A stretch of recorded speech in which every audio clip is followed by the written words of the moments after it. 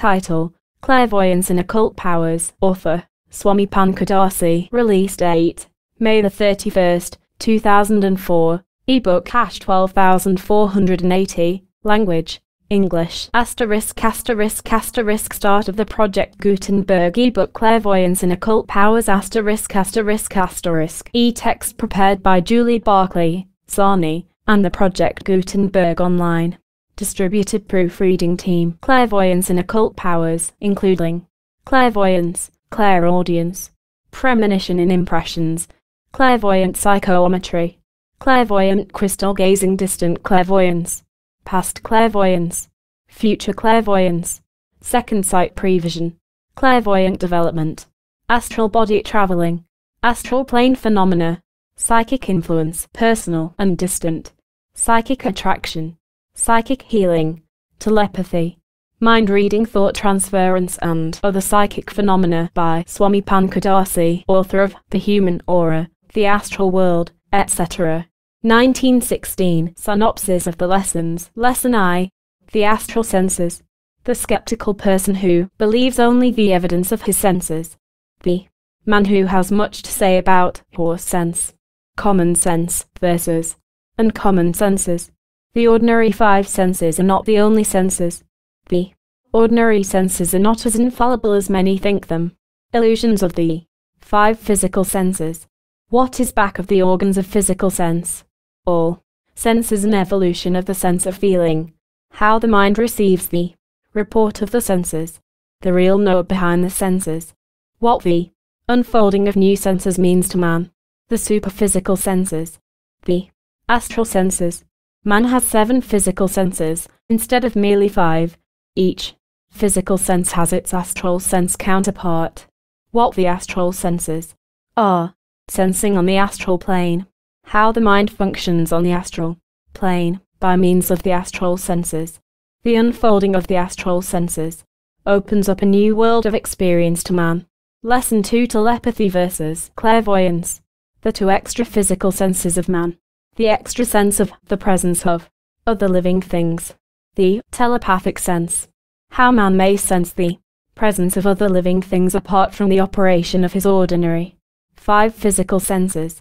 This power is strongly developed in savages and barbarians, but has become atrophied in most civilized men by continued disuse.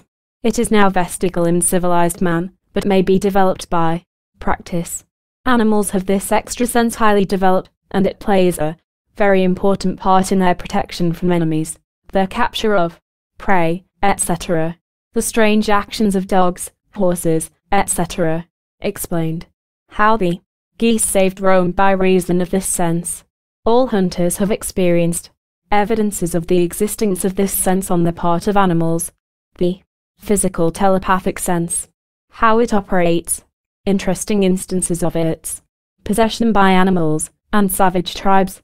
Women possess it strongly. The distinction between this form of thought transference and clairvoyance. Lesson 3 Telepathy explained. What telepathy means the mental process by which one knows at a distance the sending and receiving of waves and currents of thought and feeling, thought vibrations, and how they are caused. The part played by the cerebrum, cerebellum, and medulla oblongata, the three brains of man. The part played by the solar plexus and other great nervous centers. How thought messages are received. How states of emotional excitement are transmitted to others. The pineal gland, what it is, and what it does. The important part it plays in telepathy and thought transference. Mental atmospheres, psychic atmospheres of audiences, towns, houses, stores, etc. Why you are not affected by all thought vibrations in equal measure and strength. How thought vibrations are neutralized, affinities and repulsions between different thought vibrations.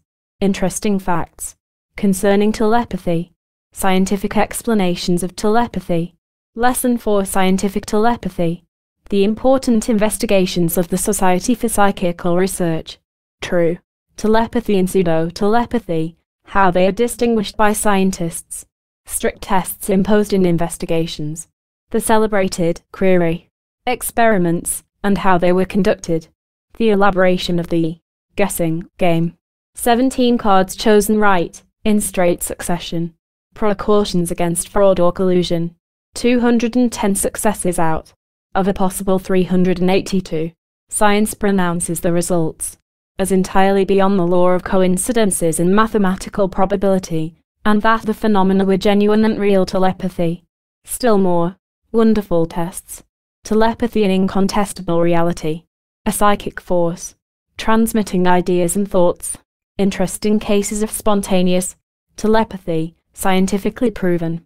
Extracts from the scientific records, called scientific reports, read like a romance, and prove beyond doubt the reality of this great field of phenomena. Lesson V Mind reading and beyond. What mind reading is. The two phases of mind reading. Mind reading with physical contact and without physical contact.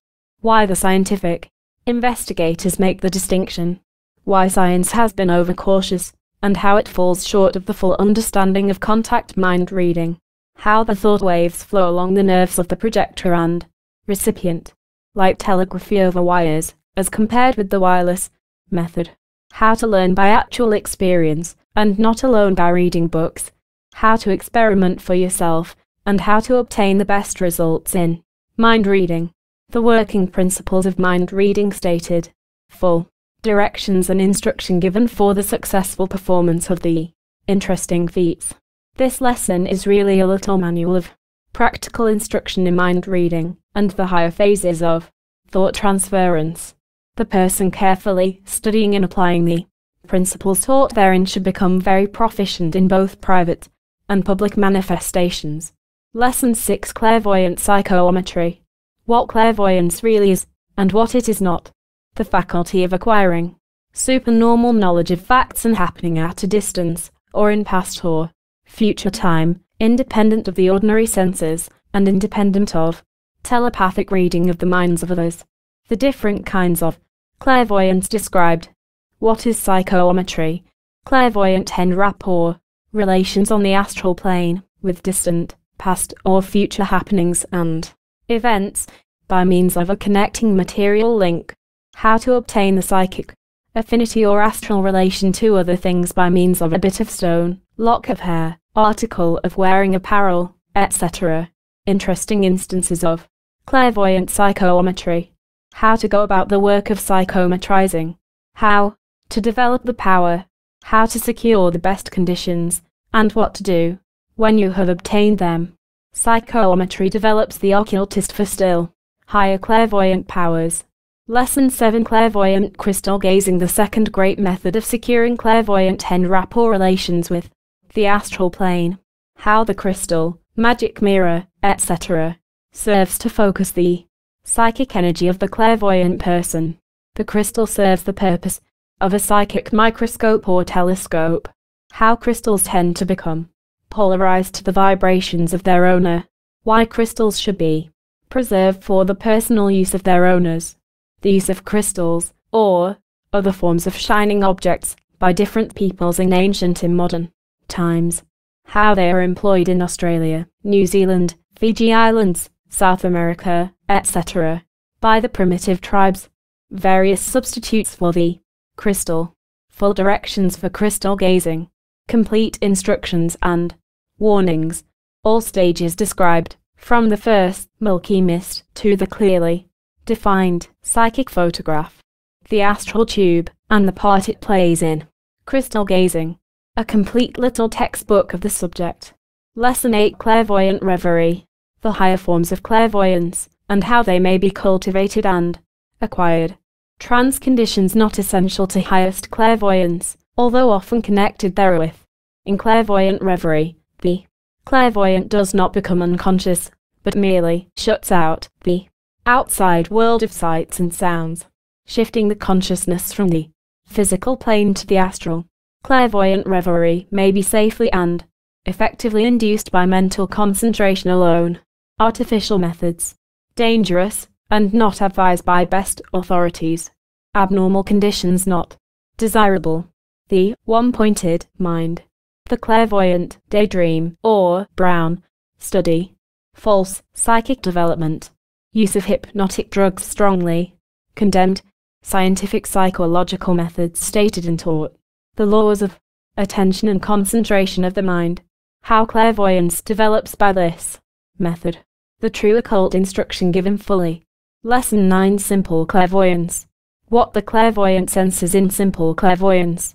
Perception of the aura and auric emanations of others, psychic vibrations, astral colors, thought currents, waves and vibrations, etc., are features of simple clairvoyance.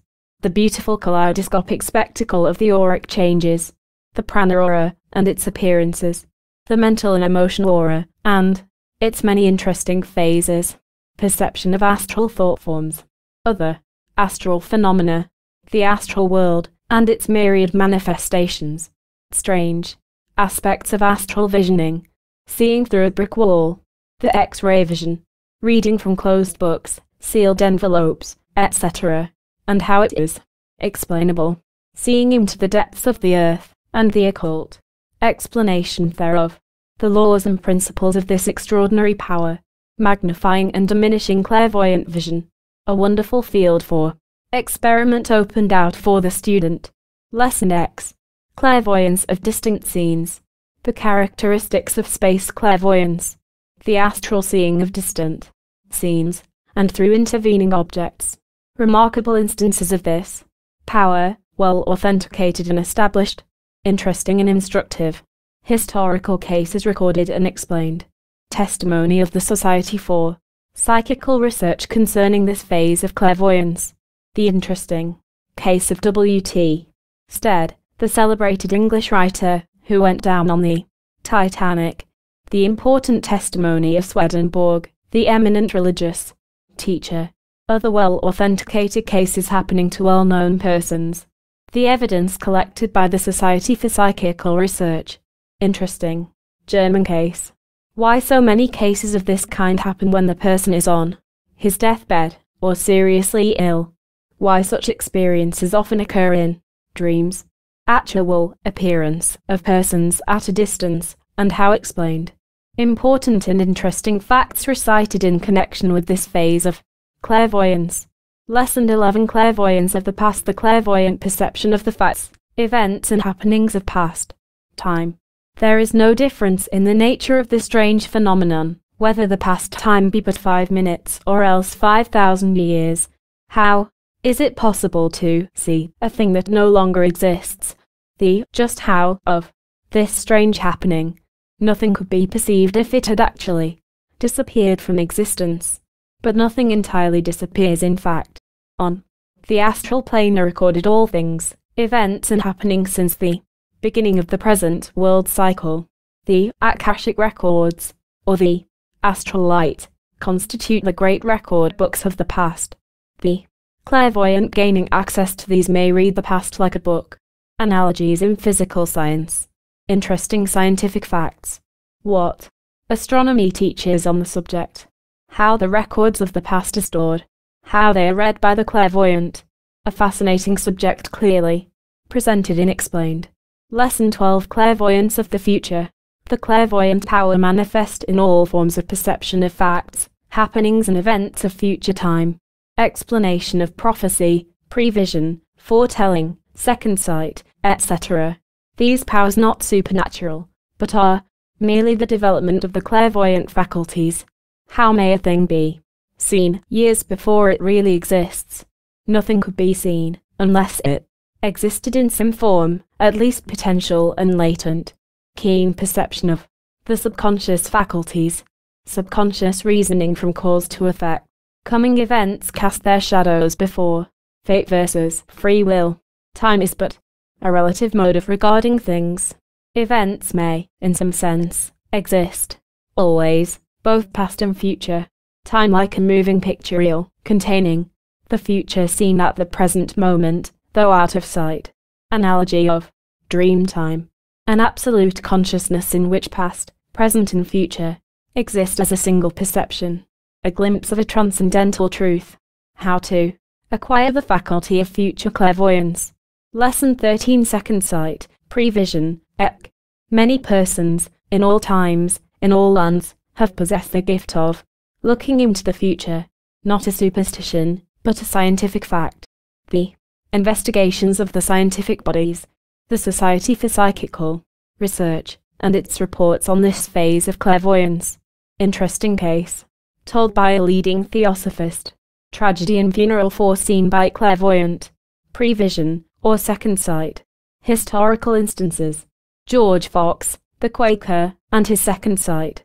The prophecy of the death of Caesar. Biblical instances.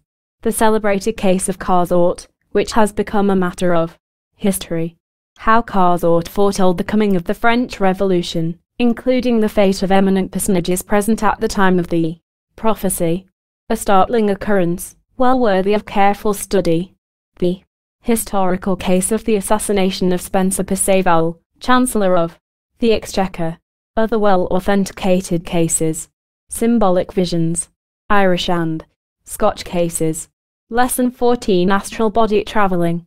Astral visioning in clairvoyance, and visioning by means of the astral body. The difference between the two phases of clairvoyant phenomena. The characteristics of astral body traveling.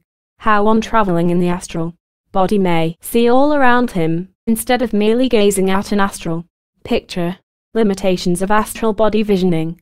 What the astral body really is, and what it is like, how it disengages itself from the physical body and travels in space. Many persons travel in the astral during ordinary sleep. Occult teachings regarding astral body traveling. How dying persons often travel in the astral body before death. Many interesting cases cited, all well authenticated by scientific investigation. Society for Psychical Researchers records and reports on such cases. Dangers of uninstructed persons going out on the astral, except in dream state. Fools rush in where angels fear to tread. A timely warning. A most important and interesting subject. Lesson 15 Strange Astral Phenomena. Additional phases of astral phenomena. Projection of thought forms. Something between ordinary clairvoyance and astral body perception. What a thought form is. How it is created. What it does. Where it goes how a portion of one's consciousness is projected in the thought form, using a thought form as a cut post or observation point. How things appear when viewed from a thought form. A wonderful phase of occult phenomena. Advantages and disadvantages of this form of clairvoyant visioning. Hindu psychic magic and how it is performed. Remarkable illusory effects produced by Hindu magicians. All is explained when the principle of the creation and projection of thought forms is understood.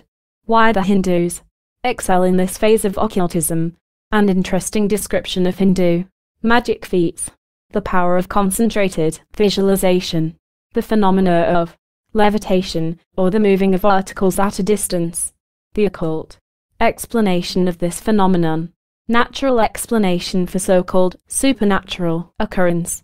Lesson 16 Psychic Influence its laws and principles. The laws and principles underlying the power of one mind to influence and affect another mind, more than ordinary telepathy. The inductive power of mental vibrations. Everything is in vibration. Mental vibrations are much higher in the scale than the physical vibrations. What induction is, how a mental state or an emotional feeling tends to induce a similar state. In another mind many instances cited, the different degrees of vibratory influence, and what causes the difference, the contagious effect of a strong feeling, why a strong desire has a dynamic effect in certain cases, the power of visualization in psychic influence, the attractive power of thought, the effect of mental concentration, focusing your forces, holding the mind to a state of one pointedness, why the occultist controls his imagination, suggestions as to practice, and rules of development. A few easily mastered principles which give you the key to the whole of this wonderful subject. Lesson 17 Personal Psychic Influence over Others. Psychic influence exerted over others, when in their presence. Different degrees of the influence. Possession of this power by Alexander the Great, Napoleon Bonaparte, Julius Caesar, and other great leaders of men. The Ability to influence others is a sure sign of the possession of this psychic power. The three underlying principles of psychic influence. The importance of strong desire to influence and exert power. The importance of clear, positive mental pictures of what effect you wish to produce.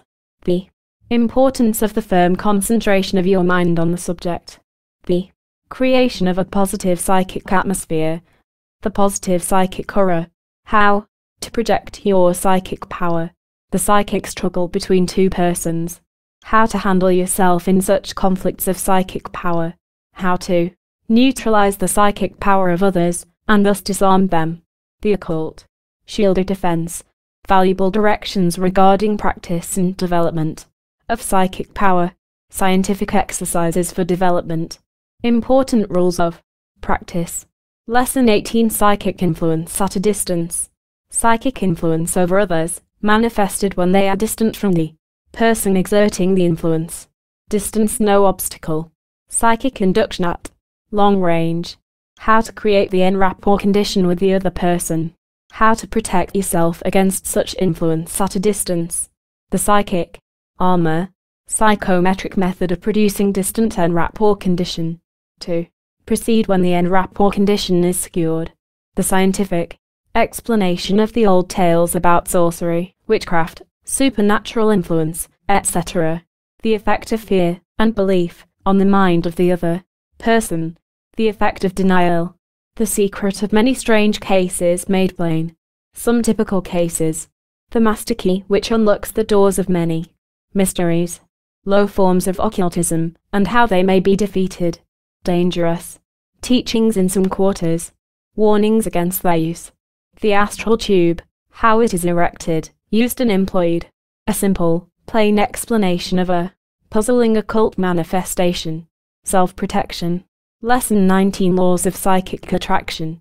How psychic vibrations tend to attract their creator other persons. Vibrating along the same lines, and things having a relation to the things. Thought of. Harmony and inharmony in the psychic world. The law of psychic attraction. The law of psychic repulsion. An important phase of astral phenomena. The law works two ways. It draws other persons and things to you, and you to other persons and things. How the men of big business operate under this law of attraction.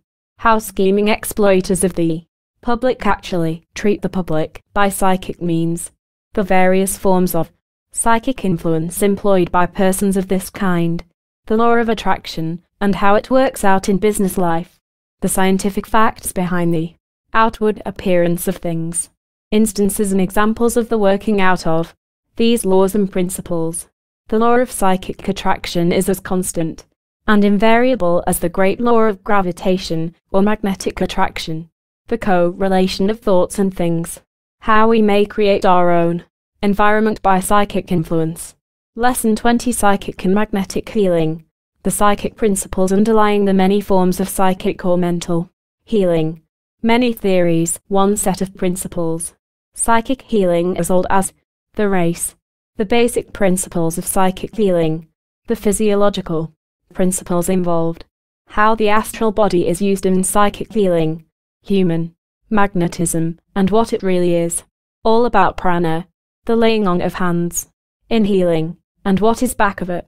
What happens in magnetic healing, the secret of absent healing, space no barrier in psychic healing, the human aura and psychic healing, the secret of suggestive therapeutics. The effect of the affirmations of the healers. How the healing cults obtain good results. Self healing by psychic power. Absent healing by psychic power. How to treat others by absent treatment. Valuable instructions. And practical methods of psychic healing. The whole subject condensed and made plain so that it may be applied by any person of average intelligence no fanciful theories, only plain, practical facts for actual application. Introduction. In preparing this series of lessons for students of Western lands, I have been compelled to proceed along lines exactly opposite to those which I would have chosen had these lessons been for students in India. This, because of the diametrically opposite mental attitudes of the students of these two several lands. The student in India expects the teacher to state positively the principles involved, and the methods whereby these principles may be manifested, together with frequent illustrations, generally in the nature of fables or parables, serving to link the new knowledge to some already known thing. The Hindu student never expects or demands anything in the nature of proof of the teacher's statements of principle or method. In fact, he would regard it as an insult to the teacher to ask for the same. Consequently, he does not look for, or ask, specific instances or illustrations in the nature of scientific evidence or proof of the principles taught. He may ask for more information, but solely for the purpose of bringing out some point which he has not grasped, but he avoids, as a pestilence, any question seeming to indicate argument, doubt of what is being taught him, or of the nature of a demand for proof or evidence.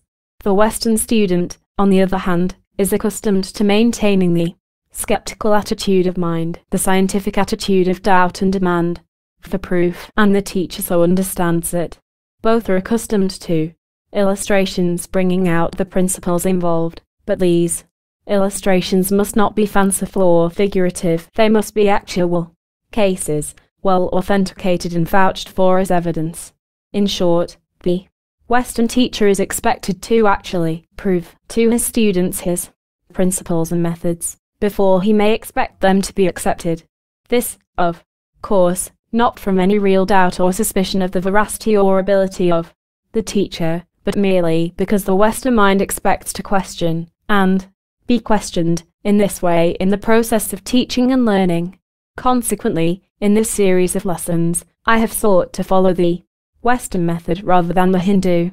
So far as is possible, I have avoided the flat positive statement of principles and methods, and have sought to prove each step of the teaching.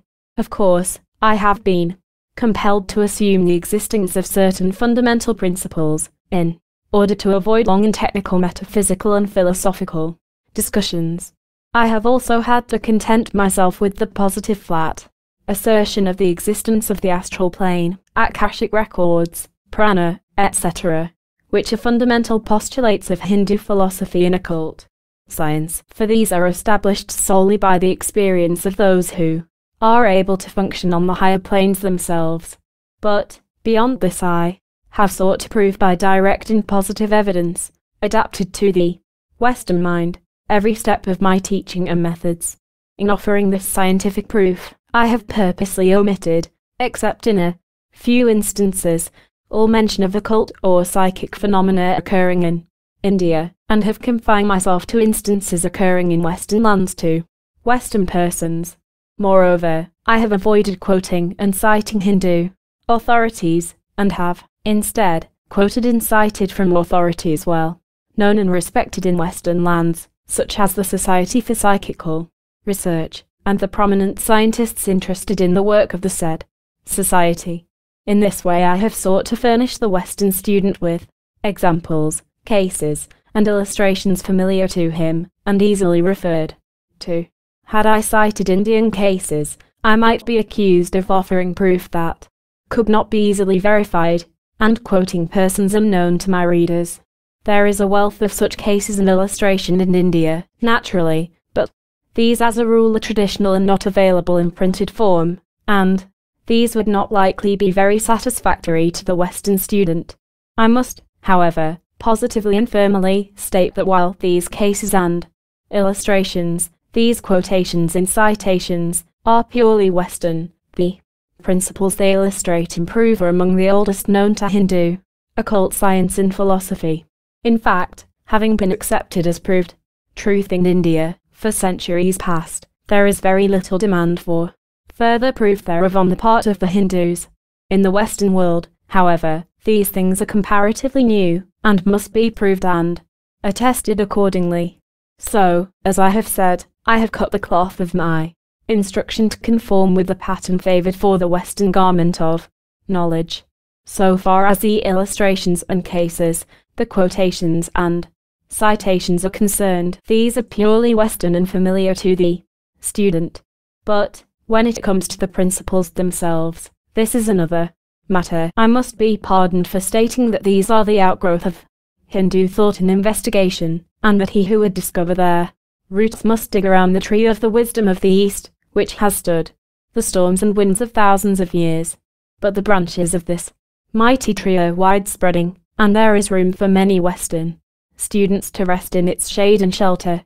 In these lessons I have referred occasionally to my two little books, entitled The Astral World and The Human Aura, respectively. To those who are interested in these subjects, I recommend these little books.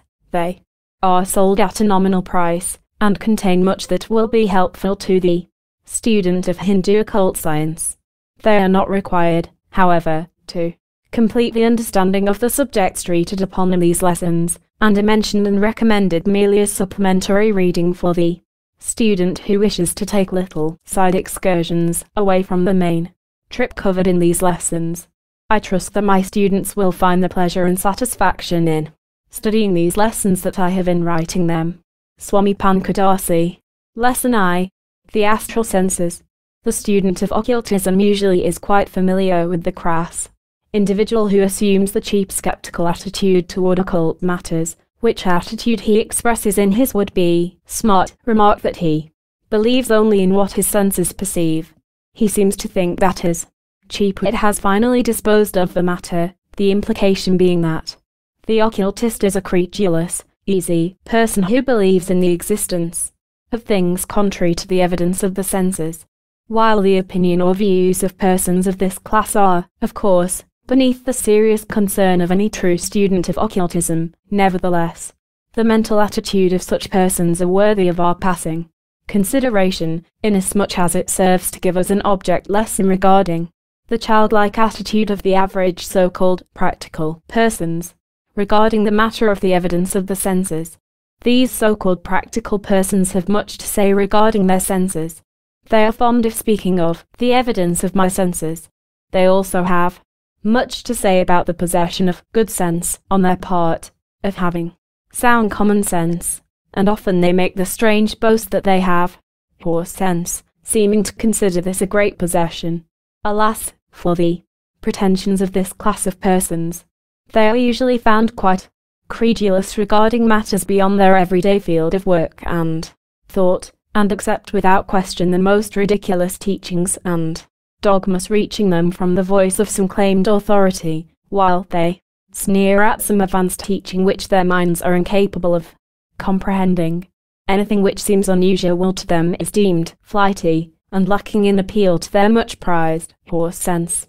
But it is not my intention to spend time in discussing these insignificant halfpenny intellects. I have merely alluded to them in order to bring to your mind the fact that to many persons the idea of sense, and that of senses, is very closely allied. They consider all knowledge and wisdom as sense, and all such senses being derived directly from their ordinary five senses. They ignore almost completely the intuitional phases of the mind, and are unaware of many of the higher processes of reasoning. Such persons accept as undoubted anything that their senses report to them.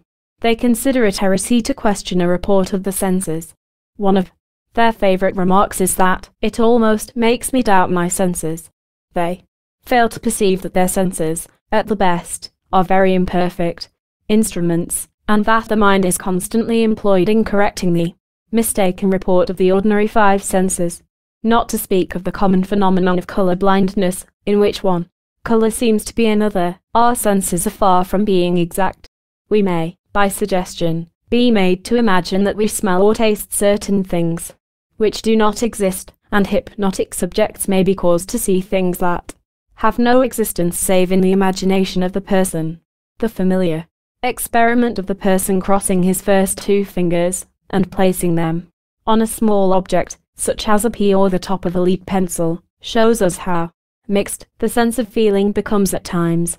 The many familiar instances of optical delusions show us that even our sharp eyes may deceive, us, every conjurer knows how easy it is to deceive the eye by suggestion and false movements. Perhaps the most familiar example of mistaken sense reports is that of the movement of the earth. The senses of every person report to him that the earth is a fixed, immovable body, and that the sun, moon, planets, and stars move around the Earth every 24 hours. It is only when one accepts the reports of the reasoning faculties that he knows that the Earth not only whirls around on its axis every 24 hours, but that it circles around the Sun every 365 days, and that even the Sun itself, carrying with it the Earth and the other planets, really moves along in space, moving toward or around some unknown point far distant from it. If there is any one particular report of the senses which would seem to be beyond doubt or question, it certainly would be this elementary sense report of the fixedness of the earth beneath our feet, and the movements of the heavenly bodies around it, and yet we know that this is merely an illusion, and that the facts of the case are totally different. Again, how few persons really realize that the eye perceives things upside down, and that the mind only gradually acquires the trick of adjusting the impression. I am not trying to make any of you doubt the report of his or her five senses. That would be most foolish, for all of us must needs depend upon these five senses in our everyday affairs, and would soon come to grief, were we to neglect their reports. Instead, I am trying to acquaint you with the real nature of these five senses, that you may realize what they are not, as well as what they are, and also that you may realize that there is no absurdity in believing that there are more channels of information open to the ego, or soul of the person, than these much used five senses. When you once get a correct scientific conception of the real nature of the five ordinary senses, you will be able to intelligently grasp the nature of the higher psychic faculties or senses, and thus be better fitted to use them. So, let us take a few moments' time in order to get this fundamental knowledge well fixed in our minds. What are the five senses, anyway? Your first answer will be feeling, seeing, hearing, tasting, smelling. But that is merely a recital of the different forms of sensing. What is a sense? When you get right down to it, well, you will find that the dictionary tells us that a sense is a faculty possessed by animals of perceiving external objects by means of impressions made upon certain organs of the body. Getting right down to the roots of the matter, we find that the five senses of man are the channels through which he becomes aware or conscious of information concerning objects outside of himself. But these senses are not the sense organs alone. Back of the organs there is a peculiar arrangement of the nervous system, or brain centers, which take up the messages received through the organs, and back of this, again, is the ego, or soul, or mind, which, at the last, is the real knower. The eye is merely a camera, the ear merely a receiver of sound waves, the nose merely an arrangement of sensitive mucous membrane, the mouth and tongue simply a container of taste buds, the nervous system merely a sensitive apparatus designed to transmit messages to the brain and other centers, all being but part of the physical machinery and liable to impairment or destruction. Back of all this apparatus is the real knower who makes use of it. Science tells us that of all the five senses, that of touch or feeling was the original, the fundamental sense. All the rest are held to be but modifications of, and specialized forms of, this original sense of feeling. I am telling you this not merely in the way of interesting and instructive scientific information, but also because an understanding of this fact will enable you to more clearly comprehend that which I shall have to say to you about the higher faculties or senses. Many of the very lowly and simple forms of animal life have this one sense, only, and that but poorly developed. The elementary life form feels the touch of its food, or of other objects, which may touch it. The plants also have something akin to this sense, which in some cases, like that of the sensitive plant, for instance, is quite well developed, long before the sense of sight, or the sensitiveness to light appeared in animal life, we find evidences of taste, and something like rudimentary hearing or sensitiveness to sounds. Smell gradually developed from the sense of taste, with which even now it is closely connected. In some forms of lower animal life, the sense of smell is much more highly developed than in mankind. Hearing evolved in due time from the rudimentary feeling of vibrations, Sight, the highest of the senses, came last, and was an evolution of the elementary sensitiveness to light. But, you see, all these senses are but modifications of the original sense, a feeling or touch. The eye records the touch or feeling of the light waves which strike upon it. The ear records the touch or feeling of the sound waves or vibrations of the air which reach it. The tongue and other seats of taste record the chemical touch of the particles of food or other substances coming in contact with the taste buds. The nose records the chemical touch of the gases or fine particles of material which touch its mucous membrane. The sensory nerves record the presence of outer objects coming in contact with the nerve ends in various parts of the skin of the body. You see that all of these sensors merely record the contact or touch of outside objects, but the sense organs themselves do not do the knowing of the presence of the objects. They are but pieces of delicate apparatus serving to record or to receive primary impressions from outside. Wonderful as they are, they have their counterparts in the works of man, as for instance, the camera, or artificial eye, the phonograph, or artificial ear, the delicate chemical apparatus, or artificial taster and smeller, the telegraph, or artificial nerves. Not only this, but there are always to be found nerve telegraph wires conveying the messages of the eye, the ear, the nose, the tongue, to the brain, telling the something in the brain of what has been felt at the other end of the line. Sever the nerves leading to the eye, and though the eye will continue to register perfectly, still, no message will reach the brain, and render the brain unconscious, and no message will reach it from the nerves connecting with eye, ear, nose, tongue, or surface of the body. There is much more to the receiving of sense messages than you would think at first. You see, now all this means that the ego, or soul, or mind, if you prefer the term, is the real knower who becomes aware of the outside world by means of the messages of the senses. Cut off from these messages the mind would be almost a blank, so far as outside objects are concerned. Every one of the senses so cut off would mean a diminishing or cutting off of a part of the world of the ego. And, likewise, each new sense added to the list tends to widen and increase the world of the ego. We do not realize this, as a rule. Instead, we are in the habit of thinking that the world consists of just so many things and facts, and that we know every possible one of them. This is the reasoning of a child.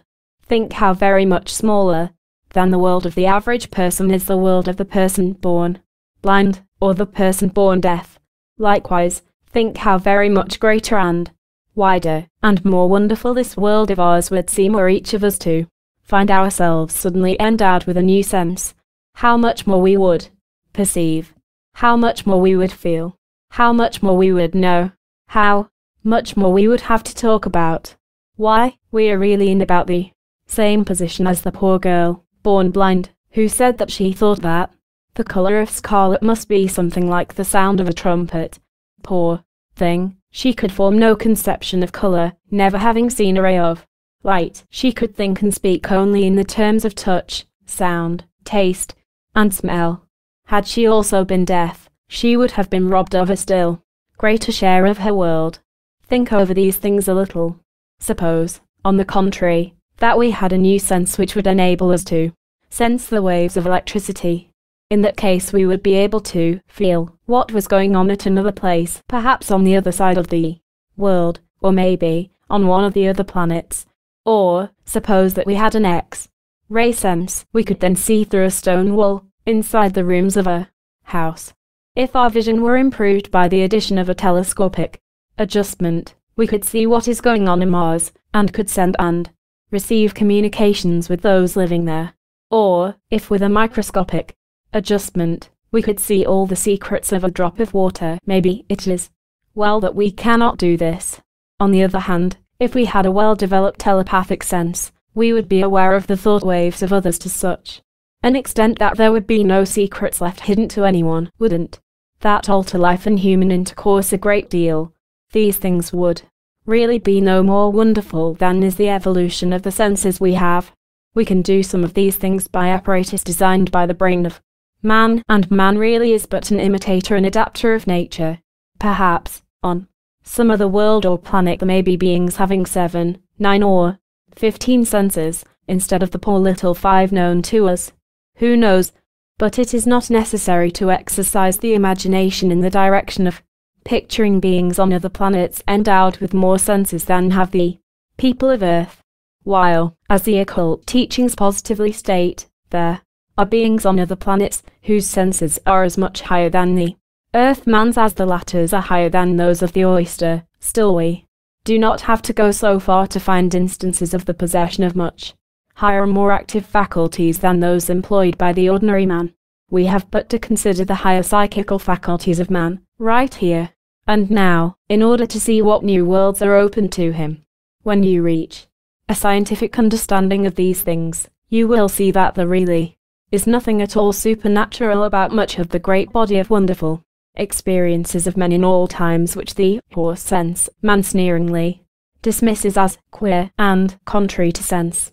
You will see that these experiences are quite as natural as are those in which the ordinary five senses are employed, though they are superphysical. There is the greatest difference between supernatural and superphysical, you must realize. All occultists know that man has other senses than the ordinary five, although but few men have developed them sufficiently well to use them effectively.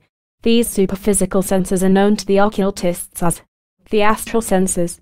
The term astral, used so frequently by all occultists, ancient and modern, is derived from the Greek word astra, meaning star. It is used to indicate those planes of being immediately above the physical plane. The astral senses are really the counterparts of the physical senses of man, and are connected with the astral body of the person just as the physical senses are connected with the physical body. The office of these astral senses is to enable the person to receive impressions on the astral plane, just as his physical senses enable him to receive impressions on the physical plane. On the physical plane, the mind of man receives only the sense impressions of the physical organs of sense. But when the mind functions and vibrates on the astral plane, it requires astral senses in order to receive the impressions of that plane, and these, as we shall see, are present. Each one of the physical senses of man has its astral counterpart. Thus, Man has, in latency, the power of seeing, feeling, tasting, smelling, and hearing on the astral plane by means of his five astral senses. More than this, the best occultists know that man really has seven physical senses instead of but five, though these two additional senses are not unfolded in the case of the average person, though occultists who have reached a certain stage are able to use them effectively. Even these two Extra physical senses have their counterparts on the astral plane. Persons who have developed the use of their astral senses are able to receive the sense impressions of the astral plane just as clearly as they receive those of the physical plane by means of the physical senses. For instance, the person is thus able to perceive things occurring on the astral plane, to read the Akashic records of the past, to perceive things that are happening in other parts of the world, to see past happenings as well, and in cases of peculiar development, to catch glimpses of the future, though this is far rarer than the other forms of astral sight. Again, by means of clairaudience, the person may hear the things of the astral world, past as well as present, and in rare cases, the future. The explanation is the same in each case, merely the receiving of vibrations on the astral plane instead of on the physical plane. In the same way, the astral senses of smelling, tasting, and feeling operate. But though we have occasional instances of astral feeling in certain phases of psychic phenomena, we have practically no manifestation of astral smelling or tasting, although the astral senses are there ready for use. It is only in instances of traveling in the astral body that the last two mentioned astral senses, viz., smell and taste, are manifested. The phenomena of telepathy or thought transference occurs on both the physical and the mental plane. On the physical plane, it is more or less spontaneous and erratic in manifestation, while on the astral plane, it is as clear, reliable, and responsive to demand as is astral sight, etc. The ordinary person has but occasional flashes of astral sensing, and as a rule is not able to experience the phenomenon at will. The trained occultist, on the contrary, is able to shift from one set of senses to the other by a simple act or effort of will, whenever he may wish to do so. Advanced occultists are often able to function on both physical and astral planes at the same time, though they do not often desire to do so. 2. Vision astrally, the trained occultist merely shifts his sensory mechanism from physical to astral, or vice versa, just as the typewriter operator shifts from the small letter type to the capitals by simply touching the shift key of his machine. Many persons suppose that it is necessary to travel on the astral plane, in the astral body, in order to use the astral senses. This is a mistake. In instances of clairvoyance, astral visioning, psychometry, etc., the occultist remains in his physical body and senses the phenomena of the astral plane quite readily by means of the astral senses, just as he is able to sense the phenomena of the physical plane when he uses the physical organs quite more easily. In fact, in many instances, it is not even necessary for the occultist to enter into the trance condition. In the majority of cases, travel in the astral body is quite another phase of occult phenomena, and is far more difficult to manifest. The student should never attempt to travel in the astral body except under the instruction of some competent instructor. In crystal gazing, the occultist merely employs the crystal in order to concentrate his power and to bring to a focus his astral vision. There is no supernatural virtue in the crystal itself, it is merely a means to an end, a piece of useful apparatus to aid in the production of certain phenomena. In psychometry some object is used in order to bring the oculist en rapport with the person or thing associated with it. But it is the astral senses which are employed in describing either the past environment of the thing, or else the present or past doings of the person in question, etc. In short, the object is merely the loose end of the psychic ball of twine, which the psychometrist proceeds to wind or unwind at will. Psychometry is merely one form of astral seeing, just as is crystal gazing. In what is known as telekinesis, or movement at a distance, there is found the employment of both astral sensing and astral will action accompanied, in many cases by actual projection of a portion of the substance of the astral body. In the case of clairvoyance, we have an instance of the simplest form of astral seeing, without the necessity of the associated object of psychometry, or the focal point of the crystal in crystal gazing. This is true not only of the ordinary form of clairvoyance, in which the occultist sees astrally the happenings and doings at some distinct point, at the moment of observation. It is also true of what is known as past clairvoyance, or astral seeing of past events, and in the seeing of future events, as in prophetic vision, etc. These are all simply different forms of one and the same thing. Surely, some of you may say, these things are supernatural, far above the realm of natural law, and yet this man would have us believe otherwise. Softly, softly, dear reader, do not jump at conclusions so readily. What do you know about the limits of natural law and phenomena? What right have you to assert that all beyond your customary range of sense experiences, outside of nature? Do you not realize that you're attempting to place a limit upon nature which in reality is illimitable. The man of a generation back of the present one would have been equally justified in asserting that the marvels of wireless telegraphy were supernatural, had he been told of the possibility of their manifestation. Going back a little further, the father of that man would have said the same thing regarding the telephone, had anyone been so bold as to have prophesied it. Going back still another generation, imagine the opinion of some of the old men of that time regarding the telegraph. And yet these things are simply the discovery and application of certain of nature's wonderful powers and forces. Is it any more unreasonable to suppose that nature has still a mine of undiscovered treasure in the mind and constitution of man, as well as in inorganic nature? No, friends, these things are as natural as the physical senses, and not a whit more of a miracle. It is only that we are accustomed to one, and not to the other, that makes the astral senses seem more wonderful than the physical. Nature's workings are all wonderful, none more so than the other. All are beyond our absolute conception when we get down to their real essence. So let us keep an open mind. Lesson 2 Telepathy versus Clairvoyance. In this work, I shall use the term clairvoyance in its broad sense of astral perception, as distinguished from perception by means of the physical senses. As we proceed, you will see the general and special meanings of the term, so there is no necessity for a special definition or illustration of the term at this time. By telepathy, I mean the sending and receiving of thought messages, and mental and emotional states, consciously or unconsciously, by means of what may be called the sixth sense of the physical plane. There is, of course, a form of thought transference on the astral plane, but this I include under the general term of clairvoyance, for reasons which will be explained later on. You will remember that in the preceding chapter I told you that in addition to the five ordinary physical senses of man there were also two other physical senses comparatively undeveloped in the average person.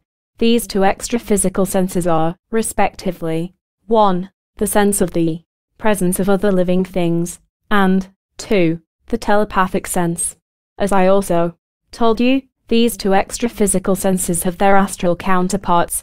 They also have certain physical organs which are not generally recognized by physiologists or psychologists, but which are well known to all occultists. I shall now consider the first of the two above mentioned extra physical senses, in order to clear the way for our consideration of the question of the distinction between ordinary telepathy and that form of clairvoyance which is its astral counterpart. There is in every human being a sense which is not generally recognized as such, although nearly every person has had more or less experience regarding its workings. I refer to the sense of the presence of other living things, separate and apart from the operation of any of the five ordinary physical senses.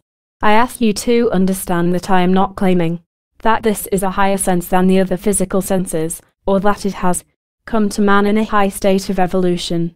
On the contrary, this sense came to living things far back in the scale of evolution. It is possessed by the higher forms of the lower animals, such as the horse, dog, and the majority of the wild beasts.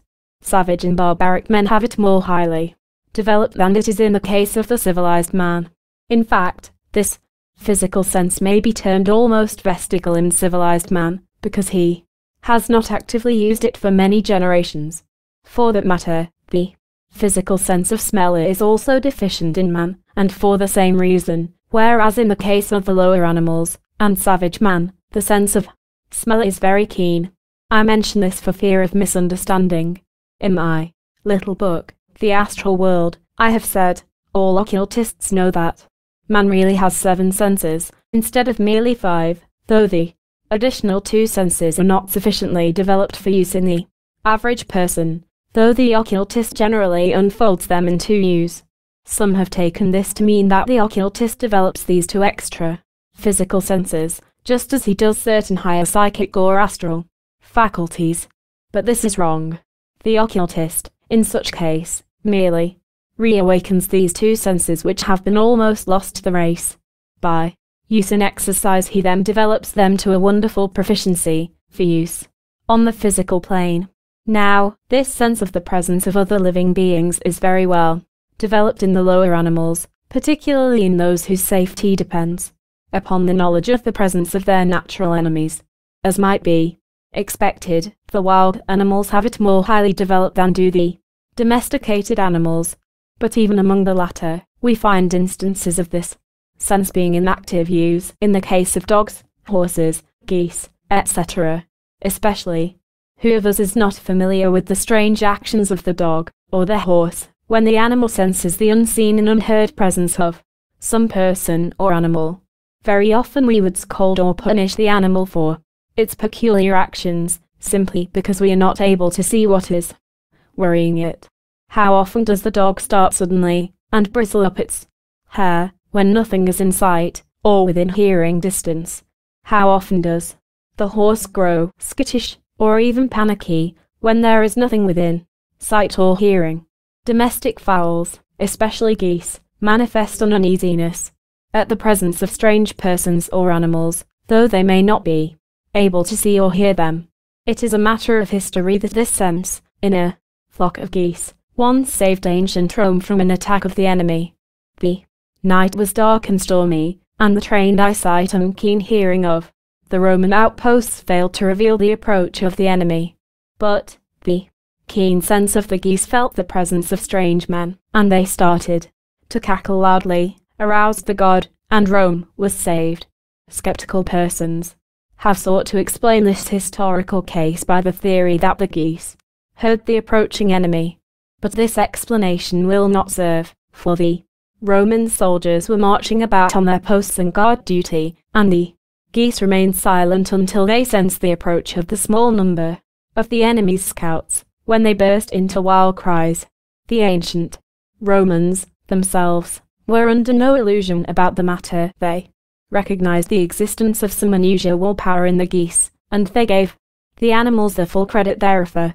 Hunters in wild and strange lands have told us that often when they were lying concealed for the purpose of shooting the wild animals when they came within range, they have witnessed instances of the existence of this strange faculty in the wild beasts, though they could not see the concealed hunters, nor smell them, as the wind was in the other direction, all of a sudden one or more of the animals, generally an old female, would start suddenly, and a shiver would be seen to pass over its body. Then it would utter a low warning note, and away would fly the pack.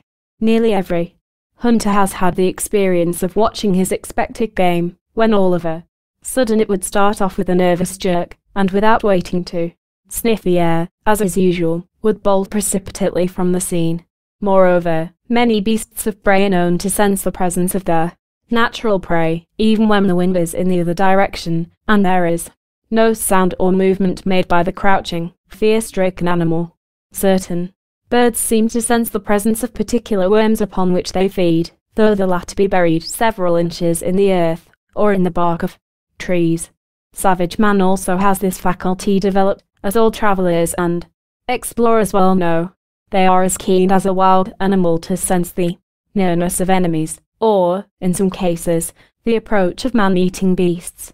This does not mean that, that these savages are more highly developed than is civilized man, quite the reverse. This is the explanation when man became more civilized and made himself more secure from his wild beast enemies, as well as from the sudden attacks of his human enemies, he began to use this sense less and less. Finally, in the course of many generations, it became almost atrophied from disuse and ceased reporting to the brain or other nerve centers. Or, if you prefer viewing it from another angle, it may be said that the nerve centers and brain began to pay less and less attention to the reports of this sense, trusting more to sight and hearing, until the consciousness failed to awaken to the reports you know how your consciousness will finally refuse to be awakened by familiar sounds, such as the noise of machinery in the shop, or ordinary noises in the house, although the ears receive the sound waves. Well, this is the way in the case of this neglected sense. For the two reasons just mentioned, the average person is almost unaware of its existence. Almost unaware, I have said, not totally unaware, for probably Every one of us has had experiences in which we have actually felt the presence of some strange person about the premises or place. The effect of the report of this sense is particularly noticed in the region of the solar plexus or the pit of the stomach. It manifests in a peculiar, unpleasant feeling of goneness. In that region, it produces a feeling of something wrong, which disturbs one in a strange way. This is generally accompanied by a bristling up or creepy feeling along the spine. The organs registering the presence of a strange or alien creature consist of certain delicate nerves of the surface of the skin, generally connected with the roots of the downy hair of the body, or resting where the hair roots would naturally be, in the case of a hairless skin. These seem to report directly to the solar plexus, which then acts quickly by reflex action on the other parts of the body, causing an instinctive feeling to either fly the scene or else to crouch and hide oneself. This feeling, as may be seen at once, is an inheritance from our savage ancestors, or perhaps from our lowly animal ancestral roots. It is a most unpleasant feeling, and the race escapes much discomfort by reason of its comparative absence. I have said that occultists have developed, or rather redeveloped this sense. They do this in order to have a harmonious, well developed sevenfold sense system. It increases their general awareness. Certain other knowledge of the occultist neutralizes the unpleasant features of the manifestation of this sense, and he finds it often a very valuable adjunct to his senses of seeing and hearing, particularly in the cases in which he is approached by persons having antagonistic or hostile feelings toward him, as in such cases this faculty is particularly active. In connection with the telepathic sense, to be described a little further on, this sense operates to give a person that sense of warning when approached by another person whose feelings are not friendly to him, no matter how friendly the outward appearance of that person may be. These two extra senses cooperate to give a person that instinctive feeling of warning, which all of us know in our own experience. This particular, as well as the telepathic sense, may be cultivated or developed by anyone who wishes to take the time and trouble to accomplish the work. The principle is simple, merely the same principle that one uses in developing any of the other physical attributes, namely, use and Exercise. The first step uh, is the recognition of the existence of the sense itself, then b. the attention given to its reports, then c. frequent use in exercise.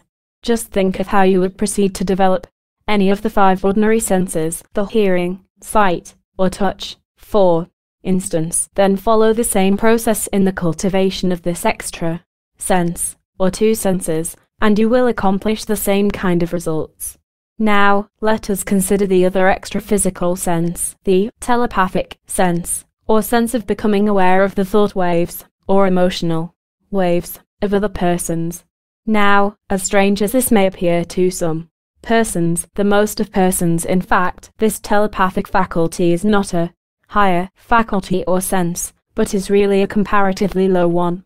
Just like the sense just described, it is possessed in a higher degree by many of the lower animals, and by primitive and savage man.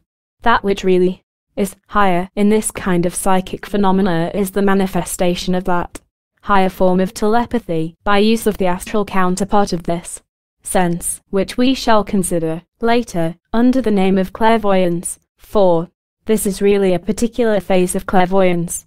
As strange as it may appear to some of you, the lower animals possess a kind of telepathic sense. An animal is usually aware of your feelings toward it and your purposes regarding it. Domestic animals lose some of this by generations of confinement, while the wild animals have the sense highly developed. But even some of the domestic animals have more or less of it. You will readily recognize this fact if you have ever tried to cut out a certain animal from a herd or flock. You will find that the Animal in some way has sensed your designs upon it, no matter how indirectly you approach it, and it will begin circling around the other animals, twisting in and out in its endeavors to be lost to your sight.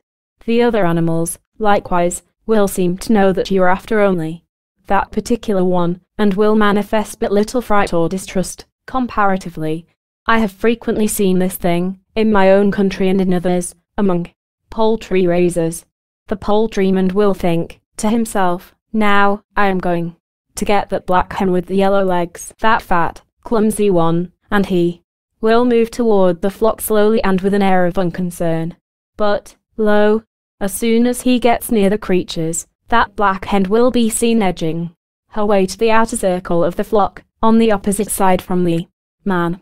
When the man moves around to her side, she will be found to have plunged into the crowd, and it is hard to find her. Sometimes she will actually try to sneak off and conceal herself in some dark corner or back of some large object. Every poultryman will smile when this occurrence is mentioned to him. He knows by experience that hens have a way of sensing what he has in his mind regarding them. Moreover, as every farmer knows, the crow family has a most uncanny way of sensing the intentions of the farmer who is trying to destroy them, and shows great sagacity in defeating those intentions. But, while the crow is a very intelligent bird, one of the wisest of the bird family, in fact, it obtains its knowledge of what is in the mind of the man not alone from figuring on his intentions but rather from that instinctive sensing of his mental states. The hen, as all know, is a very stupid bird, showing but little intelligent activity. But, nevertheless, she is very quick about sensing the poultry man's designs on her, though generally very stupid about planning out a skillful escape. Every owner of dogs, cats and horses has had many opportunities for observing the manifestation of this sense on the part of those animals. Every dog feels the emotional states of his owner and others. The horse knows when his owner seeks to throw the halter over his neck, or when, on the contrary, he is merely walking through the field. Cats sense their owner's feelings and thoughts, and often resent them. Of course, the lower animals can sense merely elementary mental states, and generally only emotional states, as their minds are not developed so as to interpret the more complex mental states. Primitive men likewise almost instinctively sense the feelings and designs of other men. They do not reason the thing out, but rather merely feel the ideas and designs of the others. The women of the lower races are more adept in interpreting these sense reports than are the men. Women are more sensitive, as a rule, than are men on any point on the scale of development. When we come to consider ordinary telepathy in the case of men of civilized countries, we find a more complex state of affairs. While civilized man, as a whole, has lost some of the quick telepathic perception of the lower races, he has, in some exceptional cases, acquired a faculty of receiving and interpreting more complex thought forms and mental states. The investigations of the Society for Psychical Research and those of private investigators as well, have shown us that a picture of a complicated geometrical design held in the mind of one person may be carried to and received by the mind of another person, who reproduces the design on paper. In the same way, complicated thoughts have been transmitted and received, but these are only exceptional cases. In many cases this sense seems almost dead in the ordinary civilized individual, except when aroused in exceptional cases. But, nevertheless, the majority of persons have occasional flashes of telepathy, just enough to make them realize that there is something in.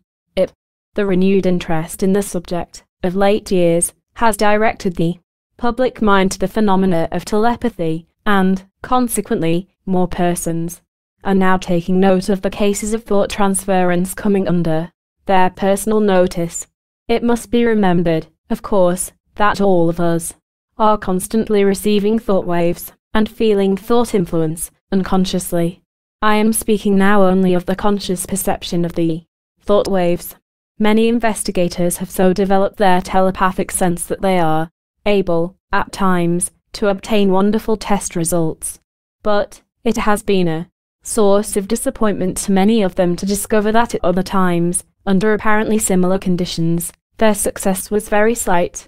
So, true is this that many authorities have accepted the theory that telepathy is more or less spontaneous and cannot be produced to order. This theory is true as far as it goes, but there is a side of the case that these investigators overlook, probably because of their lack of the occult principles involved in the phenomena. I mean this, that their most brilliant successes have been obtained by reason of their unconscious switching on of the astral telepathic sense, the clairvoyant sense. While in this condition, they obtained startling results, but the next time they tried, they failed to awaken the astral sense, and, therefore, had to depend entirely upon the physical telepathic sense, and, consequently, their results were comparatively poor. You will understand the difference and distinction between physical sense telepathy and astral sense telepathy if you will carefully consider the nature of each, as I shall now present it to you. I ask your close attention to what I shall have to say on this subject in the remaining pages of this chapter. Do not pass over these explanations as dry, for, unless you have a clear fundamental understanding of the thing, you will never be able to get the best results. This is true of every phase of learning, physical as well as psychical. One must get started right, in order to obtain the best results. In the first place, every thought process, every emotional activity, every creation of ideas, is accompanied by a manifestation of force in fact, is the result of the manifestation of a force.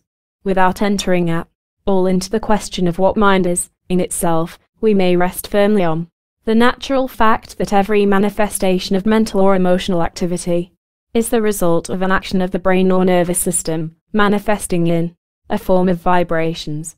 Just as in the case of the manifestation of electricity in which certain chemical elements are consumed or transformed, so in the case of mental or emotional activity there is a consuming or transformation of the substance of which the nervous system is composed.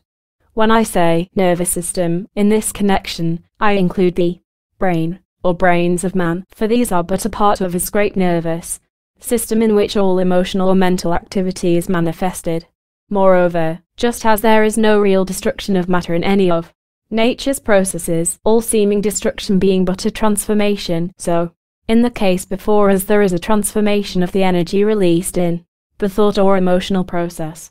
We may grasp this idea more clearly if we consider what takes place into transformation of electrical energy. For instance, transmit a strong current of electricity over a fine wire, or filament of carbon, and lo, the current is transformed into light. Use another kind of channel of transmission, and the current is transformed into heat. Every electric light, or electric heating apparatus is proof of this. In the same way, the electric current is sent into space in the form of wireless waves. These waves coming in contact with certain forms of apparatus are transformed into forms of force which are registered and interpreted by the wireless operator. In the same way, the telepathic waves of energy are sent forth by the activity released by the thought or emotion state. These waves travel in every direction, and when they come in contact with physical apparatus, sufficiently sensitive to register them, they may be reproduced or retransformed into thought or mental states similar to those which originally sent them forth. You talk into the receiver of the telephone, and the sound waves are transformed into waves of electricity. These electric waves travel over the wires, and on reaching the other end of the telephone circuit are again transformed into sound waves which are heard by the ear of the listener. Well, then, when your brain sends out thought waves, these travel until they are received by the apparatus in the brain of another person, when they are retransformed into thoughts of the same kind that originally caused the thought waves.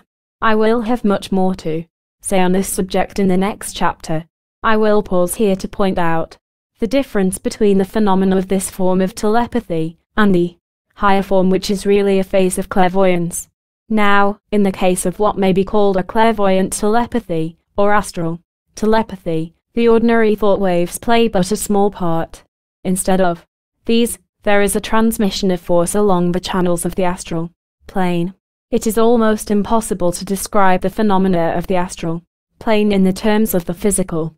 I may illustrate the matter, in a general way, by saying that is something like your astral self actually extending itself out until it touches the astral self of the other person, and thus actually feels the astral activities there, instead of it being a case of something like waves traveling along space between brain and brain. Do you get this clearly? This is about as near to it as I can. Explain it to you at this place. Telepathy is simply a matter of the transmission and receiving of waves of vibratory force which have travelled along the ether between two persons.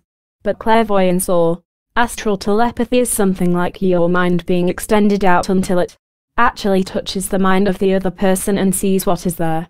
I shall have much to say regarding the working out of the processes of clairvoyance as we proceed. I have merely given the above explanation for the purpose of distinguishing between ordinary telepathy and clairvoyance, so as to prevent you from falling into a common error. Now let us consider the phenomena of ordinary telepathy. This is very wonderful in itself, although it is on a lower plane of activity than its astral or clairvoyant counterpart. Lesson 3. Telepathy explained. Telepathy, meaning thought transference, bears a misleading title. Literally translated, it means suffering at a distance, or, perhaps, feeling pain at a distance. The name should really indicate knowing at a distance, in order to be properly descriptive. But as the term has acquired a forced meaning by reason of years of usage, it will probably be continued in popular favor. After all, names do not count, so long as the meaning is accepted and understood. While the term itself has been generally used in the sense of conscious and deliberate sending and receiving of thought waves, there is a far wider field of phenomena really covered by it, viz., the unconscious, sending and receiving of mental and emotional vibrations. I shall take up this phase of the subject in a moment, after I have called your attention to the mechanism whereby the waves of thought and emotion are transmitted. In the last chapter, you will remember that I called your attention to the fact that there is a manifestation of energy or force, in the form of vibrations, in every mental or emotional state. This is true not only in the case of deep thought or vivid feeling, but also in the case of general mental feelings and emotional states. During such manifestations, there is a radiation of mental or emotional vibrations from the brain or nervous centers of the system, which flows out in all directions just as do light and wireless electricity. The principal seats or centers of these radiations are 1. The several brains of man, viz., the cerebrum, cerebellum, and the medulla oblongata, respectively, and 2. The several great centers of nerve substance in the human system, called the plexi, such as the solar plexus, etc. The vibrations arising from emotional excitement descend out principally from the plexi, or great centers of the sympathetic nervous system. Those arising from the more strictly mental states emanate from certain centers and points of the brain, or brains, of the person manifesting them.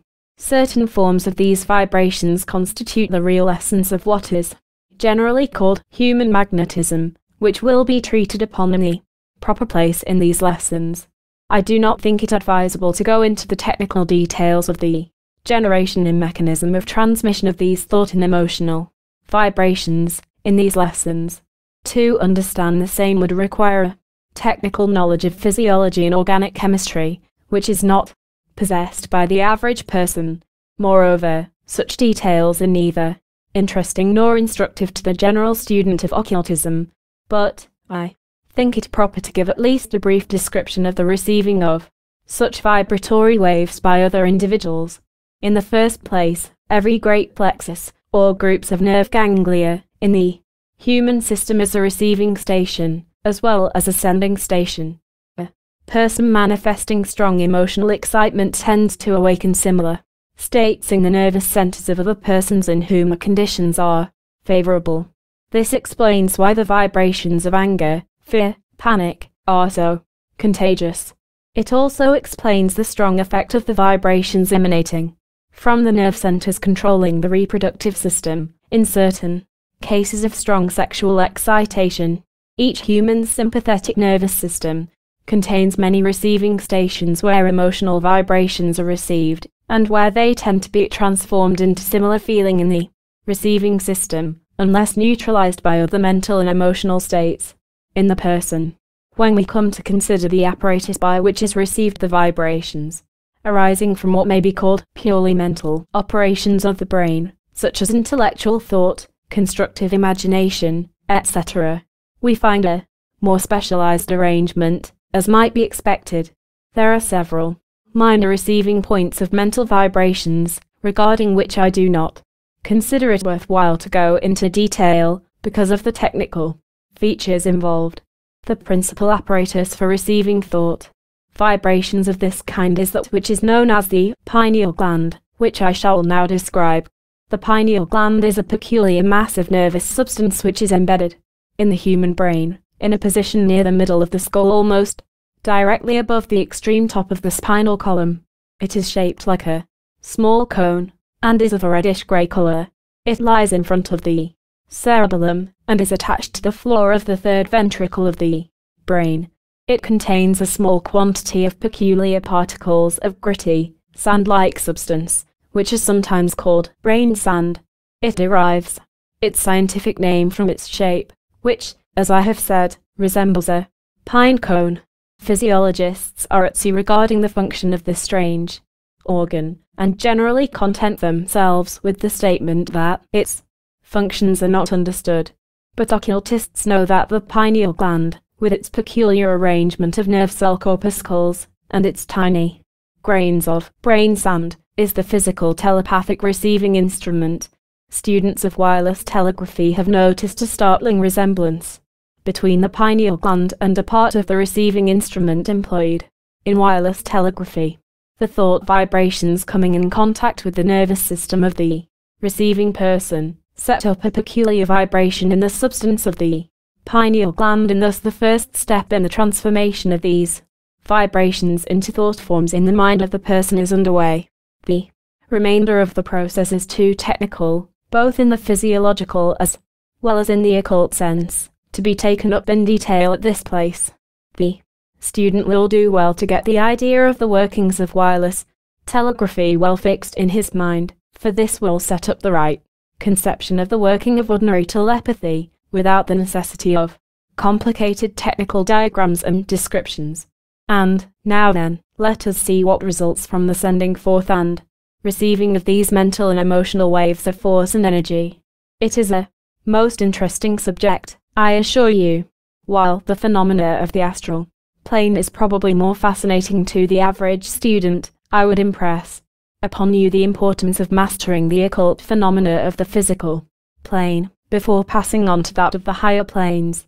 In the first place, as all occultists know, each person is constantly surrounded with what has been called an atmosphere, composed of mental and emotional vibrations which are emanated from his personality.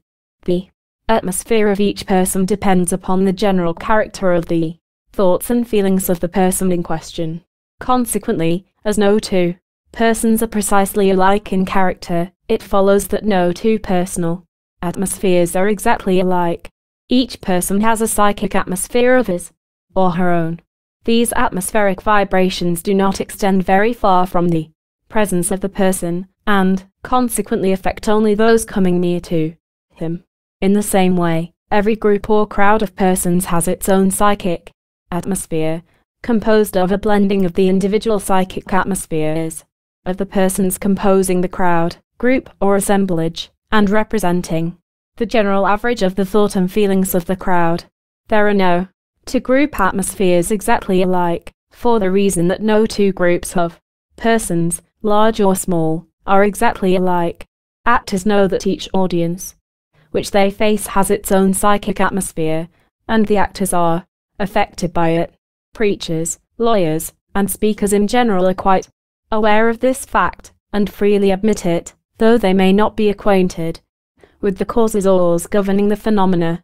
Following the same psychic law, it will be found that every town or large city, or even every small village or section of a larger town, will be found to have its own distinctive psychic atmosphere, which is very perceptible to strangers visiting the place, and which affect those who take up their residence in the place. In large cities, it has been noticed that every building has its own peculiar vibrations which arise from the general character of those occupying it. Different church buildings likewise reflect the character of the general habits of thought and feeling of those worshipping in them. Likewise, certain business streets have pleasant or unpleasant vibrations in their atmosphere from the same causes.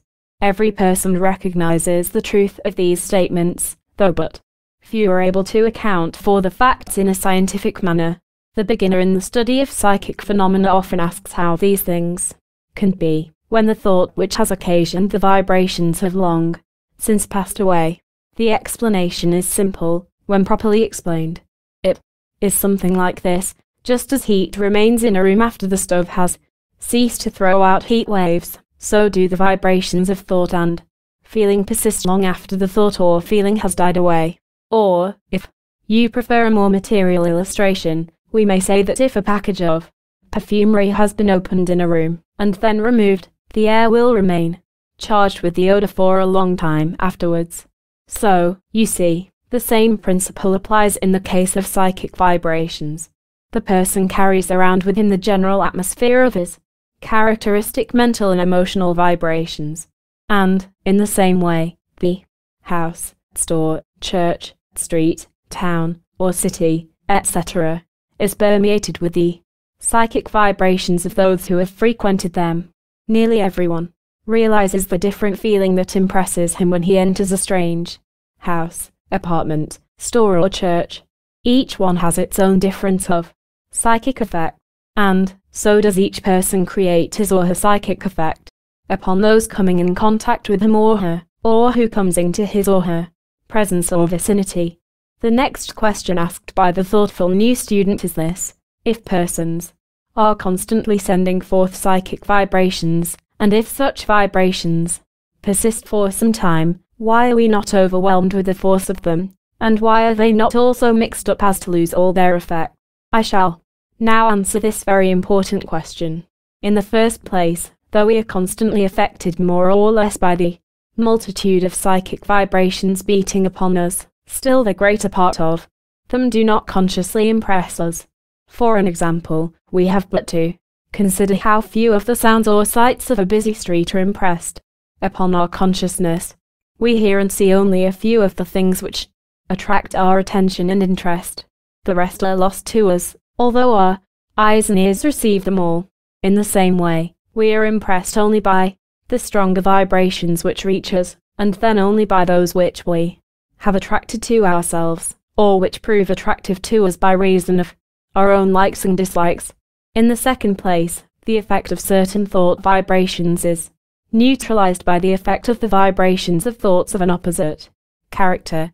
Just as a mixture of black and white produces the neutral color of gray, so do two currents of opposing thought vibrations tend to resolve themselves into a neutral vibration which has little or no effect upon those coming in contact with them. You may think of numerous correspondences to this in the world of material things. For instance, a mixture of very hot and very cold water will produce a neutral lukewarm liquid, neither hot nor cold. In the same way, two things of opposing taste characteristics, when blended, will produce a neutral taste having but little effect upon one. The principle is universal, and is readily understood. In the third place, there is that which we may call an affinity between thoughts and feelings of a similar character. Not only do the vibrations of similar thoughts tend to coalesce and combine, but, more than this, each one of us attracts to himself or herself the thought vibrations which are in general accord with corresponding thoughts in our own minds, or feelings in our own nature, like attracts like.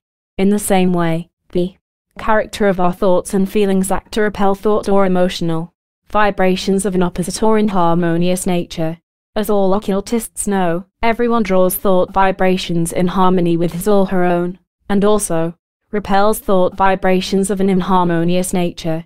These are the general laws and principles governing the phenomena of this phase of telepathic vibrations.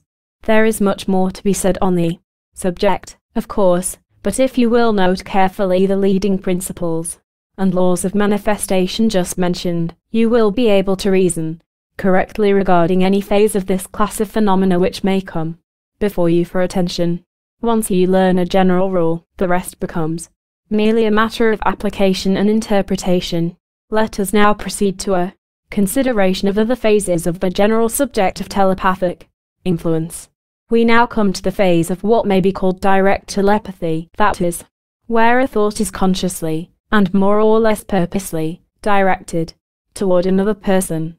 We come across many interesting cases of this kind, where persons find themselves thinking intently of certain other persons, and afterwards are told by the other persons that I found myself thinking intently about you at such and such a time, etc.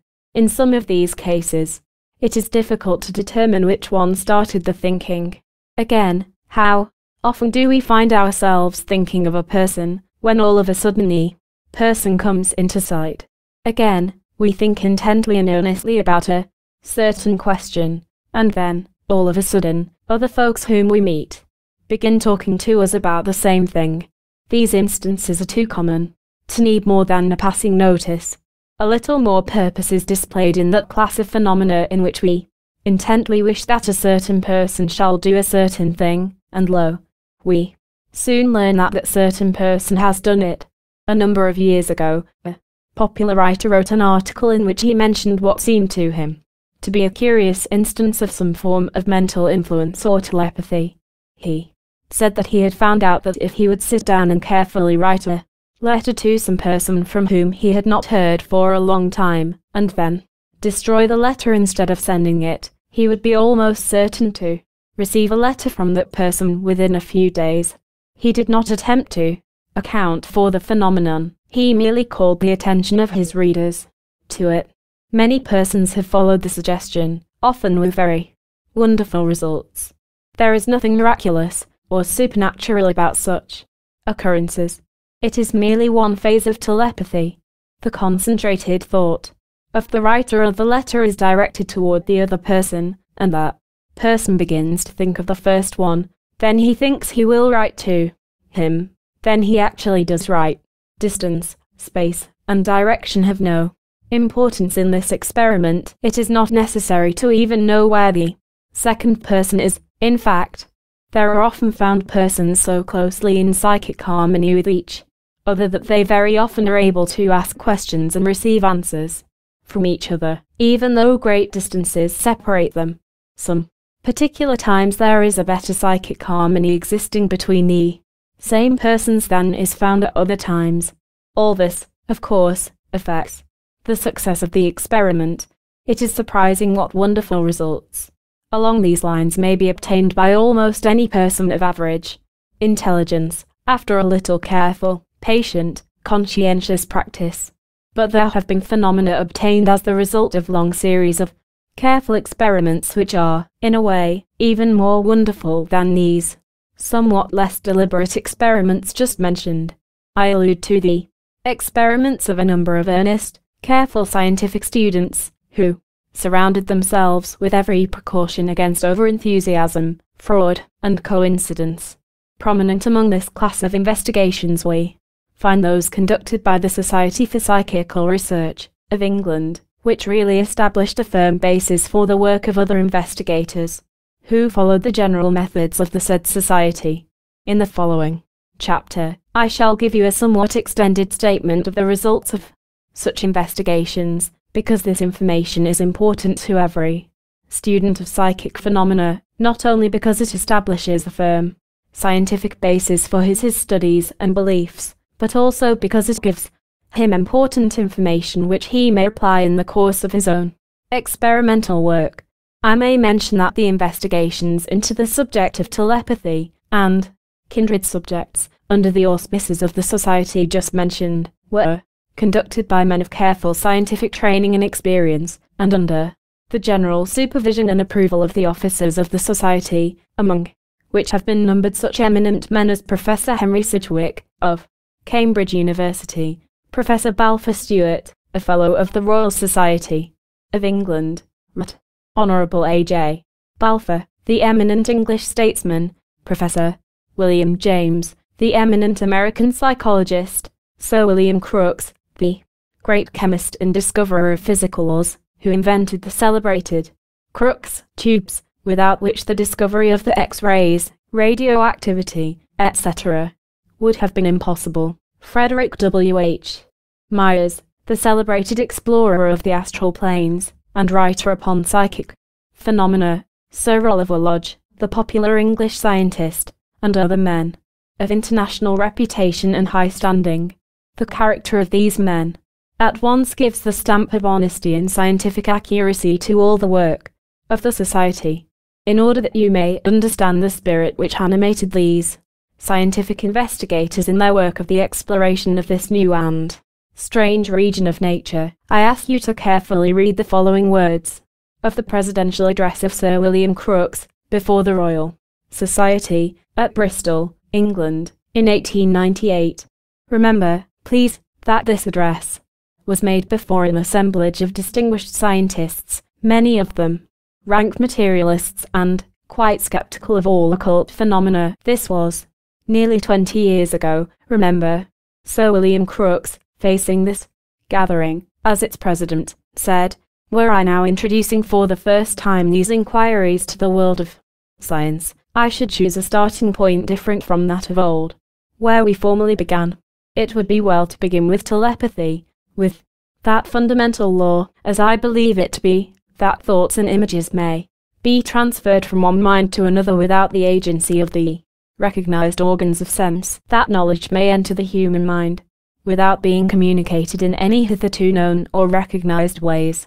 Asterisk asterisk asterisk if telepathy takes place, we have two physical facts, the physical change in the brain of A, the suggester, and the analogous physical change in the brain of B, the recipient of the suggestion. Between these two physical events must exist a train of physical causes. Asterisk asterisk asterisk it is unscientific to call in the aid of mysterious agencies, when with every fresh advance in knowledge it is shown that either vibrations of powers and attributes abundantly able to any demand, even the transmission of thought. It is supposed by some physiologists that the essential cells of nerves do not actually touch, but are separated by a narrow gap which widens in sleep while it narrows almost to extinction during mental activity. This condition is so singularly like a Branly or Lodge coherer, a device which led to the discovery of wireless telegraphy, as to suggest a further analogy. The structure of brain and nerve being similar, it is conceivable that there may be present masses of such nerve coherers in the brain, whose special function it may be to receive impulses brought from without, through the connecting sequence of ether waves of appropriate order of magnitude. Roentgen has familiarized us with an order of vibrations of extreme minuteness as compared with the smallest waves with which we have hitherto been acquainted, and there is no reason to suppose that we have here reached the limit of frequency. It is known that the action of thought is accompanied by certain molecular movements in the brain, and here we have physical vibrations capable from their extreme minuteness of acting direct upon individual molecules while their rapidity approaches that of internal and external movements of the atoms themselves. A formidable range of phenomena must be scientifically sifted before we effectually grasp a faculty so strange, so bewildering, and for ages so inscrutable, as the direct action of mind upon mind. In the old Egyptian days, a well-known inscription was carved over the portal of the temple of Isis, I am whatever has been, is, or ever will be, and my veil no man hath yet lifted. Not thus do modern seekers after truth confront nature, the word that stands for the baffling mysteries of the universe. Steadily, unflinchingly, we strive to pierce the inmost heart of nature, from what she is to reconstruct what she has been, and to prophesy what she shall be. Veil after veil we have lifted, and her face grows more beautiful, august and wonderful, with every barrier that is withdrawn. You will notice that this address made nearly 20 years ago, and from the standpoint of physical science is in full accord with the ideas of occultism as old as the hills. And yet, the speaker had worked out the idea independently. He also investigated higher forms of psychic phenomena, with results that startled the world. But, you will notice that he does not attempt to give any other than purely physical laws the credit for the ordinary phenomena of telepathy and he was thoroughly right in this, as we have seen. He escaped the common error of confusing physical sense phenomena with the phenomena of the astral senses. Each plane has its own phenomena, and each class is surely wonderful enough. And, again, remember that both physical and astral phenomena are purely natural. There is no need for seeking any supernatural agencies to account for these natural facts.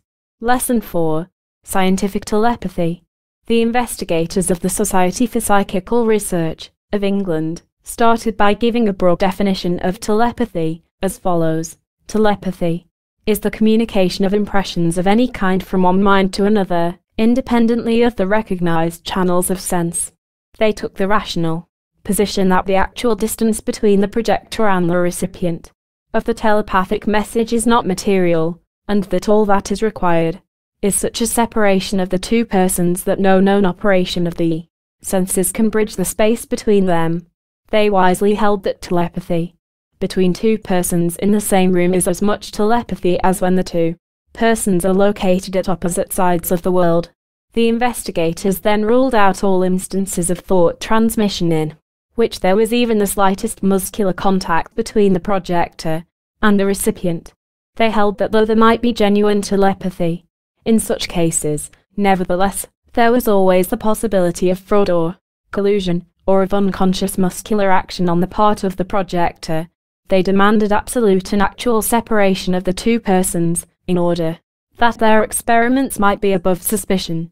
They were wise in this, for while there is undoubtedly a psychic communication in the cases in which there is the slight physical connection between the two persons, as I shall point out to you a little further on, still the element of doubt or suspicion must be entirely eliminated from a scientific test in order to render it valuable and valid.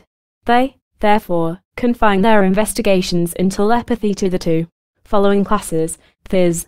1. Where actions are performed without physical contact with the person willing, and 2. Where some number, word, or card is guessed apparently without any of the ordinary means of communication.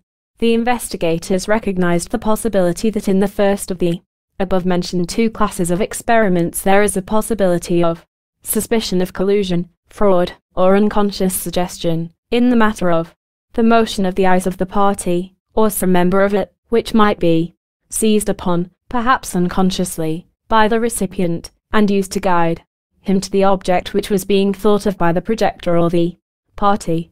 They sought to obviate this difficulty by blindfolding the percipient and by placing non-conductors of sound over his ears. But, finally, they came to the conclusion that even these precautions might not prove sufficient, and, accordingly, they devoted their attention to the second class of experiments, in which all ordinary means of communication between projector and recipient were impossible. They took the additional precautions of limiting their circle to a small number of investigators of scientific reputations and well known to each other, always avoiding a promiscuous company for obvious reasons. One of the earliest series of investigations by these special committees of investigators was that of the family of the Reverend A.M. Creery in Derbyshire, England. The children of this family had acquired a reputation in what was known as the guessing game in which one of the children, previously placed outside of the room, then returned to the room and attempted to guess the name or location of some object agreed upon by the party during her absence. The results were very interesting and quite satisfactory, and have frequently been referred to in works on the subject, written since that time. I think it well to give the results of this series of experiments in some little detail, for they form a basis for Experiments on the part of those who read these lessons. Professor W.F. Barrett, Professor of Physics in the Royal College of Science for Ireland, conducted the most of the experiments. The report to the Society says, We began by selecting the simplest objects in the room, then chose names of towns, people, dates, cards out of a pack, lines from different poems, etc. In fact, anything or series of ideas that those present could keep in their minds steadily. The children seldom made a mistake. I have seen 17 cards chosen by myself named right in succession without any mistake. We soon found that a great deal depended on the steadiness with which the ideas were kept before the minds of the thinkers, and upon the energy with which they willed the ideas to pass. I may say that this faculty is not by any means confined to the members of one family, it is much more general than we imagine. To verify this conclusion, I invited two of a neighbour's children to join us in our experiments, with excellent results. The report gives the methods of the experiments as follows. The inquiry has taken place partly in Mr. Creery's house and partly in lodgings, or at a hotel occupied by some of our number.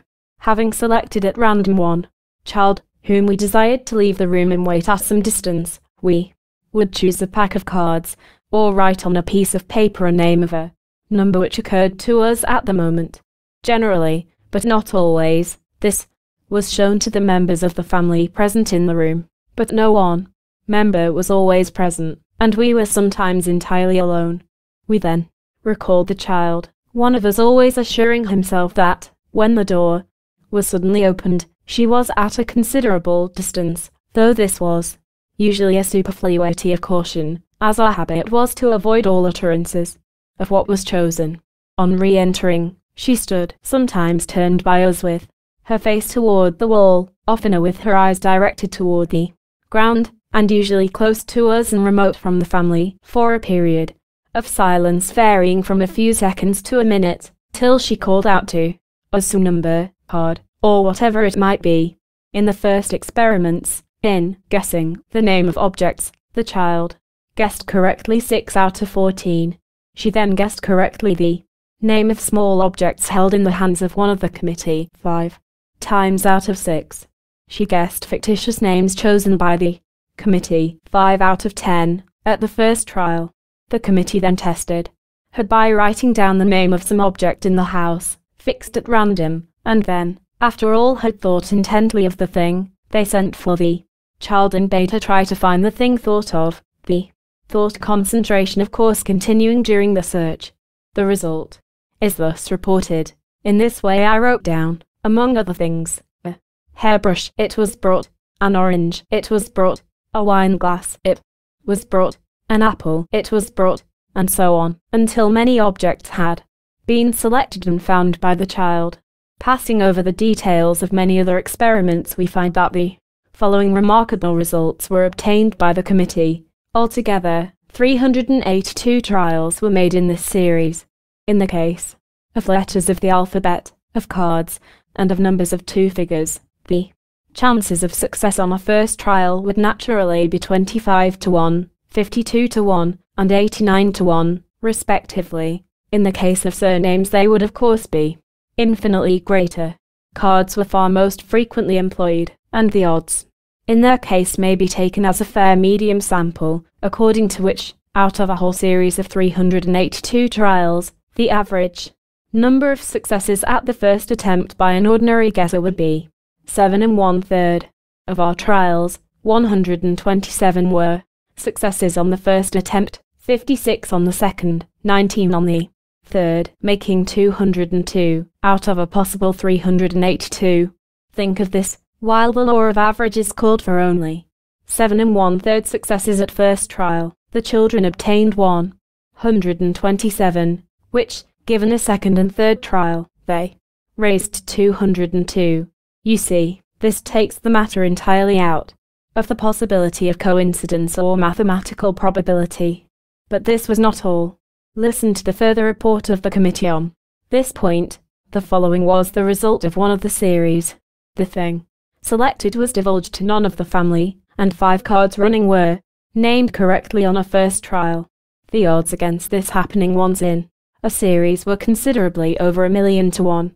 There were other similar batches the two longest runs being eight consecutive guesses, once with cards, and once with names, where the adverse odds in the former case were over 142 millions to 1, and in the other, something incalculably greater.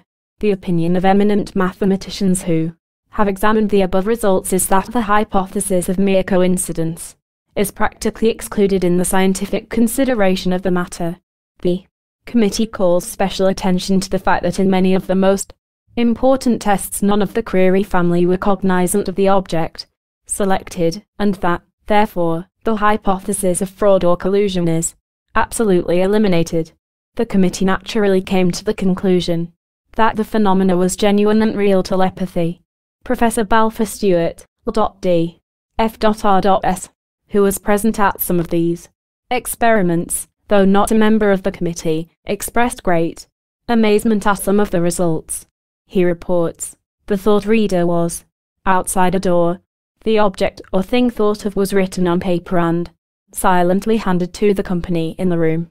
The thought reader was then called in, and in the course of a minute the answer was given. Definite objects in the room, for instance, were first thought of, and in the majority of the cases the answers were correct. Then numbers were thought of, and the answers were generally right, though, of course, there were some cases of error. The names of towns were thought of, and a good many of these were right. Then fancy names were thought of. I was asked to think of certain fancy names and mark them down and hand them round to the company. I thought of and wrote on paper Bluebeard, Tom Thumb, Cinderella, and the answers were all correct. The committee also conducted a number of experiments with other recipients, with very satisfactory results. Colours were correctly guessed, with a percentage of successes quite beyond the average or probable number. Names of towns in all parts of the world were correctly guessed by certain recipients with a wonderful degree of success.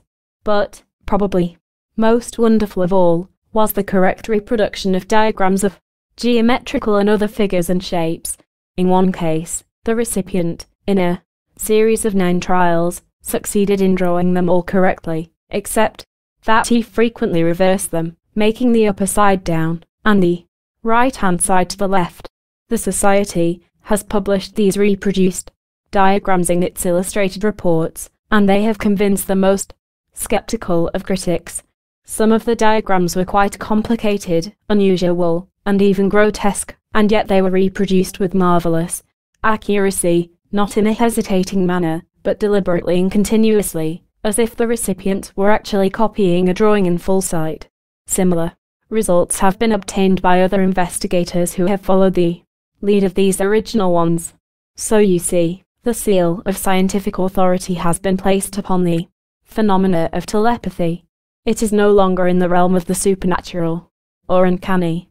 As Camille Flammarion, the eminent French scientist, has said, the action of one mind upon another at a distance, the transmission of thought, mental suggestion, communication at a distance, all these are not more extraordinary than the action of the magnet on iron, the influence of the moon on the sea, the transportation of the human voice by electricity, the revolution of the chemical constituents of a star by the analysis of its light, or, indeed, all the wonders of contemporary science. Only these psychic communications are of a more elevated kind, and may serve to put us on the track of a knowledge of human nature. What is certain is that telepathy can and ought to be henceforth considered by science as an incontestable reality, that minds are able to act upon each other without the intervention of the senses, that psychic force exists, though its nature is yet unknown. Asterisk, asterisk, asterisk, we say that this force is of a psychic order, and not physical, or physiological, or chemical, or mechanical, because it produces and transmits ideas and thoughts, and because it manifests itself without the cooperation of our senses, soul to soul, mind to mind. In addition to investigating the above mentioned classes of telepathic phenomena, the English Society for Psychical Research investigated many remarkable cases of a somewhat higher phase of telepathy. They took down the stories told by persons deemed responsible, and then carefully examined and cross-examined other witnesses to the strange phenomena. The record of these experiments and investigations fill a number of good sized volumes of the Society's reports, which are well worth reading by all students of the subject. They may be found in the libraries of nearly any large city. I shall, however, select a number of the most interesting of the cases therein reported to give my students an idea of the character of the phenomena so investigated and found genuine by the committees having this class of telepathy under investigation. An interesting case of spontaneous telepathy is that related by Dr. Reid, as follows. There is a house about a half mile from my own, inhabited by some ladies, friends of our family. They have a large alarm bell outside their house. One night I awoke suddenly and said to my wife, I am sure I hear Mrs. F's alarm bell ringing. After listening for some time, we heard nothing, and I went to sleep again. The next day Mrs. F called upon my wife and said to her, We were wishing for your husband last night, we were alarmed by thieves. We were all up, and I was about to pull the alarm bell, hoping that he would hear it, saying to my daughters, I am sure it will soon bring Dr. Reid, but we did not ring it.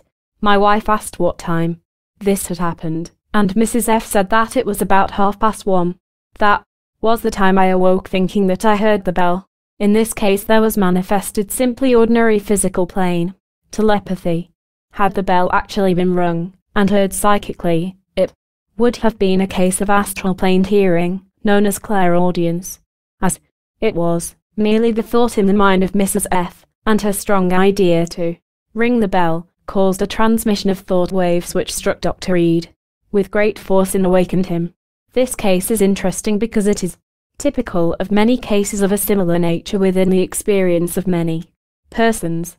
It is seen that a strong feeling, or excitement, accompanied by a strong desire or wish to summon another person, tends to give great power and affect the thought waves emitted. They strike the mind of the recipient like the sudden ringing of an alarm clock bell. Another interesting case is that of two ladies, both well known to members of the committee and vouched for as of strict veracity. This case is unusual for the reason that two different persons received the thought waves at the same time. Here is an abridgment of the case. Lady G and her sister had been spending the evening with their mother, who was in her usual health and spirits when they left her. In the middle of the night the sister awoke in her fright and said to her husband, I must go to my mother at once. Do order the carriage. I am sure that she is taken ill. On the way to her mother's house, where two roads meet, she saw Lady G. Dot's carriage approaching. When they met each asked the other why she was there. They both related the same experience and impression. When they reached their mother's house, they found that she was dying, and had expressed an earnest wish to see them. Another case of a similar nature is this.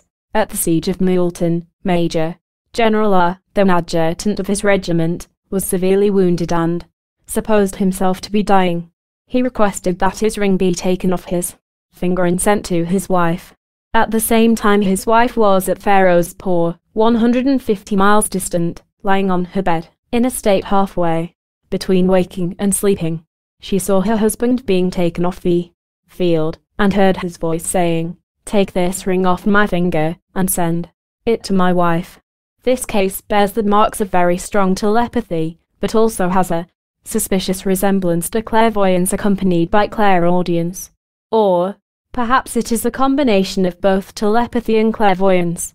It is impossible to determine which, in absence of more detailed information, the message of persons dying, or believing themselves to be approaching death, are frequently very strong, for certain reasons well known to occultists.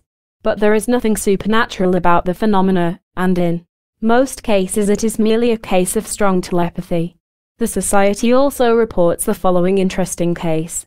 A was awake and strongly willed to make himself known to two friends who at that time, one o'clock in the morning, were asleep. When he met them a few days afterward, they both told him that at one o'clock they had awakened under the impression that he was in their room.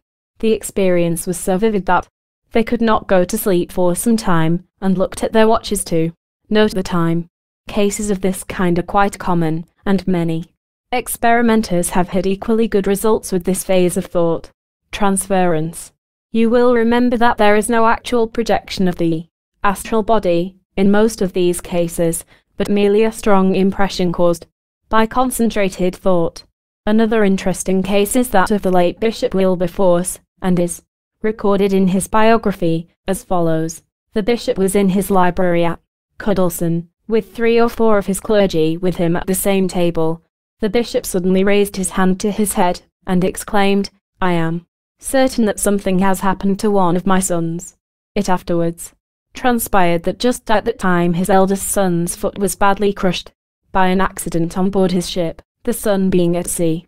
The bishop himself recorded the circumstance in a letter to Miss Noel, saying, It is curious that at the time of his accident I was so possessed with the depressing consciousness of some evil having befallen my son, Herbert, that at the last I wrote down that I was unable to shake off the impression that something had happened to him, and noted this down for remembrance. There is nothing unusual about this case, for it has been duplicated in the experience of many persons. Its chief importance lies in the fact that it is recorded by a man of wide reputation and high standing, and also that the bishop had taken the precaution to note down the thing at the time, instead of merely recalling it after he had heard of the accident. You will notice that in many cases of this kind the phenomenon closely approaches the aspect of true clairvoyance, or astral sensing. In some cases there appears to be a blending of both telepathy and astral clairvoyance. In fact, there is but very little difference between the highest phases of ordinary telepathy and the more common phases of clairvoyance. Here, as in many other cases of nature's forces, there seems to be a gradual blending, rather than a sharp dividing line between the two classes of phenomena. Moreover, the student developing his telepathic powers will frequently find that he is beginning to unfold at least occasional flashes of clairvoyance. In the case of telepathy, the recipient merely senses what is in the mind of the projector. In some cases, a picture in the mind of the projector may be seen by the recipient and may thus be mistaken for a case of pure clairvoyance.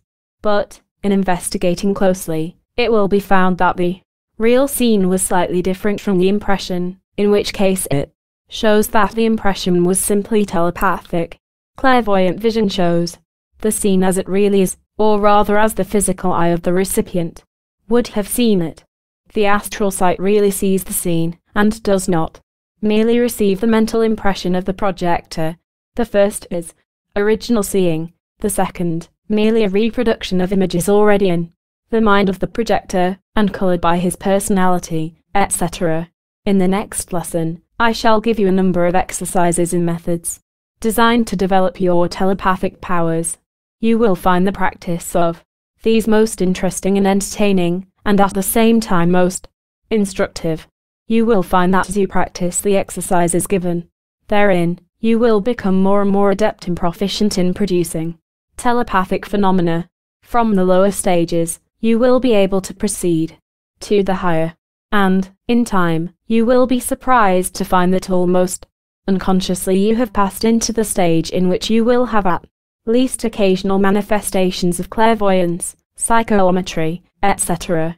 In fact, there is no better way known to practical occultists to develop in a student the powers of clairvoyance than just this method of starting the student with the exercises designed to develop the telepathic power.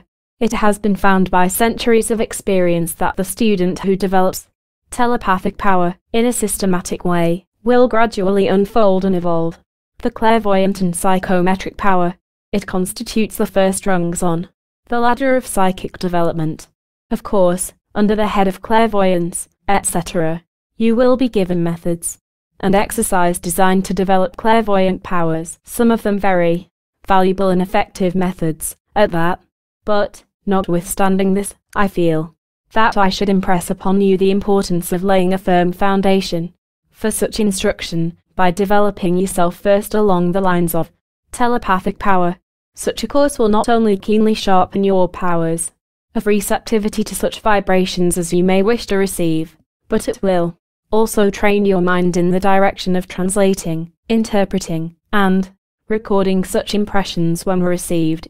You must remember that proficiency in a mental art is attained only by means of training the attention to concentrate upon the task. It is the same way in clairvoyance and psychometry. Telepathy drains your attention to concentrate upon the reception of impressions and to hold them firmly and clearly in consciousness.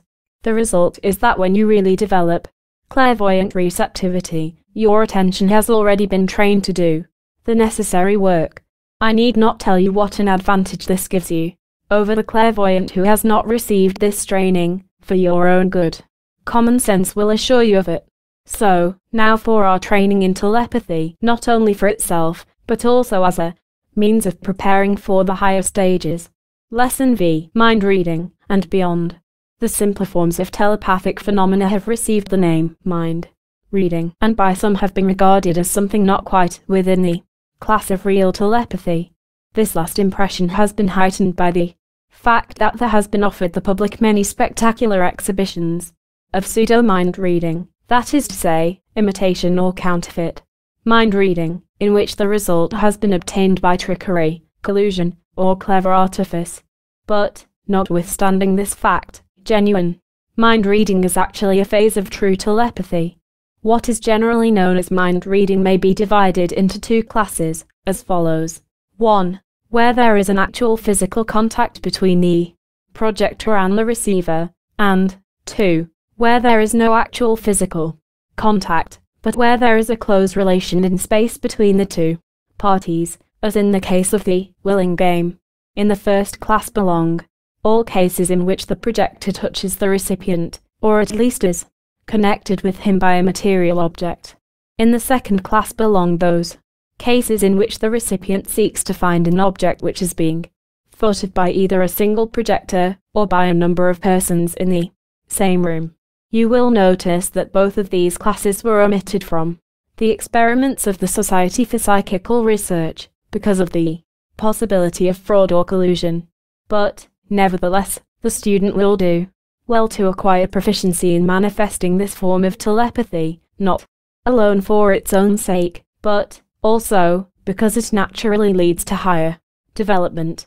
In the case of the first class of mind reading, namely, that in which actual physical contact is had between the projector and the recipient, there has been a disposition on the part of some authorities to explain the whole matter by the theory of unconscious muscular impulse of the projector, but those who have carefully studied this subject, and who have themselves performed the feats of this class of mind reading, know that there is far more than this to it. Those familiar with the subject know that there is a decided transference of thought waves from the projector to the recipient, and that the latter actually feels the same as they strike upon his mental receiving apparatus. The whole difference between this and the higher forms of telepathy is that in this the thought currents generally run along the wires of the nervous system, instead of leaping across the space between the two persons. It is known to all who have conducted this class of experiments that at times there will be experienced a change or shifting in the transmission of the thought currents. For a time, the thought waves will be felt flowing in along the nerves of the hands and arms when, all of a sudden, this will cease, and there will be experienced the passage of the current, direct from brain to brain. It is impossible to describe this feeling in mere words to those who have never experienced it, but those to whom it has once been manifested will recognize at once just what I mean by this statement. It is a different sensation from any other in the experience of a human being, and must actually be experienced to be understood. The nearest analogy I can offer is that feeling experienced by the person when a forgotten name for which he has vainly sought suddenly flashes or leaps into his consciousness. It is felt to come from somewhere outside of the conscious field. Well, in the case of the thought current, the feeling is much the same, only there is a fuller sense of the outsideness of the source of the thought. In order to make you understand the distinction between the two classes of mind reading more clearly, I will say that you may think of one as akin to the ordinary telegraphy over wires, and of the other as akin to wireless telegraphy. It is the same force in both cases, the difference being simply one of the details of transmission. Fix this idea firmly in your mind, and you will have no trouble in always having the right conception of any kind of case of mind reading or telepathy. But, you must remember, there are cases in which there is a combination of both methods of transmission, either simultaneously, or else shifting and changing from one to the other. I will here remind the student that he will learn more by a half dozen actual experiments in mind reading than he will by reading a dozen books on the subject. It is very good to read the books in order to get the correct theory well fixed in mind, and also in order to learn the best methods as taught by those who have had a wide experience in the subject. But the real how of the matter is learned only through actual experience. So, I shall now give you advice and instructions concerning actual experimental work. You, the student, should begin by making yourself a good recipient that is a good mind reader, allowing others to play the part of projector. Later on, you may play the part of projector, if you so desire, but the real, fine work is done by the recipient, and, for that reason that is, the part you should learn to play by frequent rehearsals. I advise you to begin your experiments with friends who are in sympathy with you, and who are interested in the subject.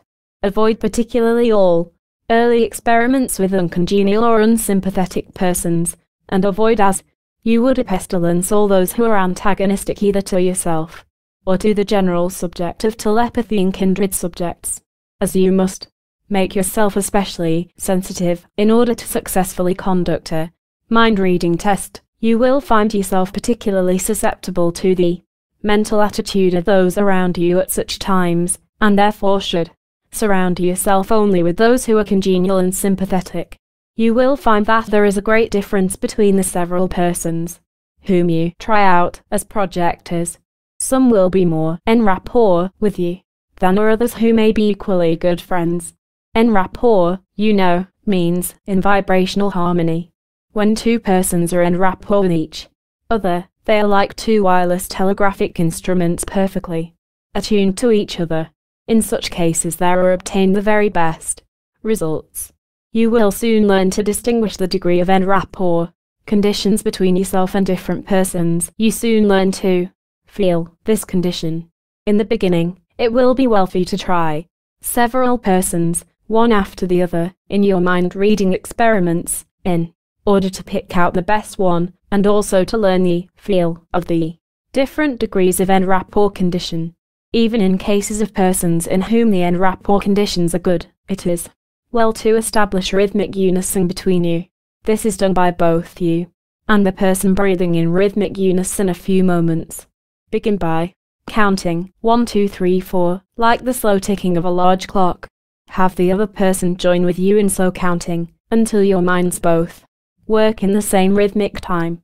Then you should have him breathe in unison with you, making a mental count with you at the same time, so that you will breathe together. Count mentally 1, 2, 3, 4 as you inhale the 1, 2, holding the breath, and then 1, 2, 3, 4, exhaling or breathing out.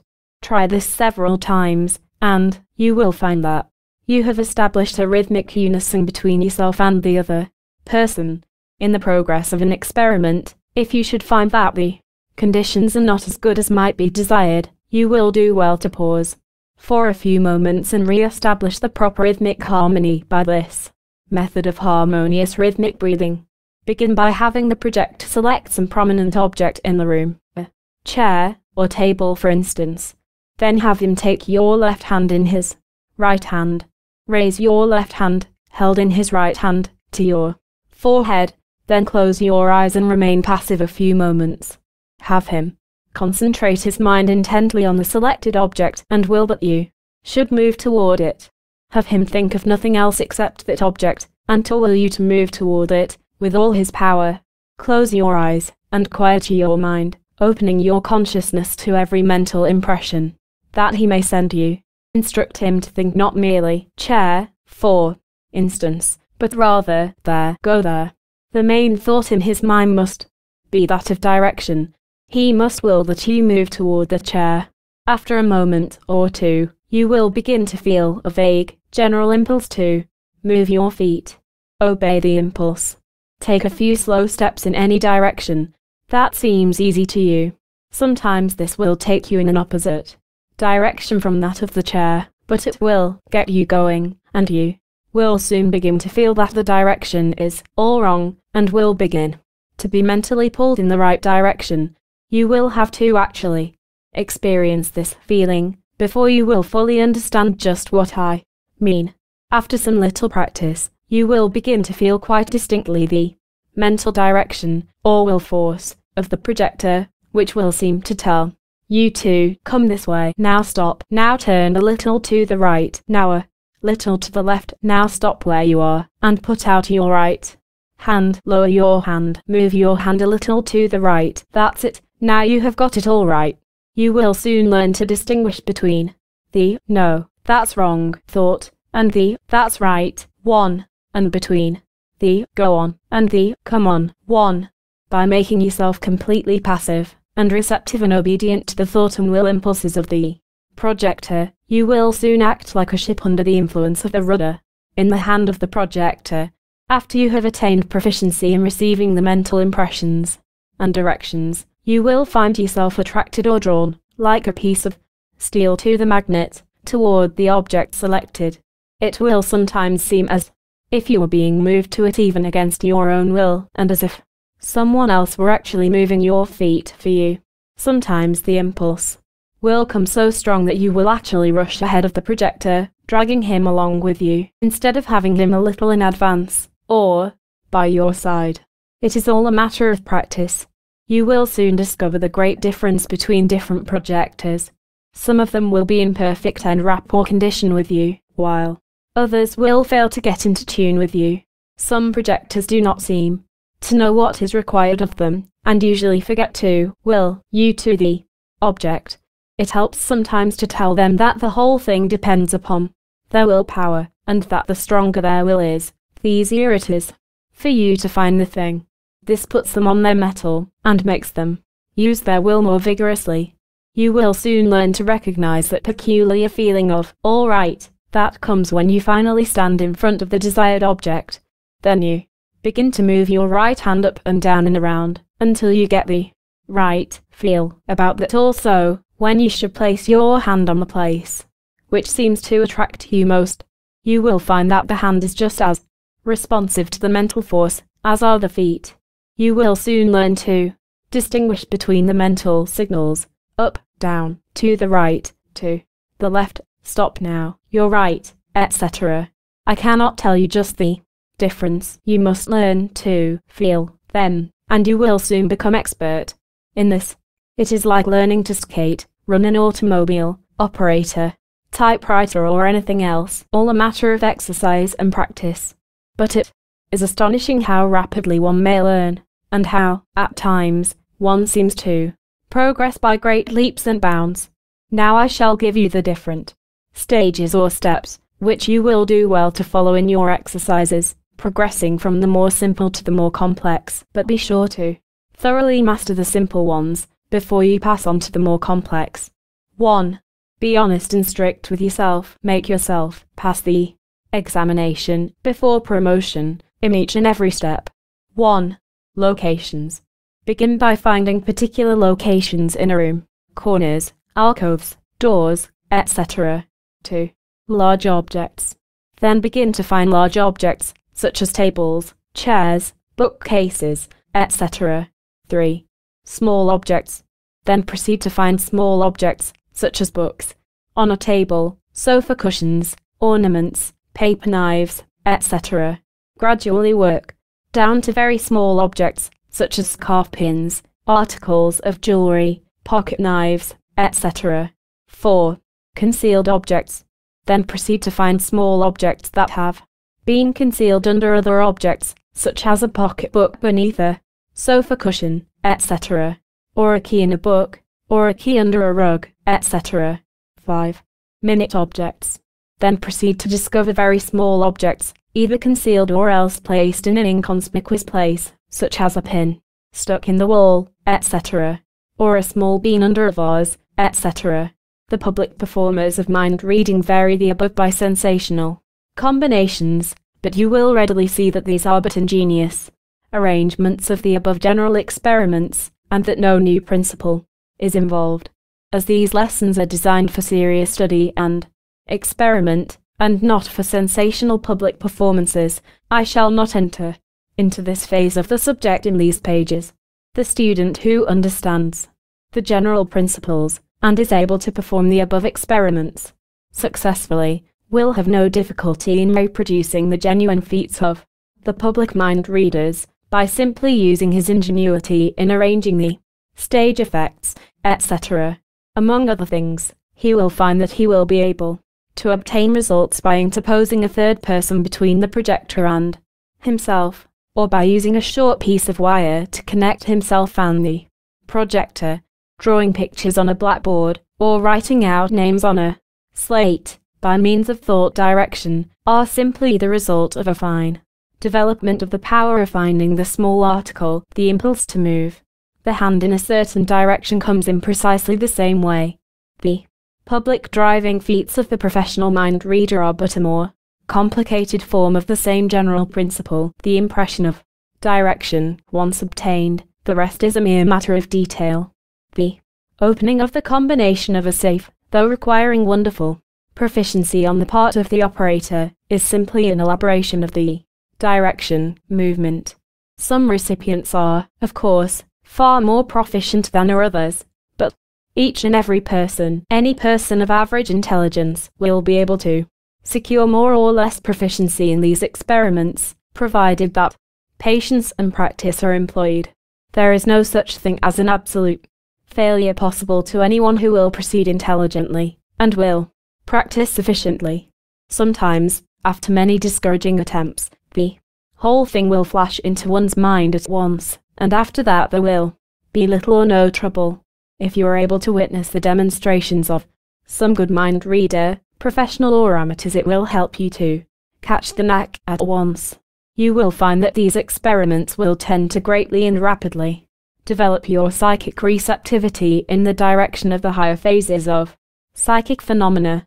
You will be surprised to find yourself catching flashes or glimpses of keratitis telepathy or even clairvoyance. I would advise every person wishing to cultivate the higher psychic faculties to begin by perfecting himself or herself in these simpler forms of mind reading. Besides the benefits obtained, the practice proves very interesting and opens many doors to pleasant social entertainment. But never allow the desire for social praise or popularity in these matters to spoil you for serious investigation and experiment. The second step of development. The student, having perfected himself, in the experiments along the lines of the first class of mind reading, viz., where there is no actual physical contact between the projector and recipient, but where there is a close relation in space between the two. Now, the thoughtful student will naturally wish to ask a question here, something like this You have told us that there is no real difference between telepathy at a great distance and that in which there is only the slightest difference in the position of the projector and recipient providing, always, that there is no actual physical contact. This being so, why your insistence upon the closed relation in space, just mentioned? What is the reason for this nearness? Well, it is like this. While there is no distinction of space in true telepathy, still in experiments such as I shall now describe, the physical nearness of the projector enables him to concentrate more forcibly, and also gives confidence to the new beginner in receiving mind currents. The benefit is solely that of the psychological effect upon the minds of the two persons, and has nothing to do with the actual power of the telepathic waves. It is much easier for a person to concentrate his thought and will upon a person in actual physical sight before him than upon one out of sight. And, likewise, the recipient finds himself more confident and at ease when in the actual physical of the person sending the thoughts and willpower. That is all there is to it. When the persons have acquired familiarity with projecting and receiving, then this obstacle is overcome, and long distances have no terror for them.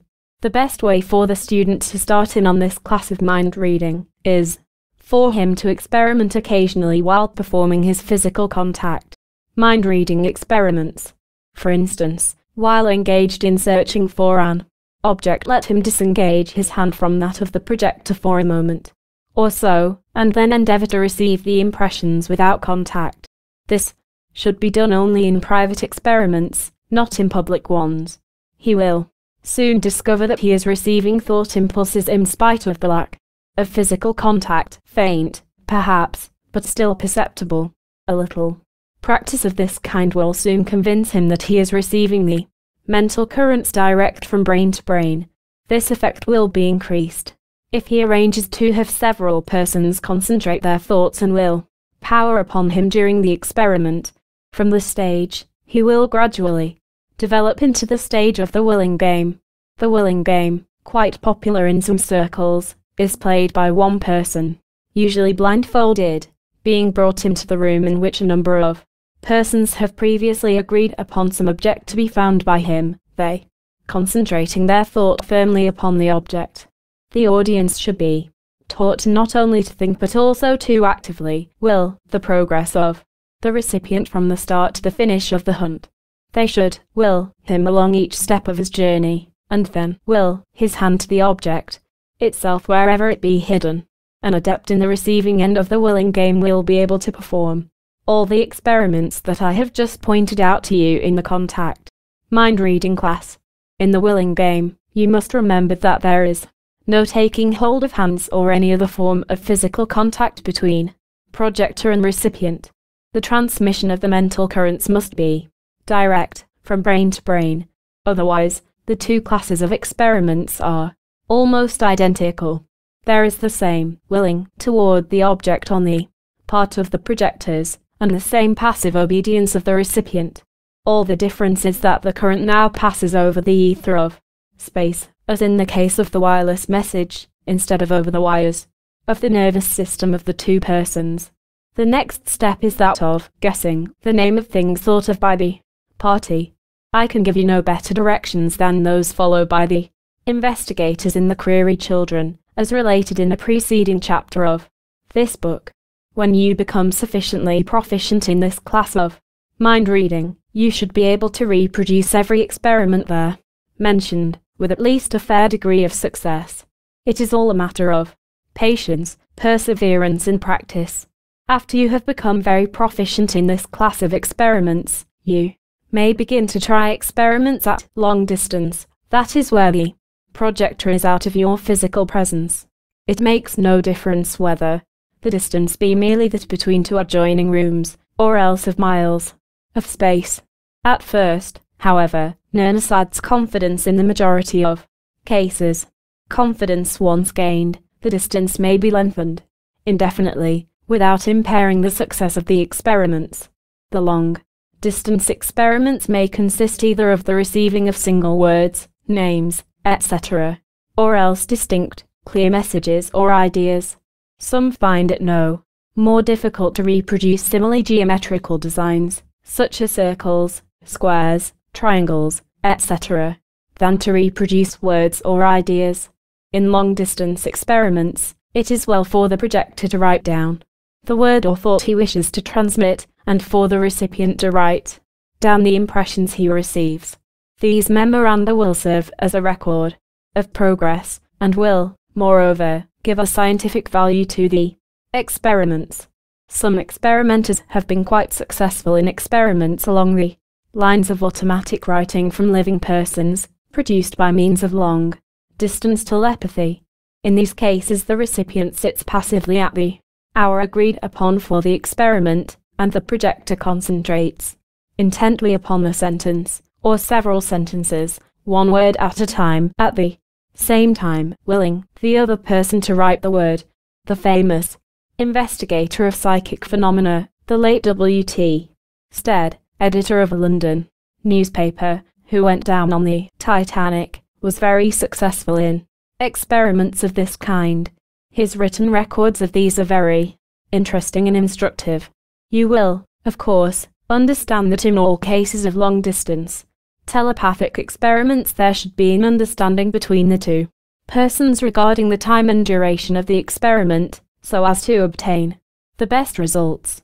Personally, however, I have known of some very excellent results in which the receiving of the message occurred several hours after the sending, thus showing that telepathy is in a measure independent of time, as well as of space.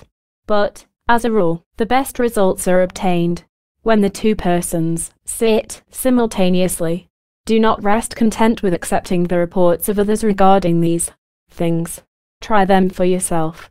You will open up a wonderful world of new experiences for yourself.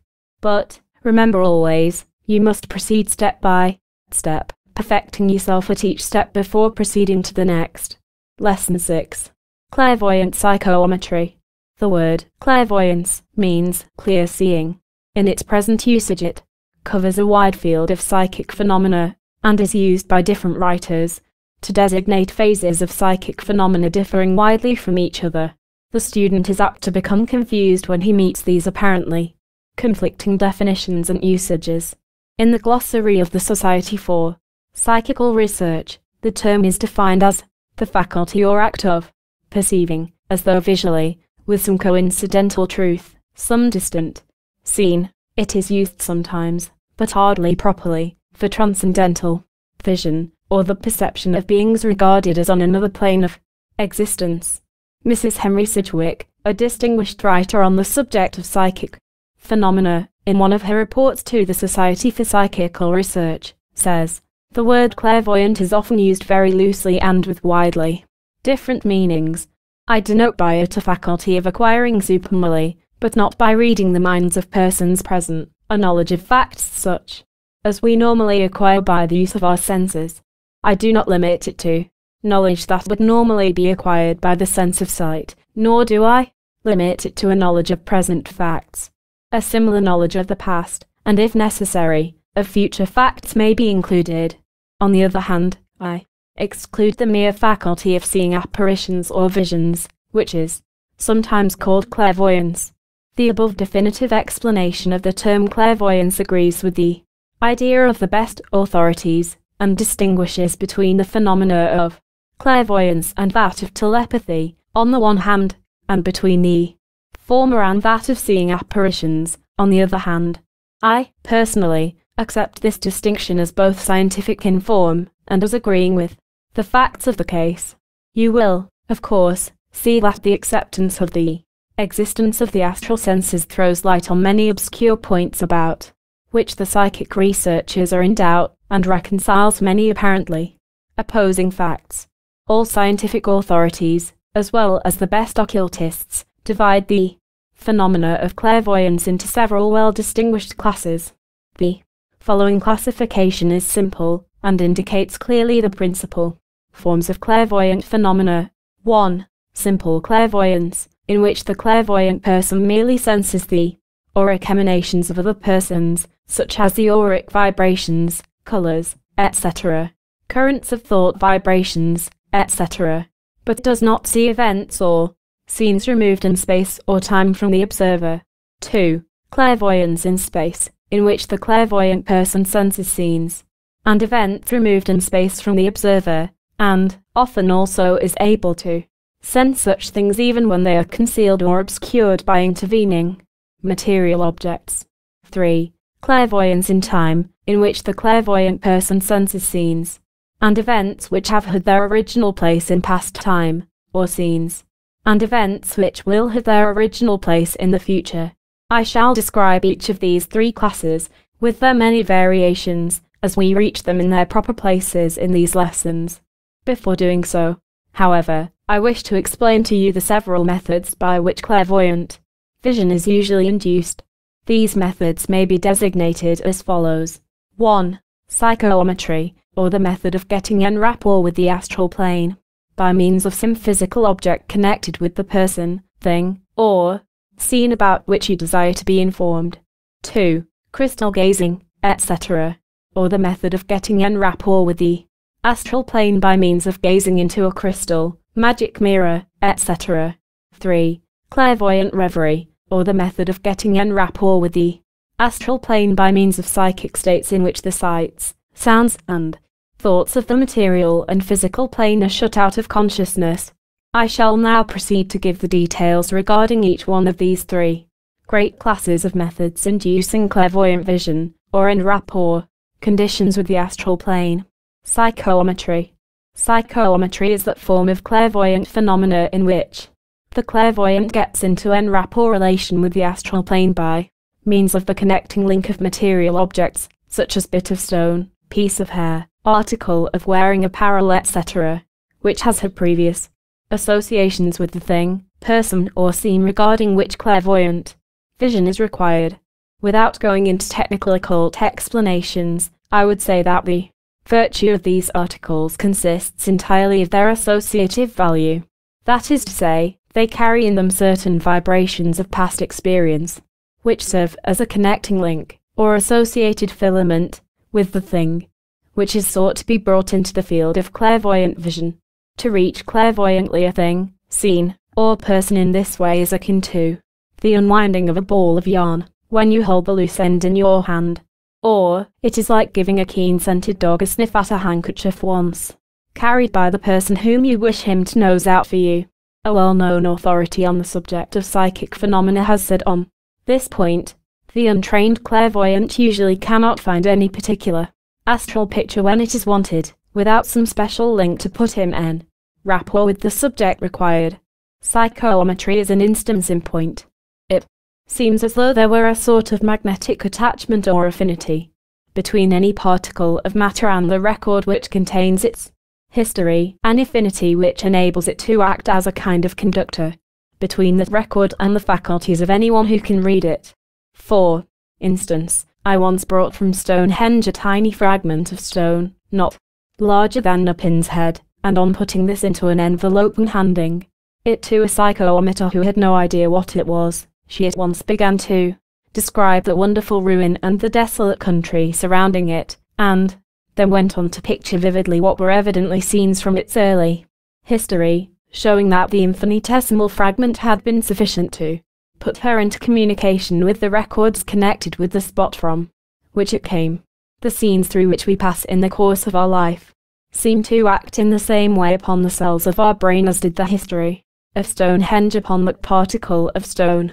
They establish a connection with those cells by means of which our mind is put en rapport with that particular portion of the records, and so we remember what we have seen.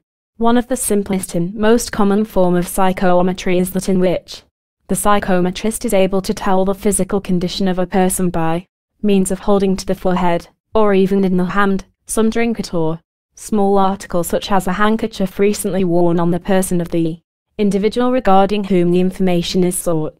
In the case of some very sensitive psychometrists, the psychic person takes on the condition of the other person whose former article of clothing, trinket, etc. she is holding. She will often actually experience the physical pain and distress of the person, and will be able to indicate from what ailment the person is suffering. Some persons attain great proficiency in this direction, and are a great assistance to wise physicians who avail themselves of their services. Some successful physicians themselves possess this faculty well developed, and use it to great advantage, though, as a rule they keep very quiet about it, from fear of creating unfavorable comment from their fellow physicians and from the general public who do not believe in such tomfoolery. A step further is the power of some psychometrists to correctly describe the personal characteristics and even the past history of persons with whom they come in contact or whose associated article they have in their hands. Some very remarkable instances of this phase of psychometry are related in the books containing the history of clairvoyance. An interesting cases that related by Zschokke, the eminent German writer, who relates in his autobiography his wonderful experience in this direction. Listen to the story in his own words. It has happened to me. Occasionally at the first meeting with a total stranger, when I have been listening in silence to his conversation, that his past life up to the present moment, with many minute circumstances belonging to one or other particular scene in it, has come across me like a dream, but distinctly, entirely involuntarily and unsought, occupying in duration a few minutes. For a long time I was disposed to consider these fleeting visions as a trick of the fancy, the more so as my dream vision displayed to me the dress and movements of the actors, the appearance of the room, the furniture, and other accidents of the scene, till on one occasion, in a gay messer mood, I narrated to my family the secret history of a seamstress, who had just quitted the room. I had never seen the person before. Nevertheless, the hearers were astonished, and laughed and would not be persuaded but that I had a previous acquaintance with the former life of the person, inasmuch as what I had stated was perfectly true. I was not less astonished to find that my dream vision agreed with reality. I then gave more attention to the subject, and as often as propriety allowed of it, I related to those whose lives had so passed before me the substance of my dream vision, to obtain from them its contradiction or confirmation. On every occasion its confirmation followed, not without amazement on the part of those who gave it. On a certain fair day I went into the town of Waldshut accompanied by two young foresters, who are still alive. It was evening, and, tired with our walk, we went into an inn called the Vine. We took our supper with a numerous company at the public table, when it happened that they made themselves merry over the peculiarities of the Swiss in connection with the belief in mesmerism, Lavater's physiognomical system, and the like. One of my companions, whose national pride was touched by their raillery, begged me to make some reply, particularly in answer to a young man of superior appearance who sat opposite, and had indulged in unrestrained ridicule. It happened that the events of this person's life had just previously passed before my mind. I turned to him with the question whether he would reply to me with truth and candour if I narrated to him the most secret passages of his history, he being as little known to me as I to him. That would, I suggested, go something beyond Lavater's physiognomical skill. He promised that if I told the truth he would admit it openly. Then I, narrated the events with which my dream vision had furnished me, and the table learned the history of the young tradesman's life, of his school years, his peccadilloes, and finally, of a little act of roguery committed by him on the strong box of his employer. I described the uninhabited room, with its white walls, where to the right of the brown door there had stood, upon the table the small money chest, etc. The man, much struck, admitted the correctness of each circumstance, even, which I could not expect, of the last. The above incident is typical of this class of psychometry, and many persons have had at least flashes of this phase of the power. The only remarkable thing about this particular case is its faithfulness regarding details. This shows a very fine development of the astral sense.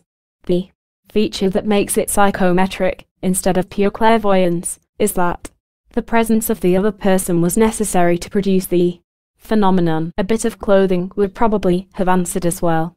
Zschokke does not seem to have been able to manifest time clairvoyance independent of the presence of the person concerned. He needs the associated link, or loose end of the psychic ball of yarn.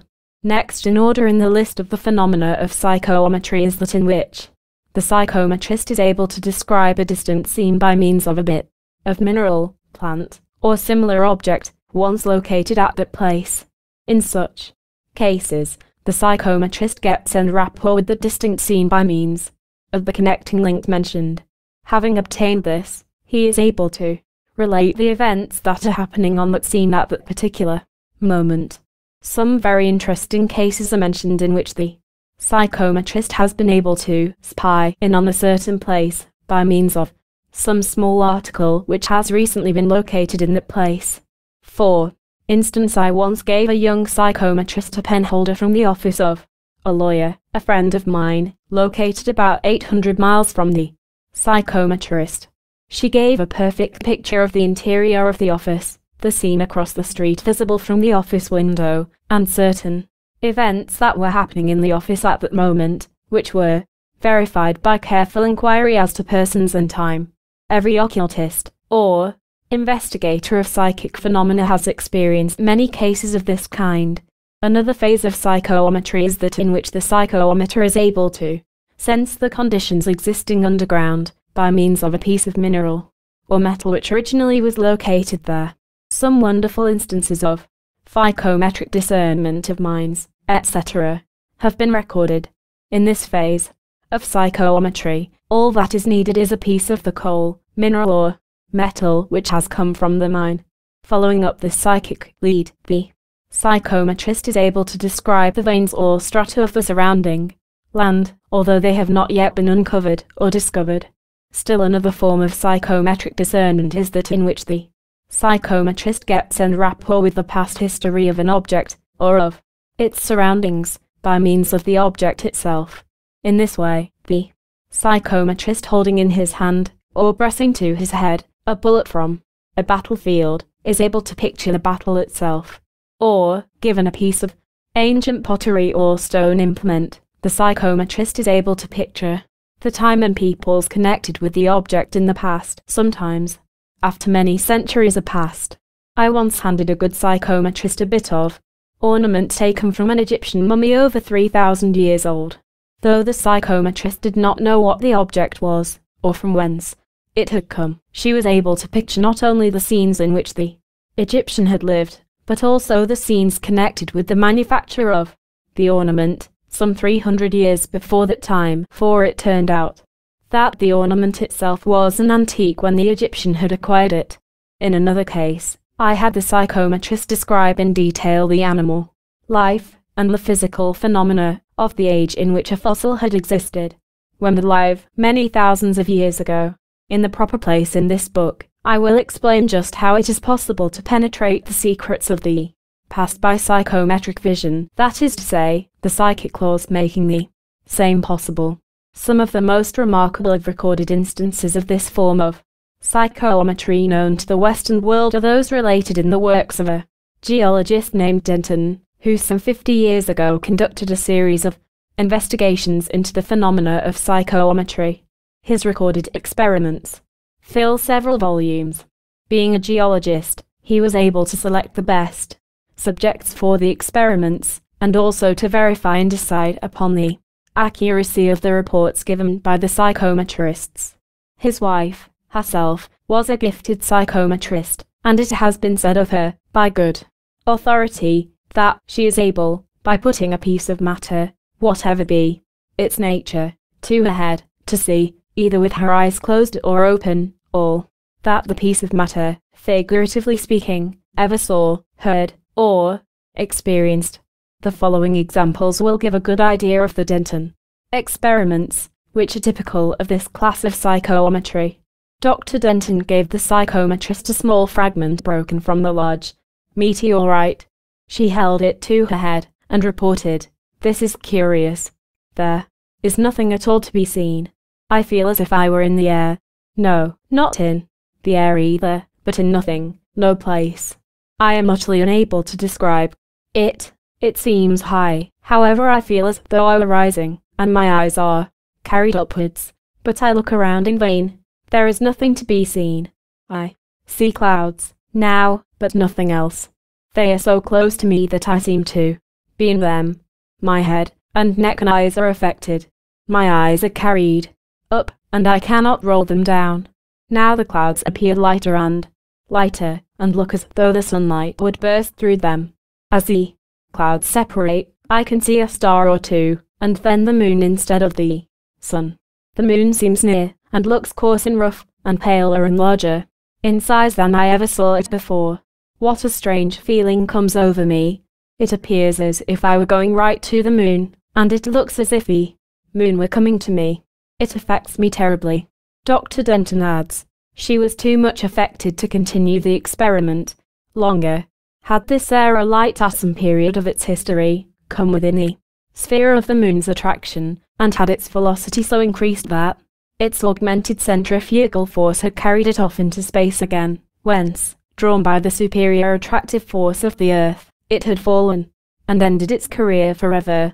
At another time, Dr. Denton tested the psychometrist with a whalebone walking cane. She supposed it to be wood, but when she began to report her psychic impressions, they came as follows. I feel as though I were a monster. There is nothing of a tree about it, and it is useless for me to go further. I feel like vomiting. Now I want to plunge into the water. I believe that I am going to have a fit. My jaws are large enough to take down a house at a gulp. I now know what this is. It is whalebone. I see. The inside of the whale's mouth. It has no teeth. It has a slimy look, I only get a glimpse of it. Now, I see the whole animal. What an awful looking creature. Another time, Dr. Denton gave the psychometrist a minute piece of the enamel of the tooth of a mastodon, which had been found 30 feet below the surface of the earth. The psychometrist had not the slightest knowledge of the character of the tiny flake of enamel handed her, but nevertheless reported, My impression is that it is a part of some monstrous animal, probably part of a tooth. I feel like a perfect monster, with heavy legs, unwieldy head, and very large body.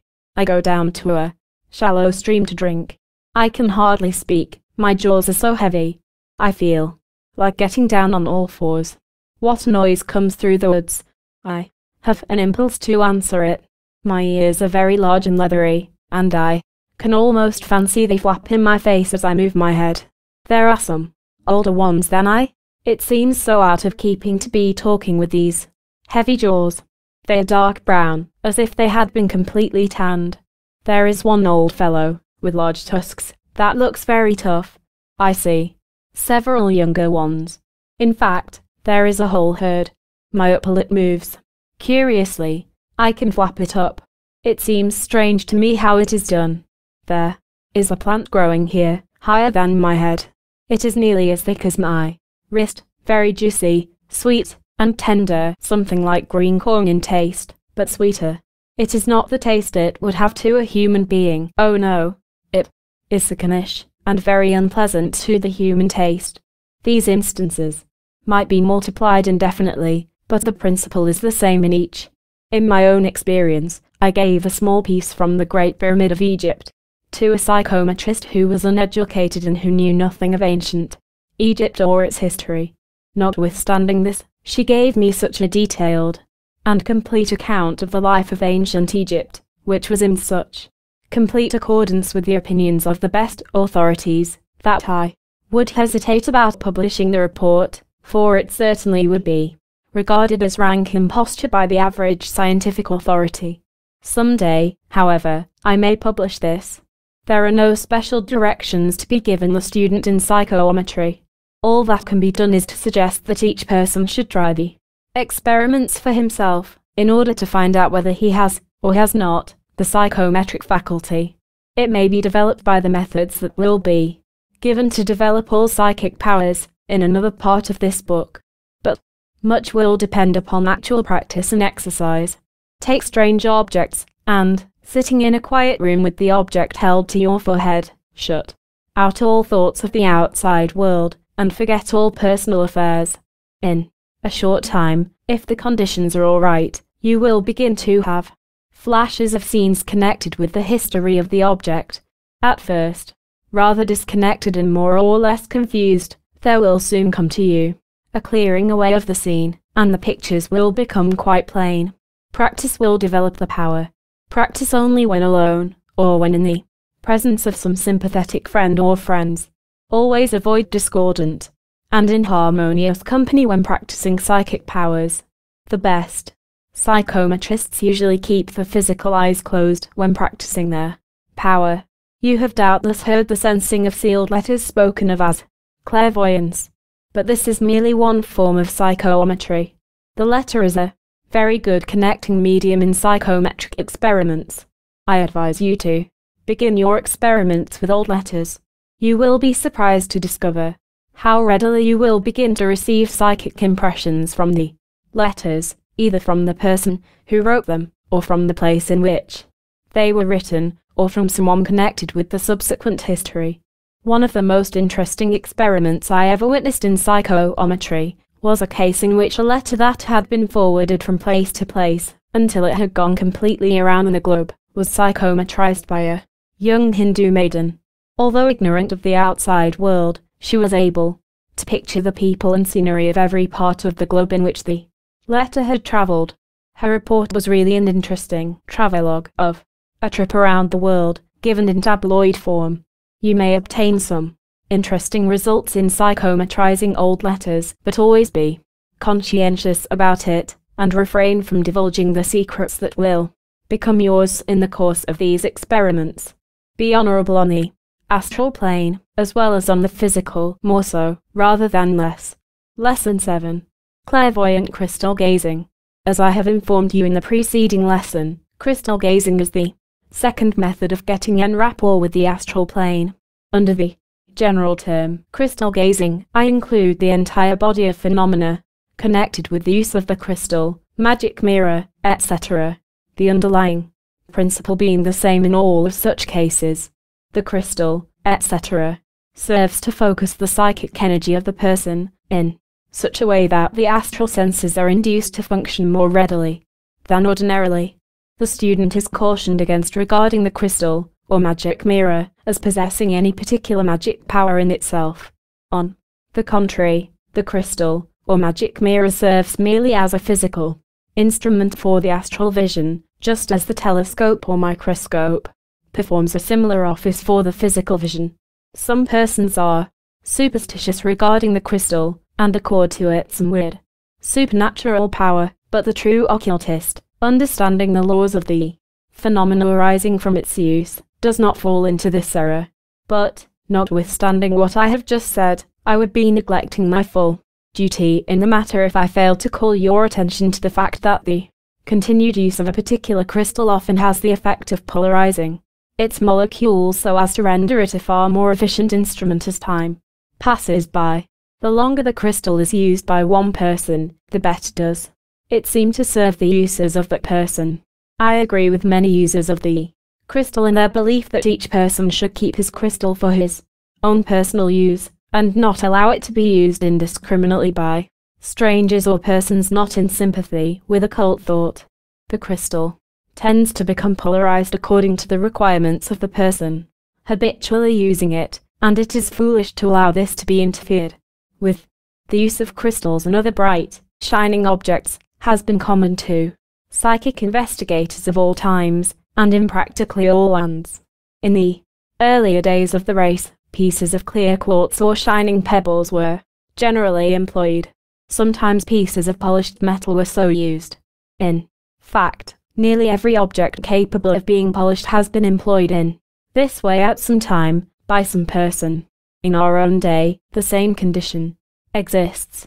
In Australia, the native soothsayers and magicians employ water and other shining objects, and, in some cases, even bright flame, sparks, or glowing embers. In New Zealand, the natives frequently employ drops of blood held in the hollow of the hand. The Fijians fill a hole with water and gaze into it. South American tribes use the polished surface of black or dark colored stones. The American Indians use water or shining pieces or flint or quartz. Shining pieces of metal are frequently used by the primitive races. Lang, writing on the subject, has said, they stare into a crystal ball, a cup, a mirror, a blot of ink, Egypt and India, a drop of blood, the Maoris of New Zealand, a bowl of water, American Indians, a pond, Roman and African, water in a glass bowl, fez, or almost any polished surface, etc. In the present day revival of interest in crystal gazing among the wealthier classes of Europe and America, some of the high priced teachers have insisted upon their pupils purchasing pure crystal globes, claiming that these alone are capable of serving the purpose fully. But, as such, crystals are very expensive. This advice has prevented many from experimenting. But, the advice is erroneous, for any globe of clear quartz, or even molded glass, will serve the purpose equally well, and there is no need of spending 25 to $50 for a pure crystal globe. For that matter, you may obtain very good results from the use of a watch crystal laid over a piece of black velvet. Some, today, use with the best effect small polished pieces of silver or other bright metal. Others, follow the old plan of using a large drop of ink poured into a small butter plate. Some have small cups painted black on the inside, into which they pour water and obtain excellent results therefrom. Above all, I caution the student to pay no attention to instructions regarding the necessity of performing incantations or ceremonies over the crystal or other object employed in crystal gazing. This is but a bit of idle superstition, and serves no useful purpose except, possibly, that of giving the person confidence in the thing. All ceremonies of this kind have for their purpose merely the holding of the attention of the person, investigating, and giving him confidence in the result, the latter having a decided psychological value, of course. There are but few general directions necessary for the person wishing to experiment in crystal gazing. The principal thing is to maintain quiet and an earnest, serious state of mind. Do not make a merry game of it, if you wish to obtain results. Again, always have the light behind your back, instead of facing you. Gaze calmly at the crystal, but do not strain your eyes. Do not try to avoid winking your eyes. There is a difference between gazing and staring. Remember, some good authorities advise making funnels of the hands and using them as you would a pair of opera glasses. In many cases, a number of trials are required before you will be able to get good results. In others, at least some results are obtained at the first trial. It is a good plan to try to bring into vision something that you have already seen with the physical eyes some familiar object. The first sign of actual psychic seeing in the crystal usually appears as a cloudy appearance, or milky mist, the crystal gradually losing its transparency. In this milky cloud then gradually appears a form, or face, or scene of some kind, more or less plainly defined. If you have ever developed a photographic film or plate, you will know how the picture gradually comes into view. W.T. Stead, the eminent English investigator of psychic phenomena, has written as follows regarding the phenomena of crystal gazing. There are some persons who cannot look into an ordinary globular bottle without seeing pictures form themselves without any effort or will on their part in the crystal globe. Crystal gazing seems to be the least dangerous and most simple of all forms of experimenting. You simply look into a crystal globe the size of a five shilling piece, or a water bottle which is full of clear water, and which is placed so that too much light does not fall upon it. and then simply look at it. You make no incantations, and engage in no mumbo jumbo business. You simply look at it for two or three minutes, taking care not to tire yourself, winking as much as you please, but fixing your thought upon whatever you wish to see. Then, if you have the faculty, the glass will cloud over with a milky mist, and in the scent the image is gradually precipitated in just the same way as a photograph forms on a sensitive plate. The same authority relates the following interesting experiment with the crystal. Miss X, upon looking into the crystal on two occasions as a test to see if she could see me when she was several miles off, saw not me, but a different friend of mine on each occasion. She had never seen either of my friends before, but immediately identified them both on seeing them afterward at my office. On one of the evenings on which we experimented in the vain attempts to photograph a double, I dined with Madame C and her friend at a neighbouring restaurant.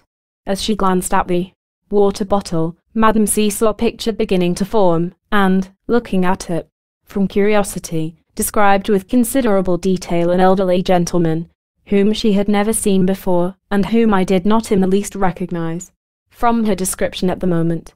Three hours afterward, when the seance was over, Madame C entered the room and recognized Mr. Elliott, of Messrs.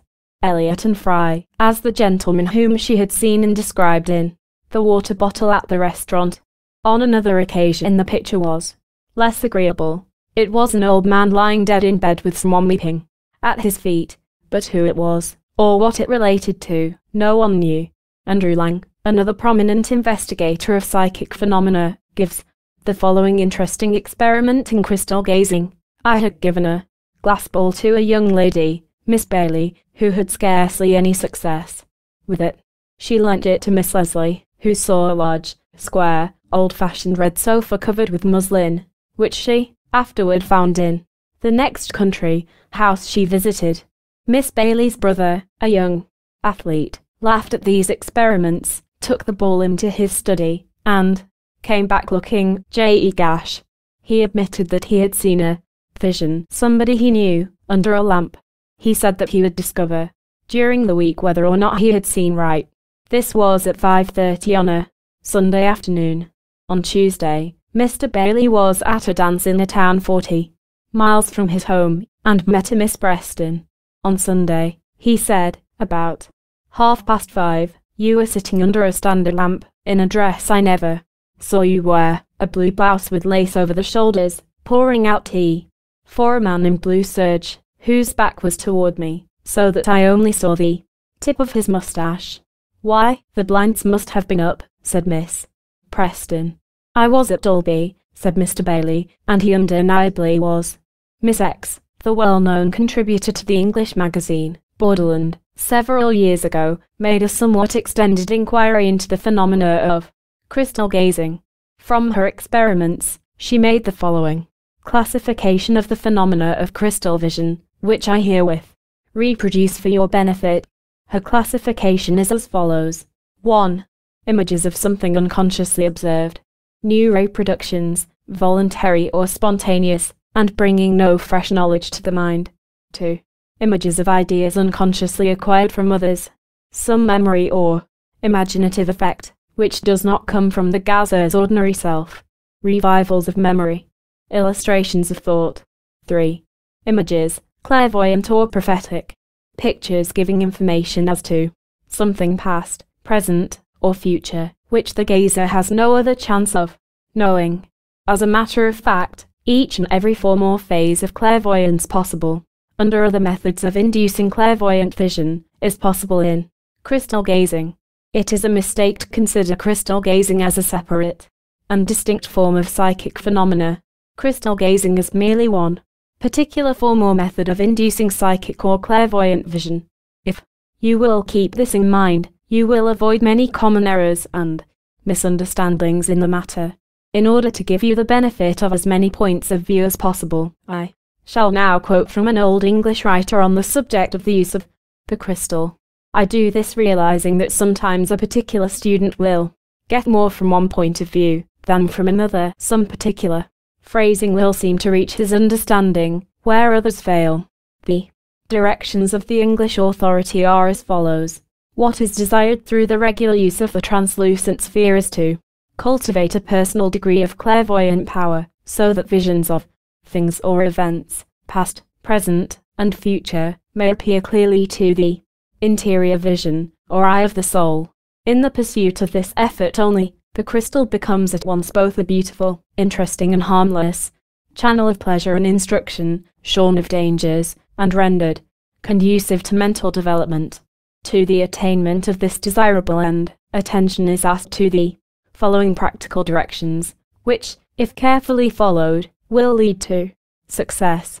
1. Select a quiet room where you will be entirely undisturbed, taking care that it is as far as possible free from mirrors, ornaments, pictures, glaring colors, and the like, which may otherwise distract the attention. The room should be of comfortable temperature, in accordance with the time of year, neither hot nor cold. About 60 to 65 deg. 4 is suitable in most cases, though allowance can be made where necessary for natural differences in the temperaments of various persons. Thus thin, nervous, delicately organized individuals, and those of lymphatic and soft, easy-going, passive types, require a slightly warmer apartment than the more positive class who are known by their dark eyes, hair and complexion, combined with prominent joints. Should a fire, or any form of artificial light be necessary, it should be well screened off, so as to prevent the light rays from being reflected in, or in any manner directly, reaching the crystal. The room should not be dark, but rather shadowed, or charged with a dull light, somewhat such as prevails on a cloudy or wet day. 2. The crystal should be placed on its stand on a table, or it may rest on a black velvet cushion, but in either case it should be partially surrounded by a black silk or similar wrap or screen, so adjusted as to cut off any undesirable reflection. Before beginning to experiment, remember that most frequently nothing will be seen on the first occasion, and possibly not for several sittings, though some sitters, if strongly gifted with psychic powers in a state of unconscious, and sometimes conscious degree of unfoldment, may be fortunate enough to obtain good results at the very first trial. If, therefore, nothing is perceived during the first few attempts, do not despair or become impatient, or imagine that you will never see anything. There is a royal road to crystal vision, but it is open only to the combined password of calmness, patience, and perseverance. If at the first attempt to ride a bicycle, failure ensues, the only way to learn is to pay attention to the necessary rules, and to persevere daily until the ability to ride comes naturally. Thus it is with the would-be seer. Persevere in accordance with these simple directions, and success will sooner or later crown your efforts. 3. Commence by sitting comfortably with the eyes fixed upon the crystal, not by a fierce stare, but with a steady, calm gaze, for 10 minutes only, on the first occasion. In taking the time it is best to hang your watch at a distance, where, while the face is clearly visible, the ticking is rendered inaudible. When the time is up, carefully put the crystal away in its case, and keep it in a dark place, under lock and key, allowing no one but yourself to handle it. At the second sitting, which should be at the same place, in the same position, and at the same time, you may increase the length of the effort to 15 minutes, and continue for this period during the next five or six sittings, after which the time may be gradually increased, but should in no case exceed one hour. The precise order of repetition is always to be followed until the experimenter has developed an almost automatic ability to readily obtain results, when it needs no longer to be adhered to. 4 any person, or persons, admitted to the room, and allowed to remain. While you sit, should, a. Keep absolute silence, and, b. Remain seated at a distance from you. When you have developed your latent powers, questions may, of course, be put to you by one of those present, but even then in a very gentle, or low and slow tone of voice, never suddenly, or in a forceful manner. 5. When you find the crystal begins to look dull or cloudy, with small pinpoints of light glittering therein, like tiny stars, you may know that you are commencing to obtain that for which you seek, viz. crystalline vision. Therefore, persevere with confidence. This condition may, or may, not, continue for several sittings, the crystal seeming at times to alternately appear and disappear, as in a mist. By and by this hazy appearance, in its turn, will give place quite suddenly to a blindness of the senses to all else but a blue or bluish ocean of space, against which, as if it were a background, the vision will be clearly apparent. 6. The crystal should not be used soon after taking a meal, and care should be taken in matters of diet to partake only of digestible foods, and to avoid alcoholic beverages, plain and nourishing food, and outdoor exercise, with contentment of mind, or love of simplicity in living, are great aids to success. Mental anxiety, or ill health, are not conducive to the desired end. Attention to correct breathing is of importance. 7. As regards the time at which events seen will come to pass, each seer is usually impressed with regard thereto, but, as a general rule, visions appearing in the extreme background indicate time more remote, either past or future, than those perceived nearer at hand, while those appearing in the foreground, or closer to the seer, denote the present or immediate future. 8. Two principal classes of vision will present themselves to the sitter, a the symbolic, indicated by the appearance of symbols such as a flag, boat, knife, gold, etc., and b. actual scenes and personages, in action or otherwise. Persons of a positive type of organization, the more active, excitable, yet decided type, are most likely to perceive, symbolically or allegorically, while those of a passive nature usually receive direct or literal revelations. Both classes will find it necessary to carefully cultivate truthfulness, unselfishness, gratitude for what is shown, and absolute confidence in the love, wisdom, and guidance of God Himself. As the student proceeds with the study of these lessons, he will become acquainted with various details and methods concerned with the various phases of clairvoyance, which knowledge he may then combine with the above, the whole aiding him in the successful manifestation of the psychic phenomena of crystal gazing, which, as I have said, is merely one phase of clairvoyance and under the same general laws and rules of manifestation. Remember that present, past and future clairvoyance all is possible to the highly developed crystal gazer, the astral tube, closely allied with the phenomena of crystal gazing, and that of psychometry, is that which occultists know as the astral tube, although this psychic channel may be developed in ordinary clairvoyance by means of the power of concentrated attention, etc. I shall not enter into a detailed or technical discussion of the astral tube at this place, but I wish to give you a general and comprehensive view of it and its workings, in case of the strong concentration of the mind, in cases of psychometry or crystal gazing, a channel or line of force is set up in the astral substance which composes the basis of the astral plane. This is like the wake of a ship made on the surface of the water through which the ship has passed, or it is like a current of magnetic force in the ether. It is caused by a polarization of the particles composing the astral substance, which manifest in a current of intense vibrations in the astral substance, which thus serve as the ready channel for the transmission of psychic force or astral energy.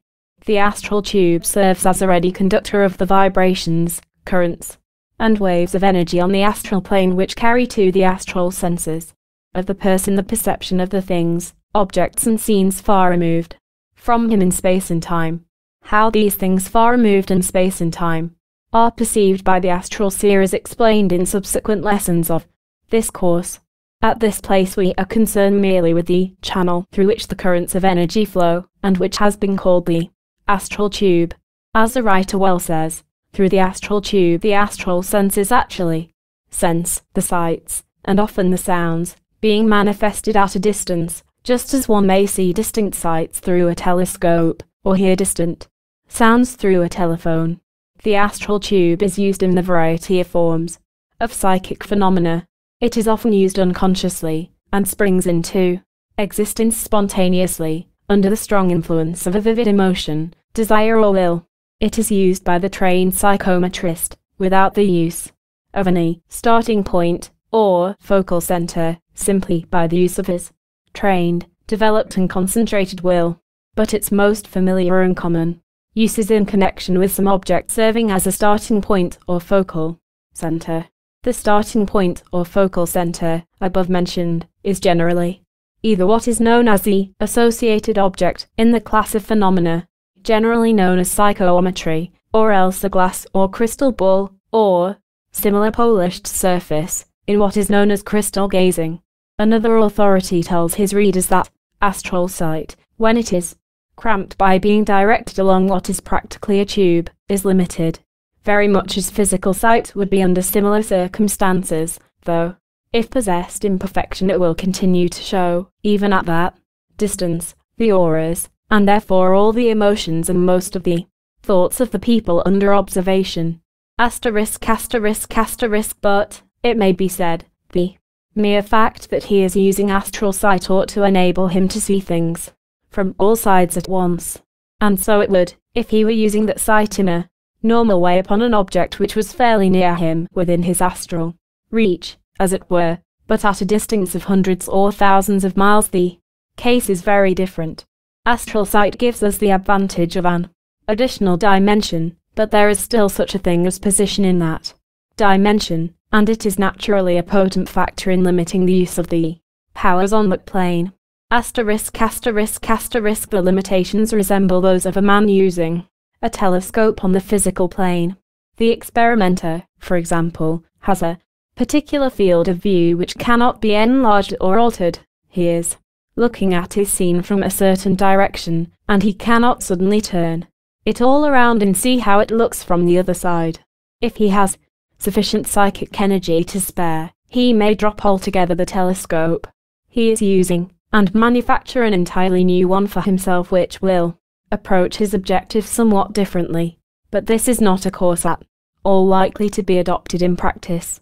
The student will find that, as we progress, many of these points which now seem complicated and obscure will gradually take on the aspect of simplicity and clearness. We must crawl before we can walk, in psychic research as well as in everything else. Lesson 8 Clairvoyant Reverie. In the preceding two chapters, I have asked you to consider the first two methods of inducing the clairvoyant phenomena, namely, psychometry and crystal gazing, respectively. In these cases, you have seen how the Clairvoyant gets en rapport with the astral plane by means of physical objects, in the case of psychometric clairvoyance, or by means of a shining object, in the case of crystal gazing. Let us now consider the third method of inducing the clairvoyant condition or state, i.e., by means of what may be called clairvoyant reverie, in which the clairvoyant gets en rapport with the astral plane by means of psychic states in which the sights, sounds and thoughts of the material and physical plane are shut out of consciousness. The student of the general subject of clairvoyance will soon be impressed with two facts concerning the production of clairvoyant phenomena, namely, 1. That in the majority of the recorded cases of the investigators the clairvoyant phenomena were obtained when the clairvoyant was in the state of sleep, or at least semi-sleep or drowsiness, the visioning appearing more or less like a vivid dream, and 2. That in the case of the clairvoyant voluntarily entering en rapport with the astral plane, he or she would enter into what seemed to be a kind of trance condition, in some cases an absolute unconsciousness of the outside world being manifested. The student, noting these facts, is apt to arrive at the conclusion that all clairvoyance is accompanied by the condition of sleep, or trance, and, that no clairvoyant phenomena are possible unless this psychic condition is first obtained. But this is only a half-truth as we shall see in a moment. In the first place, the student arriving at this conclusion seems to have ignored the fact that the phenomena of psychometry and crystal gazing, respectively, are as true instances of clairvoyance as are those which are manifested in the sleep or trance condition. It is true that some Psychometrists produce phenomena when they are in a state of psychic quiescence, but, on the other hand, many clairvoyant psychometrists merely concentrate the attention on the object before them and remain perfectly wide awake and conscious on the physical plane. Likewise, the average crystal gazer remains perfectly wide awake and conscious on the physical plane. When the student takes these facts into consideration, he begins to see that the trance condition and similar psychic states are simply particular methods of inducing the en rapport condition for the clairvoyant and are not inseparably bound up with the phenomena of clairvoyance. As the student progresses, moreover, he will see that even in the case of clairvoyant reverie, the third method of inducing the astral en rapport condition, the clairvoyant does not always lose consciousness. In the case of many advanced and exceptionally well developed clairvoyants, no trance or sleep condition is induced. In such cases, the clairvoyant merely shuts out the outside world of sights, sounds, and thoughts by an effort of trained will, and then concentrate steadily on the phenomena of the astral plane. For that matter, the skilled and advanced occultist is able to function on the astral plane by simply shifting his consciousness from one plane to another, as the typist shifts from the small letters of the keyboard to the capital letters by a mere pressure on the shift key of the typewriter. The only reason that many clairvoyants manifesting along the lines of the third method, known as clairvoyant reverie, fall into the trance or sleep condition, is that they have not as yet acquired the rare art of controlling their conscious attention at will. This is something that requires great practice. They find it easier to drop into the condition of semi-trance or semi-sleep than it is to deliberately shut out the outer world by an act of pure will. Moreover, you will find that in the majority of the recorded cases of the investigators, the clairvoyance was more or less spontaneous on the part of the clairvoyant person, and was not produced by an act of will. As we proceed to consider the various forms and phases of clairvoyant phenomena in these lessons, you will notice this fact. There are but few recorded cases of voluntary clairvoyance in the books of the investigators, the skilled clairvoyants, and more. Particularly the advanced occultists avoid the investigators rather than seek them. They have no desire to be reported as typical cases of interesting psychic phenomena. They leave that to the amateurs and those to whom the phenomena come as a wonderful revelation akin to a miracle. This accounts for the apparent predominance of this form of Clairvoyance. The secret is that the net of the investigators has caught only a certain kind of psychic fish, while the others escape attention. All this would be of no practical importance, however, were it not for the fact that the average student is so impressed by the fact that he must learn to induce the trance condition in order to manifest clairvoyant phenomena that he does not even think of attempting to do the work. Otherwise, the power of autosuggestion operates here, as you will see by a moment's thought, and erects an obstacle to his advance along voluntary lines. More than this, this mistaken idea tends to encourage the student to cultivate the trance condition, or at least some abnormal psychic condition, by artificial means. I am positively opposed to the inducing of psychic conditions by artificial means, for I consider such practices most injurious and harmful for the person using such methods. Outside of anything else, it tends to render the person negative, psychically, instead of positive. It tends to make him or her subject to the psychic influence of others, on both the physical and astral plane, instead of retaining his or her own self-control and mastery. The best authorities among the occultists instruct their pupils that the state of clairvoyant reverie may be safely and effectively induced by the practice of mental concentration alone. They advise positively against artificial methods. A little common sense will show that they are right in this matter. All that is needed is that the consciousness shall be focused to a point, become one pointed, as the Hindu yogists say. The intelligent practice of concentration accomplishes this without the necessity of any artificial methods of development or the induction of abnormal psychic states. If you will stop a moment and realize how easily you concentrate your attention when you are witnessing an interesting play or listening to a beautiful rendition of some great masterpiece of musical composition, or gazing at some miracle of art, you will see what I mean. In the cases just mentioned, while your attention is completely occupied with the interesting thing before you, so that you have almost completely shut out the outer world of sound, sight, and thought. You are, nevertheless, perfectly wide awake and your consciousness is alert. The same thing is true when you're reading a very interesting book. The world is shut out from your consciousness, and you're oblivious to the sights and sounds around you.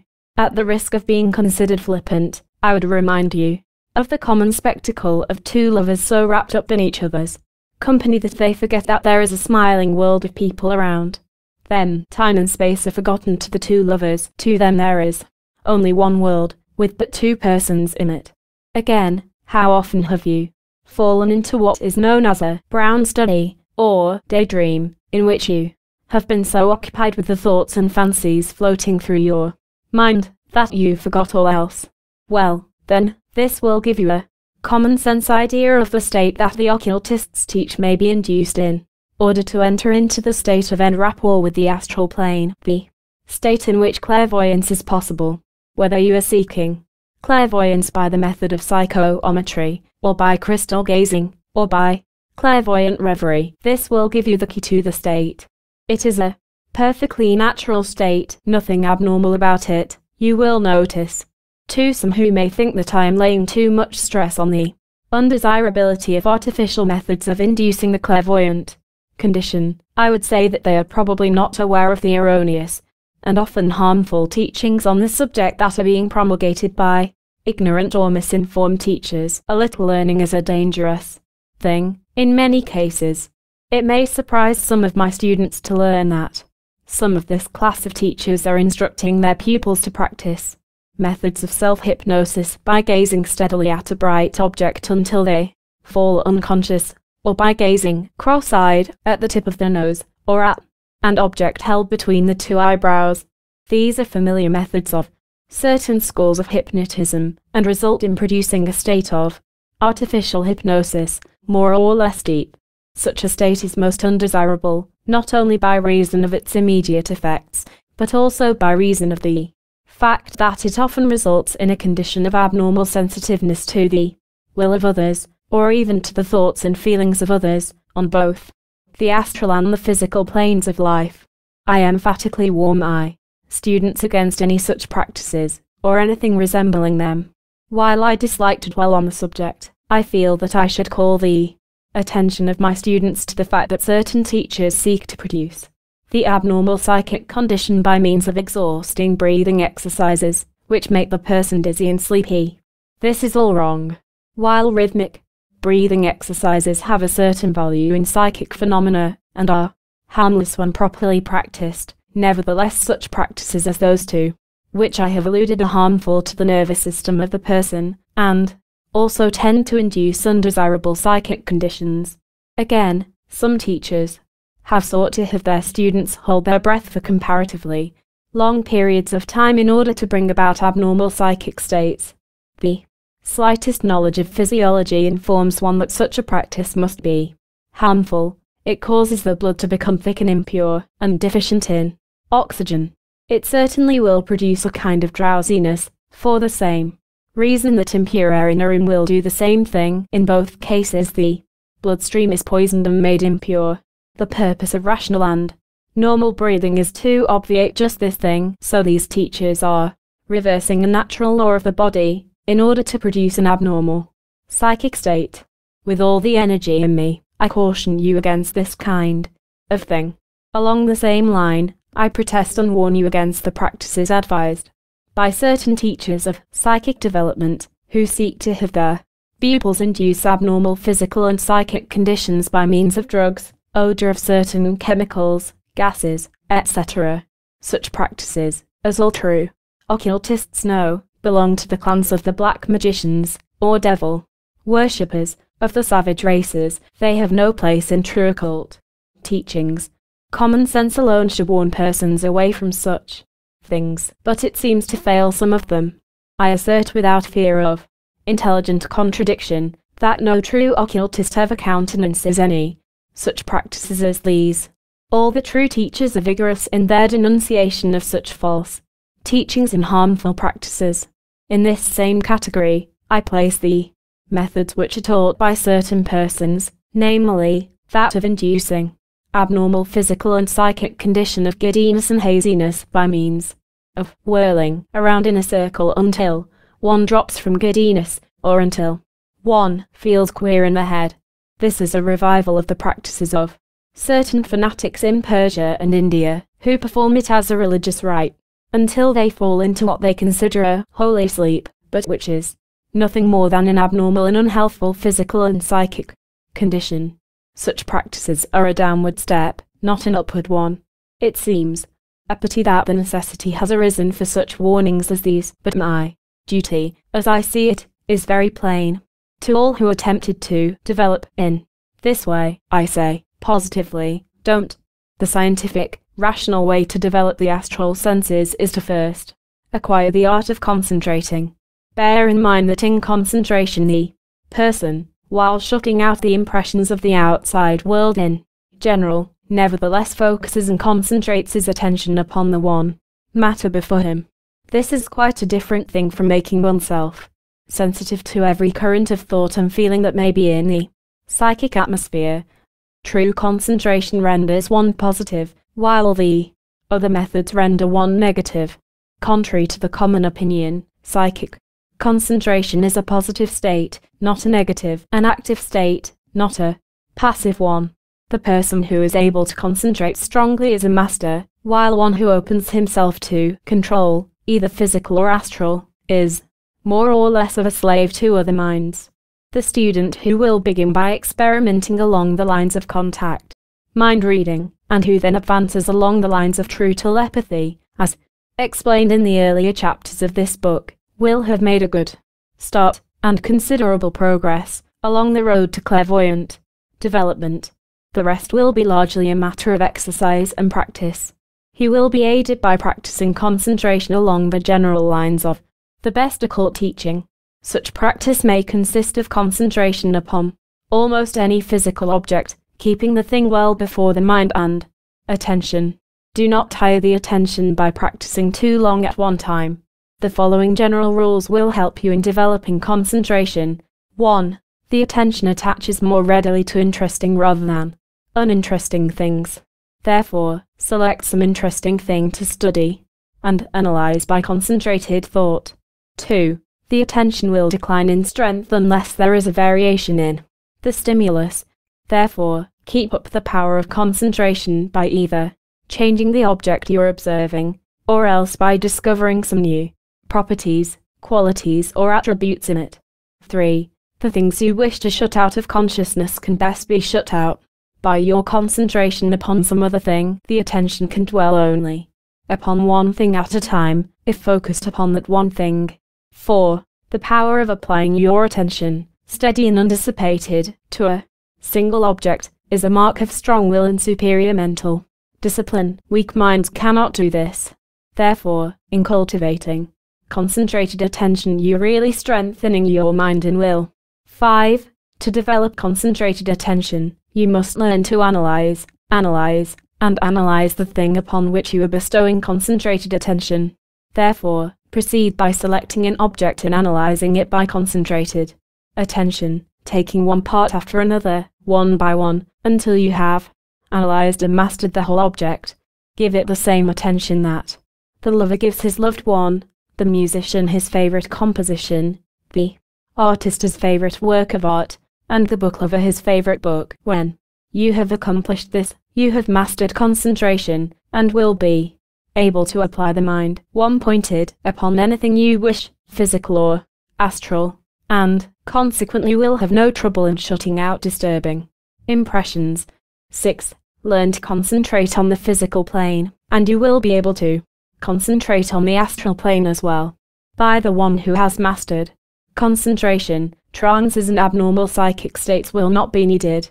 The needle-pointed mind is able to pierce the astral veil at will, while the blunt-pointed mind is resisted and defeated by the astral envelope, which, while thin is very tough and unyielding.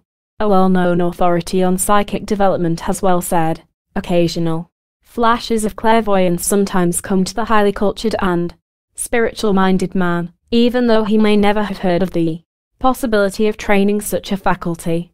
In his case such glimpses usually signify that he is approaching that stage in his evolution when these powers will naturally begin to manifest themselves.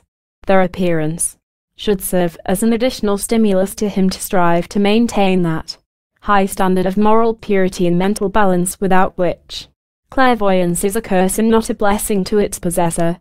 Between those who are entirely unimpressionable and those who are in full possession of clairvoyant power, there are many intermediate stages.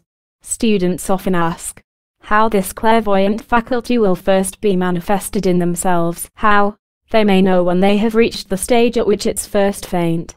Foreshadowings are beginning to be visible.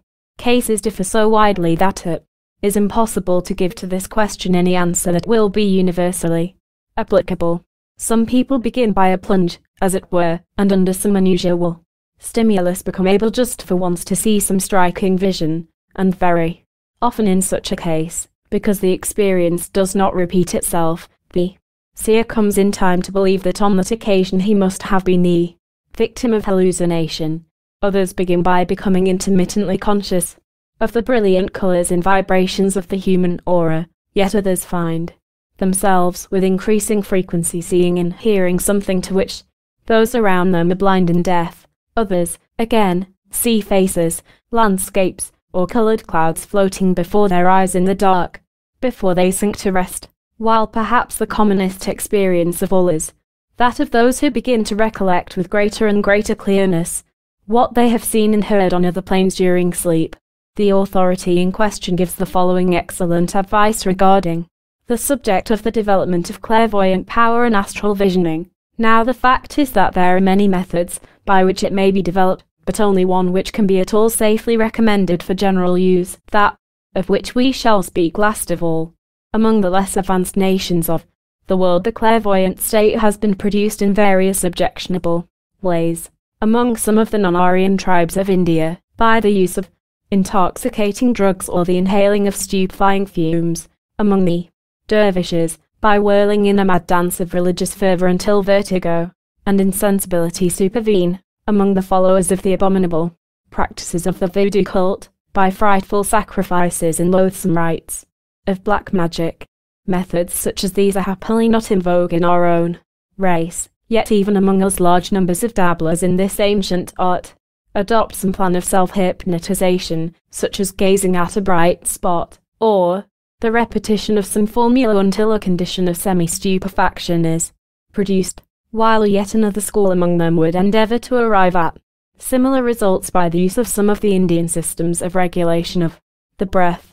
All these methods are unequivocally to be condemned as quite unsafe for the practice of the ordinary man who has no idea of what he is doing, who is simply making vague experiments in an unknown world.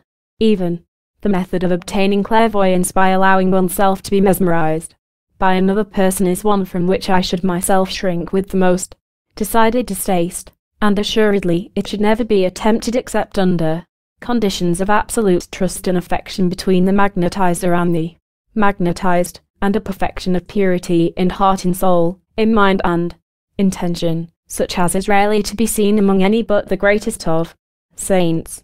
Yet there is one practice which is advised by all religions alike, which, if adopted carefully and reverently, can do no harm to any human being, yet from which a very pure type of clairvoyance has sometimes been developed, and that is the practice of meditation. Let a man choose a certain time, every day, a time when he can rely upon being quiet and undisturbed, though preferably in the daytime rather than at night, and set himself at that time to keep his mind for a few minutes entirely free from all earthly thoughts of any kind whatever, and, when that is achieved, to direct the whole force of his being towards the highest ideal that he happens to know, he will find that to gain such perfect control of thought is enormously more difficult than he supposes, but when he attains it, it cannot but be in every way most beneficial to him, and as he grows more and more able to elevate and concentrate his thought, he may gradually find that new worlds are opening before his sight. As a preliminary training towards the satisfactory achievement of such meditation, he will find it desirable to make a practice of concentration in the affairs of daily life, even in the smallest of them. If he writes a letter, let him think of nothing else but that letter until it is finished. If he reads a book, let him see to it that his thought is never allowed to wander from his author's meaning. He must learn to hold his mind in check, and to be master of it also, as well as of his lower passions. He must patiently labor to acquire absolute control of his thoughts, so that he will always know exactly what he is thinking about, and why, so that he can use his mind, and turn it or hold it still, as a practiced swordsman turns his weapon where he will. I have given the above full quotation from this authority, not merely because that from another angle he states the same general principles as do I, but also because his personal experience in actual clairvoyant phenomena is so extended and varied that any word from him on the subject of the development of clairvoyant power must have a value of its own. While I differ from this authority on some points of detail of theory and practice, nevertheless I gladly testify to the soundness of his views as above quoted, and pass them on to my students for careful consideration and attention. The student will do well to heed what he has to say, and to combine such opinion with what I have uttered in the earlier part of this chapter. There will be found a close agreement in principle and practice. And, now let us pass on to a consideration of the various forms and phases of the clairvoyant phenomena itself. The subject is fascinating, and I am sure that you will enjoy this little excursion into the strange realm of thought regarding the astral phenomena of clairvoyance. But, be sure to master each lesson before proceeding to the rest, as otherwise you will have to turn back the leaves of the course in order to pick up some point of teaching that you have neglected. Lesson 9 Simple Clairvoyance. In a previous chapter, we have seen that there are three well defined classes of clairvoyance, namely 1 simple clairvoyance, 2. clairvoyance in space, and 3. clairvoyance in time. I shall now consider these in sequence, beginning with the first, simple clairvoyance. In simple clairvoyance, the clairvoyant person merely senses the auric emanations of other persons, such as the auric vibrations, colors, etc., currents of thought vibrations, etc., but does not see events or scenes removed in space or time from the observer. There are other phenomena, peculiar to this class of clairvoyance which I shall note as we progress. With this chapter, an authority on the subject of astral phenomena has written interestingly, as follows, regarding some of the phases of simple clairvoyance, when we come to consider the additional facilities which it offers in the observation of animate objects, we see still more clearly the advantages of astral vision. It exhibits to the clairvoyant the aura of plants and animals, and thus in the case of the latter their desires and emotions, and whatever thoughts they may have, are all plainly shown before his eyes. But it is in dealing with human beings that he will most appreciate the value of this faculty, for he will often be able to help them far more effectually when he guides himself by the information which it gives him. He will be able to see the aura as far up as the astral body, and though that leaves all the higher part of a man still hidden from his gaze. He will nevertheless find it possible by careful observation to learn a good deal about the higher part from what is within his reach. His capacity of examination of the etheric double will give him considerable advantage in locating and classifying any defects or diseases of the nervous system, while from the appearance of the astral body he will at once be aware of all the emotions, passions, desires and tendencies of the man before him, and even of very many of his thoughts also. As he looks at a person he will see him surrounded by the luminous mist of the astral aura, flashing with all sorts of brilliant colours, and constantly changing in hue and brilliancy with every variation of the person's thoughts and feelings. He will see this aura flooded with the beautiful rose colour of pure affection, the rich blue of devotional feeling, the hard, dull brown of selfishness, the deep scarlet of anger, the horrible lurid red of sensuality, the livid grey of fear, the black clouds of hatred and malice, or any of the other hundredfold indications, so easily to be read in it by the practised eye, and thus it will be impossible for any persons to conceal from him the real state of their feelings on any subject. Not only does the astral aura show him the temporary result of the emotion passing through it at the moment, but it also gives him by an arrangement in proportion of its colours when in a condition of comparative rest, a clue to the general disposition and character of its owner. By simple clairvoyance in a certain stage of development, the clairvoyant person is able to sense the presence of the human aura by means of his astral sight. The human aura, as all students of occultism know, is that peculiar emanation of astral vibrations that extends from each living human being, surrounding him in an egg-shaped form for a distance of 2 to 3 feet on all sides. This peculiar nebulous envelope is not visible to the physical sight, and may be discerned only by means of the astral senses. It, however, may be dimly felt by many persons coming into the presence of other persons, and constitutes a personal atmosphere which is sensed by other persons.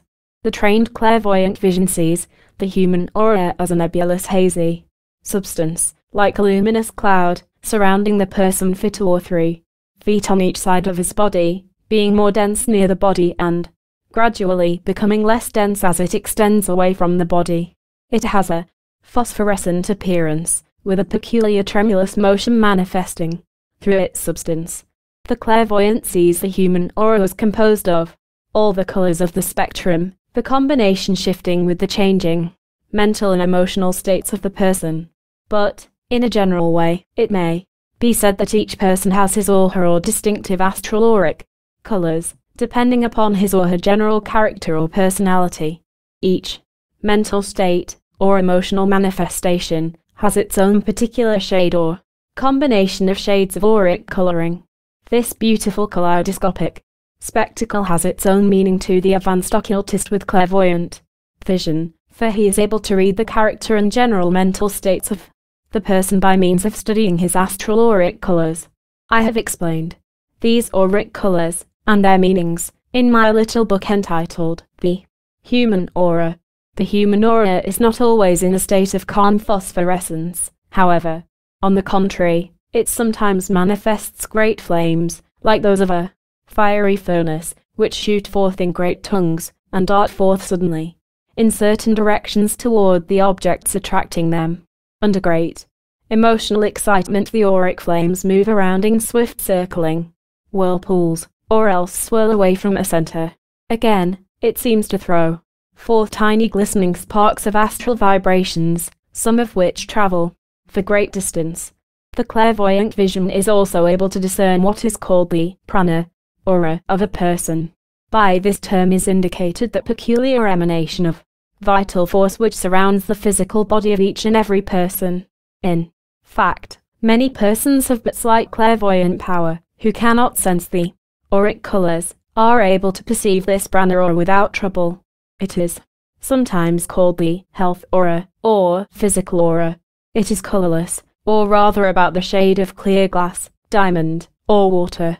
It is streaked with very minute, bristle-like lines. In a state of good health, these fine lines are stiff like toothbrush bristles, while, in cases of poor health, these lines droop, curl and present a fur-like appearance. It is sometimes filled with minute sparkling particles, like tiny electric sparks in rapid vibratory motion. To the clairvoyant vision the prana aura appears like the vibrating heated air arising from a fire, or stove, or from the heated earth in summer. If the student will close his eyes partially, and will peer through narrowed eyelids, he will in all probability be able to perceive this prana aura surrounding the body of some healthy, vigorous person, particularly if the person is sitting in a dim light. Looking closely, he will see the peculiar vibratory motion, like heated air, at a distance of about 2 inches from the body of the person. It requires a little practice in order to acquire the knack of perceiving these vibrations a little. Experimenting in order to get just the right light on the person, but practice will bring success, and you will be repaid for your trouble. In the same way, the student may by practice acquire the faculty to perceiving his own prana aura. The simplest way to obtain this last mentioned result is to place your fingers, spread out in fan shape, against a black background, in a dim light. Then gaze at the fingers with narrowed eyelids and half-closed eyes. After a little practice, you will see a fine thin line surrounding your fingers on all sides, a semi-luminous border of prana aura, in most cases this border of aura is colorless, but sometimes a very pale yellowish hue is perceived. The stronger the vital force of the person, the stronger and brighter will this border of prana aura appear.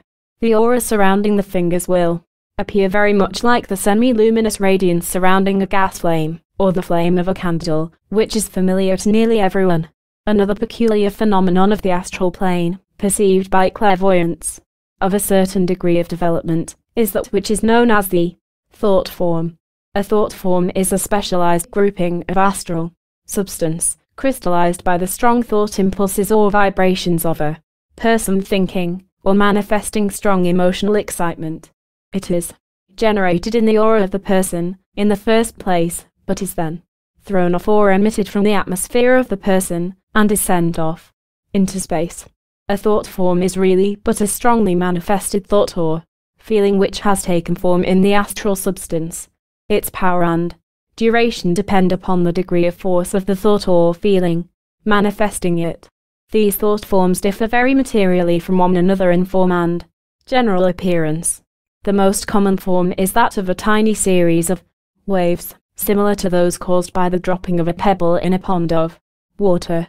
Sometimes the thought form takes on the appearance of a whirlpool, rotating around a center and moving through space as well.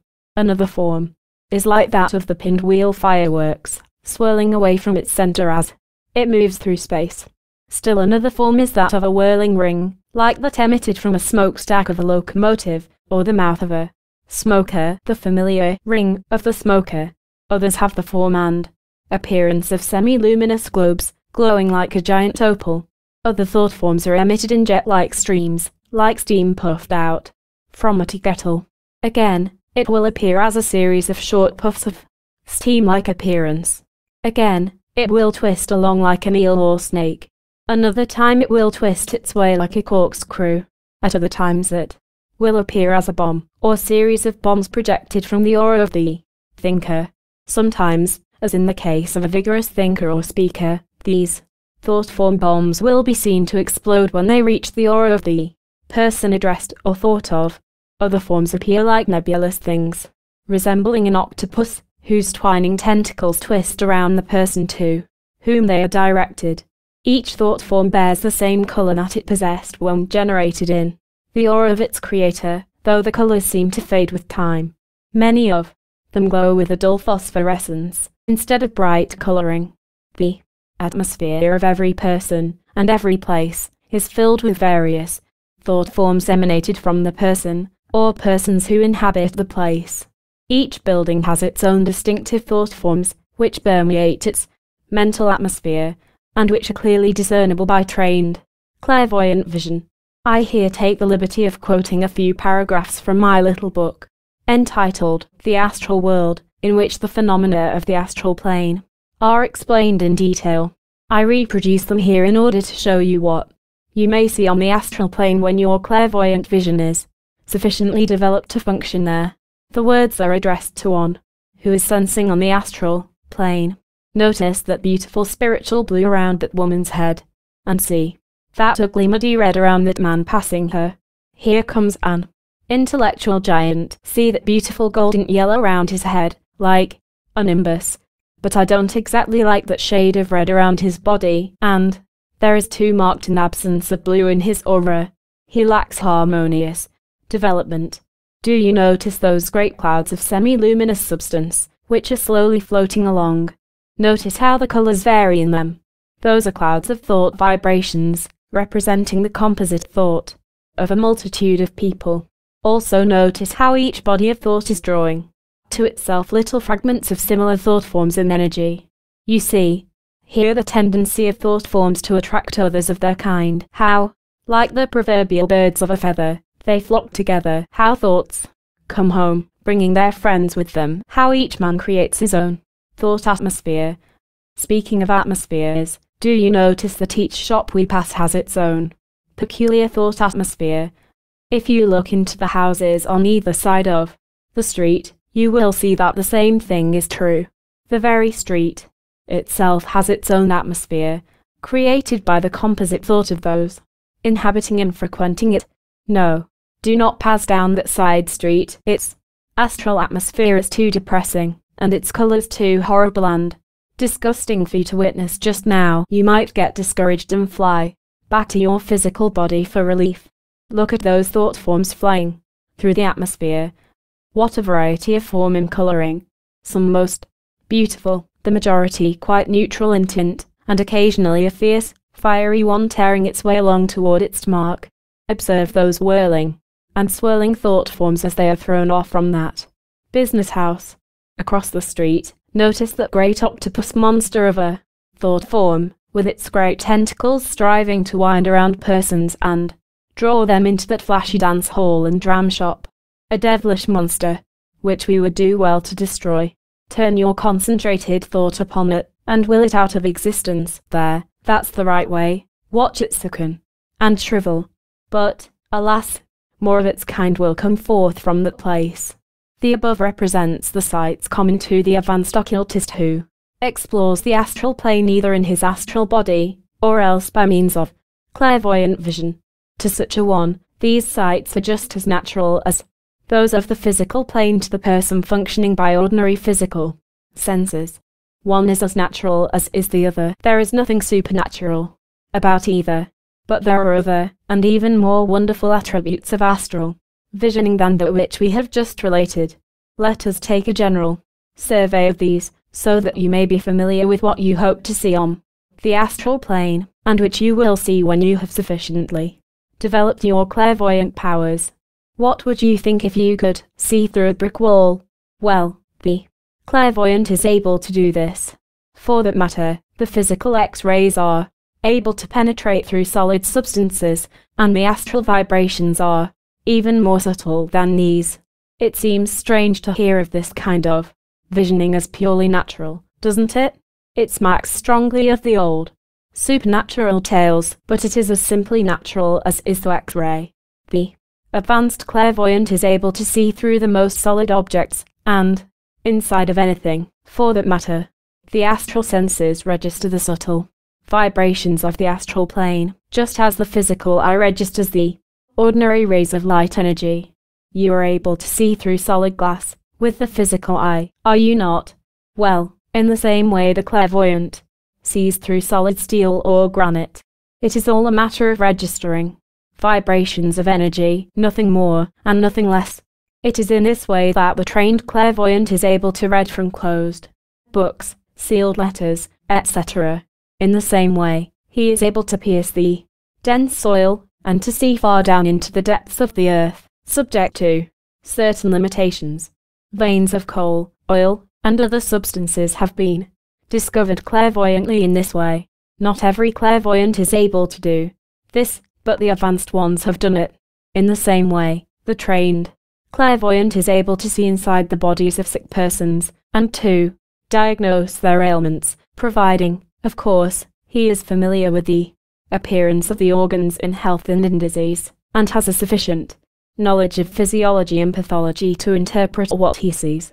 An authority on the phenomena of the astral plane has written, entertainingly and correctly regarding this phase of simple clairvoyance, as follows. The possession of this extraordinary and scarcely expressible power, then, must always be borne in mind through all that follows lays every point in the interior of every solid body absolutely open to the gaze of the seer, just as every point in the interior of a circle lies open to the gaze of a man looking down upon it. But even this is by no means all that it gives to its possessor. He sees not only the inside as well as the outside of every object, but also its astral counterpart. Every atom and molecule of physical matter has its corresponding astral atoms and molecules and the mass which is built up out of these is clearly visible to the clairvoyant. Usually the astral form of any object projects somewhat beyond the physical part of it, and thus metals, stones, and other things are seen surrounded by an astral aura. It will be seen at once that even in the study of inorganic matter a man gains immensely by the acquisition of this vision. Not only does he see the astral part of the object at which he looks, which before was wholly hidden from him, not only does he see much more of its physical constitution than he did before, but even what was visible to him before is now seen much more clearly and truly. Asterisk, asterisk, asterisk, another strange power of which he may find himself in possession is that of magnifying at will the minutest physical or astral particle to any desired size, as through a microscope, though no microscope ever made, or ever likely to be made, possesses even the thousandth part of this psychic magnifying power. By its means the hypothetical molecule and atom postulated by science become visible in living realities to the occult student, and on this closer examination he finds them to be much more complex in their structure than the scientific man has yet realized them to be. It also enables him to follow with the closest attention and the most lively interest all kinds of electrical, magnetic, and other etheric action, and when some of the specialists in these branches of science are able to develop the power to see these things wary off they write so facilely, some very wonderful and beautiful revelations may be expected.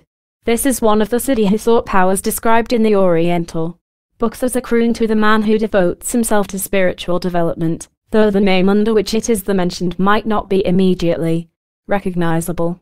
It is referred to as the power of making oneself large or small at will, and the reason of a description which appears so oddly to reverse the fact is that in reality the method by which this feat is performed is precisely that indicated in these ancient books.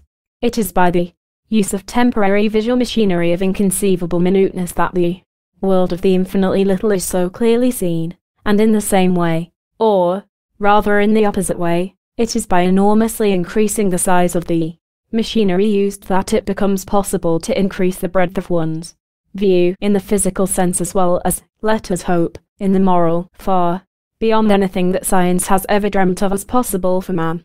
So, that the alteration in size is really in the vehicle of the student's consciousness, and not in anything outside of himself, and the old Oriental books have, after all, put the case more accurately than have we.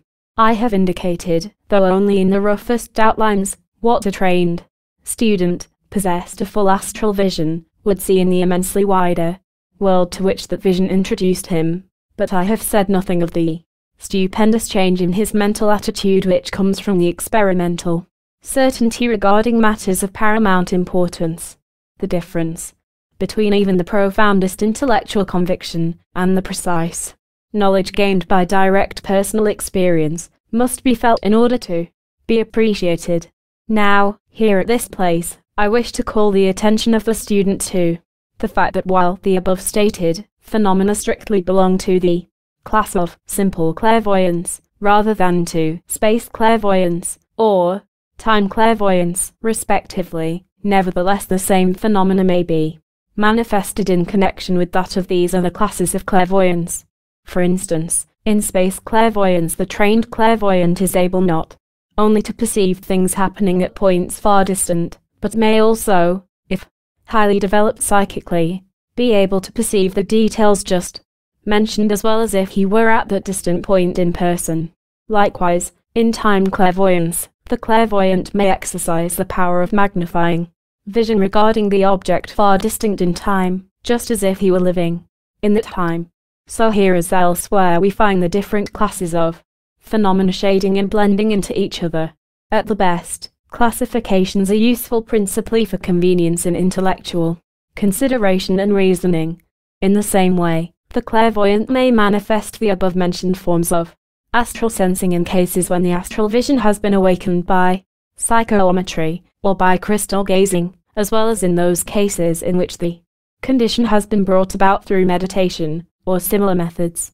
I would also call the attention of the student to the fact that in the above description of the phenomena of simple clairvoyance I have made no mention of the sights of the astral plane which often become visible to the clairvoyant, and which have to do with astral bodies, astral shells, the disembodied souls of those who have passed on to other planes of existence, etc. I shall take up these matters in other parts of this course, and shall not dwell upon them in this place. But, I wish you to remember that the same power which enables you to sense other objects by means of the astral scenes is the same that is called into operation in the cases to which I have just referred. The astral plane is a wonderful plane or field of being, containing many strange and wonderful beings and things. The person living on the physical plane may visit the astral plane in the astral body, and, again, he may perceive the happenings and scenes of that plane by means of the awakened and developed astral senses. Some clairvoyants find it easy to function in one way, and some in another. It is reserved for the scientifically developed clairvoyant to manifest the well-rounded power to perceive the phenomena of the astral plane in its wonderful entirety. Finally, you will see by reference to other chapters of this book that one may manifest simple clairvoyant powers, as well as the more complicated ones of time and space clairvoyance, not only in the ordinary waking state, but also in the state of dreams. In fact, some of the most striking psychic phenomena are manifested when the seer is in the dream state. As we proceed, you will find that every phase of the great subject will fit into its place and will be found to blend with every other phase. There will be found a logical harmony and unity of thought pervading the whole subject. But we must use single bricks and stones as we build. It is only in the completed structure that we may perceive the harmonious unity. Lesson X Clairvoyance of Distinct Scenes. Let us now consider the phenomena of the second class of clairvoyance, namely, clairvoyance in space. In space clairvoyance, the clairvoyant person senses scenes and events, removed in space from the observer, that is to say, scenes and events, situated outside of the range of the physical vision of the clairvoyant. In this class also is included certain phenomena in which the clairvoyant vision is able to discern things that may be concealed or obscured by intervening material objects. Some of the many different forms and phases of space clairvoyance are illustrated by the following examples, all taken from the best sources. Bushnell relates the following well-known case of space clairvoyance. Captain Yount of Napa Valley, California, one midwinter's night had a dream in which he saw what appeared to be a company of emigrants arrested by the snows of the mountains and perishing rapidly by cold and hunger. He noted the very cast of the scenery, marked by a huge, perpendicular front of white rock cliff. He saw the men cutting off what appeared to be tree tops rising out of deep gulfs of snow. He distinguished the very features of the persons and their look of peculiar distress. He awoke, profoundly impressed by the distinctness and apparent reality of the dream. He at length fell asleep, and dreamed exactly the same dream over again. In the morning he could not expel it from his mind. Falling in shortly after with an old hunt comrade, he told his story, and was only the more deeply impressed by him recognizing without hesitation the scenery of the dream. This comrade came over the Sierra by the Carson Valley Pass, and declared that a spot in the pass exactly answered his description. By this the unsophistical patriarch was decided.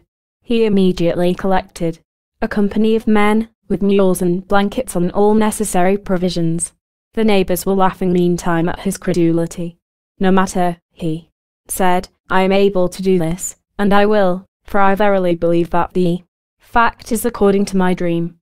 The men were sent into the mountains 150 miles distant, direct to the Carson Valley Pass, and there they found the company exactly in the condition of the dream, and brought in the remnant alive. In connection with this case, some leading occultists are of the opinion that the thought waves from the minds of the distressed lost persons reached Captain Yount in his sleep and awakened his subconscious attention. Having natural clairvoyant power, though previously unaware of it, he naturally directed his astral vision to the source of the mental currents, and perceived clairvoyantly the scene described in the story. Not having any acquaintance with any of the lost party, it was only by reason of the mental currents of distress so sent out that his attention was attracted. This is a very interesting case, because several psychic factors are involved in it, as I have just said. In the following case, there is found a connecting link of acquaintance with a person playing a prominent part in the scene, although there was no conscious appeal to the clairvoyant, nor conscious interest on her part. Regarding the case, the story is well known and appears in the Proceedings of the Society for Psychical Research. It runs as follows. Mrs. Broughton awoke one night in 1844 and roused her husband, telling him that something dreadful had happened in France. He begged her to go asleep again and not trouble him. She assured him that she was not asleep, when she saw what she insisted on telling him what she saw in fact. She saw, first, a carriage accident, or rather, the scene of such an accident, which had occurred a few moments before. What she saw was the result of the accident, a broken carriage, a crowd collected, a figure gently raised, and carried into the nearest house, then a figure lying on a bed, which she recognized as the Duke of Orleans. Gradually friends collected around the bed, among them several members of the French royal family, the Queen, then the King, all silently, tearfully, watching the evidently dying Duke. One man, she could see his back, but did not know who he was, was a doctor.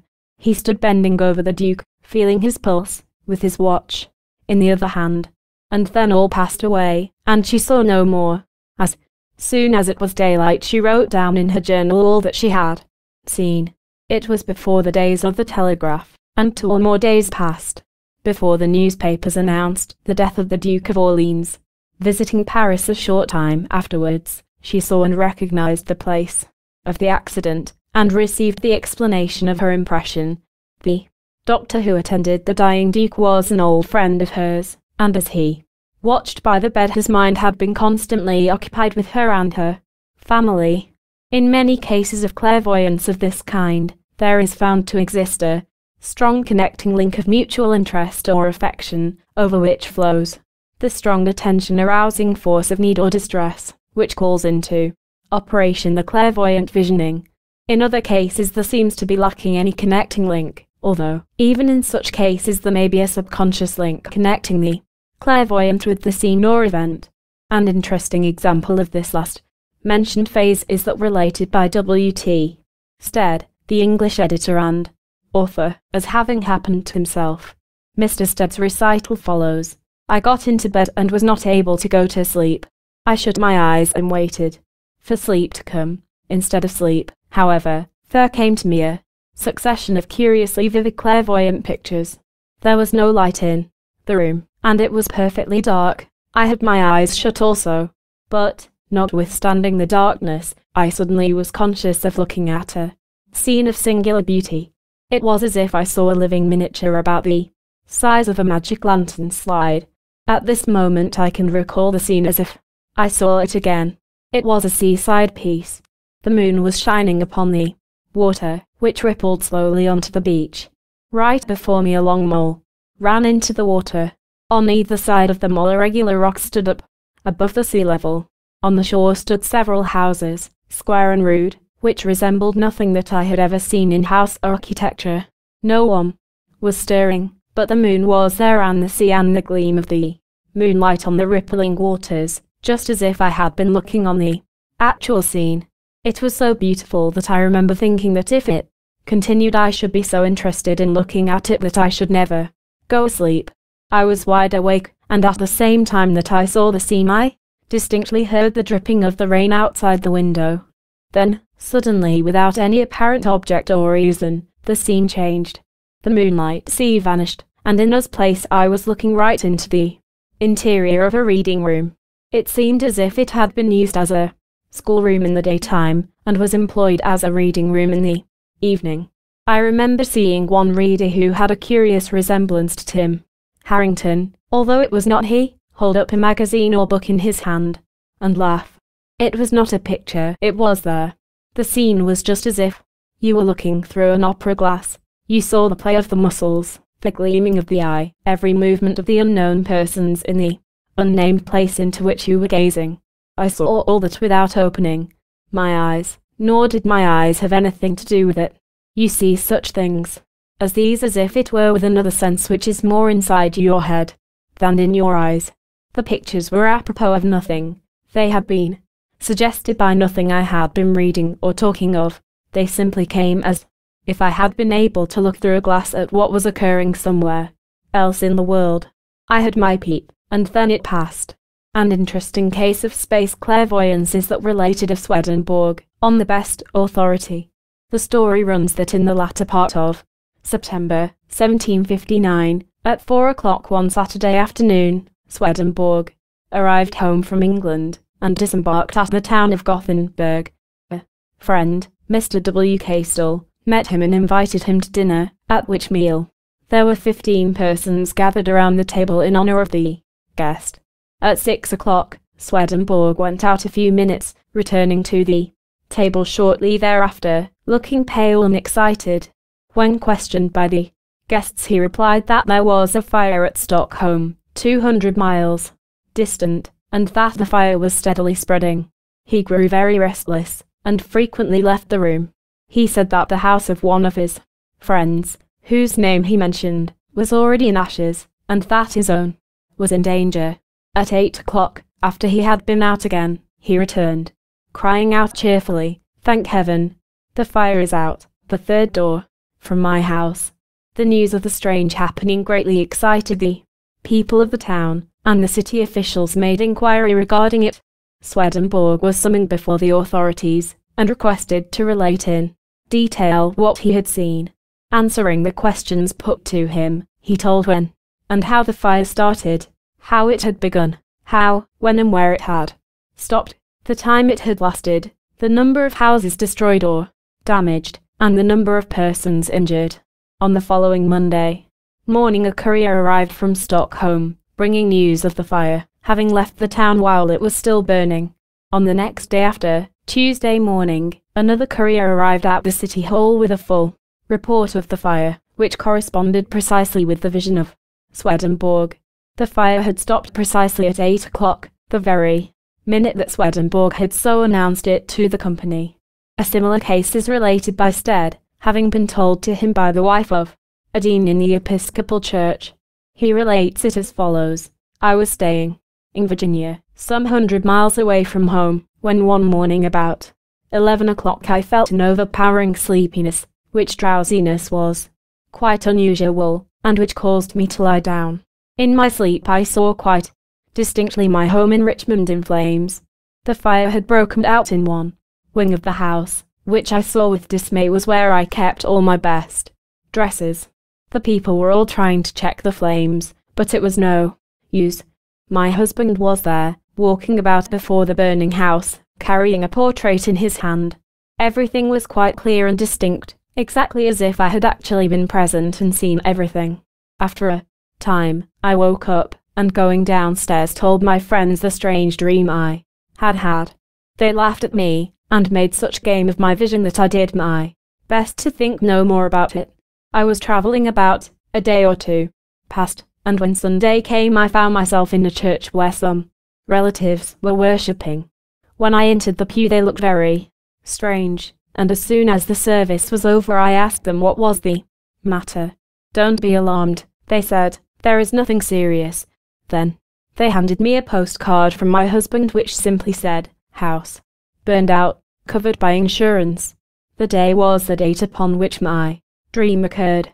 I hastened home, and then I learned that everything had happened exactly as I had seen it. The fire had broken out in the wing I had seen blazing, my clothes were all burned, and the oddest thing about it was that my husband, having rescued a favourite picture from the burning building, had carried it about among the crowd for some time before he could find a place in which to put it safely. Another case, related by Stead, the same authority, runs as follows. The father of a son who had sailed on the Strathmore, an emigrant ship, outbound from the Clyde saw one night the ship foundering amid the waves and saw that his son, with some others, had escaped safely to a desert island near which the wreck had taken place. He was so much impressed by this vision that he wrote to the owner of the Strathmore, telling him what he had seen. His information was scouted, but after a while the Strathmore became overdue, and the owner became uneasy. Day followed, day, and still no tidings of the missing ship. Then, like Pharaoh's butler, the owner remembered his sins one day and hunted up the letter describing the vision. It supplied at least a theory to account for the ship's disappearance. All outward bound ships were requested to look out for any survivors on the island indicated in the vision. These orders were obeyed, and the survivors of the Strathmore were found exactly where the father had seen them. The Society for Psychical Research mentions another interesting case, as follows.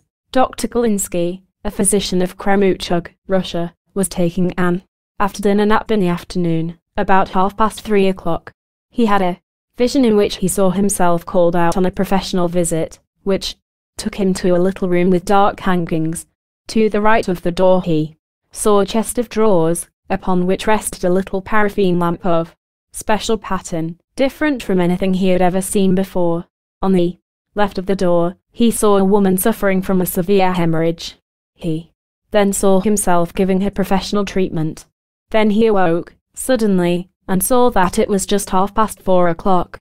Within ten minutes after he awoke, he was called out on a professional visit, and on entering the bedroom he saw all the details that had appeared to him in his vision. There was the chest of drawers, there was the peculiar lamp, there was the woman on the bed, suffering from the hemorrhage. Upon inquiry, he found that she had grown worse between three and four o'clock, and had anxiously desired that he come to her about that time, finally, dispatching a messenger for him at half past four, the moment at which he awoke. Another, and a most peculiar, phase of space clairvoyance is that in which certain persons so awaken the astral senses of other persons that these persons perceive the first person, usually in the form of seemingly seeing the person present in the immediate vicinity, just as one would see a ghostly visitor. In some cases there is manifested double clairvoyance, both persons visioning clairvoyantly. In other cases, only the person visited astrally senses the occurrence. The following cases illustrate this form of space clairvoyance. W.T. Stead relates the case of a lady well known to him, who spontaneously developed the power of awakening astral perception in others. She seemed to materialize in their presence. Her power in this direction became a source of considerable anxiety and worry to her friends to whom she would pay unexpected and involuntary visits, frightening them out of their wits by the appearance of her ghost. They naturally thought that she had died suddenly and had appeared to them in ghostly form. The lady, herself, was totally unconscious of the appearance, though she admitted that at all. About the times of the appearances she had been thinking of her friends, whom she visited astrally. The German writer, Jung Stilling, mentions the case of a man of good character who had developed power of this kind, but also was conscious of his visits. He exerted the power consciously by an effort of will, it seems. At one time he was consulted by the wife of a sea captain whose husband was on a long voyage to Europe and Asia, sailing from America. His ship was long overdue, and his wife was quite worried about him. She consulted the gentleman in question, and he promised to do what he could for her. Leaving the room, he threw himself on a couch and was seen by the lady, who peered through the half open door, to be in a state of semi trance. Finally, he returned and told her that he had visited her husband in a coffee house in London, and gave her husband's reasons for not writing, adding that her husband would soon return to America. When her husband returned several months later, the wife asked him about the matter. He informed her that the clairvoyant's report was correct in every particular. Upon being introduced to the clairvoyant, the captain manifested great surprise, saying that he had met the man in question on a certain day in a coffee house in London, and that the man had told him that his wife was worried about him, and that he had told the man that he had been prevented from writing for several reasons, and that he was on the eve of beginning his return voyage to America. He added that when he looked for the man a few moments afterwards, the stranger had apparently lost himself in the crowd, disappeared and was seen no more by him. The Society for Psychical Research gives prominence to the celebrated case of the member of the London Stock Exchange, whose identity it conceals, under the initials S.H.B, who possessed this power of voluntary awakening of astral sight in others by means of his appearance to them. The man relates his experience to the society as follows. One Sunday night in November 1881, I was in Kildare Gardens, when I willed very strongly that I would visit in the spirit two lady friends, the Mrs. X, who were living three miles off, in Hogarth Road. I willed that I should do this at one o'clock in the morning, and having willed it, I went to sleep. Next Thursday, when I first met my friends, the elder lady told me that she woke up and saw my apparition advancing to her bedside. She screamed and woke her sisters, who also saw me. The report includes the signed statement of the ladies, giving the time of the appearance, and the details thereof. Again, on December the 1st, 1882, I was at Southall.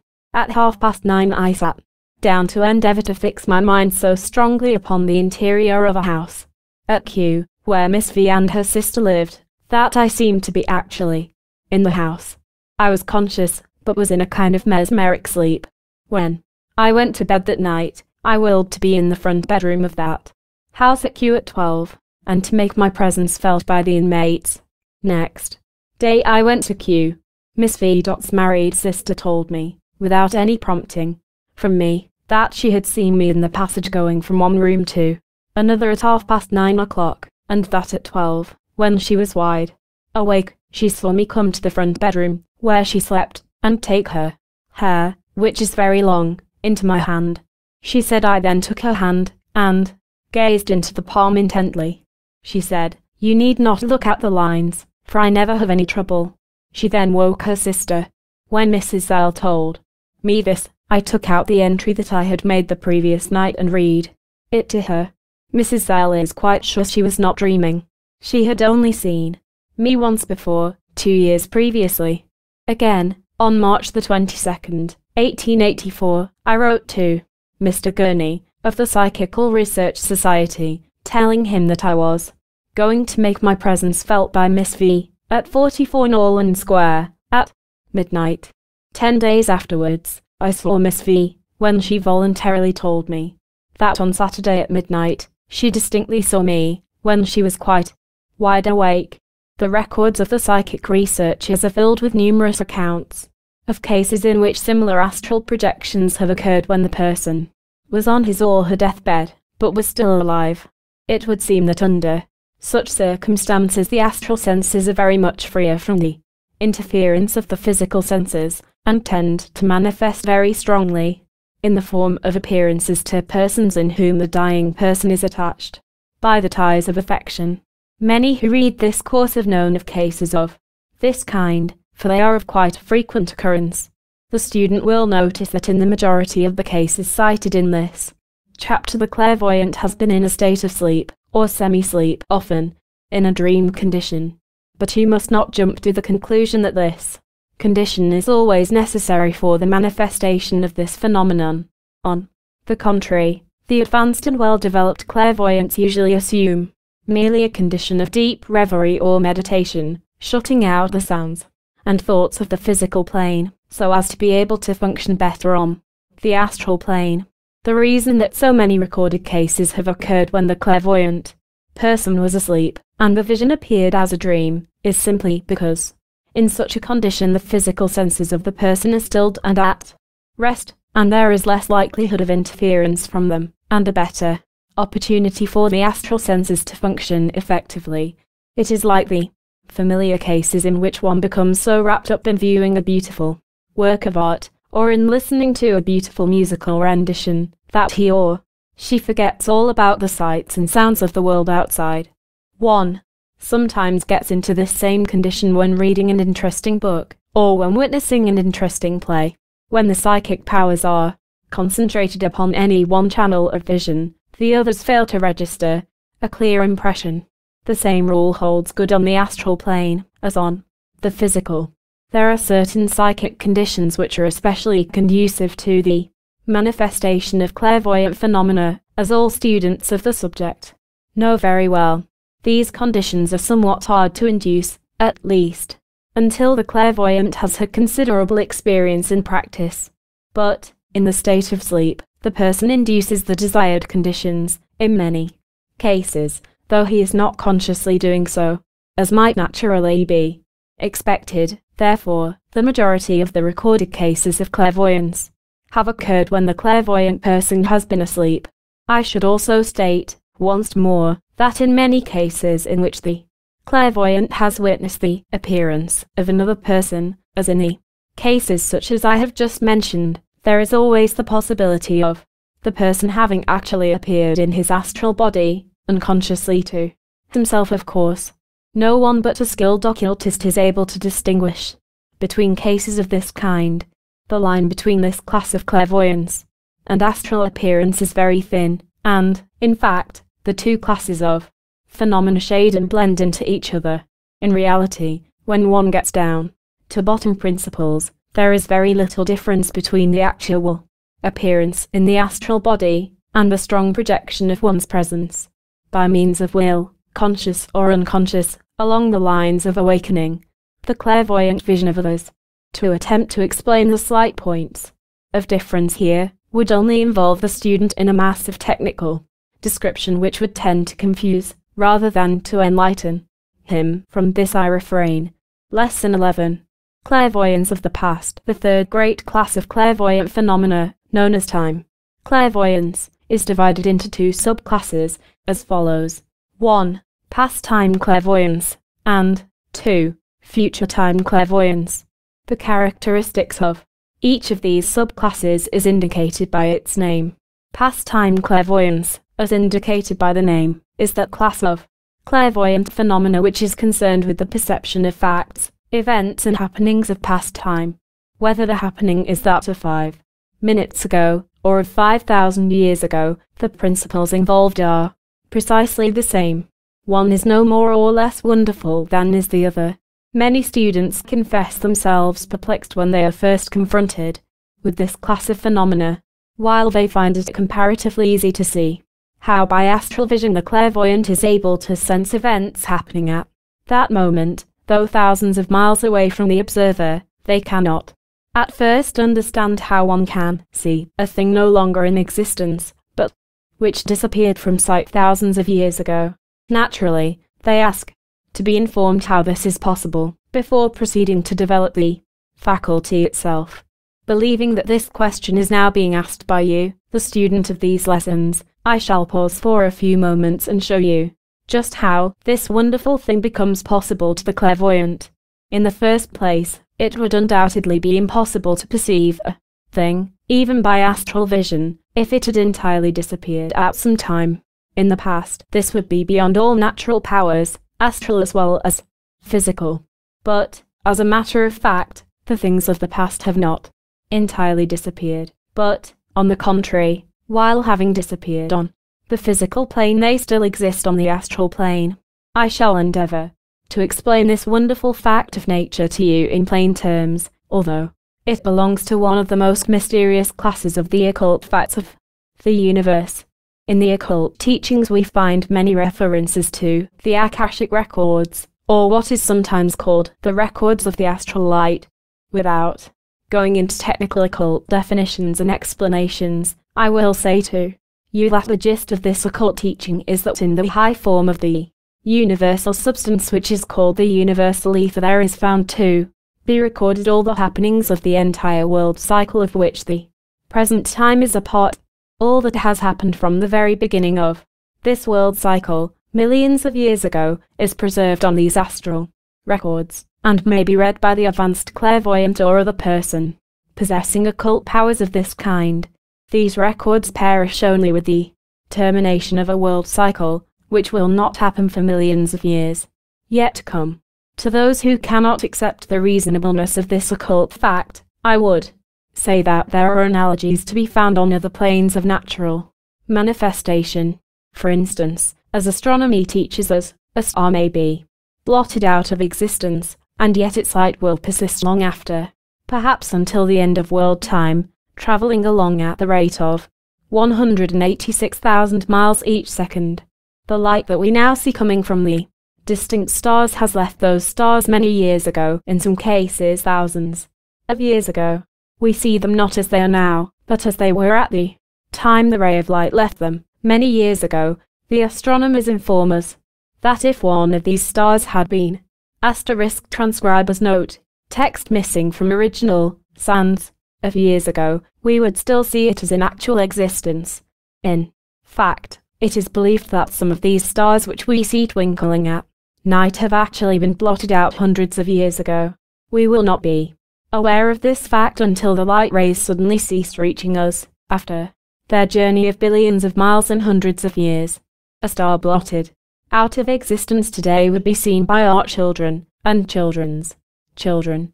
The heat from a stove will be felt in a room long after the stove has been removed from it. A room will long contain the odor of something that has been removed from it. It is said that in one of the old mosques of Persia, there may be perceived the faint odor of the musk that was exposed there. Hundreds of years ago, the very walls are saturated with the pungent odor. Again, is it not wonderful that our memories preserve the images of the sounds and forms which were placed there perhaps 50 years and more ago? How do these memory images survive and exist? Though we may have thought of the past thing for half a lifetime, yet, suddenly, its image flashes into our consciousness.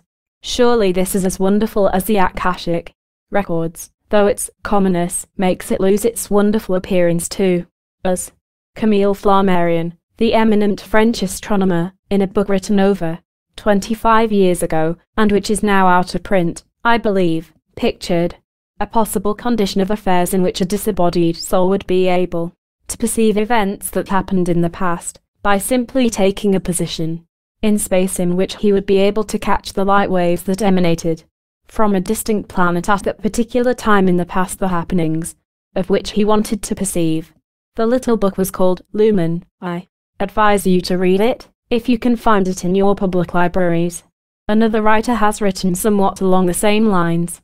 I herewith give you a quotation from him, that you may get the idea he wishes to express. It will help you in your conception of the Akashic records. He says, when we see anything, whether it be the book we hold in our hands, or a star millions of miles away, we do so by means of a vibration in the ether, commonly called a ray of light, which passes from the object seen to our eyes. Now the speed with which this vibration passes is so great, about 186,000 miles in a second, that when we are considering any object in our own world we may regard it as practically instantaneous. When, however, we come to deal with interplanetary distances we have to take the speed of light into consideration, for an appreciable period is occupied in traversing these vast spaces. For example, it takes 8 minutes and a quarter for light to travel to us from the sun, so that when we look at the solar orb we see it by means of ray of light which left it more than 8 minutes ago. From this follows a very curious result. The ray of light by which we see the sun can obviously report to us only the state of affairs which existed in that luminary when it started on its journey, and would not be in the least affected by anything that happened after it left so that we really see the sun not as it is, but as it was eight minutes ago. That is to say that if anything important took place in the sun, the formation of a new sunspot, for instance, an astronomer who was watching the orb through his telescope at the time would be unaware of the incident while it was happening, since the ray of light bearing the news would not reach him until more than eight minutes later. The difference is more striking when we consider the fixed stars, because in their case, the distances are so enormously greater.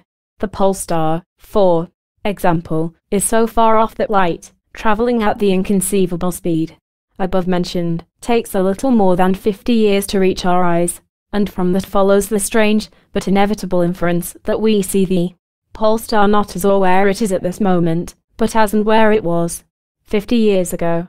Nay, if tomorrow some cosmic catastrophe were to shatter the pole star into fragments, we should still see it peacefully shining in the sky all the rest of our lives. Our children would grow up to middle age and gather their children about them in turn before the news of that tremendous accident reached any terrestrial eye. In the same way there are other stars so far distant that light takes thousands of years to travel from them to us, and with reference to their condition our information is therefore thousands of years behind time. Now carry the argument a step farther. Suppose that we were able to place a man at the distance of 186,000 miles from the Earth, and yet to endow him with the wonderful faculty of being able from that distance to see what was happening here as clearly as though he were still close beside us. It is evident that a man so placed would see everything a second after the time it really happened, and so at the present moment he would be seeing what happened a second ago, double that distance, and he would be two seconds behind time, and so on. Remove him to the distance of the sun. Still, allowing him to preserve the same mysterious power of sight, and he would look down and watch you doing not what you're doing now, but what you were doing eight minutes and a quarter ago. Carry him to the pole star, and he would see passing before his eyes the events of fifty years ago. He would be watching the childish gambols of those who at the same moment were really middle-aged men. Marvelous as this may sound, it is literally and scientifically true, and cannot be denied. Flammarion, in his story, called Lumen, makes his spirit hero pass up, will along the ray of light from the earth, seeing the things of different eras of earth time. He even made him travel backward along that ray, thus seeing the happenings in reverse order, as in a moving picture running backward. This story is of the greatest interest to the occultist, for, while the Akashic records are not the same as the light records, yet the analogy is so marked in many ways that the occultist sees here another exemplification of the old occult axiom that, as above, so below, as below, so above. I take the liberty of quoting here from my little book, The Astral World, in order to give you some further idea of the nature of these records in the astral light.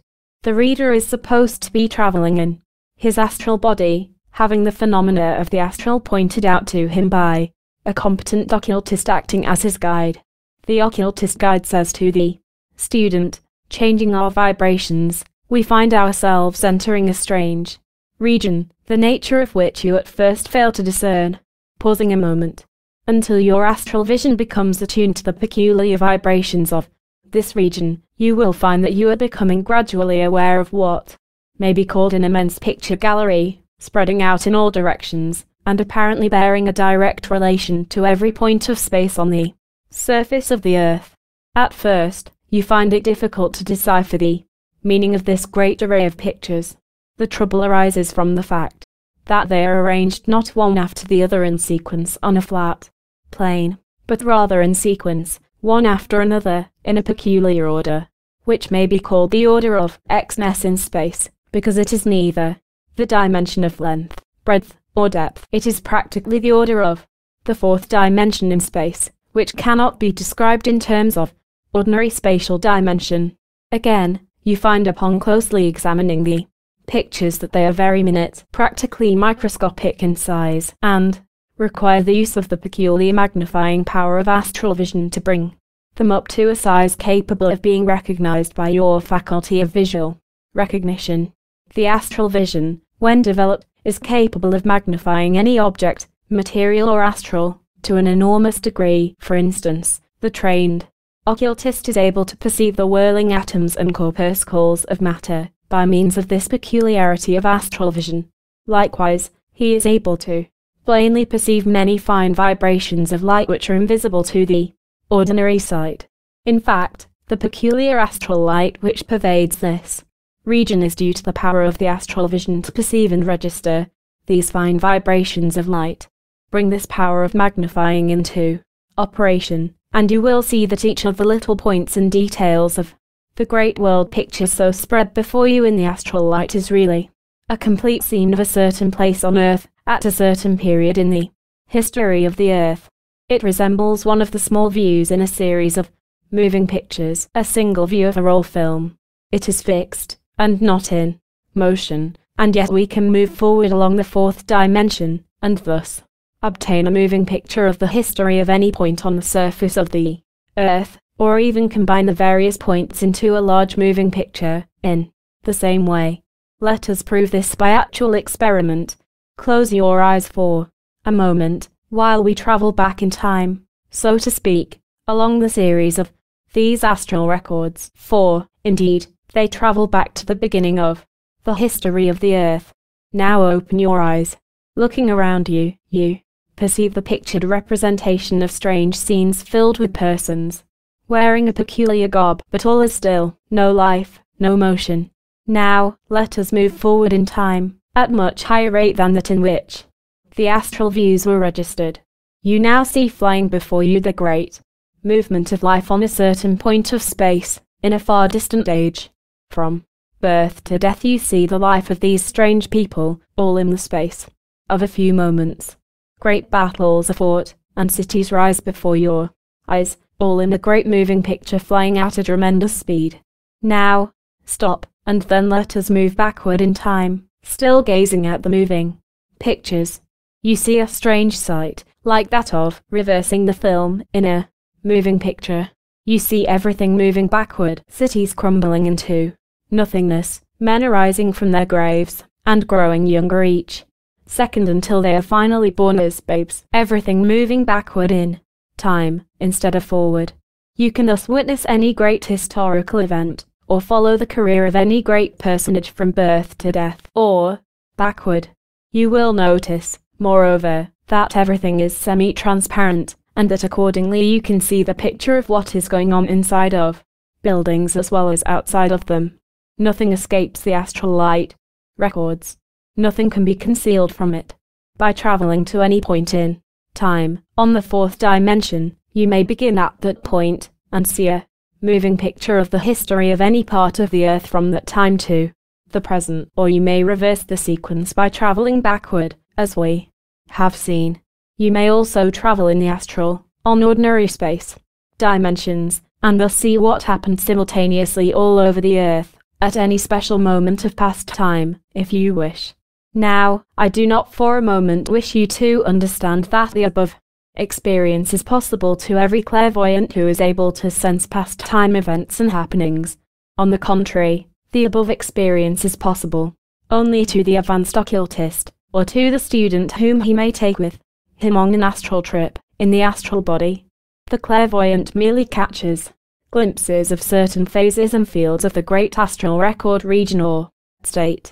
For that matter, the ordinary clairvoyant merely sees a reflection of the true astral light pictures, a reflection similar to that of a landscape reflected in a pond.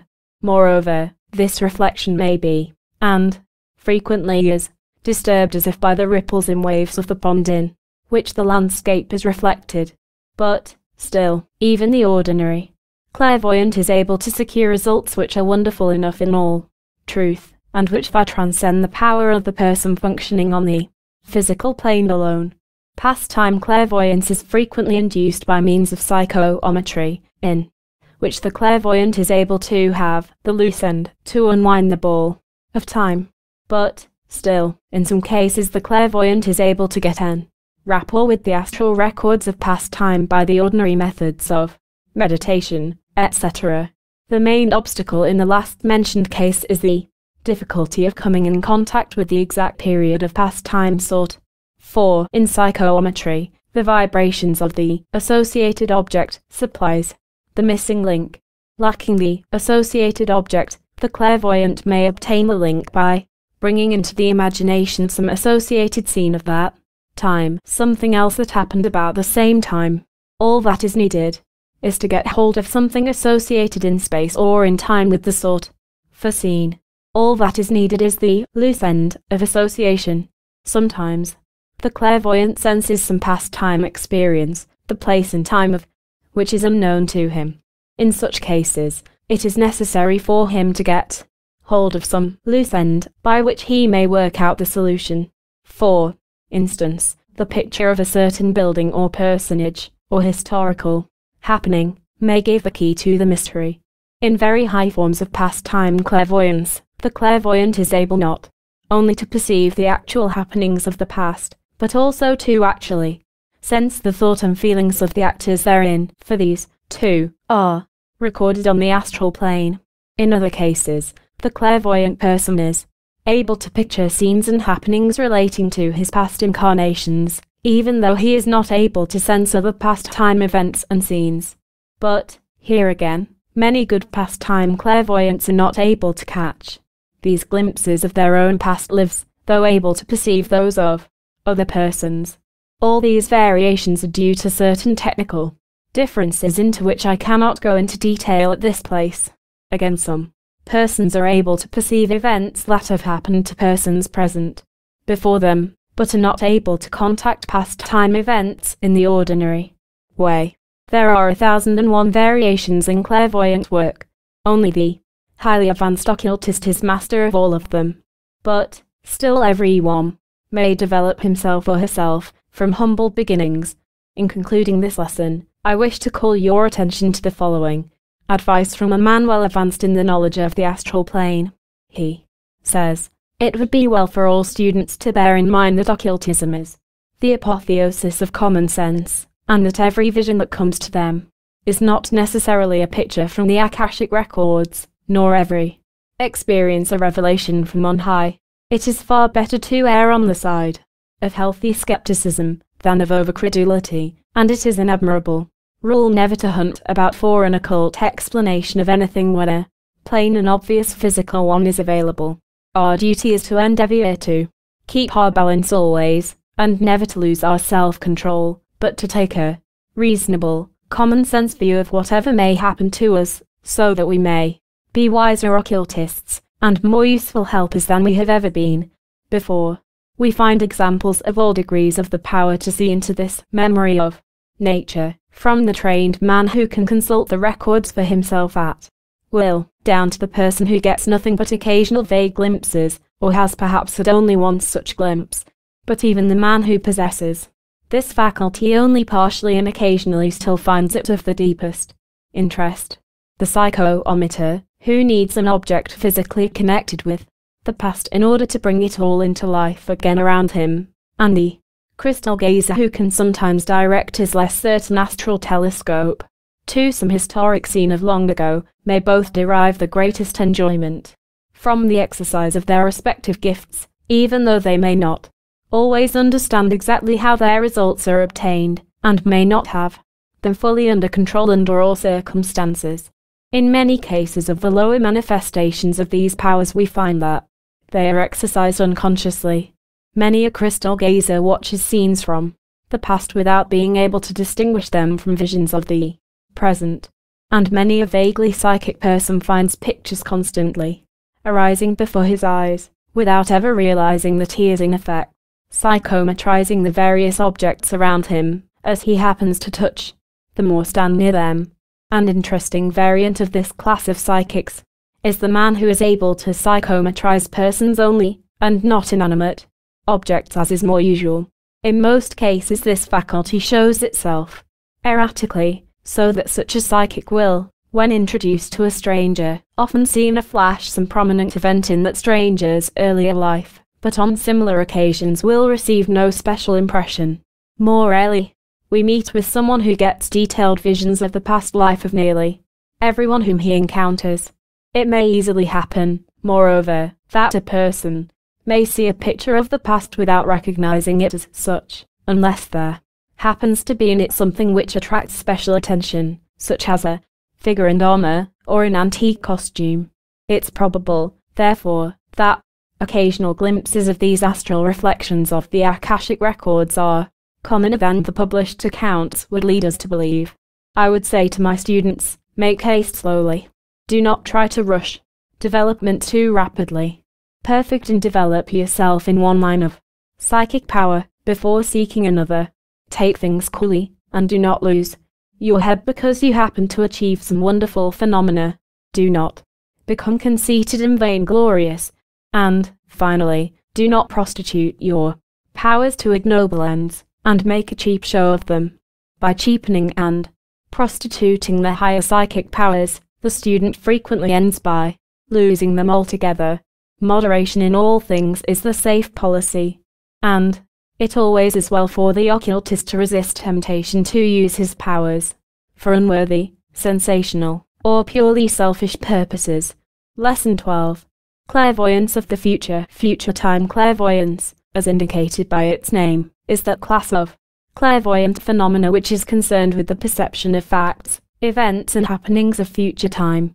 In this class of clairvoyant phenomena naturally fall all genuine cases of prophecy, prevision, foretelling, second sight, etc. History, theological and secular, is filled with instances of the foretelling of the future by prophets, wise men, and others. By many, such powers are generally regarded as supernatural or divine. Without wishing to combat such theories and beliefs, I would say that the advanced occultists account for all such phenomena under the general laws of clairvoyance. But while the phenomena itself is very well known, and is accepted as genuine in even many cases in which past-time clairvoyance is doubted, still it is even more difficult to explain than is past-time clairvoyance, based on the Akashic records or the astral light. To the person not well, first in occult knowledge and esoteric principles, it is deemed impossible to intelligently account for the perception of an event before it has actually happened, perhaps years before its actual happening. While I cannot hope to make this matter absolutely clear to the person who is not an advanced student of occultism, still I shall try to throw at least some light on the underlying principles of this wonderful class of occult phenomena. The main point for the student to realize is that there are natural laws underlying this phenomenon, and that it is not a matter of supernatural power, or necessarily of divine special dispensation. In the first place, in some of the simpler forms of future time clairvoyance, there is merely a high development of subconscious reasoning, from analogy. That is to say, the subconscious mental faculties of the person reason out that such and so being the case, then it follows that so and so will result, unless something entirely unexpected should prevent or intervene. This is merely an extension of certain forms of reasoning that we perform ordinarily. For instance, we see a child playing with a sharp tool, and we naturally reason that it will cut itself. We see a man acting in certain ways which generally lead to certain ends, and we naturally reason that the expected result will occur. The more experience that the observer has had, and the keener his faculty of perception and his power of deductive reasoning, the wider will be the range of his power in the direction of predicting future results from present happenings and conditions. In this connection, we must remember that the ordinary clairvoyant has easier access to his subconscious mentality than has the average person. The subconscious mind perceives and notes many little things that the conscious mind overlooks, and therefore has better data from which to reason. Moreover, as all students of the subconscious know, these wonderful subconscious mental faculties have a very highly developed power of reasoning deductively from a given premise or fact. In fact, the subconscious faculties are almost perfect reasoning machines, providing they are supplied with correct data in the first place. Much of the so-called intuitive reasoning of persons arises from the operations of the subconscious mental faculties just mentioned. But, you may say, this is very interesting, but it is not clairvoyance. Certainly, good student, but still clairvoyance plays an important part. Even in this elementary form of prevision and future seeing, you must remember that by clairvoyant vision the real thoughts and feelings of a person may be perceived, but, unless the attention of the clairvoyant is specially directed to this, the conscious mind does not note it, and the matter reaches the subconscious faculties without interference or conscious knowledge on the part of the clairvoyant.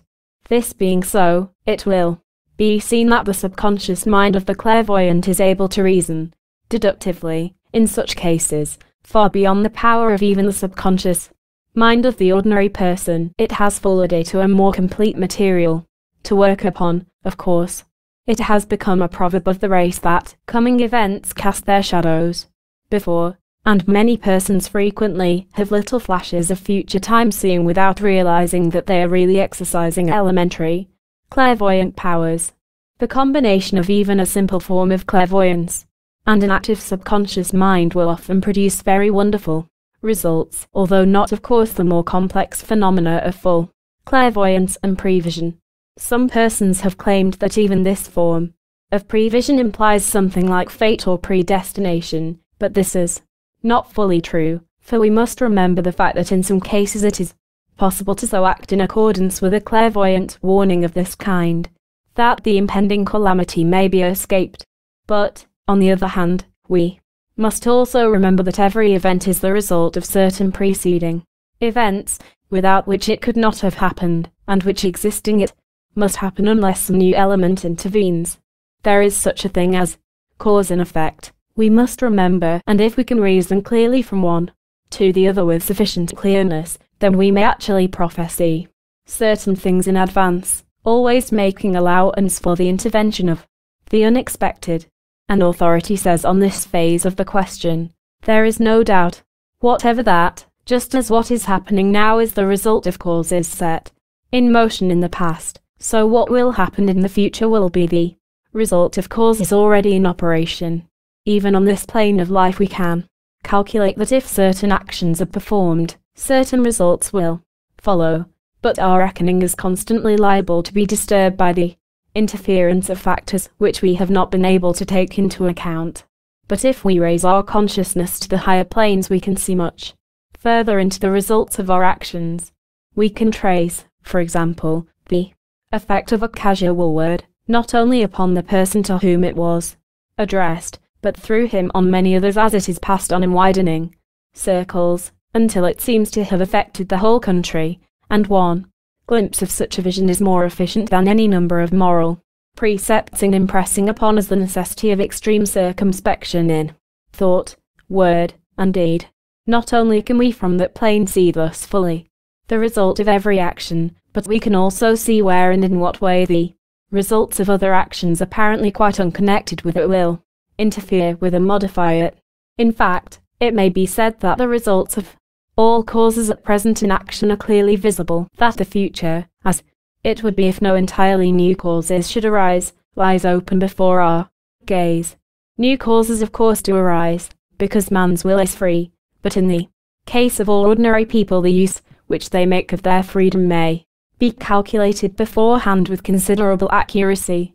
The average man has so little real will that he is very much the creature of circumstances, his action in previous lives places him amid certain surroundings, and their influence upon him is so very much the most important factor in his life story that his future course may be predicted with almost mathematical certainty. With the developed man the case is different. For him also the main events of life are arranged by his past actions, but the way in which he will allow them to affect him, the methods by which he will deal with them and perhaps triumph over them. These are all his own, and they cannot be foreseen even on the mental plane except as probabilities. Looking down on man's life in this way from above, it seems as though his free will could be exercised only in certain crises in his career.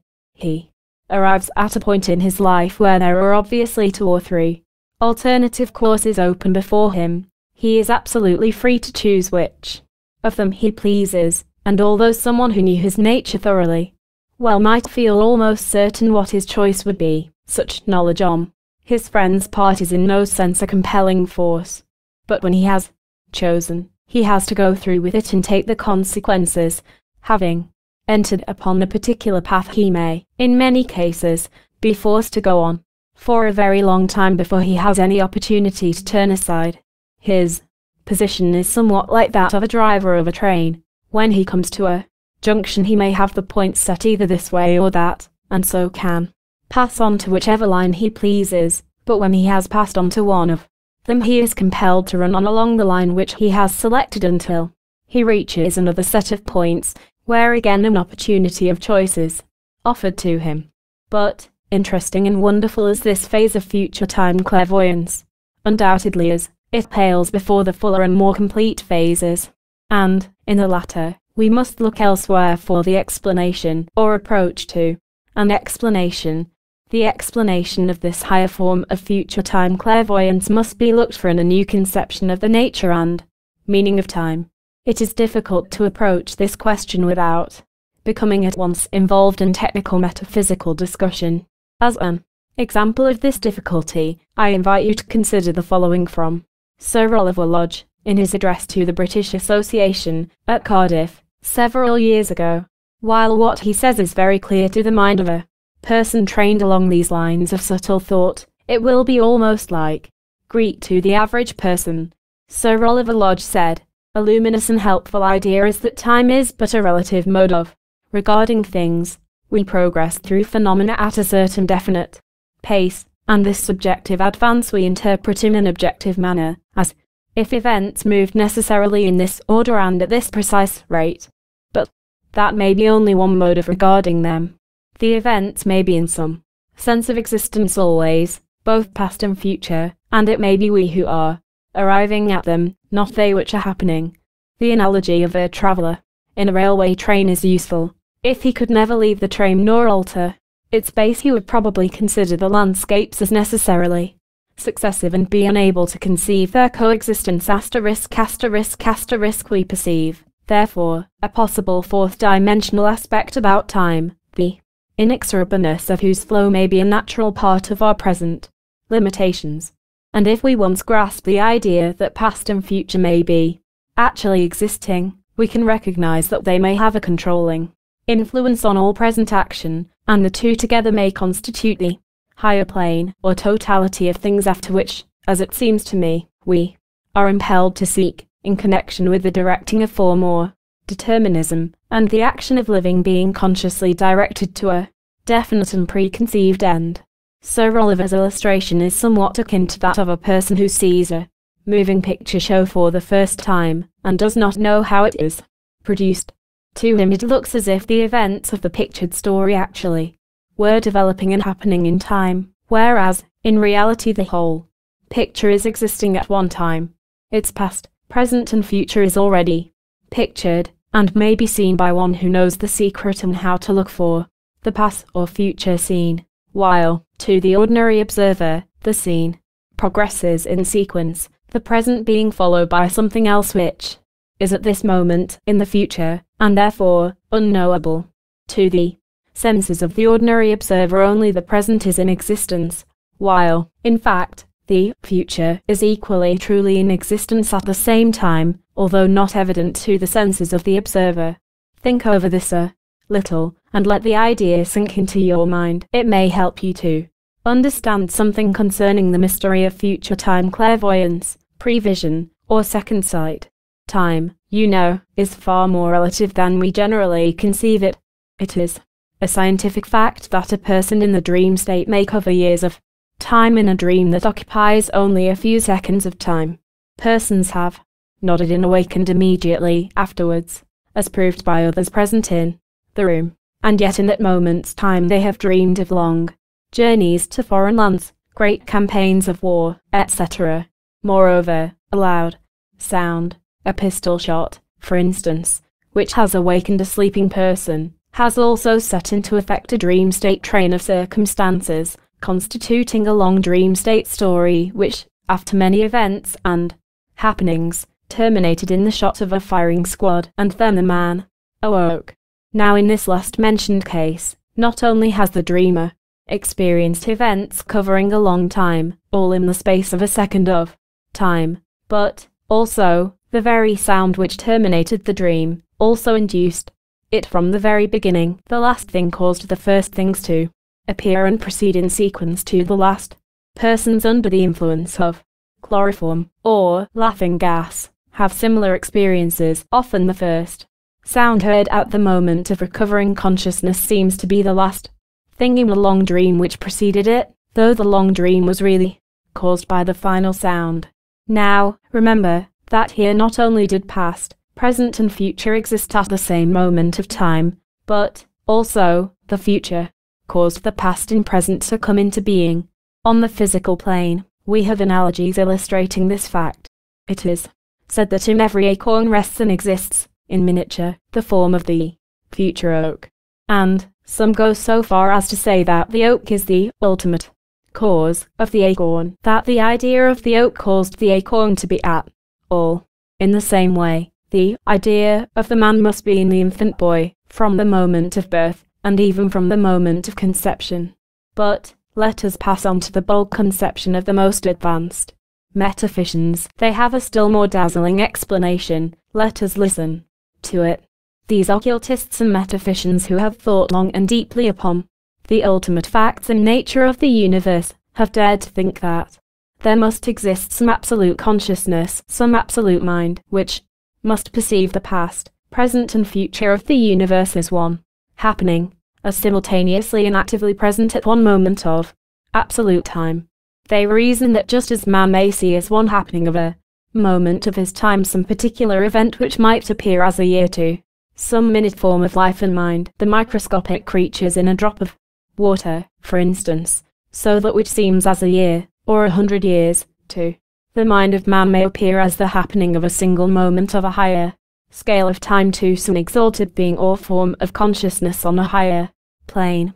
You remember that it is said that a thousand years is but as a day to the Lord, and the Hindu Vedas tell us that the creation, duration, and destruction of the universe is as but the time of the twinkling of an eye to Brahman.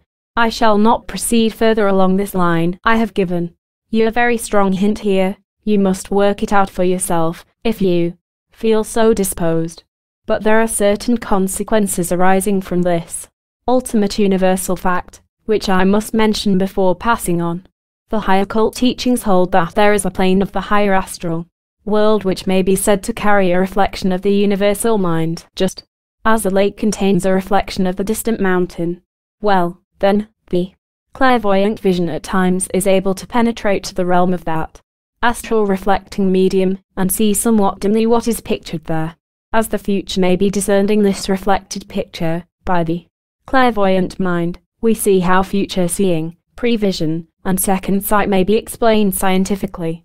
A writer has said, on this plane, in some manner which down here is totally inexplicable, the past, the present, and the future are all there, existing simultaneously. One can only accept this fact, for its cause lies in the faculty of that exalted plane, and the way in which this higher faculty works is naturally quite incomprehensible to the physical brain. Yet now and then one may meet with a hint that seems to bring us a trifle nearer to an impossibility of comprehension. When the pupils consciousness is fully developed upon this higher plane, therefore, perfect prevision is possible to him, though he may not, nay, he certainly will not, be able to bring the whole result of his sight through fully and, in order into his physical consciousness. Still, a great deal of clear foresight is obviously within his power whenever he likes to exercise it, and even when he is not exercising it, frequent flashes of foreknowledge come through into his ordinary life so that he often has an instantaneous intuition as to how things will turn out. The same writer says, short of perfect prevision we find that all degrees of this type of clairvoyance exist, from the occasional vague premonitions, which cannot in any true sense be called sight at all, up to frequent and fairly complete second sight. The faculty to which this latter somewhat misleading name has been given is an extremely interesting one, and would, well repay more careful and systematic study than has hitherto been given to it. It is best known to us as a not infrequent possession of the Scottish Highlanders, though it is by no means confined to them. Occasional instances of it have appeared in almost every nation, but it has always been commonest among mountaineers and men of lonely life.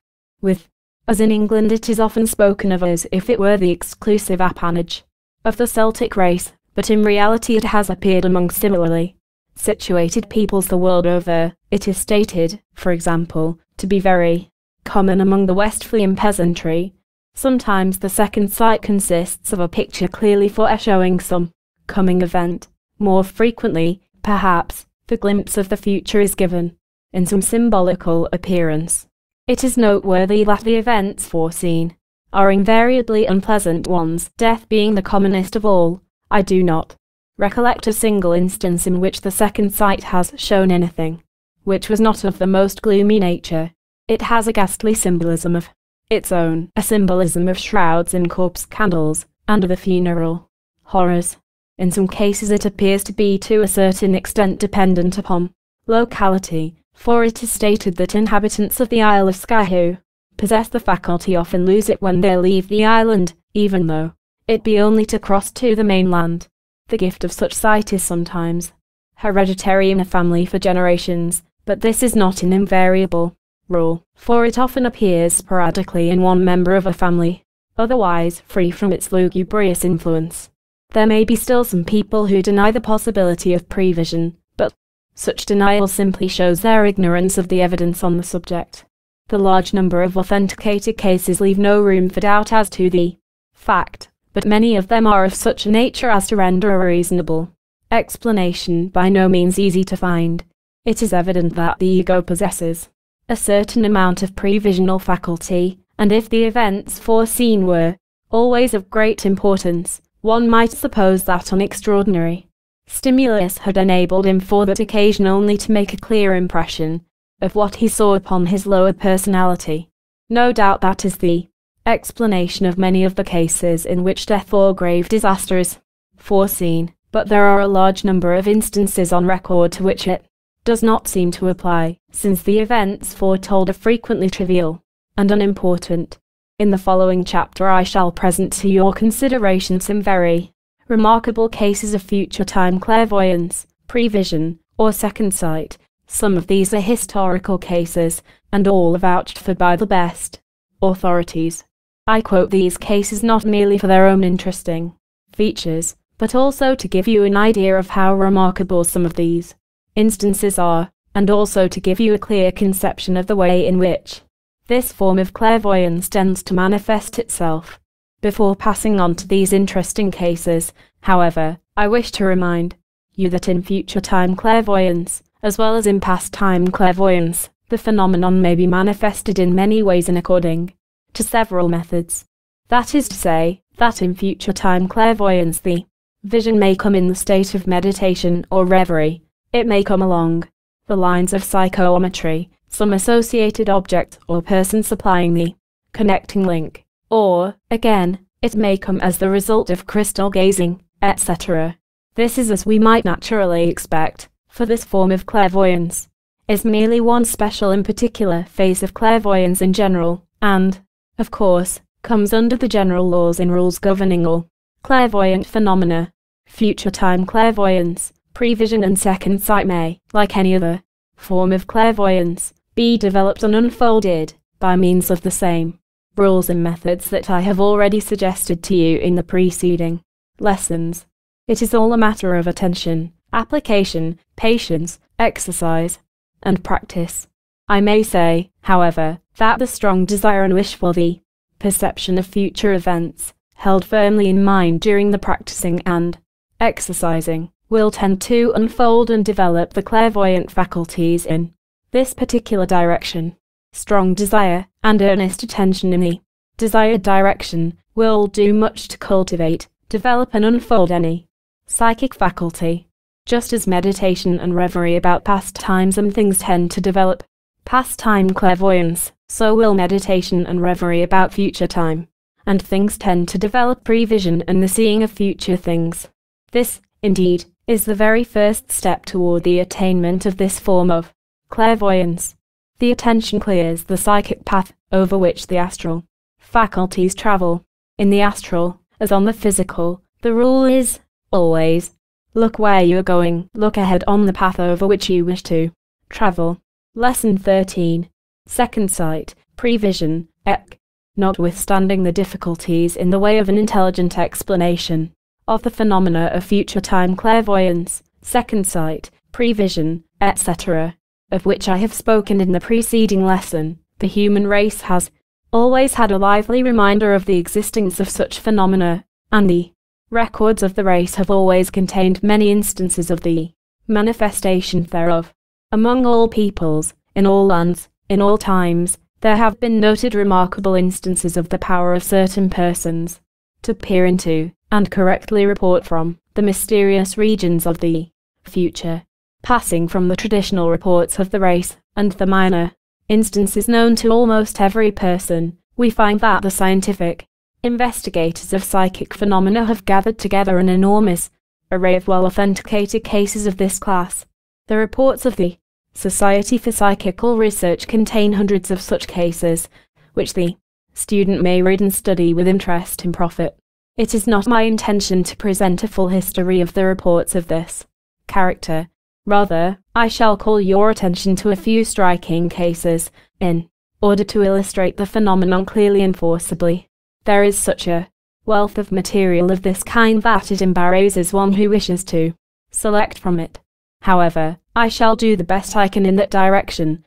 Following, to commence with, I give you extracts from a well-known case, reported by a prominent member of the Theosophical Society, which has attracted much attention. It was related to this person by one of the actors in the scene. It happened in India. A party of English army officers was entering a dense jungle. Then follows the story, as below, we plunged into the jungle, and had walked on for about an hour without much success, when Cameron, who happened to be next to me, stopped. Suddenly, turned pale as death, and, pointing straight before him, cried, in accents of horror, See, see, merciful heavens, look there. Where? What? What is it? We all shouted confusedly as we rushed up to him and looked around in expectation of encountering a tiger, a cobra, we hardly knew what, but assuredly something terrible, since it had been sufficient to cause such evident emotion in our usually self-contained comrade. But neither tiger nor cobra was visible, nothing but Cameron pointing with ghastly haggard face and starting eyeballs at something we could not see. Cameron, Cameron, cried I, seizing his arm, for heaven's sake speak. What is the matter? Scarcely were the words out of my mouth when a low, but very peculiar sound struck upon my ear, and Cameron, dropping his pointing hand, said in a hoarse, strained voice, There, you heard it. Thank God it's over, and fell to the ground insensible. There was a momentary confusion while we unfastened his collar, and I dashed in his face some water which I fortunately had in my flask, while another tried to pour brandy between his clenched teeth, and under cover of it I whispered to the man next to me, one of our greatest skeptics, by the way, Beauchamp, did you hear anything? Why, yes, he replied. A curious sound, very, a sort of crash or rattle far away in the distance, yet very distinct. If the thing were not utterly impossible, I could have sworn that it was the rattle of musketry. Just my impression, murmured. I, but hush. He is recovering. In a minute or two he was able to speak feebly, and began to thank us and apologize for giving trouble, and soon he sat up, leaning against a tree, and in a firm, though low voice said, My dear friends, I feel that I owe you an explanation of my extraordinary behavior. It is an explanation that I would fain avoid giving, but it must come some time, and so may as well be given now. You may perhaps have noticed that when during our voyage you all joined in scoffing at dreams, portents and visions, I invariably avoided giving any opinion on the subject. I did so because, while I had no desire to court ridicule or provoke discussion, I was unable to agree with you, knowing only too well from my own dread experience that the world which men agree to call that of the supernatural is just as real, as, nay, perhaps even more real than, this world we see about us. In other words, I, like many of my countrymen, am cursed with the gift of second sight, that awful faculty which foretells in vision calamities that are shortly to occur. Such a vision I had just now, and its exceptional horror moved me as you have seen. I saw before me a corpse, not that of one who has died a peaceful, natural death, but that of the victim of some terrible accident. A ghastly, shapeless mass, with a face swollen, crushed, unrecognizable. I saw this dreadful object placed in a coffin, and the funeral service performed over it. I saw the burial ground, I saw the clergyman, and, though I had never seen either before, I can picture both perfectly in my mind's eye now. I saw you, myself, Beauchamp, all of us and many more, standing round as mourners. I saw the soldiers raise their muskets after. The service was over. I heard their volley they fired, and then I knew no more. As he spoke of that volley of musketry I glanced across with a shudder at Beauchamp, and the look of stony horror on that handsome skeptic's face was not to be forgotten. Omitting the somewhat long recital of events which followed, I would say, that later in the same day the party of young officers and soldiers discovered the body of their commanding officer in the shocking condition, so vividly and graphically described by young Cameron. The story proceeds as follows. When, on the following evening, we arrived at our destination, and our melancholy deposition had been taken down by the proper authorities, Cameron and I went out for a quiet walk, to endeavour with the assistance of the soothing influence of nature to shake off something of the gloom, which paralysed our spirits. Suddenly he clutched my arm, and, pointing, through some rude railings, said in a trembling voice, Yes, there it is. That is the burial ground of yesterday. And, when later on we were introduced to the chaplain of the post, I noticed, though my friends did, not the irrepressible shudder with which Cameron took his hand, and I, knew that he had recognized the clergyman of his vision. The story concludes with the statement that in all the little details, as well as the main points, the scene at the burial of the commanding officer corresponded exactly with the vision of Cameron.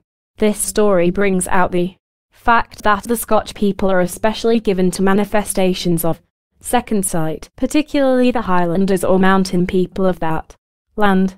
It is hard to find a Scotchman who, in his heart, does not believe in second sight, and who has not known of some well authenticated instance of its manifestation.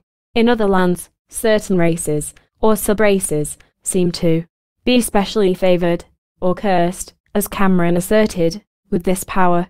It will be noticed, usually, that such people dwell, or have dwelt in the highlands or mountains of their country. There seems to be something in the mountains and hills which tends to develop and encourage this power in those dwelling among them. The story is also remarkable in the fact that the impression was so strong in the mind of Cameron that it actually communicated itself by clairaudience to those near to him. This is quite unusual, though not without correspondence in other cases. Otherwise, the case is merely a typical one, and may be duplicated in the experience of thousands of other men and women.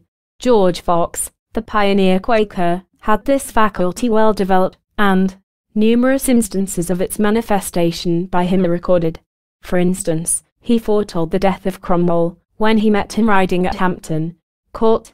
He said that he felt a waft of death around and about Cromwell, and Cromwell died shortly afterwards.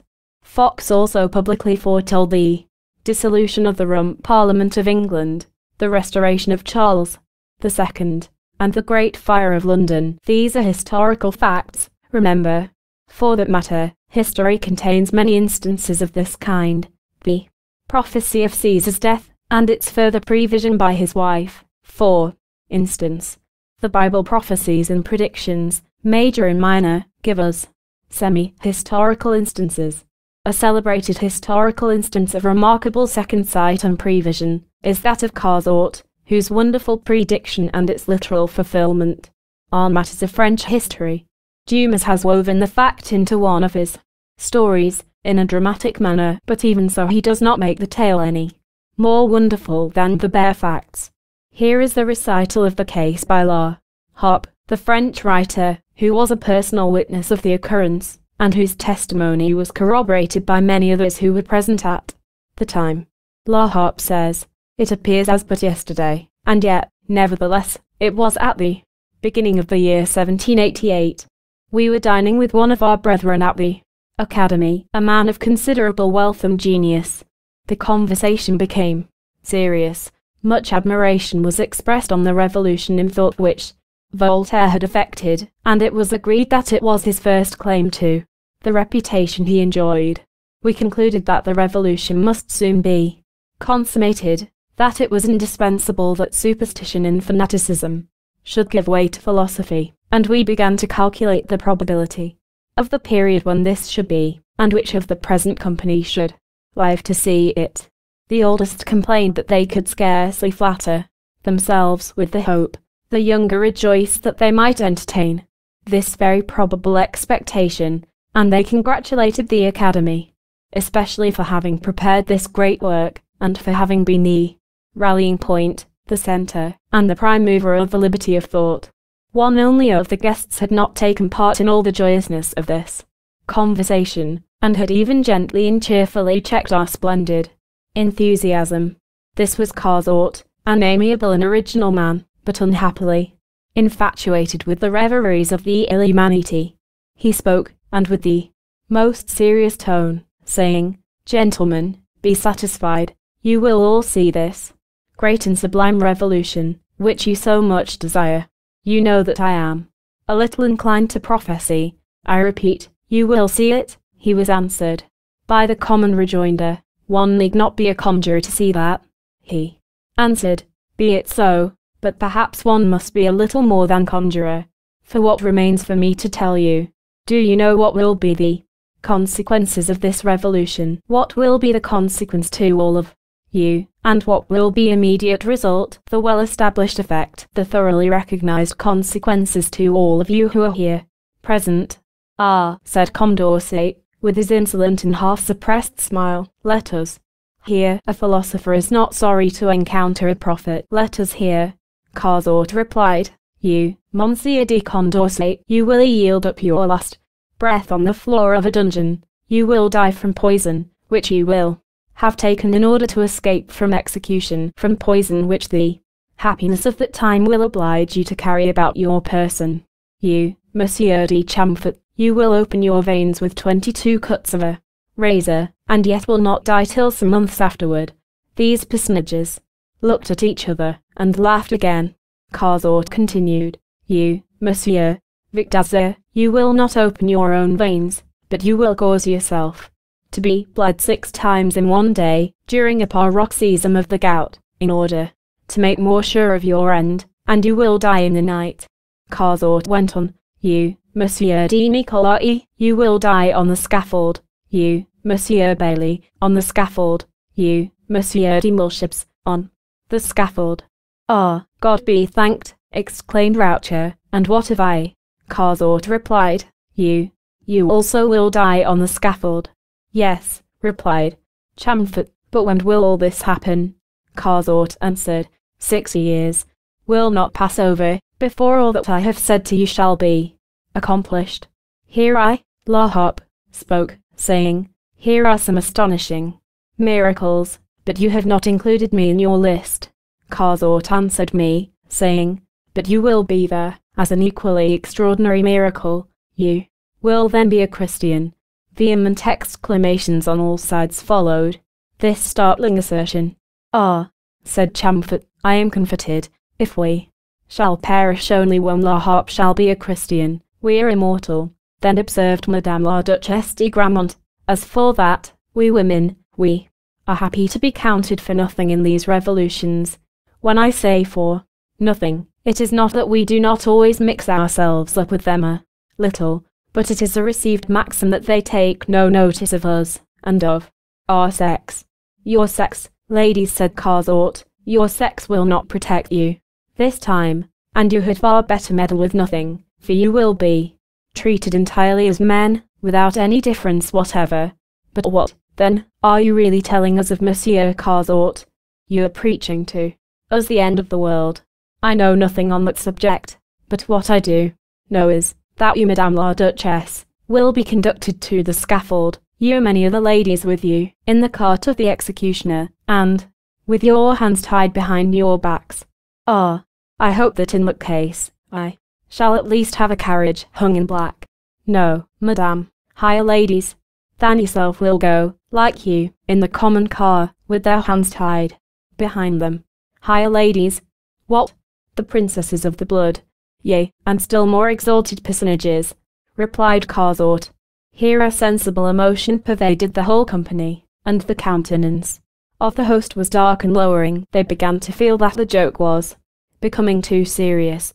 Madame de Gramont, in order to dissipate the cloud, took no notice of the reply, and contented herself with saying in a careless tone, You see, that he will not leave me even a confessor.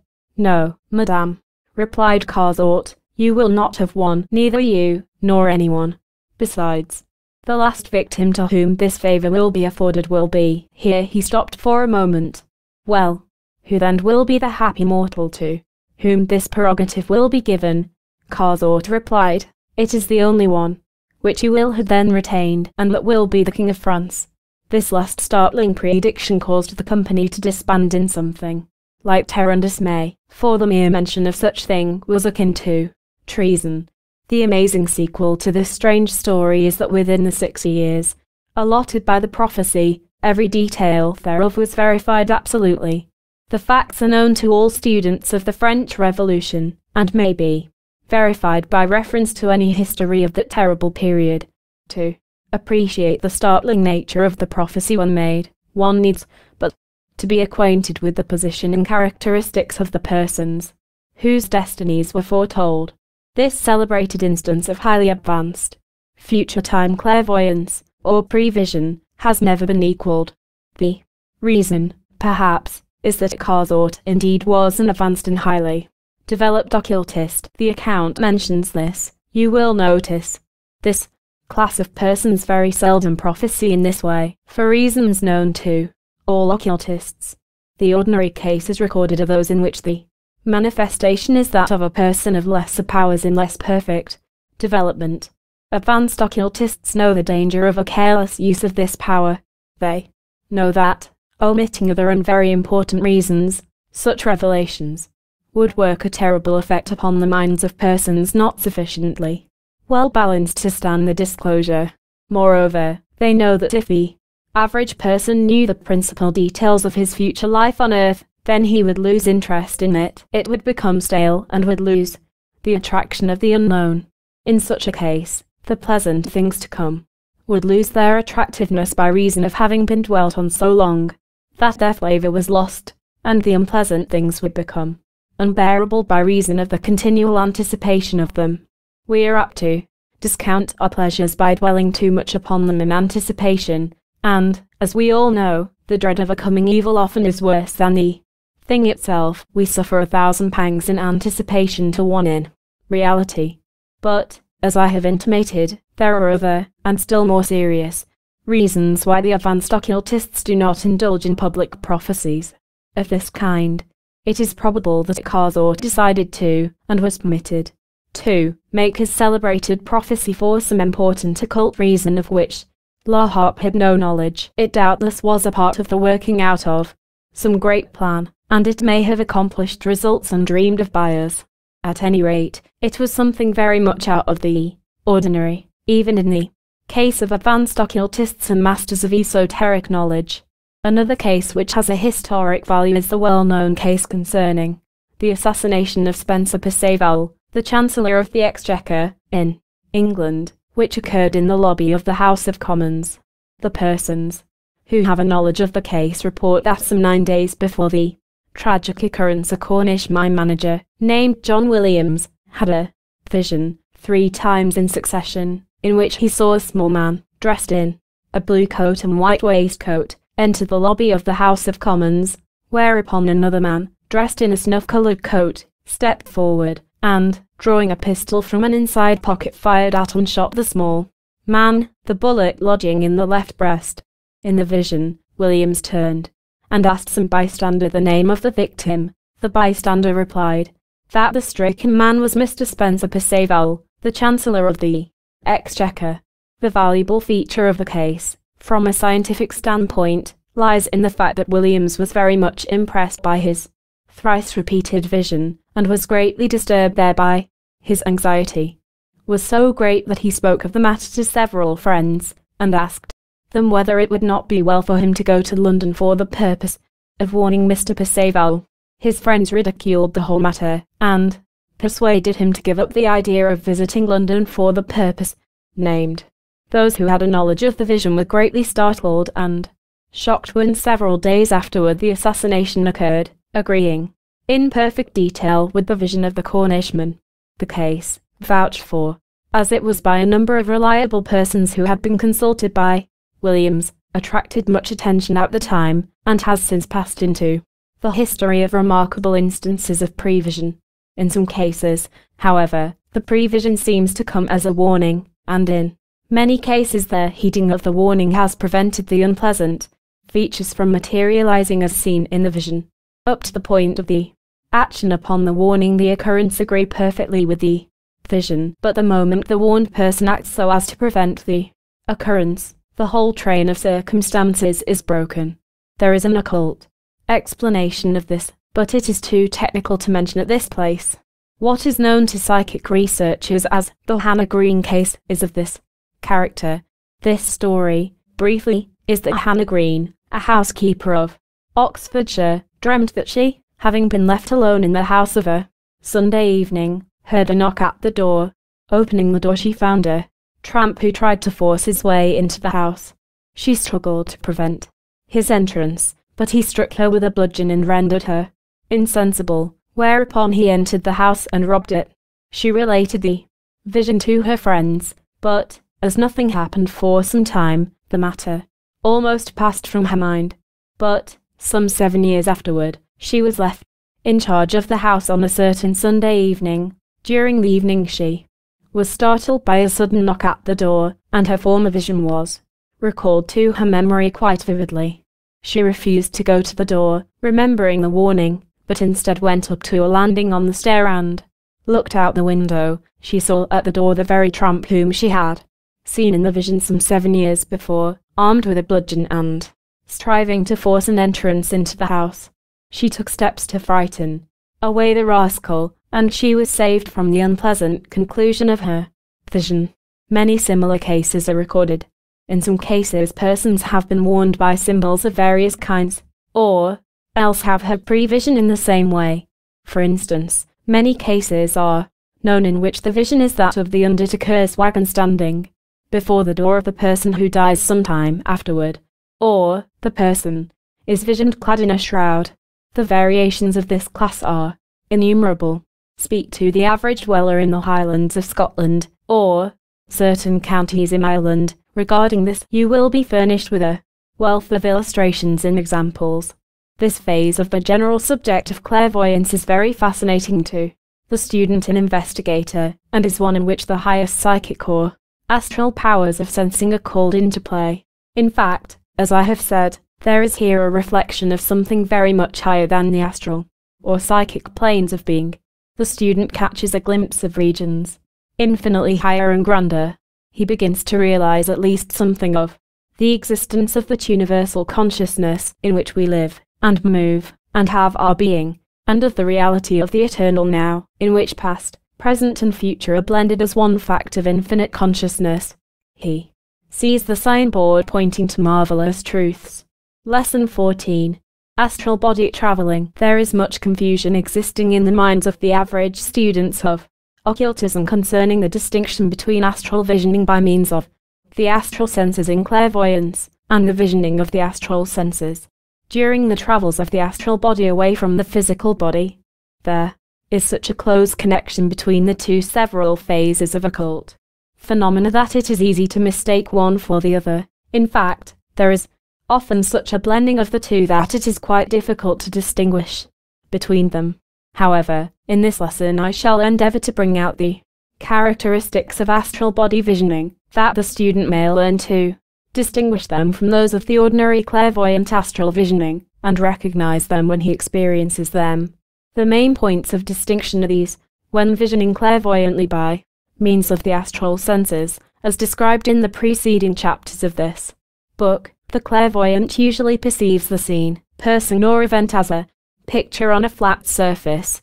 It is true that there is generally a perfect perspective, similar to that of a good stereoscopic view, or that of a high-grade moving picture photograph. The figures stand out and do not appear flat as in the case of an ordinary photograph, but still at the best it is like looking at a moving picture, inasmuch as the whole scene is all in front of you.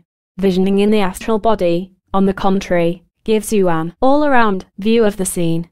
That is to say, in such case, you see the thing just as you would either in your physical body, you see in front of you, on the sides of you, out of the corner of your eye. If you turn your head, you may see in any direction, and you may turn around and see what is happening behind you. In the first case, you are merely gazing at an astral picture in front of you, while in the Second place, you're actually there in person. There are some limitations to this seeing all around when in the astral body, however, which I should note in passing.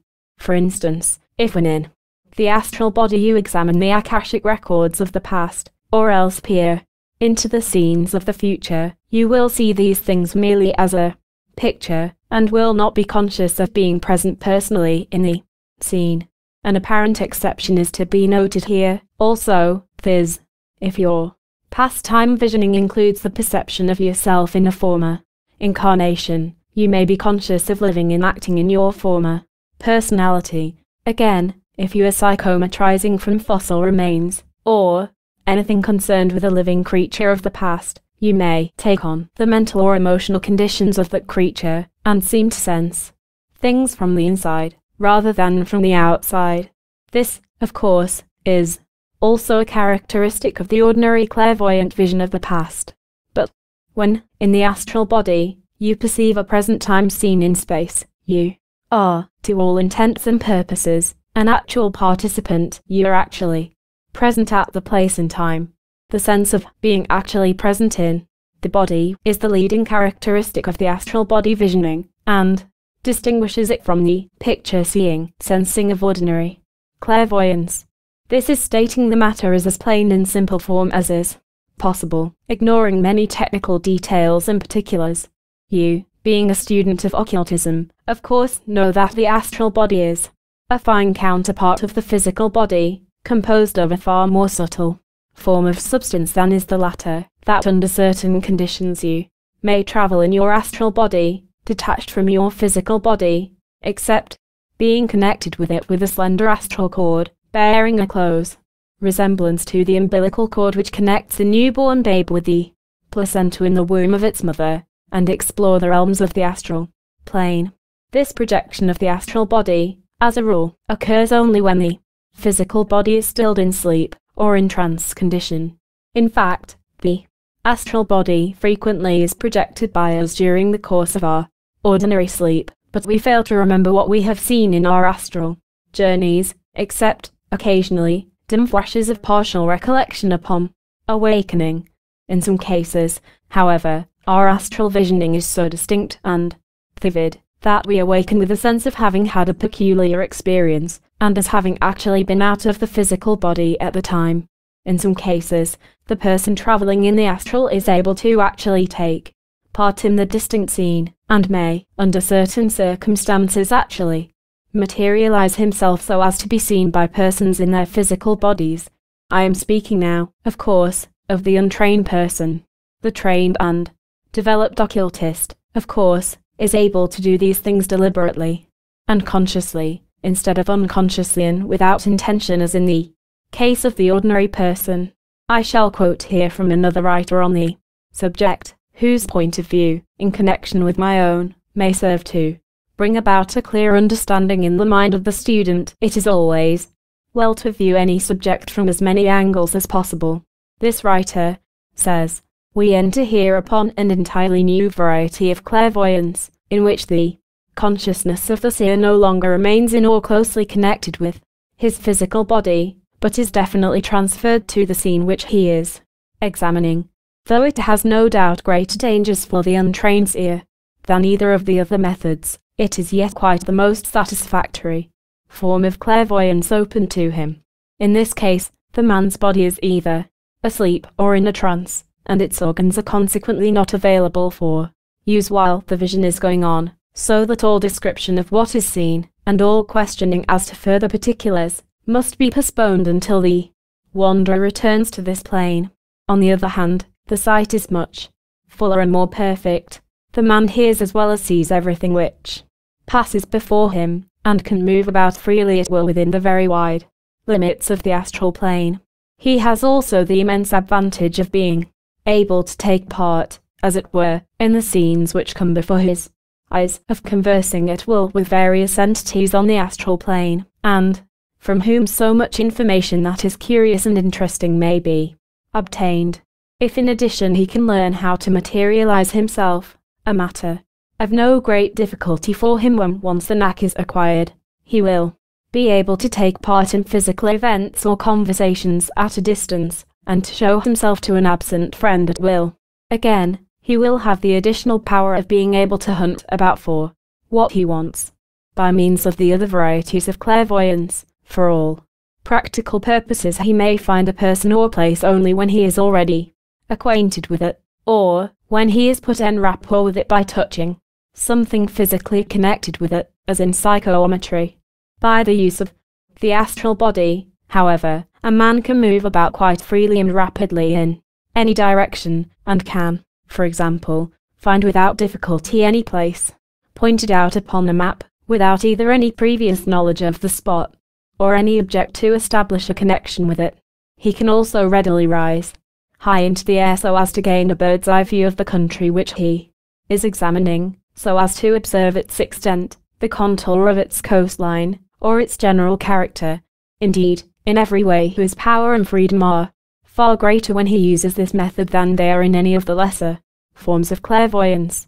In many well authenticated cases, we may see that the soul of a dying person one whose physical end is approaching, visits friends and relatives in the astral body, and in many cases materializes and even speaks to them.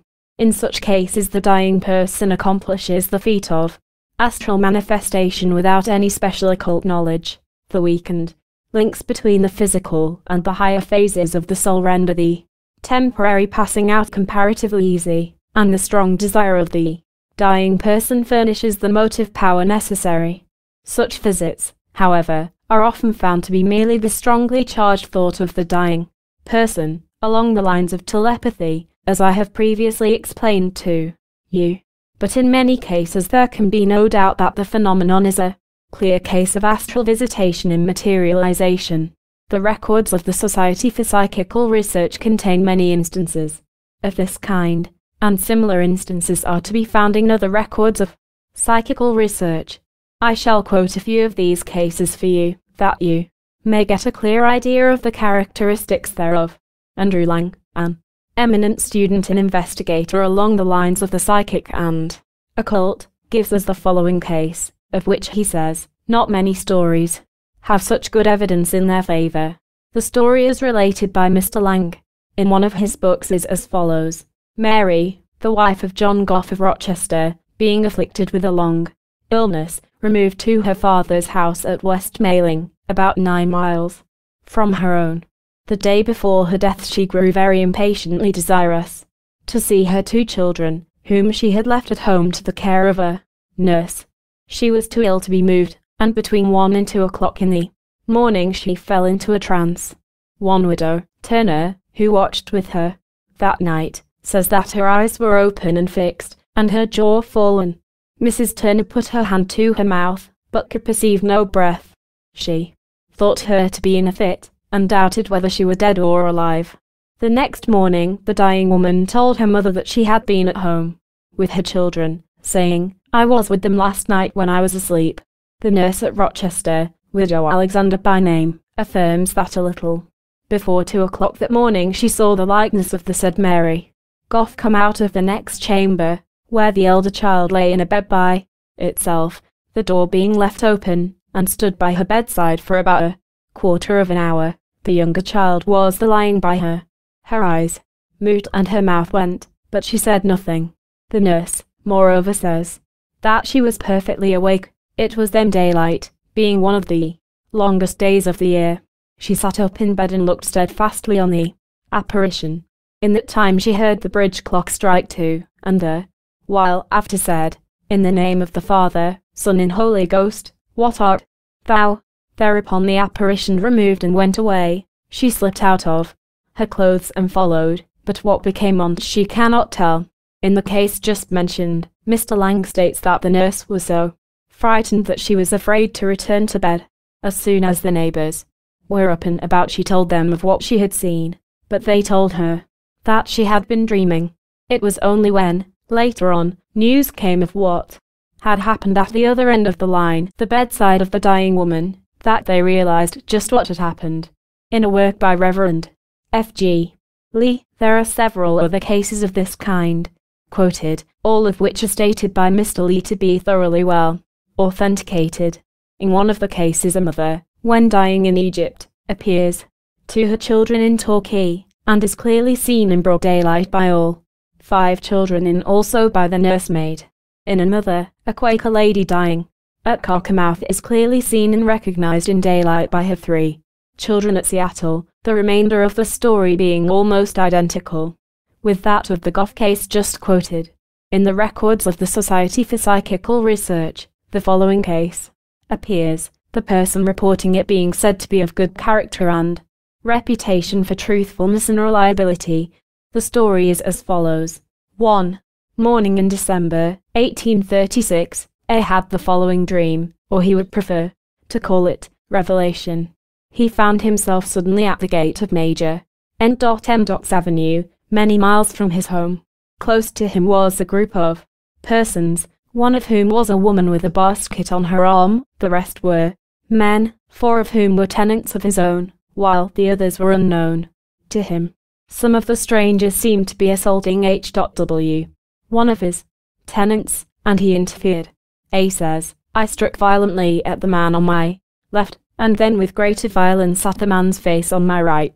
Finding, to my surprise, that I had not knocked down either, I struck again and again with all the violence of a man frenzied at the sight of my poor friend's murder. To my great amazement, I saw my arms, although visible to my eye, were without substance, and the bodies of the men I struck at my own came close together after each blow, through the shadowy arms I struck with. My blows were delivered with more extreme violence than I ever think I exerted, but I became painfully convinced of my incompetency. I have no consciousness of what happened after this. Feeling of unsubstantiality came upon me. Next morning, I experienced the stiffness and soreness of violent bodily exercise, and was informed by his wife that in the course of the night he had much alarmed her by striking out again and again in a terrific manner, as if fighting for his life. He, in turn, informed her of his dream, and begged her to remember the names of those actors in it who were known to him. On the morning of the following day, Wednesday, A received a letter from his agent, who resided in the town close to the scene of the dream, informing him that his tenant had been found on Tuesday morning at Major N.M.'s gate, speechless and apparently dying from the fracture of the skull, and that there was no trace of the murderers. That night A started for the town, and arrived there on Thursday morning. On his way to a meeting of magistrates, he met the senior magistrate of that part of the country, and requested him to give orders for the arrest of the three men whom, besides H.W., he had recognized in his dream, and to have them examined separately. This was at once done. The three men gave identical accounts of the occurrence, and all named the woman who was with them.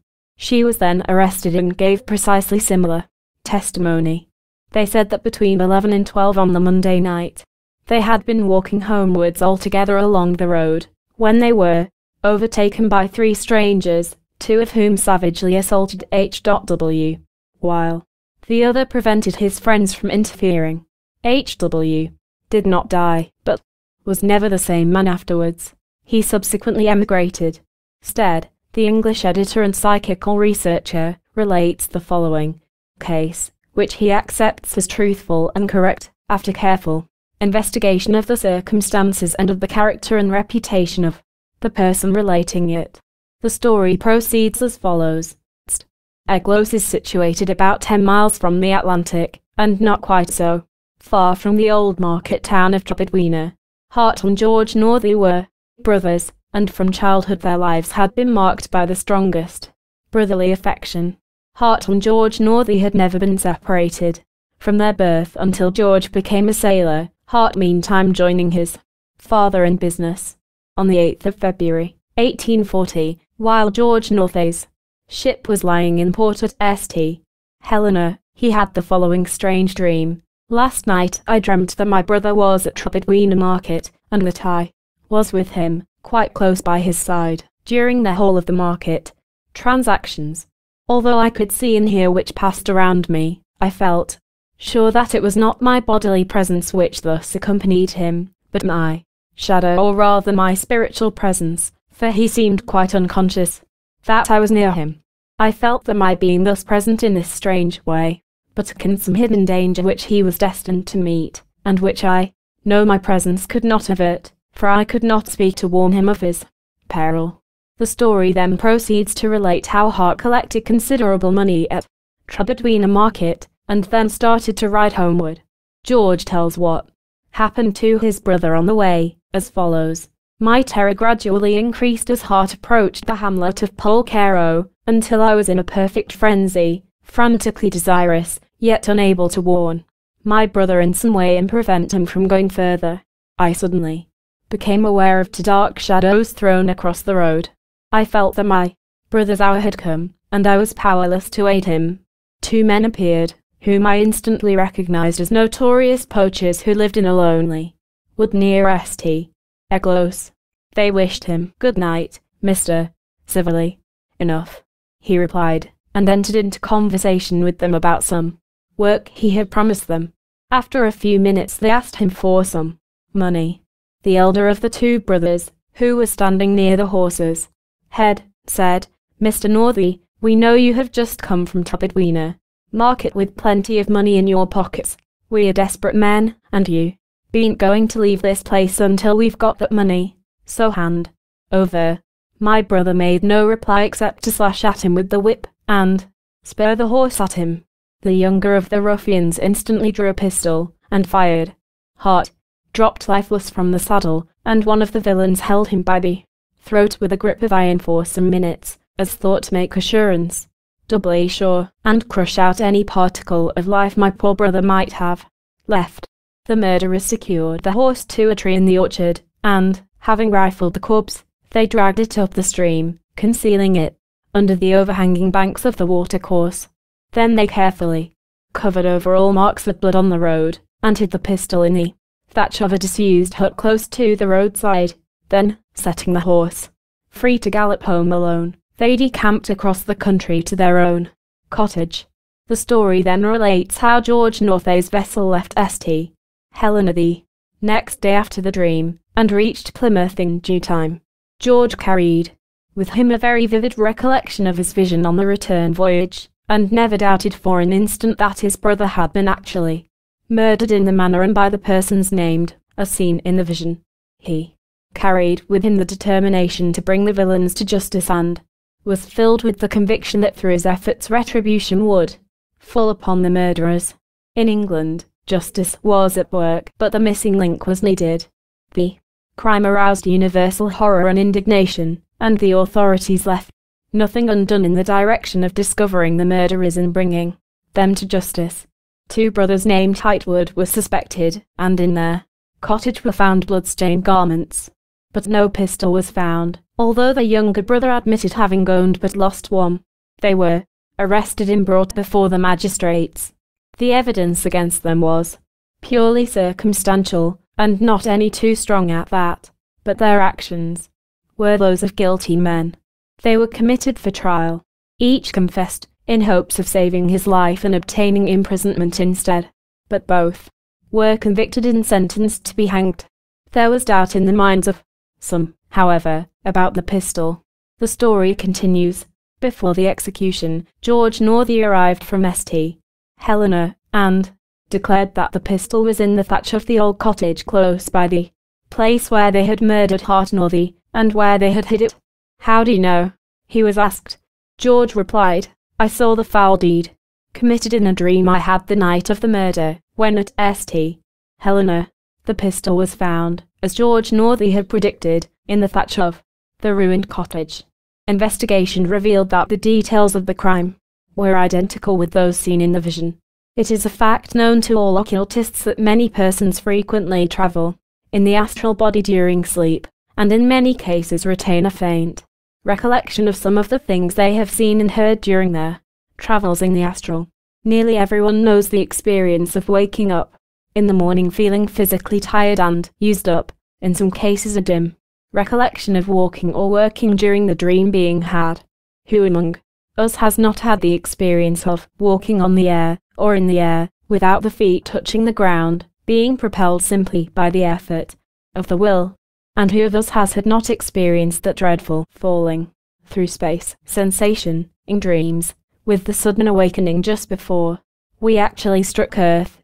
And who has not had the mortifying dream experience of walking along the street or in some public place, and being suddenly overcome by the consciousness that we were in our night clothes, or perhaps without any clothing at all.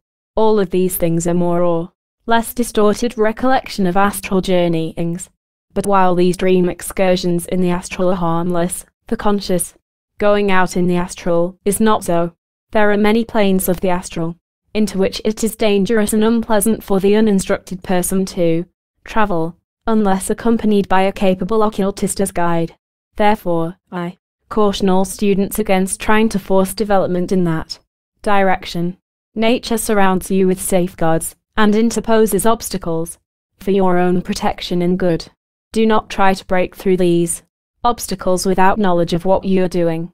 Fools rush in where angels fear to tread, remember, and a little learning is a dangerous thing when you have reached the stage of development in which it will be safe for you to undertake conscious astral explorations, then will your guide be at hand, and the instruction furnished you by those capable of giving it to you.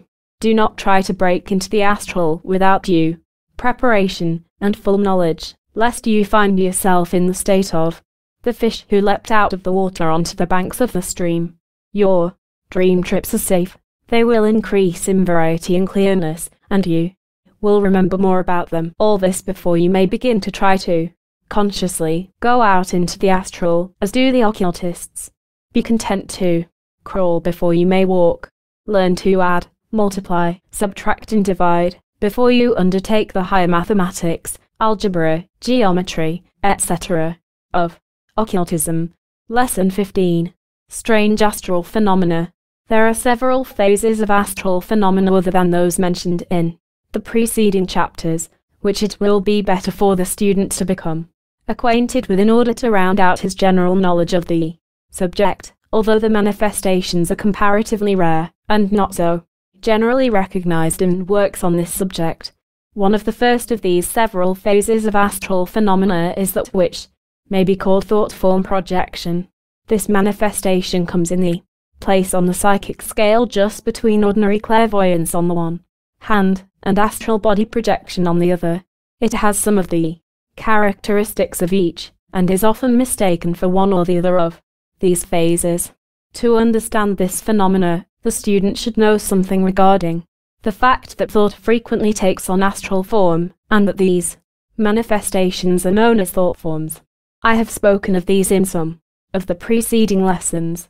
The ordinary thought form is quite simple, as a rule, and does not bear any particular resemblance to the sender thereof.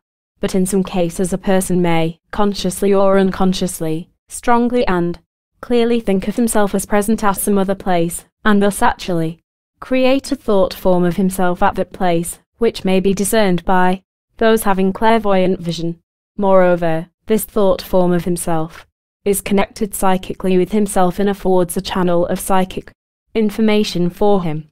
As a rule, these thought forms are only projected by those who have trained their minds and will along occult lines, but occasionally under the stress of strong emotion or desire an ordinary person may focus his psychic power to such an extent that the phenomena is manifested.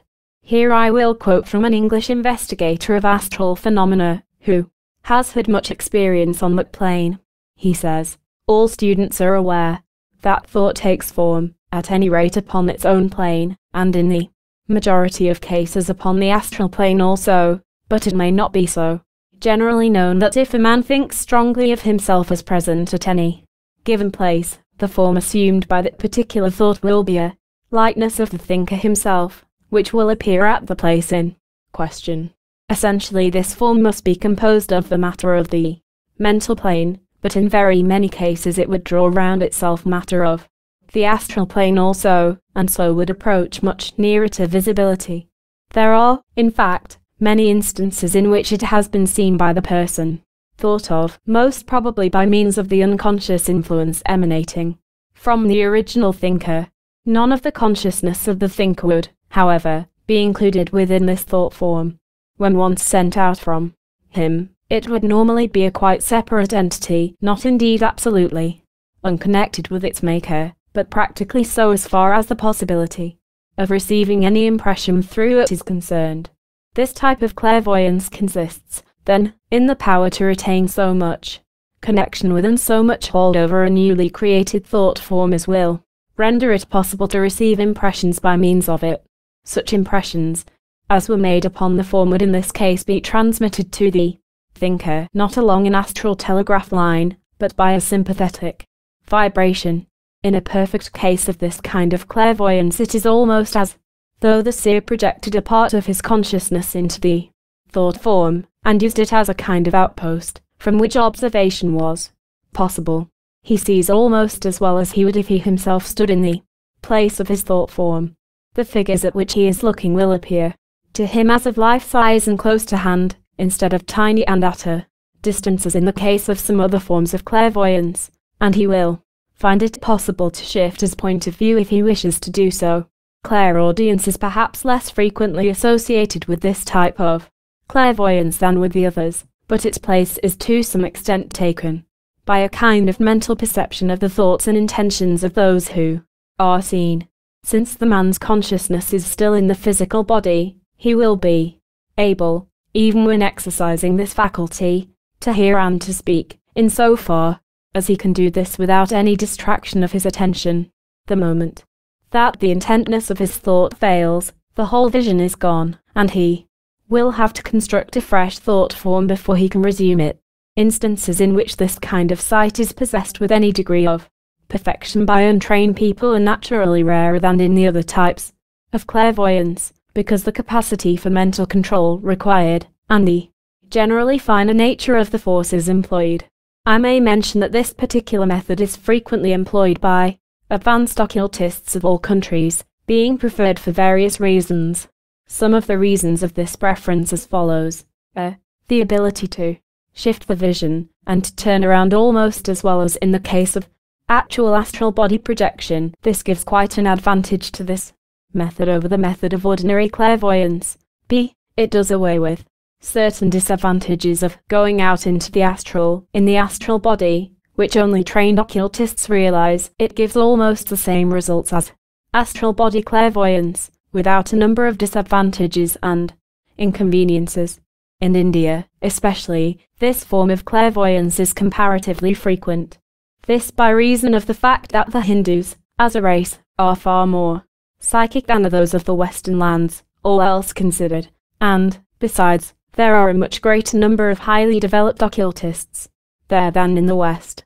Moreover, there is a certain psychic atmosphere surrounding India by reason of its thousands of years of deep interest in things psychic and spiritual, all of which renders the production of psychic phenomena far easier than in other lands. In India, moreover, we find many instances of another form of psychic, or astral phenomena. I allude to the production of thought form pictures, which are plainly visible to one or more persons. This phase of psychic phenomena is the real basis for many of the wonder tales which Western travelers bring back with them from India. The wonderful cases of magical appearance of living creatures and plants and other objects out of the clear air are the result of this psychic phenomena. That is to say, the creatures and objects are not really produced, they are but astral appearances resulting from the projection of powerful thought forms from the mind of the magician or other wonder worker, of whom India has a plentiful supply. Even the ignorant fakers, I use the word in its true sense, not in the sense given it by American slang. Even these itinerant showmen of psychic phenomena are able to produce phenomena of this kind, which seems miraculous to those witnessing them. As for the trained occultists of India, I may say that their feats, when they deign to produce them, seem to overturn every theory and principle of materialistic philosophy and science. But in nearly every case the explanation is the same, the projection of a strong and clear thought form on a large scale although I have purposely omitted reference to Hindu psychic phenomena in this book, for the reason given in my introduction, I find it necessary to quote cases in India in this connection, for the simple reason that there are but few counterparts in the Western world. There are no itinerant wonder workers of this kind in Western lands, and the trained occultists of the West of course would not consent to perform feats of this kind for the amusement of persons seeking merely sensations. The trained wills of the West are given rather to materializing objectively on the physical plane, creating great railroads, buildings, bridges, etc., from the mental pictures, rather than devoting the same time, energy and will to the production of astral though forms and pictures.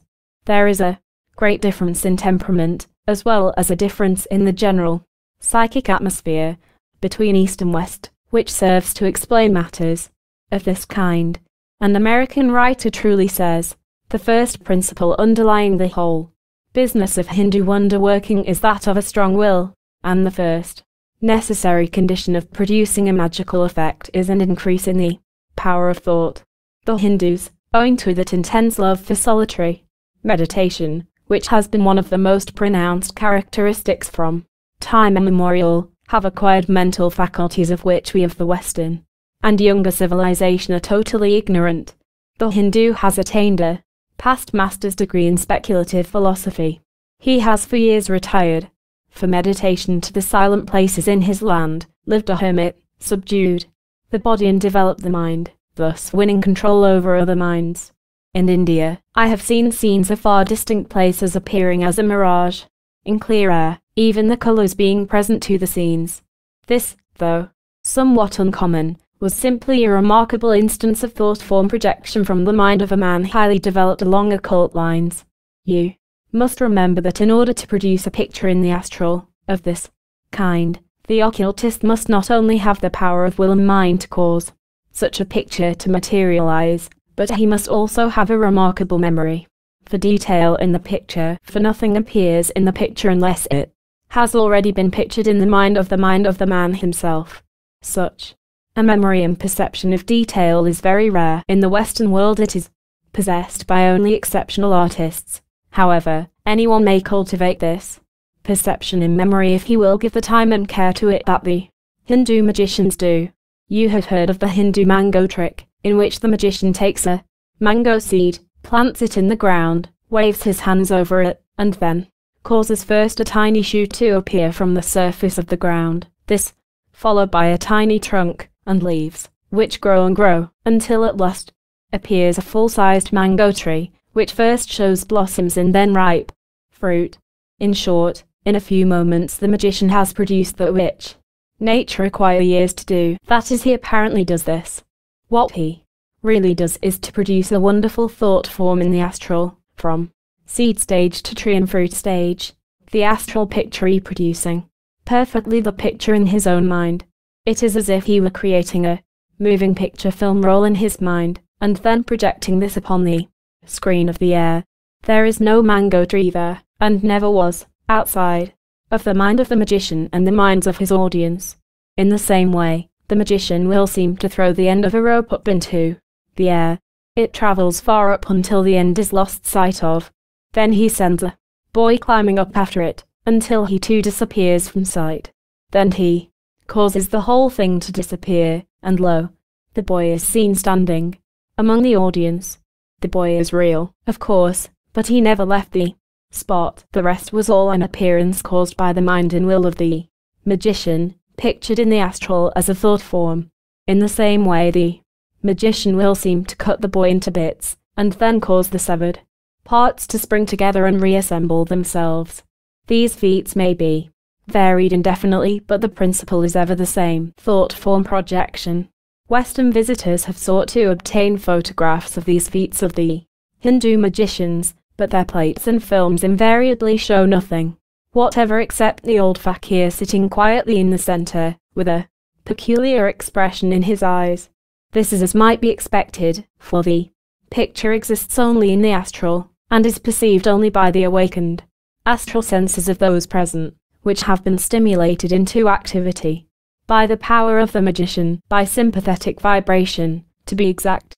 Moreover, in certain instances it has been found that the vision is confined to a limited area. Persons outside of the limit ring see nothing, and those moving nearer to the magician lose sight of what they had previously seen. There are scientific reasons for this last fact, which need not be gone into at this place. The main point I am seeking to bring out is that these wonderful scenes are simply and wholly thought-form pictures in the astral, perceived by the awakened astral vision of those present. This to be sure is wonderful enough, but still no miracle has been worked. I may mention here that these magicians begin their training from early youth. In addition to certain instruction concerning astral phenomena, which is handed down from father to son among them they are set to work, practicing visualization of things previously perceived they are set to work upon, say, a rose. They must impress upon their memory the perfect picture of the rose, no easy matter, I may tell you. Then they proceed to more difficult objects, slowly and gradually, along well-known principles of memory development. Along with this they practice the art of reproducing that which they remember, projecting it in thought form state. And so the young magician proceeds from simple to complex things, from easy to difficult, until, finally, he is pronounced fit to give public exhibitions. All this takes years and years. Sometimes the boy grows to be a middle-aged man before he is allowed to publicly exhibit his power. Imagine a Western boy or man being willing to study from early childhood to middle age before he may hope to be able to show what he has been learning. Verily, the East is East, and the West is West, the two poles of human activity and expression. Another phase of psychic astral phenomena which should be mentioned, although it is manifested but comparatively seldom, is that which has been called telekinesis. By the term telekinesis is meant that class of phenomena which manifests in the movement of physical objects without physical contact with the person responsible for the movement. I understand that the term itself was coined by Professor Coues, with whose works I am not personally familiar. It is derived from the two Greek words, tele, meaning far off, and kinesis, meaning to move.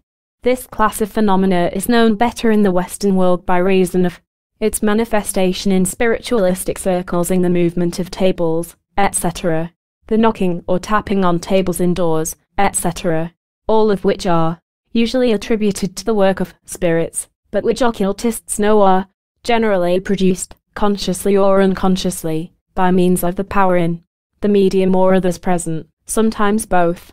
I would say here that I am not trying to discredit genuine spiritualistic phenomena, I am not considering the same in these lessons.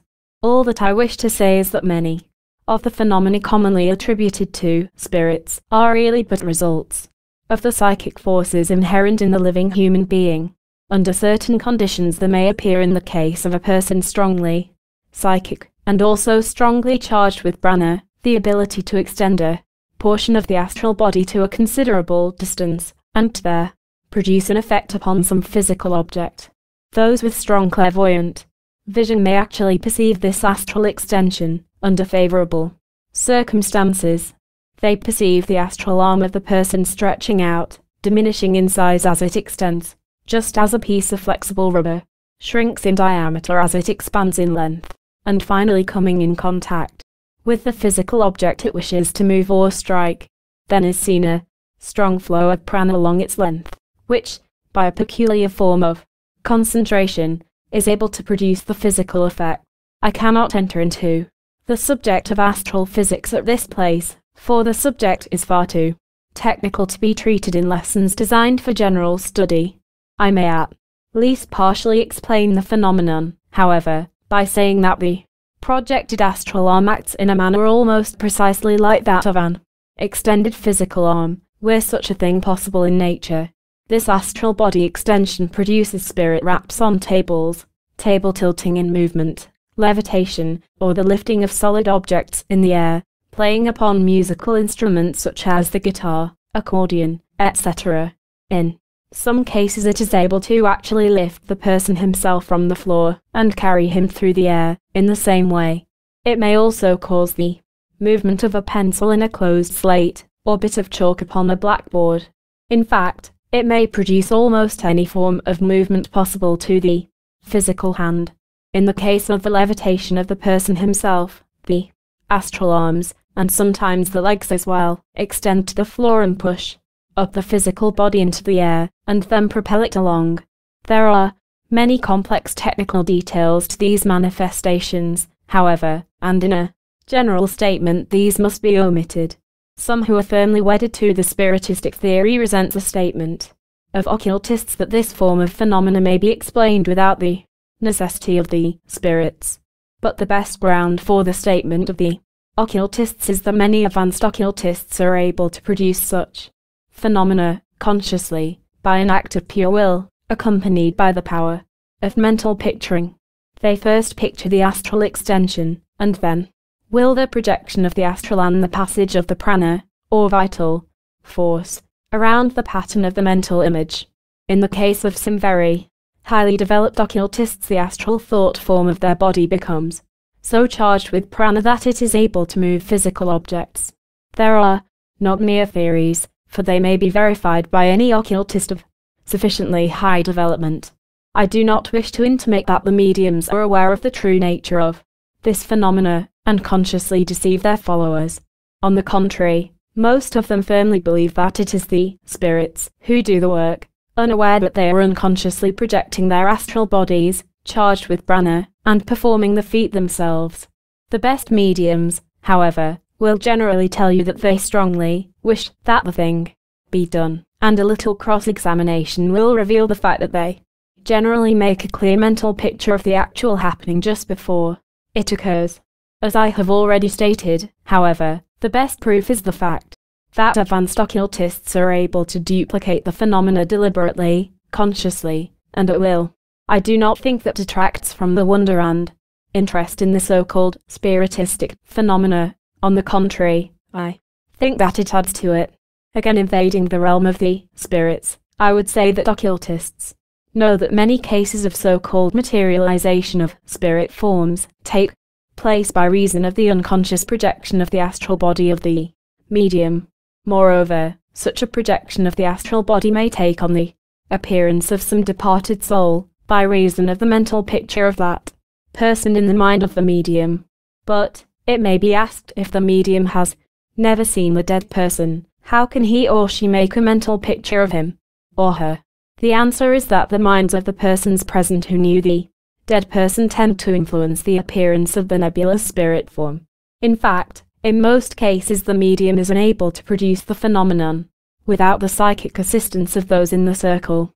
In this case, also, I would say that the advanced occultist is able to duplicate the phenomena at will, as all who have enjoyed the privilege of close acquaintance with such persons are aware. The fact the medium is usually in a trance condition aid materially in the ease with which the phenomena are produced, with the conscious mind stilled, and the subconscious mind active, the astral phenomena are produced with much less trouble than would be the case if the medium were in the ordinary condition. Now, I wish to impress upon the minds of those of my readers who have a strong sympathy for the spiritistic teachings that I recognize the validity and genuineness of much of the phenomena of spiritism. I know these things to be true. For that matter, it is not a matter of mere belief on my part. But I also know that much of the so-called spiritistic phenomena is possible without the aid of spirits, but by the employment of the psychic astral forces and powers as stated in these lessons. I see no reason for any honest investigator of spiritism to be offended at such statements, for it does not take away from the wonder of the phenomena, and does not discredit the motives and power of the mediums. We must search for truth wherever it is to be found, and we must not seek to dodge the results of our investigations. There is too much wonderful phenomena in Spiritism to begrudge the explanation that the occultist offers for certain of its phases. While I am on the subject of materialization, however, I would direct the attention of the student to my little book entitled The Astral World, in which I have explained briefly the phenomena of those planes of the astral, in which dwell the cast-off shells of souls which have moved on to the higher planes of the great astral world. I have thus shown that many astral shells or shades, or other astral semi-entities may be materialized, and thus mistaken for the spirits of departed friends. I have also explained in the same little book how there are certain powerful thought forms which may be mistaken for spirit materializations. I have also shown how many a honest medium is really a good clairvoyant, and by reading the records of the astral light is able to give information which seems to come from the departed soul. All of these things should be familiar to the earnest investigator of Spiritism, in order that he may be able to classify the phenomena which he witnesses, and to avoid error and disappointment. In this connection, before passing on to the consideration of other phases of psychic phenomena, I would say that one of the best mediums known to the modern Western world, a medium who has been consulted by eminent men, university professors, psychologists, and others, and whose revelations regarding past, present, and future astounded careful and intelligent men of international reputation. This medium, at the height of her professional success, made a public announcement that she felt compelled, from conscientious motives, to assert that she had come to the conclusion that her message came not from departed spirits, but rather from some unknown realm of being, brought hither by the exercise of some faculty inherent in her and developed to a high power in her force and reason, which power seemed to manifest more effectively when she shut off her ordinary physical faculties and functioned on a plane higher than them. I think that the student of the present lessons will be able to point out the nature of the phenomena manifested by this medium, and also the source of her power. If not, I shall feel disappointed at my work of instruction.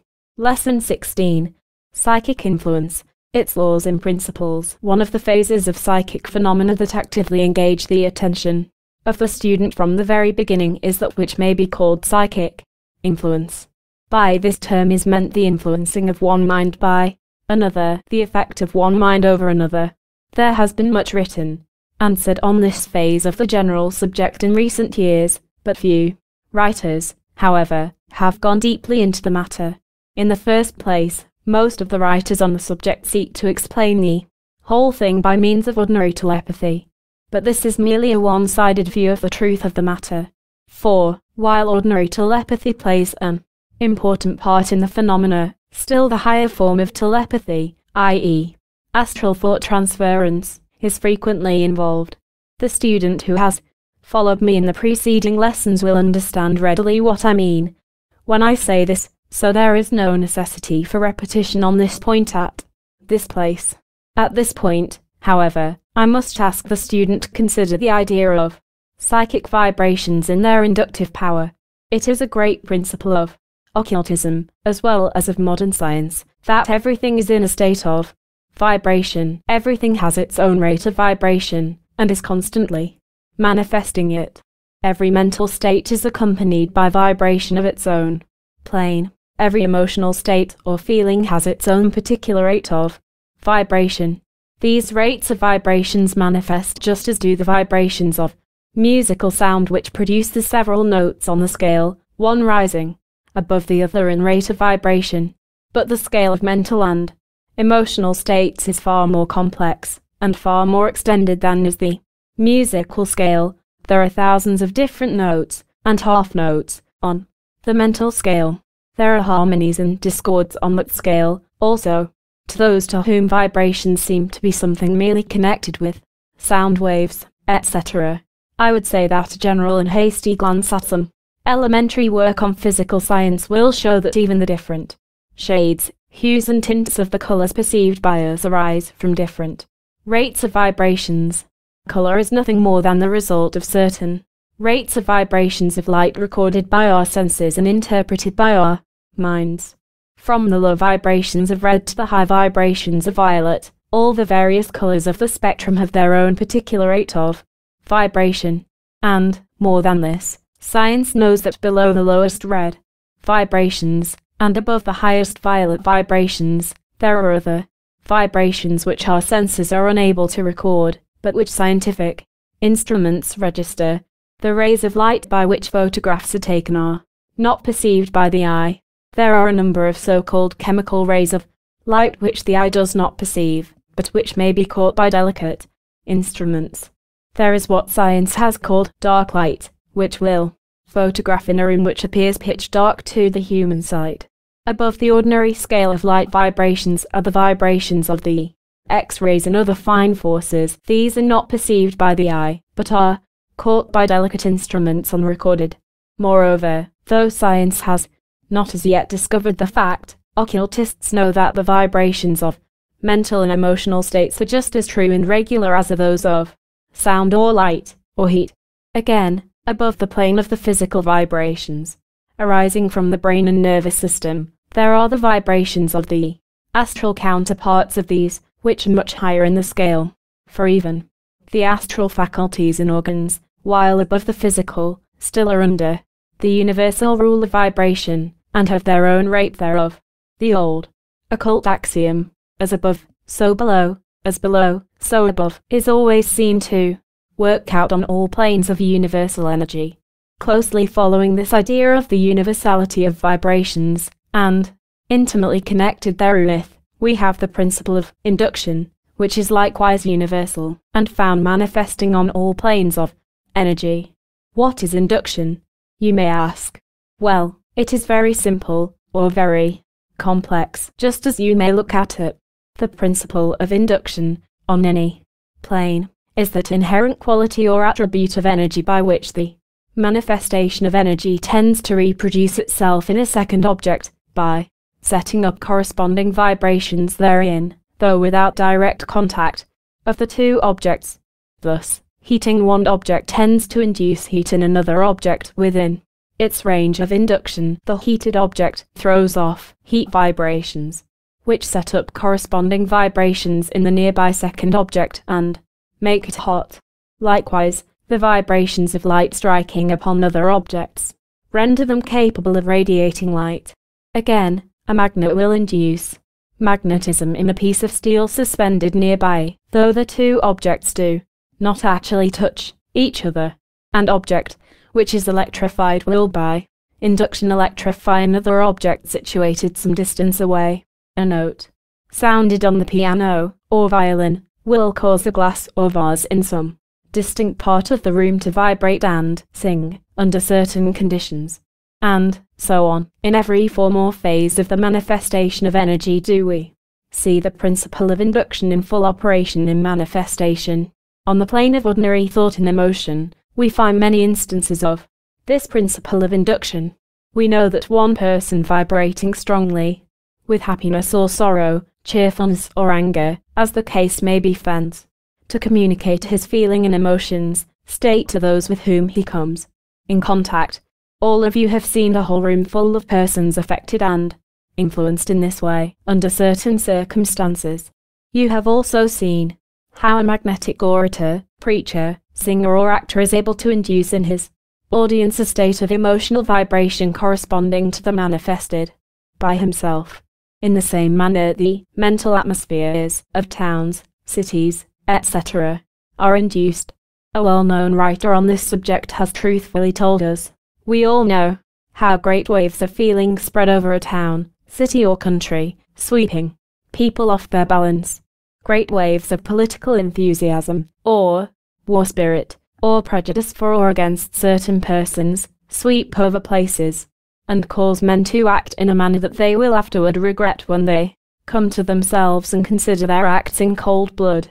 They will be swayed by demagogues or magnetic leaders who wish to gain their votes or patronage, and they will be led into acts of mob violence or similar atrocities by yielding to these waves of contagious thought. On the other hand, we all know how great waves of religious feeling sweep over a community upon the occasion of some great revival, excitement, or fervor. These things being perceived and recognized as true, the next question that presents itself to the mind of the intelligent student is this. But what causes the difference in power and effect between the thought and feeling vibrations of different persons? This question is a valid one and arises from a perception of the underlying variety and difference in the thought vibrations of different persons. The difference, my students, is caused by three principal facts, viz. 1. Difference in degree of feeling. 2 difference in degree of visualization, and 3. Difference in degree of concentration. Let us examine each of these successively, so as to get at the underlying principle. The element of emotional feeling is like the element of fire in the production of steam. The more vivid and intense the feeling or emotion, the greater the degree of heat and force to the thought wave or vibratory stream projected.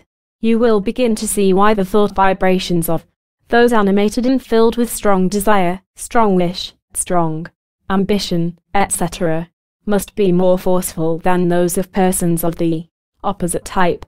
The person who is filled with a strong desire, wish, or ambition, which has been fanned into a fierce blaze by attention, is a dynamic power among other persons, and his influence is felt.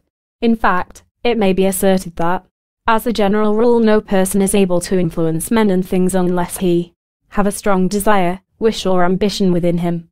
The power of desire is a wonderful one, as all occultists know, and it will accomplish much even if the other elements be lacking, while, in proper combination with other principles it will accomplish wonders. Likewise, a strong interest in a thing will cause a certain strength to the thought vibrations connected therewith.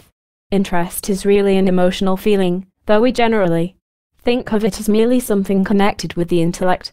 A cold, intellectual thought has very little force, unless backed up by strong interest and concentration. But any intellectual thought backed up with interest and focused by concentration will produce very strong thought vibrations with a marked inductive power. Now, let us consider the subject of visualization. Every person knows that the person who wishes to accomplish anything, or who expects to do good, work along any line, must first know what he wishes to accomplish. In the degree that he is able to see the thing in his mind's eye, to picture the thing in his imagination, in that degree will he tend to manifest the thing itself in material form and effect. Sir Francis Galton, an eminent authority upon psychology, says on this point, the free use of a high visualizing faculty is of much importance in connection with the higher processes of generalized thought. A visual image is the most perfect form of mental representation wherever the shape, position, and relations of objects to space are concerned. The best workmen are those who visualize the whole of what they propose to do before they take a tool in their hands.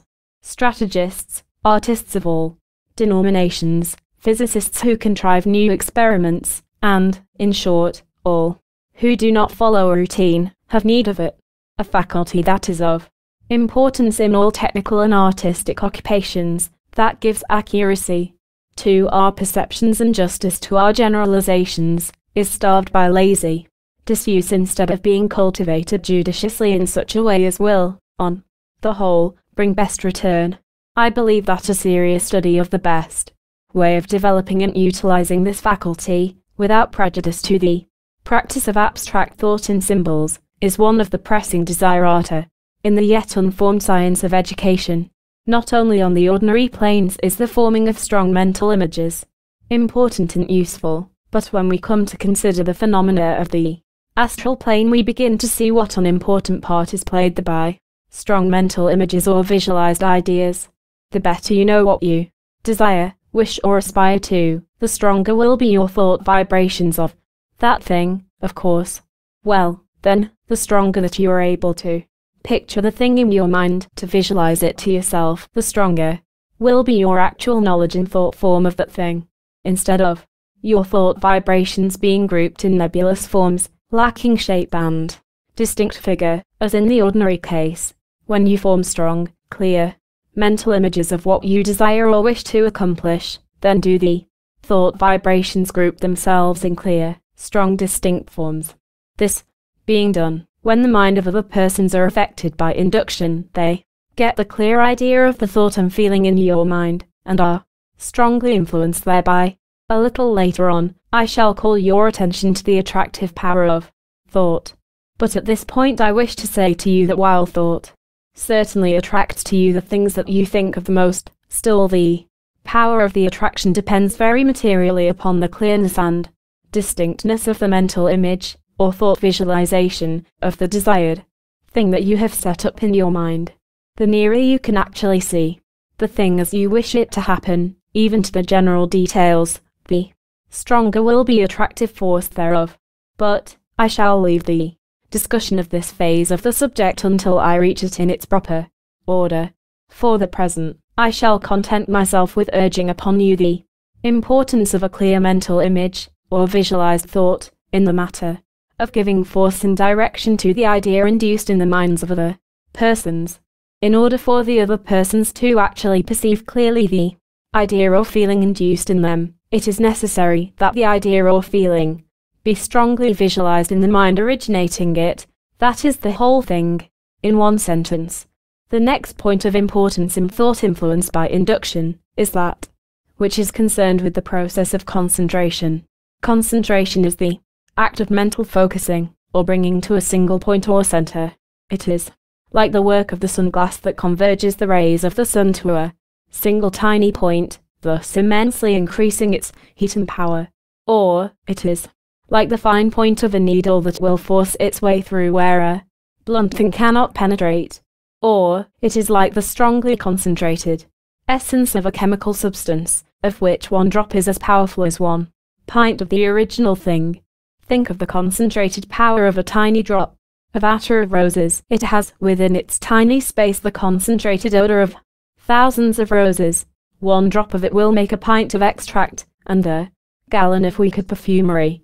Think of the concentrated power in the lightning flash as contrasted with the same amount of electricity diffused over a large area.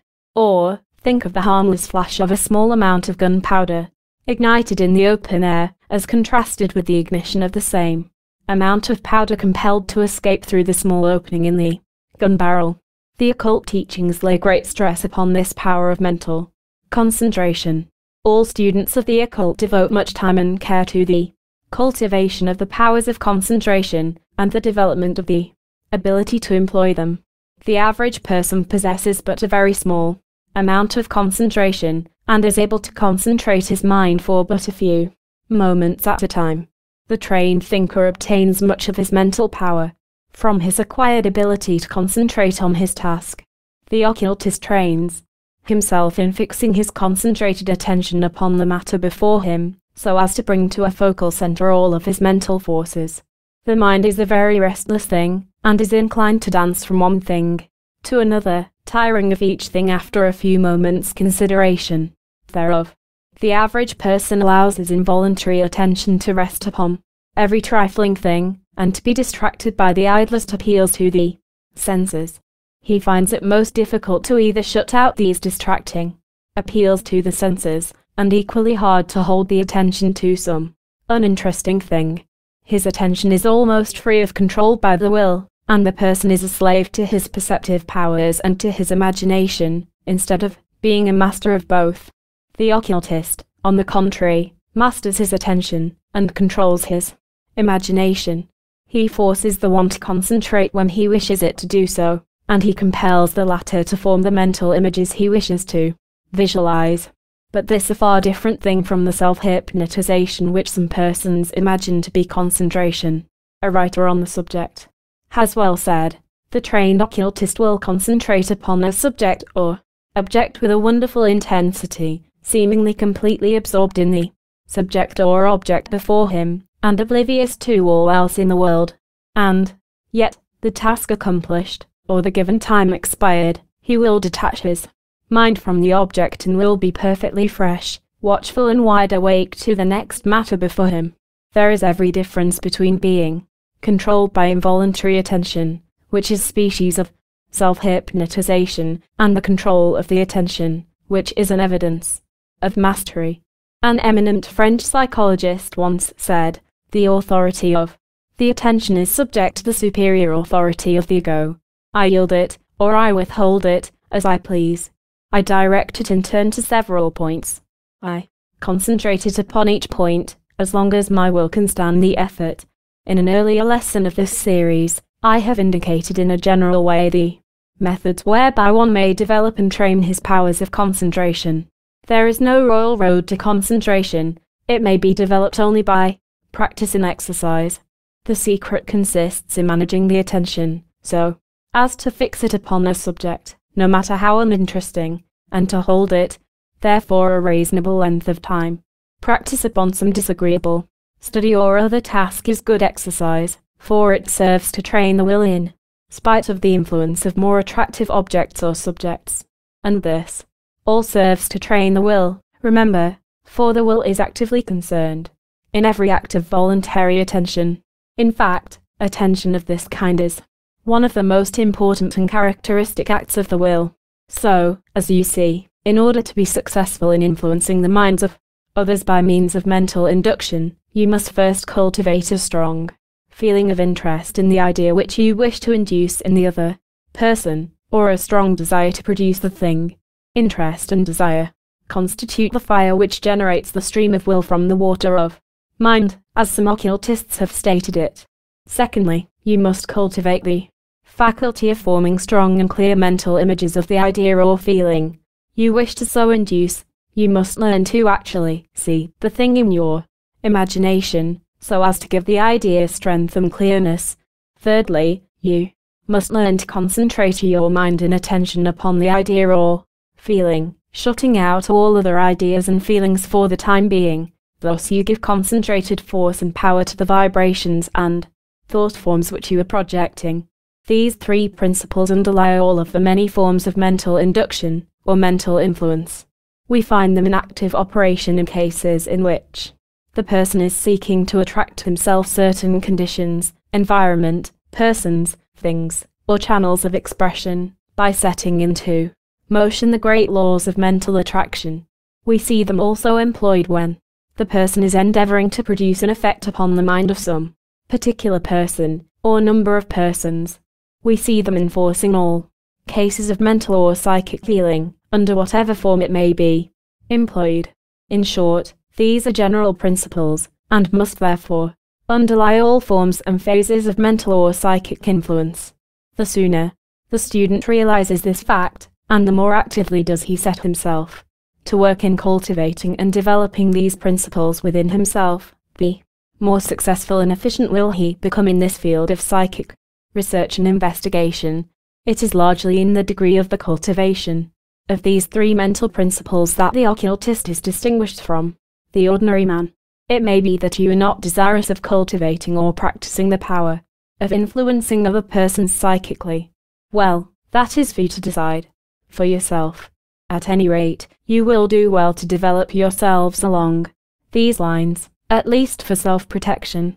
The cultivation of these three mental principles will tend to make you active and positive, psychically, as contrasted with the passive, negative mental state of the average person. By becoming mentally active and positive, you will be able to resist any psychic influence that may be directed toward yourself, and 2. Surround yourself with a protective aura of positive, active mental vibrations. And, moreover, if you are desirous of pursuing your investigations of psychic and astral phenomena, you will find it of great importance to cultivate and develop these three principles in your mind. 4. Then you will be able to brush aside all distracting influences and to proceed at once to the task before you with power, clearness, and strength of purpose and method.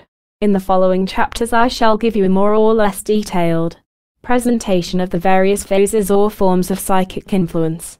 Some of these may seem at first to be something independent of the general principles, but I ask that you carefully analyze all of these so as to discover that the same fundamental principles are under and back of each and every instance presented. When you once fully grasp this fact, and perfect yourselves in the few fundamental principles, then you are well started on the road to mastery of all the various phases of psychic phenomena, instead of puzzling your mind over a hundred different phases of disconnected phenomena, it is better to master the few actual elementary principles, and then reason deductively from these to the various manifestations thereof. Master the principles, and then learn to apply them. Lesson 17 Personal psychic influence over others. Psychic influence as the term is used in this book, may be said to be divided into three general classes, viz.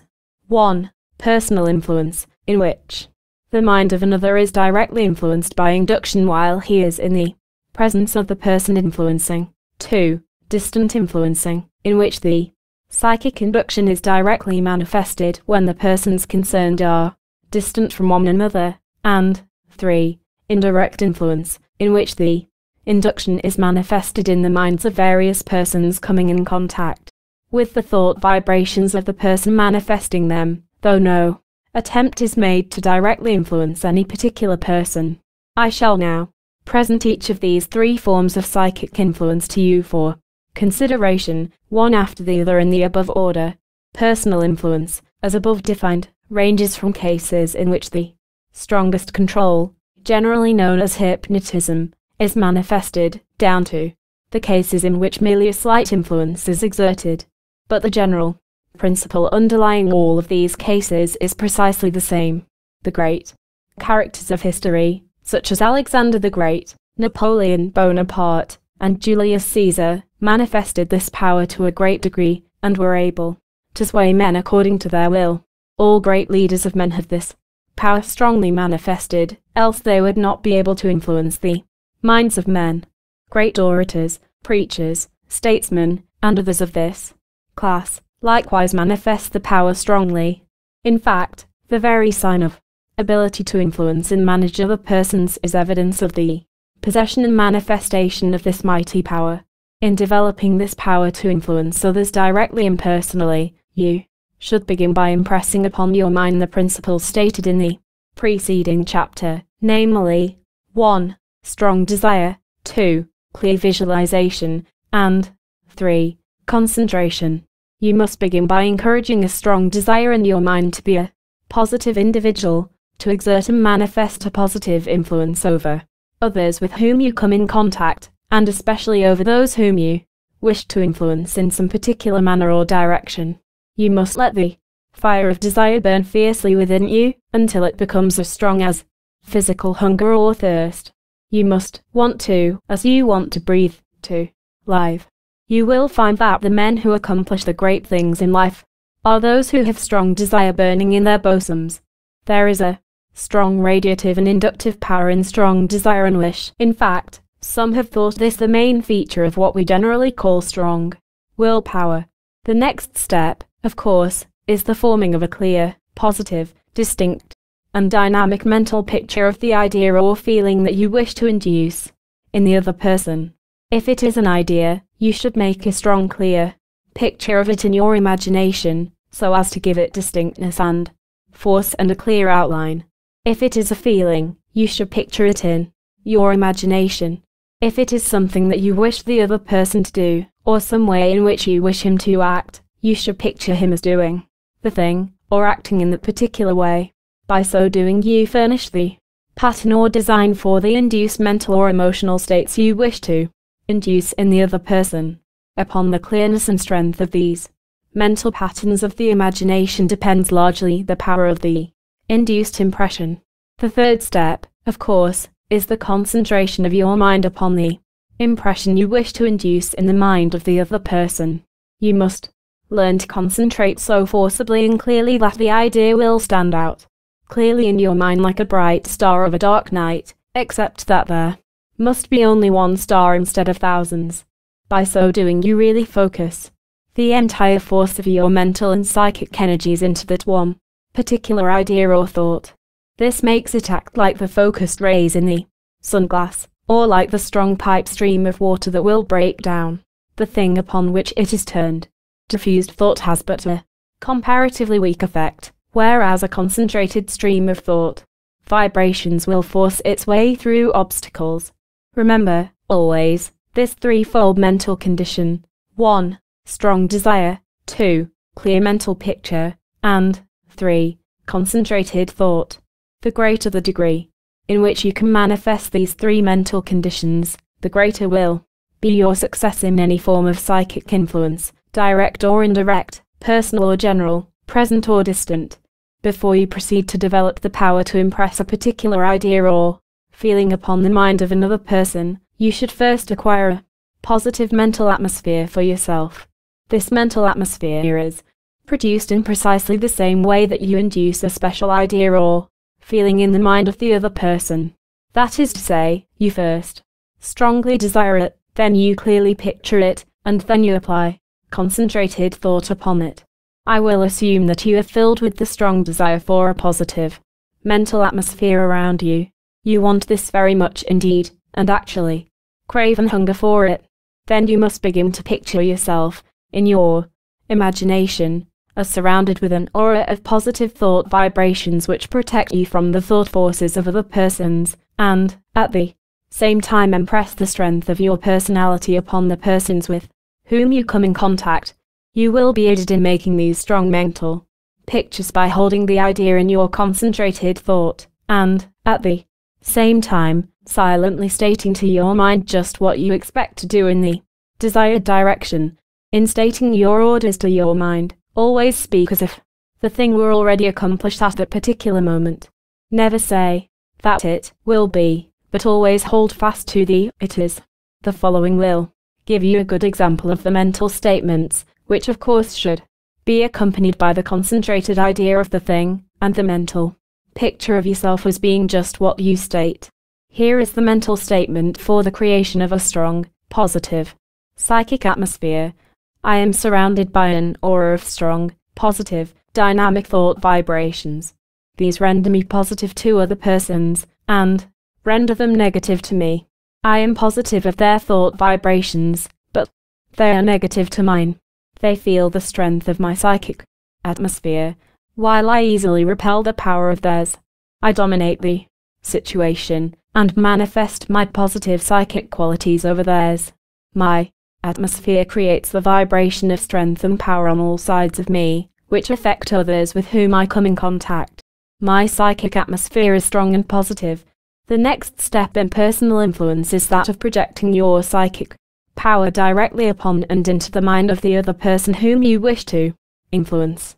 Sometimes, if the person is quite negative to you, this is a very simple and easy matter, but where the person is near your own degree of psychic positiveness, you will have to assert your psychic superiority to him and get the psychic upper hand before you can proceed further. This is accomplished by throwing into your psychic atmosphere some particularly strong mental statements accompanied by clear visualizations or mental pictures. Make positive your psychic atmosphere, particularly towards the person whom you seek to influence, by statements and pictures something along the following lines. I am positive to this man. He is negative to me. He feels my power and is beginning to yield to it. He is unable to influence me in the slightest, while I can influence him easily. My power is beginning to operate upon his mind and feelings. The exact words are not important, but the idea behind them gives them their psychic force and power. Then should you begin your direct attack upon him, or rather upon his Psychic powers. When I say attack, I do not use the word in the sense of warfare or actual desire to harm the other person. This is a far different matter. What I mean to say is that there is usually a psychic battle for a longer or shorter period between two persons of similar degrees of psychic power and development. From this battle one always emerges victor at the time, and one always is beaten for the time being, at least. And, as in all battles, victory often goes to him who strikes the first hard blow. The offensive tactics are the best in cases of this kind. A celebrated American author, Oliver Wendell Holmes, in one of his books, makes mention of these duels of psychic force between individuals as follows. There is that deadly Indian hug in which men wrestle with their eyes over in five seconds, but which breaks one of their two backs, and is good for three score years and ten, one trial enough settles the whole matter, just as when two feathered songsters of the barnyard, game and dunghill, come together, after a jump or two, and a few sharp kicks, there is an end to it, and it is after you, monsieur, with the beaten party in all the social relations for all the rest of his days. An English physician, Dr. Fothergill by name, wrote a number of years ago about this struggle of wills, as he called it, but which is really a struggle of psychic power, he says. The conflict of will, the power to command others, has been spoken of frequently. Yet what is this will power that influences others? What is it that makes us accept and adopt to the advice of one person, while precisely the same advice from another has been rejected? Is it the weight of force of will which insensibly influences us? The force of will behind the advice. That is what it is.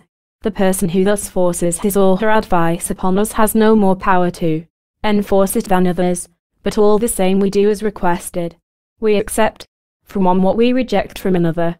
One person says of something contemplated, oh, but you must not, yet we do it all the same, though. That person may be in a position to make us regret the rejection of that counsel. Another person says, oh, but you mustn't, and we desist, though. We may, if so disposed, set this latter person's opinion at defiance with impunity.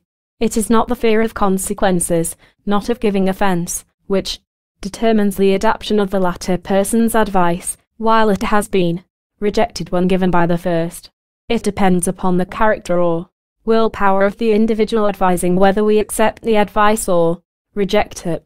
This character often depends little, if at all, in some cases, upon the intellect, or even upon the moral qualities, the goodness or badness of the individual.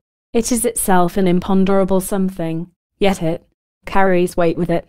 There may be abler men, cleverer men, but it is the one possessed of will who rises to the surface at these times, the one who can by some subtle power make other men obey him. The will power goes on universally, in the young aristocrat who gets his tailor to make another advance in defiance of his conviction that he will never get his money back. It goes on between lawyer and client, betwixt doctor and patient, between banker and borrower, betwixt buyer and seller. It is not tact which enables the person behind the counter to induce customers to buy what they did not intend to buy, and which bought gives them no satisfaction, though it is linked therewith will the effort to be successful. Whenever two persons meet in business, or in any other relation in life, up to love making, there is this will fight going on, commonly enough without any consciousness of the struggle. There is a dim consciousness of the result, but none of the processes. It often takes years of the intimacy of married life to find out with whom of the pair the mastery really lies. Often the far stronger character, to all appearances, has to yield. It is this will element which underlies the statement the race is not always to the swift, nor the battle to the strong. In Middlemarch we find in Lydgate a grand aggregation of qualities, yet shallow, hard, selfish Rosamond masters him thoroughly in the end. He was not deficient in willpower, possessed more than an average amount of character, but in the fight he went down at last under the onslaught of the intense, stubborn will of his narrow-minded spouse. Their will contest was the collision of a large warm nature, like a capable human hand, with a hard, narrow selfish nature, like a steel button. The hand only bruised itself while the button remained unaffected. You must not, however, Imagine that every person with whom you engage in one of these psychic duels is conscious of what is going on. He usually recognizes that some sort of conflict is underway, but he does not know the laws and principles of psychic force, and so is in the dark regarding the procedure. You will find that a little practice of this kind, in which no great question is involved, will give you a certain knack or trick of handling your psychic forces, and will, besides, give you that confidence in yourself that comes only from actual practice and exercise. I can point out the rules and give you the principles, but you must learn a little bits of technique yourself from actual practice. When you have crossed psychic swords with the other person, gaze at him intently but not fiercely, and send him this positive strong thought vibration. I am stronger than you, and I shall win. At the same Time picture to yourself your forces beating down his and overcoming him. Hold this idea and picture in your mind. My vibrations are stronger than are yours. I am beating you. Follow this up with the idea and picture of you weakening and giving in. You are being overpowered. A very powerful psychic weapon is the following. My vibrations are scattering. Your forces, I am breaking your forces into bits. Surrender, surrender.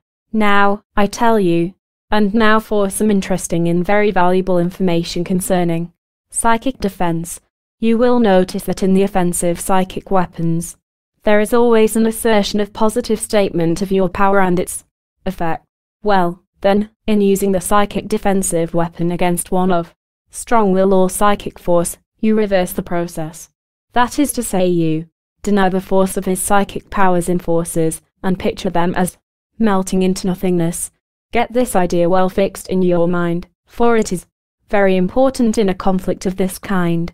The effect of this is to neutralize all of the other person's power so far as its effect on yourself is concerned. You really do not destroy it in him totally. You simply render his forces powerless to affect you. This is important not only when in a psychic conflict of this kind, but also when you wish to render yourself immune from the psychic forces of other persons. You may shut yourself up in a strong defensive armor in this way, and others will be powerless to affect you. In the positive statement, I deny, you have the occult shield of defense, which is a mighty protection to you. Even if you do not feel disposed to cultivate and develop your psychic powers in the direction of influencing others, you should at least develop your defensive power so as to resist any psychic attacks upon yourself. You will find it helpful to practice these offensive and defensive weapons when you're alone, standing before your mirror and playing that your reflection in the glass is the other person. Send this imaginary other person the psychic vibrations, accompanied by the mental picture suitable for it. Act the part out seriously and earnestly, just as if the reflected image were really another person. This will give you confidence in yourself and that indefinable knack of handling your psychic weapons. That comes only from practice. You will do well to perfect yourself in these rehearsals, just as you would in case you were trying to master anything else. By frequent earnest rehearsals, you will gain not only familiarity with the process and methods, but you will also gain real power and strength by the exercise of your psychic faculties which have heretofore lain dormant, just as you may develop the muscle of your arm by calisthenic exercises until it is able to perform real muscular work of strength. So you may develop your psychic faculties in this rehearsal work, so that you will be strongly equipped and armed for an actual psychic conflict, besides having learned how to handle your psychic weapons. After you have practiced sufficiently along the general offensive and defensive lines, and have learned how to manifest these forces in actual conflict, you will do well to practice special and specific commands to others in the same way. That is to say, practice them first on your reflected image in the mirror. The following commands, with mental pictures, of course, will give you good practice. Go about the work in earnest and act out the part seriously. Try these exercises. Here, look at me. Give me your undivided attention. Come this way. Come to me. At once. Go away from me. Leave me at once. You like me. You like me. Very much. You are afraid of me. You wish to please me. You will agree to my proposition. You will do as I tell you. Any special command you wish to convey to another person, psychically, you will do well to practice before the mirror in this way.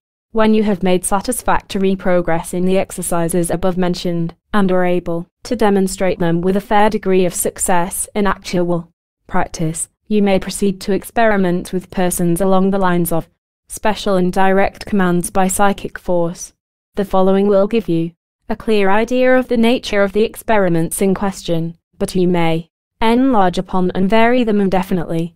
Remember there is no virtue in mere words, the effect comes from the power of the thought behind the words. But, nevertheless, you will find that positive words, used in these silent commands, will help you to fit in your feeling to the words. Always make the command a real command, never a mere entreaty or appeal. Assume the mental attitude of a master of men, of a commander and ruler of other men. Here follow a number of interesting experiments along these lines, which will be very useful to you in acquiring the art of personal influence of this kind. 7 valuable exercises. Exercise 1. When walking down the street behind a person, make him turn around in answer to your mental command. Select some person who does not seem to be too much rushed or too busy. Select some person who seems to having nothing particular on his mind. Then desire earnestly that he shall turn around when you mentally call to him to do so. At the same time, picture him as turning around in answer to your call, and at the same time, concentrate your attention and thought firmly upon him. After a few moments of preparatory thought, send him the following message, silently. Of course, with as much force, positiveness and vigor as possible. Hey, there. Turn around and look at me. Hey, turn around. Turn around at once. While influencing him fix your gaze at the point on his neck where the skull joins it, right at the base of the brain, in the back. In a number of cases, you will find that the person will look around as if someone had actually called him aloud. In other cases, he will seem puzzled, and will look from side to side as if seeking someone. After a little practice you will be surprised how many persons you can affect in this way. Exercise 2. When in a public place, such as a church, concert or theatre, send a similar message to someone seated a little distance in front of you. Use the same methods as in the first exercise, and you will obtain similar results. It will seem queer to you at first to notice how the other person will begin to fidget and move around in his seat, and finally, glance furtively around as if to see what is causing him the disturbance. You, of course, will not let him suspect that it is you, but, instead will, gaze calmly ahead of you, and pretend not to notice him. Exercise 3. This is a variation of the first exercise. It is practiced by sending to a person approaching you on the street, or walking ahead of you in the same direction, a command to turn to the right, or to the left, as you prefer. You will be surprised to see how often you will be successful in this. Exercise 4. This is a variation of the second exercise. It is practiced by sending to a person seated in front of you in a public place the command to look to the right or to the left, as you prefer. Do not practice on the same person too long after succeeding at first. It is not right to torment people. Remember. Exercise 5. After having attained proficiency in the foregoing exercises, you many proceed to command a person to perform certain unimportant motions, such as rising or sitting down, taking off his hat, taking out his handkerchief, laying down a fan, umbrella, etc. Exercise 6. The next step is to command persons to say some particular word having no important meaning. 2. Put words in his mouth while talking to him. Wait until the other person pauses as if in search of a word, and then suddenly, sharply and forcibly put the word into his mouth silently of course. In a very susceptible person, well under your psychic control, you may succeed in suggesting entire sentences and phrases to him. Exercise 7. This is the summit of psychic influencing, and, of course, is the most difficult. But you will be surprised to see how well you will succeed in many cases after you have acquired the knack and habit of sending the psychic message. It consists of commanding the person to obey the spoken command or request that you are about to make to him. This is the art and secret of the success of many salesmen, solicitors, and others working along the lines of influencing other people. It is acquired by beginning with small things and gradually proceeding to greater and still greater. At this point, I should warn you that all the best occult teachings warn students against using this powerful base. Ends improper purposes, etc. Such practices tend to react and rebound against the person using them, like a boomerang. Beware against using psychic or occult forces for improper purposes. The psychic laws punish the offender, just as do the physical laws. Finally, I caution the student against talking too much about his developing powers. Beware of boasting or bragging about these things. Keep silent and keep your own counsel. When you make known your powers, you set into operation the adverse and antagonistic thoughts of persons around you who may be jealous of you, and who would wish to see you fail, or make yourself ridiculous. The wise head keepeth a still tongue. One of the oldest occult maxims is learn, dare, do, keep silent. You will do well to adhere strictly to this warning caution. Lesson 18 Psychic influence at a distance. The second phase of psychic influence is that called distinct psychic influence, in which psychic conduction is manifested when the persons are distant in space from one another, not in the presence of each other. Here, of course, we see the principle of telepathy involved in connection with the process of mental induction, and in some cases even the astral telepathic sense is called into operation. The student who has followed my explanation and course of reasoning in the preceding lessons will readily perceive that the principle involved in this distant phase of psychic influence is precisely the same as that employed in direct personal psychic influence. As I have explained in an early lesson, it matters little whether the space to be covered by the psychic vibratory waves is but one foot or a thousand miles, the principle is exactly the same. There are, of course, other principles involved in the case of two persons meeting face to face and calling into force their psychic powers. For instance, there is the element of suggestion and association and other psychological principles which are not in force when the two persons are out of the actual presence of each other. But so far as the telepathic or astral psychic powers are concerned, the mere extension of space does not change the principle.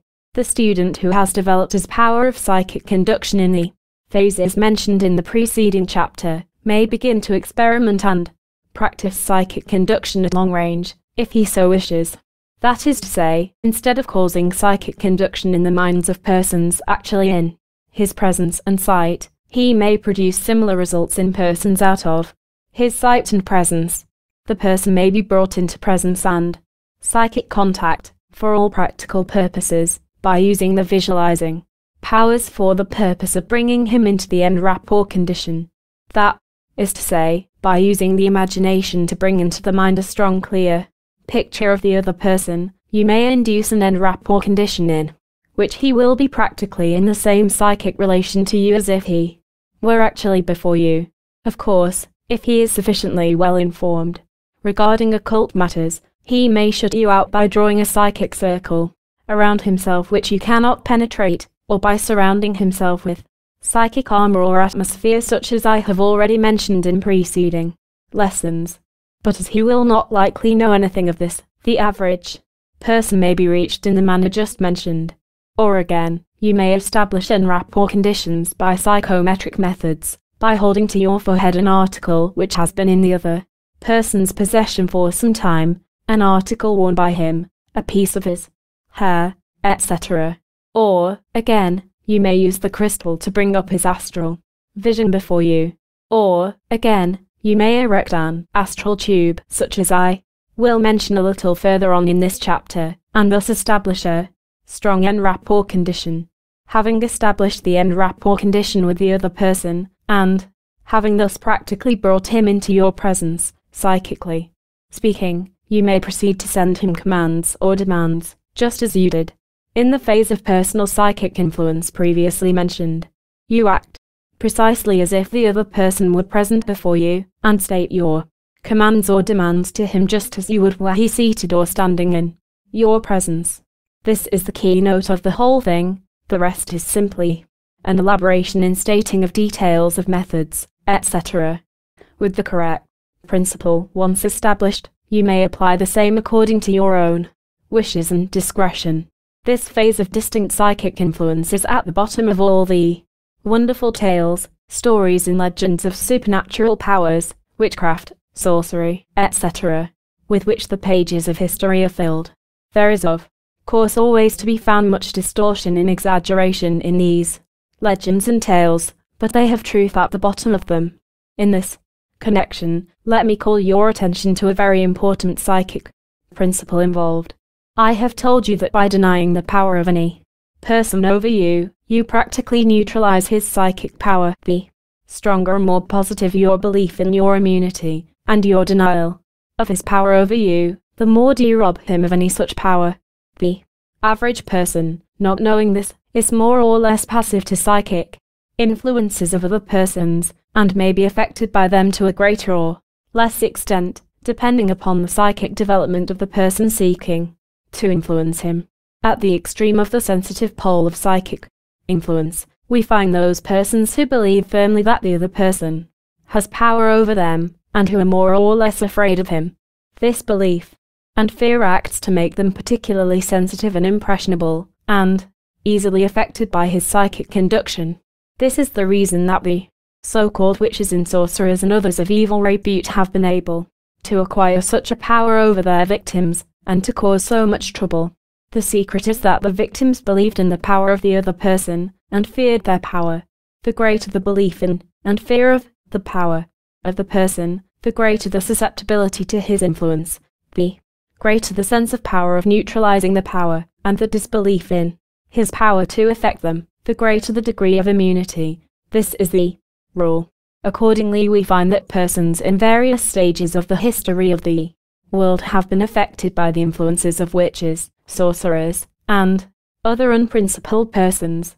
In most cases, these so called witches and sorcerers themselves were under the delusion that they were assisted by the devil or some other supernatural being.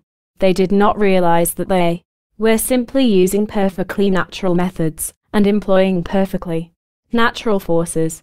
For that matter, you must remember that magnetism and electricity in ancient days, were considered as supernatural forces in some way connected with demonic powers. Studying the history of witchcraft, sorcery, black magic, and the like, you will find that the devotees thereof usually employed some psychometric method. In other cases, they would mold little figures of clay or of wax in the general shape and appearance of the person whom they wished to affect. It was thought that these little figures were endowed with some supernatural powers or attributes, but of course this was mere superstition. The whole power of these little figures arose from the fact that they aided the imagination of the spell worker in forming a mental image of the person sought to be influenced, and thus established a strong en rapport condition. Added to this, you must remember that the fear and belief of the public greatly aided the spell worker and increased his power and influence over these poor persons. I will give you a typical case, taken from an old German book, which thoroughly illustrates the principles involved in cases of this kind. Understand this case, and you will have the secret and working principle of them all. The story is told by an eminent German physician of the last century. He relates that he was consulted by one of his patients, a wealthy farmer living nearby. The farmer complained that he was disturbed every night by strange noises which sounded like someone pounding iron. The disturbances occurred between the hours of 10 o'clock and midnight, each and every night. The physician asked him if he suspected anyone of causing the strange trouble. The farmer answered that he suspected an old enemy of his, an old village blacksmith living several miles away from his farm. It appears that an old long-standing feud between them had broken out afresh, and that the blacksmith had made threats of employing his hex, witchcraft, powers on the old farmer, the blacksmith was reputed to be a sort of hex or male witch, and the farmer believed in his diabolic powers and was very much in fear of them. So you see the ideal condition for psychic receptivity was present. The physician called on the blacksmith, and taking him by surprise, gazing sternly into his eyes and asked him, What do you do every night between 10 and 12 o'clock? The blacksmith, frightened and disturbed, stammered out, I hammer a bar of iron every night at that time, and all. The while I think intently of a bad neighbour of mine who once cheated me, out of some money, and I will, at the same time that the noise will, disturb his rest, until he will pay me back my money to get peace and quiet. The physician bade him to desist from his evil practices, under threats of dire punishment, and then went to the farmer and made him straighten out the financial dispute between the two. Thereafter, there was no more trouble. So you see in this case all the necessary elements were present. First, there was the belief of the blacksmith in his own powers. This gave him self-confidence and psychic power. Then there was the belief and fear on the part of the farmer. This made him an easy subject, and very susceptible to psychic induction, etc. Then there was the action of the blacksmith beating the iron. This gave force and clearness to his visualization of the idea he wished to induce in the mind of the other. And, finally, there was his will employed in every stroke, going out in the direction of the concentrated wish and purpose of influencing the farmer. You see, then, that every psychic element was present. It was no wonder that the old farmer was disturbed. Among the Negroes of the South, in America, and among the Hawaiians, we find marked instances of this kind. The Negro voodoo men and women work black magic on those of their race who are superstitious and credulous, and who have a mortal fear of the voodoo. You see the conditions obtained are much the same as in the case of the German case just cited. Travelers who have visited the countries in which there is a large Negro population have many interesting tales to recite of the terrible workings of these voodoo black magicians. In some cases, sickness and even death is the result. But, Mark you this. It is only those who believe in, and fear, the power of the voodoos that are affected. In Hawaii, the kahunas or native magicians are renowned for their power to cause sickness and death to those who have offended them, or to those who have offended some client of the kahuna, and who have hired the latter to pray the enemy to sickness or death. The poor ignorant Hawaiians, believing implicitly in the power of the kahunas, and being in deadly fear of them, are very susceptible to their psychic influence, and naturally fall easy victims, unless they buy of the kahuna or make peace with his client. White persons living in Hawaii are not affected by the kahunas, for they do not believe in them, neither do they fear them. Unconsciously, but still strongly, they deny the power and are immune. So, you see, the principle working out here, also, Once you have the master key, you may unlock many doors of mystery, which have heretofore been closed to you. We do not have to fall back on cases of witchcraft, however, in order to illustrate this phase of the use of psychic influence for selfish ends.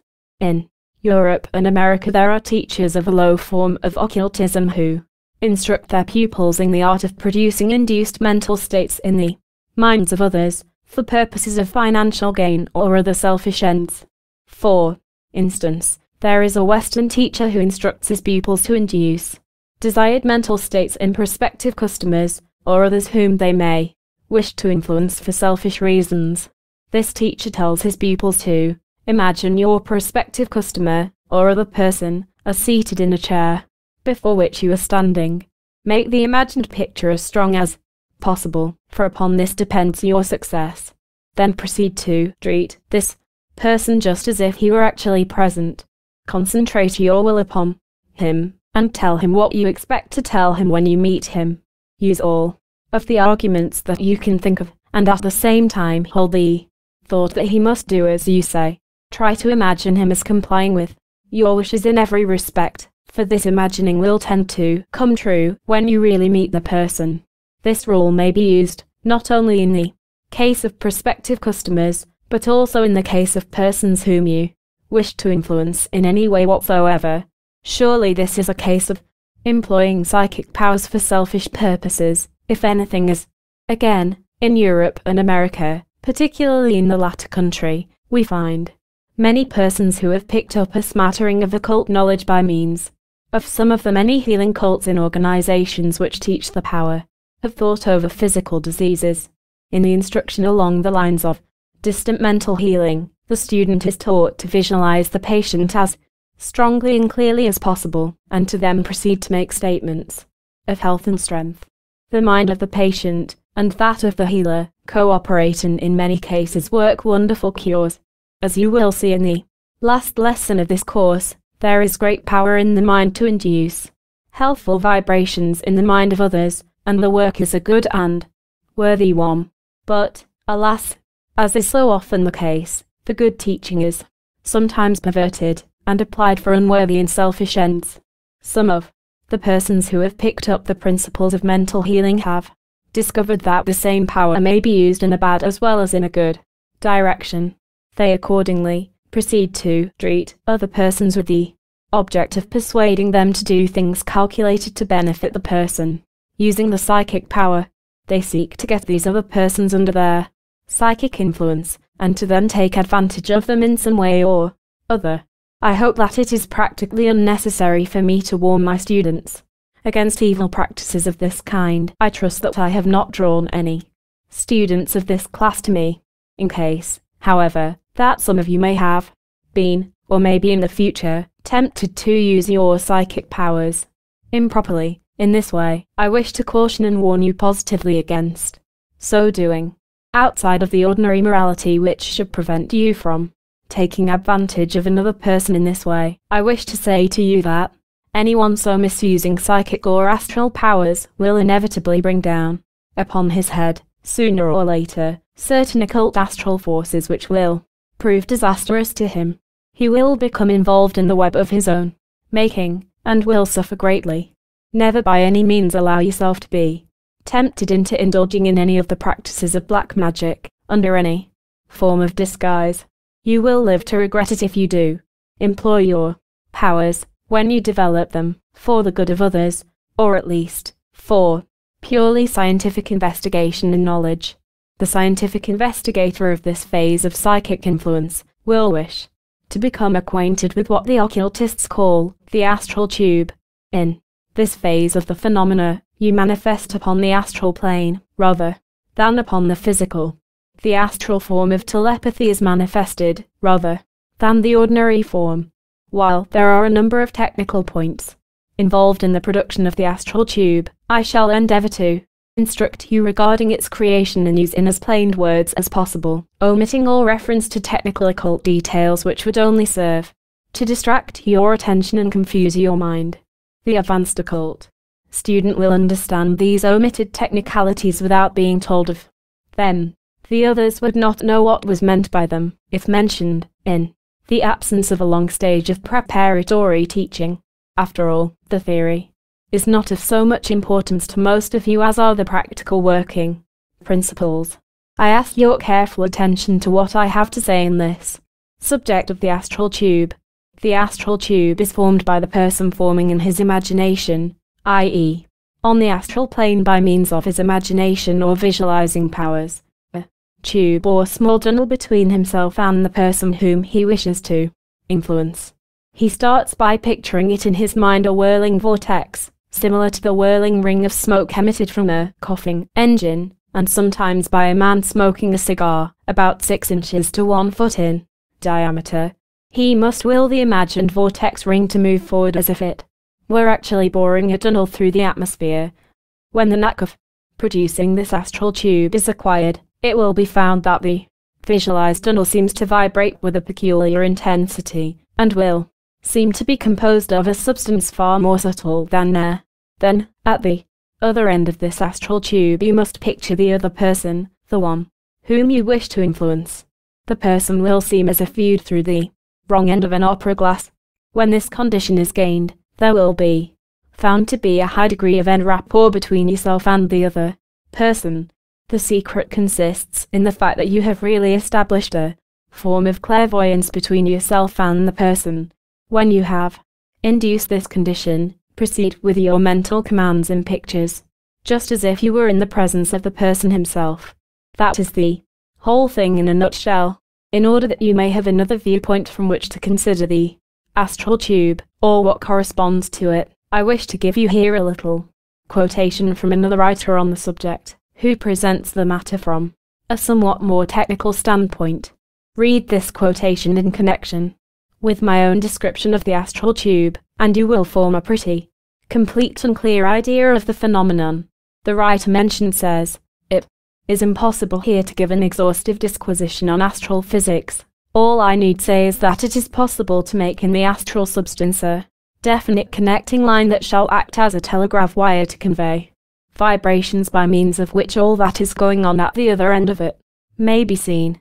Such a line is established, be it understood, not by a direct projection through space of astral matter, but by such action upon a line, or rather many lines, of particles of that substance as will render them capable of forming a conductor for vibrations of the character required. This preliminary action can be set up in two ways, either by the transmission of energy from particle to particle until the line is formed, or by the use of a force from a higher plane which is capable of acting upon the whole line simultaneously. Of course, this latter method implies far greater development, since it involves the knowledge of, and the power to use, forces of a considerably higher level. Even the simpler and purely astral operation is a difficult one to describe, though quite an easy one to perform. It may be said to partake somewhat of the nature of the magnetization of a bar of steel, for it consists in what we might call the polarization, by an effort of the human will, of a number of astral atoms reaching from the operator to the scene, which he wishes to observe. All the atoms thus affected are held for the time being with their axes rigidly parallel to one another, so that they form a kind of temporary tube along which the clairvoyant may look. This method has the disadvantage that the telegraph line is liable to disarrangement or even destruction by any sufficiently strong astral current which happens to cross its path. But if the original creative effort were fairly definite, this would be a contingency of only infrequent occurrence. The view of a distinct scene obtained by means of this astral current is in many ways not unlike that seen through a telescope. Human figures usually appear very small, like those on a distant stage, but in spite of their diminutive size they are as clear as though they were close by. Sometimes it is possible by this means to hear what is said as well as to see what is done, but as in the majority of cases this does not happen, we must consider it rather as the manifestation of an additional power than as a necessary corollary of the faculty of sight. I would feel that I had not done my whole duty to the student, or reader, of this book, were I to conclude this chapter without pointing out O means of protection against the use of this phase of psychic influence against them on the part of some unscrupulous person, or for that matter, against the meddling influence of any person whatsoever, for any purpose whatsoever, without one's permission and consent. Therefore, I wish now to point out the general principles of self-protection or defense against this class of psychic influence. In the first place, you must, of course, refuse to admit to your mind any feeling of fear regarding the influence of other persons, for that is the open door to their influence, as I have pointed out to you. If you have been or are fearful of any person's psychic influence, you must get to work and drive out that feeling by positive and vigorous denials. The denial, you remember, is the positive neutralizer of the psychic influence of another person, providing you make it in full belief of its truth. You must take the position, which is a true one, that you are immune to the psychic attack or influence. You should say, mentally, I deny to any person the power to influence me psychically without my consent. I am positive to all such influences, and they are negative to me. I neutralize them by this denial. If you feel sudden impulses to act in some way which you have not thought of doing, or toward which you have had an aversion, pause a moment and say, mentally, if this isn't outside influence, I deny its power over me, I deny it, and send it back to its sender, to his defeat and confusion. You will then experience a feeling of relief and freedom. In such cases, you may frequently be approached later on by the person who would have been most benefited by your action. He will appear surprised when you turn him down, and will act in a confused way. He may not have consciously tried to influence you, but may have merely been wishing strongly that you would do as he desired. It should encourage you to know that it requires much less force to repel and neutralize psychic influence of this kind than is required to send forth the power. An ounce of denial and protection overcomes a pound of psychic attacking power. Nature gives you the means of protection, and gives you the best end of the stick, and it is your own fault if you do not effectively use it. A word to the wise is sufficient. Lesson 19 Laws of psychic attraction. The third phase of psychic influence is that which may be called indirect psychic influence, in which psychic induction is manifested in the minds of other persons coming in contact with the thought vibrations of the person manifesting them, although no deliberate attempt is made to influence the mind of any particular person or persons. Closely connected with and involved in this phase of psychic influence is that which is called the psychic law of attraction. So closely are these two connected, that I shall consider them together in this lesson.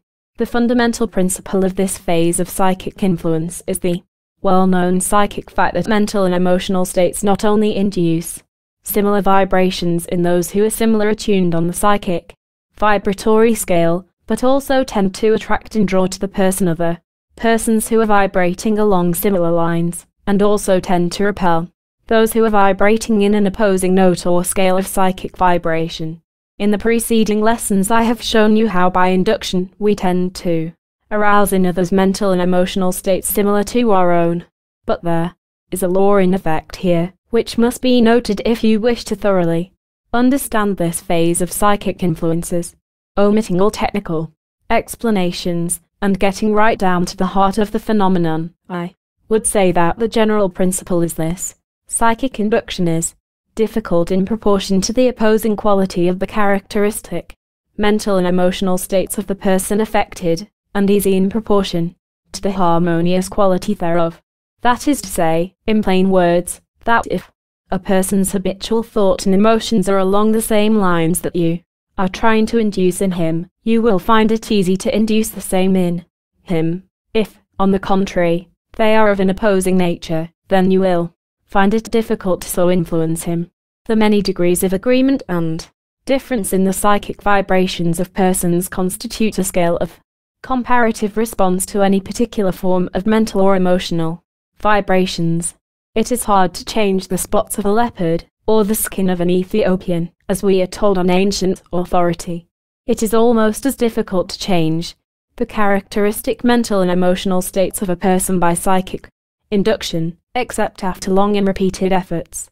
On the contrary, let a person have certain characteristic mental and emotional habits, then these may be aroused in them with the greatest ease by means of psychic Induction. For instance, if a person is characteristically and habitually peaceful, mild, and calm, it will be very difficult to arouse in him by psychic induction the vibrations of anger, fight, and excitement. On the other hand, if the other person is combative, fierce, and easily excited too, wrath, it is the easiest possible thing to arouse these feelings in him by psychic induction. So much for ordinary psychic induction. Let us now consider indirect psychic induction, in which the same principle operates. In indirect psychic induction, that is to say in cases in which psychic vibrations are aroused by induction without deliberate attempt or design to influence any particular person or persons, there is noted the manifestation of a peculiar law of attraction and repulsion along psychic lines. This psychic law operates in the direction of attracting to oneself other persons who, actively or passively, vibrate on the same note, or on some note or notes in general harmony therewith. In the same way, the law causes you to repel other persons who vibrate on a note or notes in general in harmony or discord to yourself. So, in short, we go through life, attracting or repelling, psychically, others in harmonious or inharmonious, psychic relation to us, respectively. An understanding of this law and its workings will throw light upon many things in your life which you have not understood previously. You of course understand that you are constantly radiating currents of psychic vibrations, some of which flow out to great distances from you, and affect others often far removed from you in space. But you may not. Also know that on the astral plane there is manifesting a similar sequence of cause and effect. A strong emotional vibration, or a strong desire or will, tends to manifest on the astral plane by attracting or repelling others in psychic harmony or in harmony with you. This phenomenon is not so common as is that of ordinary thought vibrations from brain to brain, but it is far more common that is generally supposed. It is particularly marked in cases of men of strong desire and will, and strong creative imagination. These vibrations awakening response in the minds of those in harmony with them, tend to draw to one those other persons whose general character will fit in with the desires and ideas of the first person, or to repel those who are not harmonious therewith. This explains the peculiar phenomenon of strong men in business, politics, and other walks of life, drawing and attracting to them other men who will fit in with their general plans and aims. This law works two ways. Not only do you draw such persons to you as will fit in with your plans and purposes, but you are attracted to them by the same law. Not only this, but you will find that through the peculiar workings of this law, even things and circumstances, as well as persons, will seem to be molded by your strong desires and ideas, providing your psychic vibrations are sufficiently strong and clear. Have you never noticed how a strong, resourceful magnetic man will seem to actually draw to him the persons, things and circumstances that he needs to carry out, and manifest his plans and designs. To many, not understanding this great law, these things have seemed positively uncanny and mysterious. But, nowadays, the big men of business and politics are beginning to understand these psychic laws, and to apply them deliberately and with purpose. Some of the great leaders in the business world, and in politics, are known to deliberately start into operation strong psychic vibrations, and to send out strong psychic currents of attraction by the methods that I have already explained to you. They, of course, are filled with a more than ordinary degree of desire and will and, in the second place, they create very strong and clear mental pictures of their plans working out successfully to a finish, then concentrate strongly on the thing, and lo, the effect is felt by all hands and on all sides. They treat the public, to use the term favored by some of the metaphysical cults of the day, by holding the mental picture of that which they strongly desire to come to pass, and by concentrating their thought and will strongly upon it. A favorite mental picture of some of these men, who have been instructed by teachers of occultism, is that of themselves as the center of a great psychic whirlpool, drawing to themselves the persons, things, and circumstances calculated to bring success and realization to them. Others picture their thought vibrations flowing from them like the rings in a pond into which a stone had been dropped, influencing a constantly widening circle of other persons. Then they picture the persons being drawn to them in the manner just mentioned. They persist in this practice, day after day, week after week, month after month, year after year. Is it any wonder that they draw to themselves that which they desire? Other persons of lesser caliber take similar advantage of the law in the same way, but on a smaller scale. In every community there are certain persons who seem to draw to themselves the patronage and custom of the community in some peculiar way. In most cases this may be traced back to some form of psychic influence. I do not mean that these persons consciously and deliberately set these forces into operation. On the contrary, Many of them do so more or less unconsciously, and without a knowledge of the underlying psychic principles involved.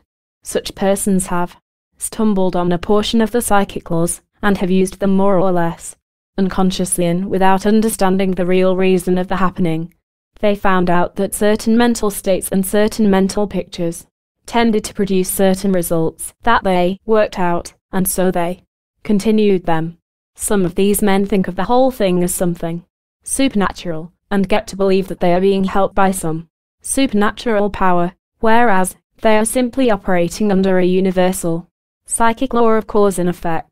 In America, a number of teachers and writers have devoted much attention to this phase of the general subject of psychic influence.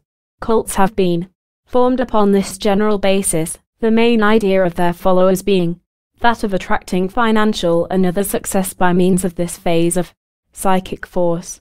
One of the leading writers along this line says, an individual who has cultivated the faculty of concentration and has acquired the art of creating sharp, clear, strong mental images, and who, when engaged in an undertaking, will so charge his mind with the idea of success, will be bound to become an attracting center. And if such an individual will keep his mental picture ever in his mind, even though it be in the background of his mind, when he is attending to the details and planning of his affairs, if he will give his mental picture a prominent place in his mental gallery, taking a frequent glance at it, and using his will upon it to create new scenes of actual success, he will create for himself a center of radiating thought that will surely be felt by those coming within its field of influence. Such a man frequently sees people as coming to him and his enterprises, and as falling in line with his plans. He mentally sees money flowing in to him and all of his plans working out right. In short, he mentally imagines each step of his plans a little ahead of the time for their execution, and he concentrates forcibly and earnestly upon them. It is astonishing to witness how events, people, circumstances, and things seem to move in place in actual life as if urged by some mighty power to serve to materialize the conditions so imaged in the mind of the man. But, understand, there must be active mental effort behind the imaging. Day. Dreamers do not materialize thought, they merely dissipate energy. The man who converts thought in activity and material being throws energy into the task and puts forth his willpower through the pictured image. Without the rays of the will, there will be no picture projected, no matter how beautifully the imagination has projected it thought pictured in mental images, and then vitalized by the force of the desire and will, tend to objectify themselves into material being. The student will be interested in reading and hearing the various theories and explanations given by different writers and teachers to account for the phenomena of psychic influence. Once he has grasped the real scientific principles involved, he will be able to see the same in operation in all of the cases cited by the different teachers and writers, and will find that this fundamental principle fully explains and accounts for all of these cases, no matter how puzzling they may seem, or how mysterious they may be claimed to be by those mentioning them. Truth is very simple when we brush away the fantastic dressings which have been placed around it by those who have lacked knowledge of the true fundamental principles. We see this same law or principle operating in very many different ways from those previously mentioned. For instance, we frequently find cases in which one person has a strong desire for a certain kind of assistance in his business or other work. He has almost given up hope of finding the right kind of person, for those whom he has tried have failed to measure up the requirements of the situation. If he will, and he sometimes does, follow the general plan just mentioned, he will set into operation the psychic forces which will attract that person to him, and him to that person. In some peculiar way, the two will be thrown together, and the combination will work out to the best advantage of both. In these cases, each person is seeking the other, and the psychic forces of attraction, once set into operation, serve to bring them together. In like manner, one often draws to himself certain knowledge and information that he requires or is desirous of gaining. But, and you must always remember this, no miracle is worked, for it is simply a matter of the working out of natural laws of cause and effect, attraction and response to attraction on the psychic or astral plane. Such a person will, accidentally, run across some other person who will be led to give him the key to the knowledge he seeks. Perhaps a book may be mentioned, or some reference to some writer be made. If the hint is followed up, the desired information comes to light. Many persons have had the psychic experience of being led to some bookstore and induced to examine a particular shelf of books, whereupon the particular book presents itself, which changes the whole course of the person's life. Or, perhaps, one will pick up a newspaper apparently at random, and without purpose, and therein will find some information, or at least a hint in the direction where the information may be found. When one accustoms himself to the workings of psychic forces, these things soon become accepted as a matter of course, and cease to arouse wonder or surprise. The workings of the psychic law of attraction is seen to be as natural and invariable as the law of gravitation, or magnetic attraction, once one has mastered its principles and learned the methods of its application. Surely such a wonderful law is well worth study, attention, investigation, and mastery, isn't it? A writer along the lines of mental science, which is really based on the principles which have been stated in this book, has the following to say regarding his system. Wonderful results arise by reason of what has been called the law of attraction, by the workings of which each person is continually drawing to himself the people, things, objects, and even circumstances in harmony in accord with his prevailing mental states. Like attracts like, and the mental states determine that which one draws to himself. If you are not satisfied with what is coming to you, start to work and change your mental attitudes and mental states, and you will see a change gradually setting in, and then the things that you want will begin to come your way. Asterisk, asterisk, asterisk. A most important fact about the effect of mental vibrations upon people lies in the principle that one is more affected by vibrations in harmony with his own accustomed feelings and mental states than by those of an opposite nature. A man who is full of evil schemes and selfish aims is more apt to be caught up by similar vibrations than one who lives above the plane of thought. He is more easily tempted by evil suggestions and influences than one to whom these things are abhorrent, and the same is true on every plane. A man whose mental attitude is one of confidence and fearlessness is not apt to be affected by vibrations of a negative, pessimistic, gloomy nature, and vice versa. Therefore, if you wish to receive the vibrations of the thoughts and feelings of others, you must place yourself in a mental attitude corresponding with those vibrations which you wish to receive. And if you wish to avoid vibrations of a certain kind, the best way is to rise above them in your own mind, and to cultivate the mental states opposite them. The positive always overcomes the negative, and optimistic mental states are always positive to pessimistic mental states. Another writer on, and practitioner of mental science, in America, several years ago, explained and practice by means of the term correlation of thoughts and things. She held that when one thought positively, clearly and forcibly of a thing, he related himself to that thing and tended to attract it to him and to be attracted toward it. She held that true wisdom consists in so managing our thoughts that we shall relate ourselves only to those things which we know to be desirable and beneficial to ourselves, and to avoid thinking of those which are harmful and detrimental to us. The student of this book will see how this practical mental scientist was really using the same principles that we have examined and become acquainted with in this book, although she called them by another name and explained them by another theory.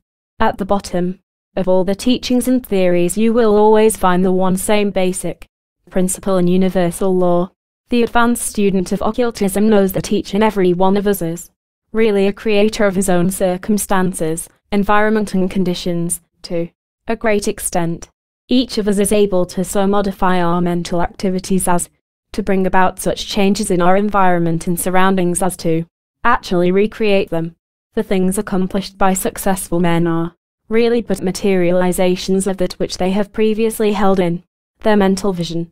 Everything is first created on the psychic plane, and then manifested in the physical world. All the great works of man, the great bridges, great buildings, tunnels, machinery, cities, railroads, canals, works of art, musical compositions, etc., first existed in the mind of their creators, and were then afterward materialized in physical form and shape. And, so you see we are proceeding with our work of mental creations whenever we think and make mental images. This, however, is no new teaching. It is as old as the race of mankind. Over 2500 years ago, Buddha said to his disciples, All that we are is the result of what we have thought. It is founded on our thoughts. It is made up of our thoughts. I would be telling you but half the story did I not warn you that strong fear may play the part ordinarily filled by desire in the production of the psychic phenomena of materialization of mental pictures. Strange as it may appear at first, a strong fear that a thing will come to pass will act much the same as a strong desire that the happening will occur.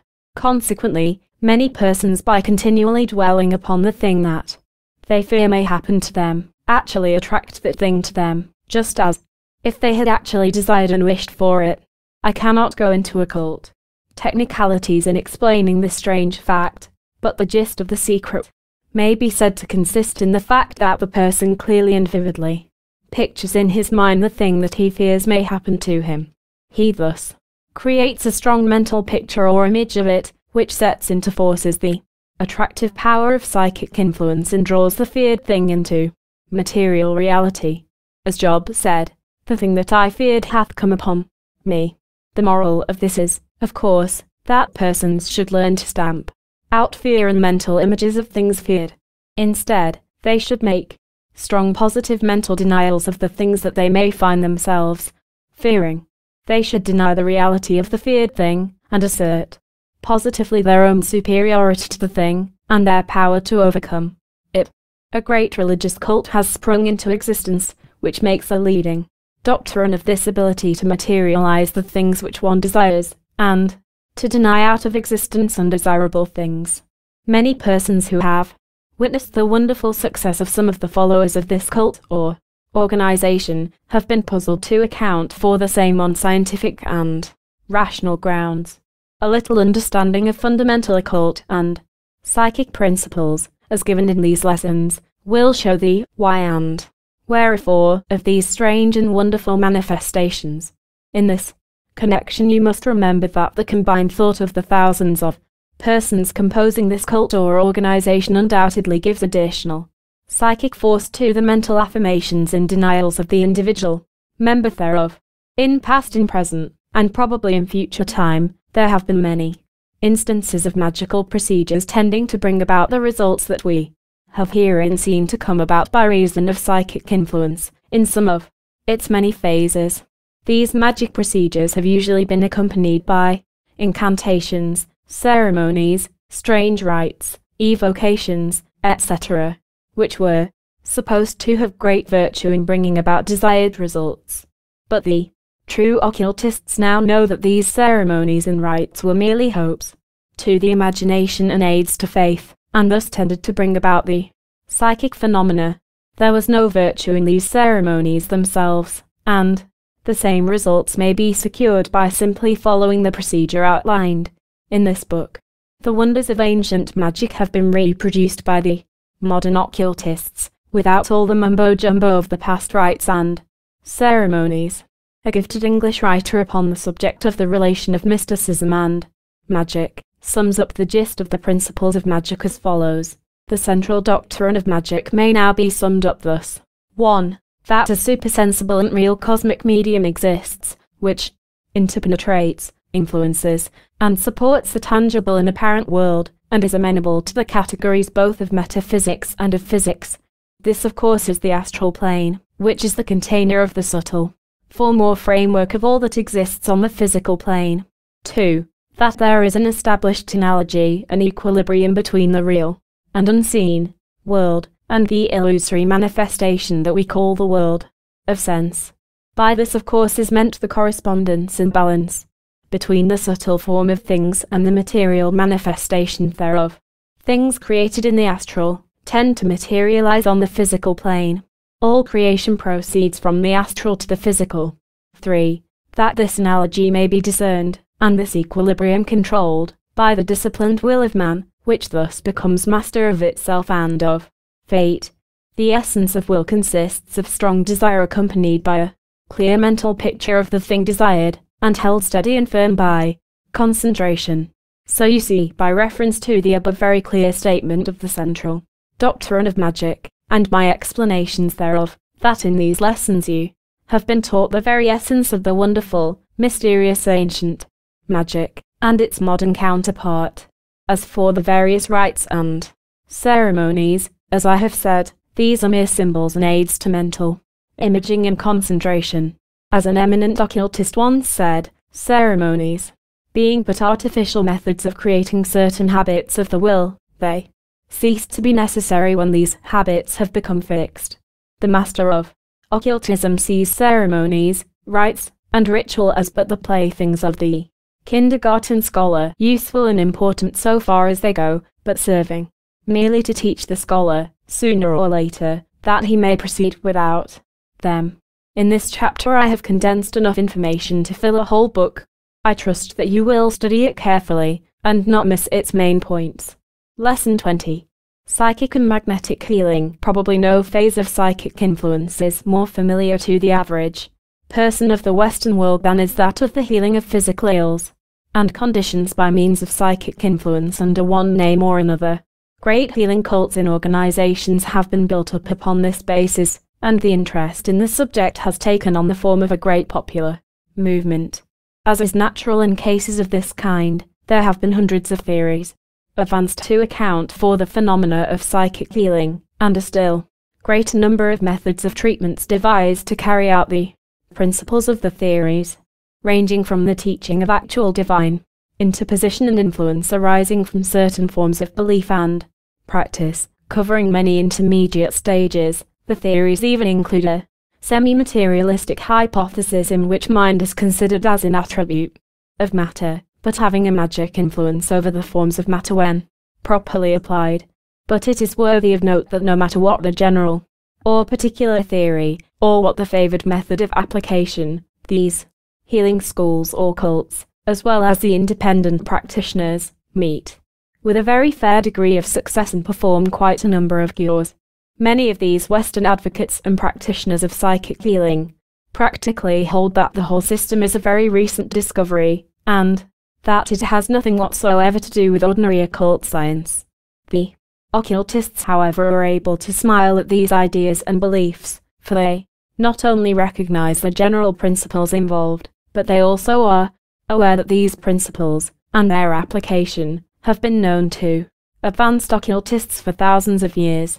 I do not say this in any disparagement of the modern schools of psychic healing, for I am in full sympathy with their great work. I merely mention the matter that the student may get the right historical perspective in considering this phase of psychic phenomena and influence. So far as the methods of application are concerned, the true occultist recognizes that most of the methods and forms of treatment are but outward cloaks or disguises for the real psychic healing principle. The gist of the real methods is to be found in the principles of the application of psychic influence which I have presented to you in these lessons, viz. 1. Strong desire to make the cure. 2. Clear mental image or picture of the desired condition as actually present in the patient this time. And 3. concentration of the attention and mind of the healer, so as to bring to a focus to two preceding mental states. Here, you have the real secret of psychic healing methods, the rest are all elaborations thereof, dressed up forms and ceremonies which affect the imagination, faith, belief, and confidence of the patient, and thus make the healing process much easier.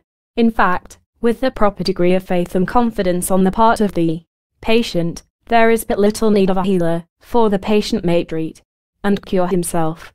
However, in most cases, the presence of the healer aids materially in arousing the faith and confidence of the patient and hastens the cure.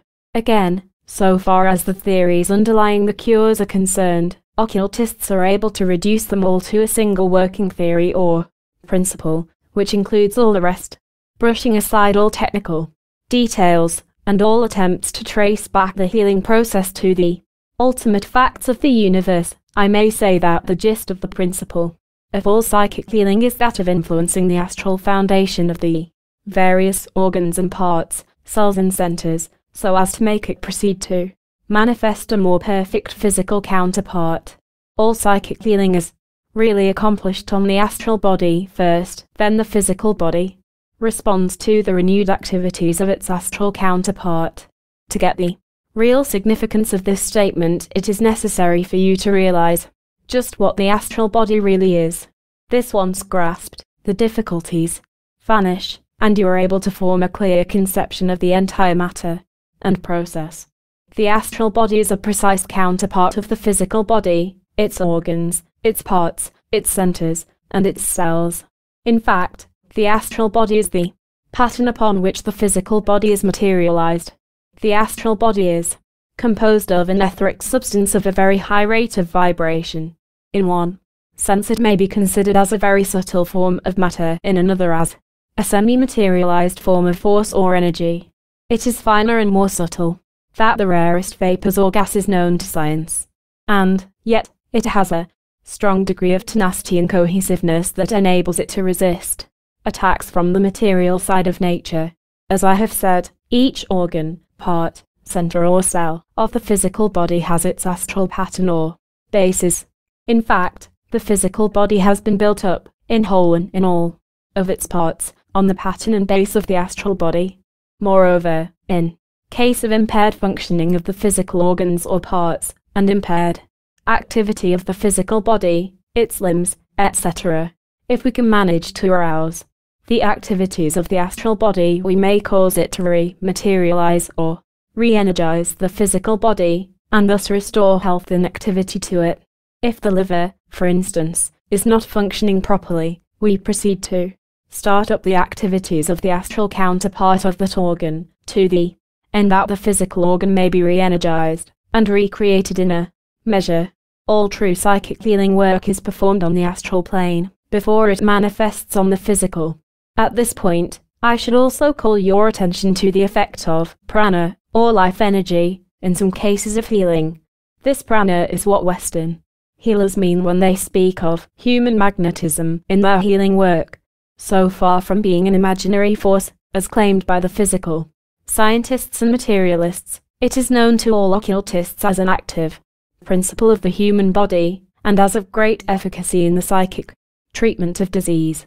I shall mention the details of this form of treatment as we proceed. I mention it at this place merely to call your attention to the fact of its existence, before passing on to the consideration of other phases of the subject.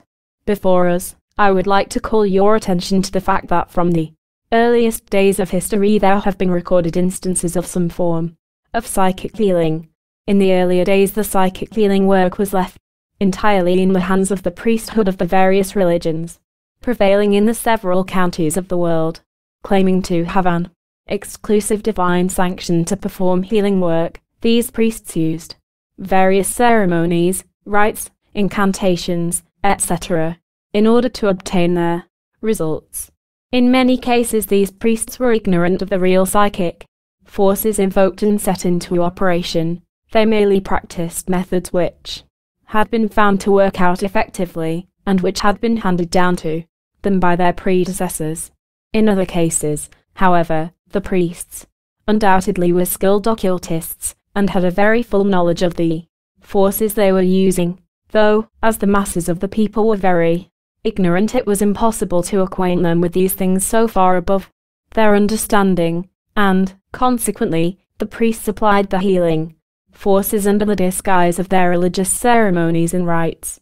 From time to time, however, as civilization progressed, there came into prominence persons who worked cures of physical ills by means of magical ceremonies and other similar methods, but who were outside of the priesthood. Some of these men undoubtedly had a very fair knowledge of the real secret of their cures, though they disguised them to suit the mental condition of their patients, and, also, probably for purposes of self glorification. In other cases, however, it is probable that these healers had merely stumbled across the fact that certain things said in a certain way tended to work cures, or that certain physical objects seemed to have therapeutic virtue. They did not realize that the whole healing virtue of their systems depended upon the strong idea in their own minds, coupled with the strong faith and confidence in the mind of the patient, and so, the work went on.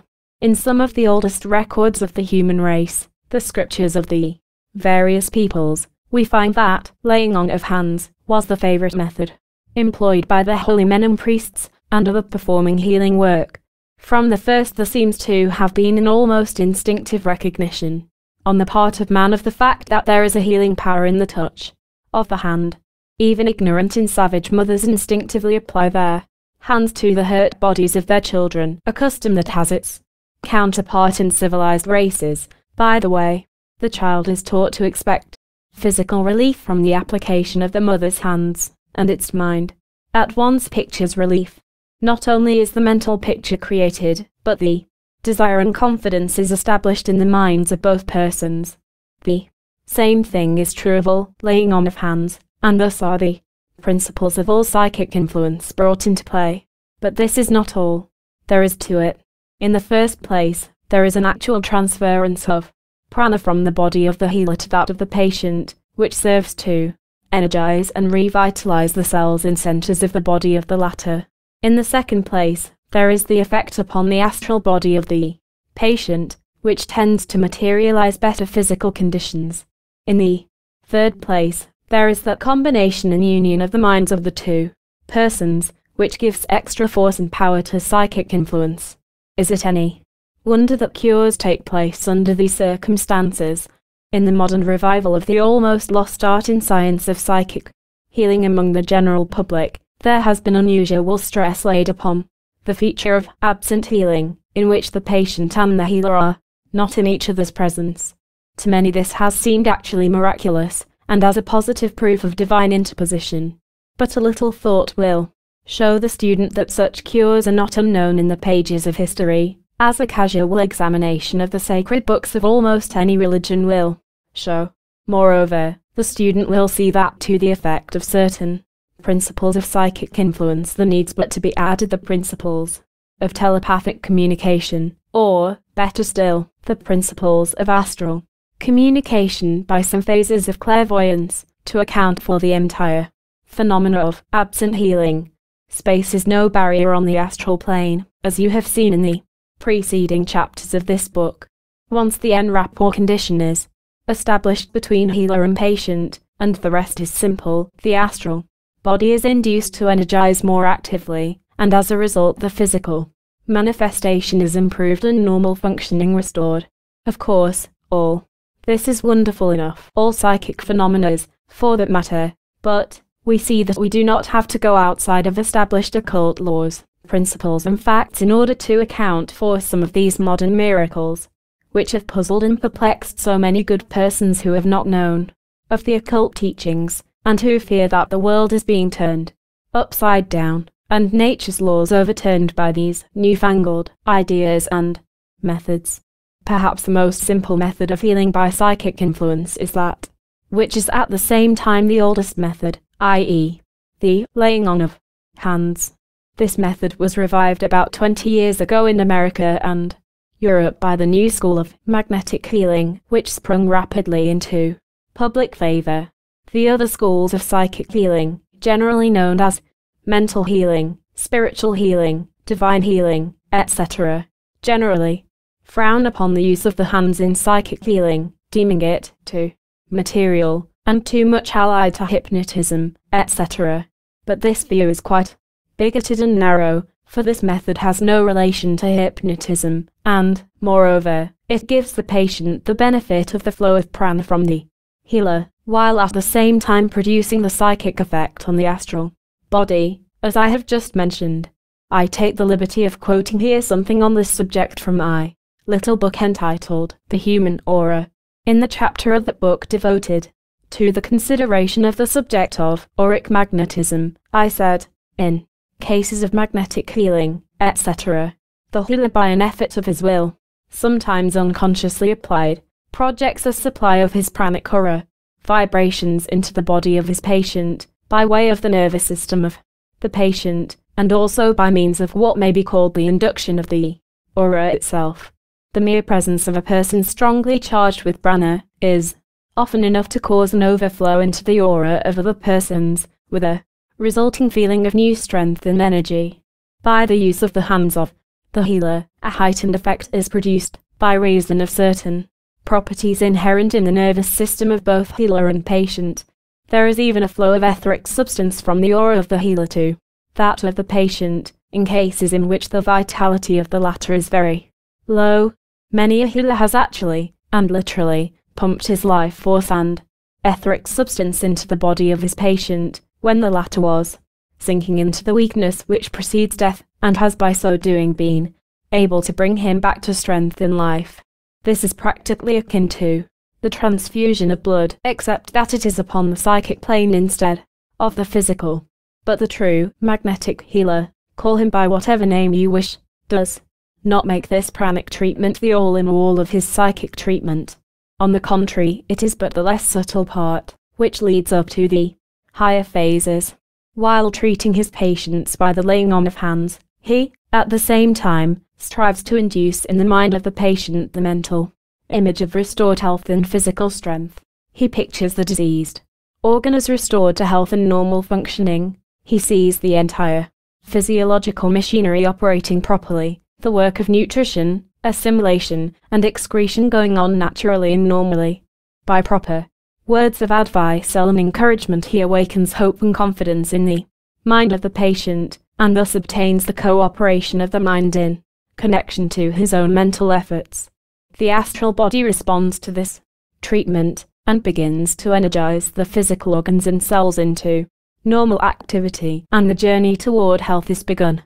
In the little book just mentioned, The Human Aura, I gave some valuable information regarding the influence of colors in psychic healing, which I do not reproduce here as it is outside the scope and field of the present lessons. Those who may feel interested in the subject are respectfully referred to the little manual itself.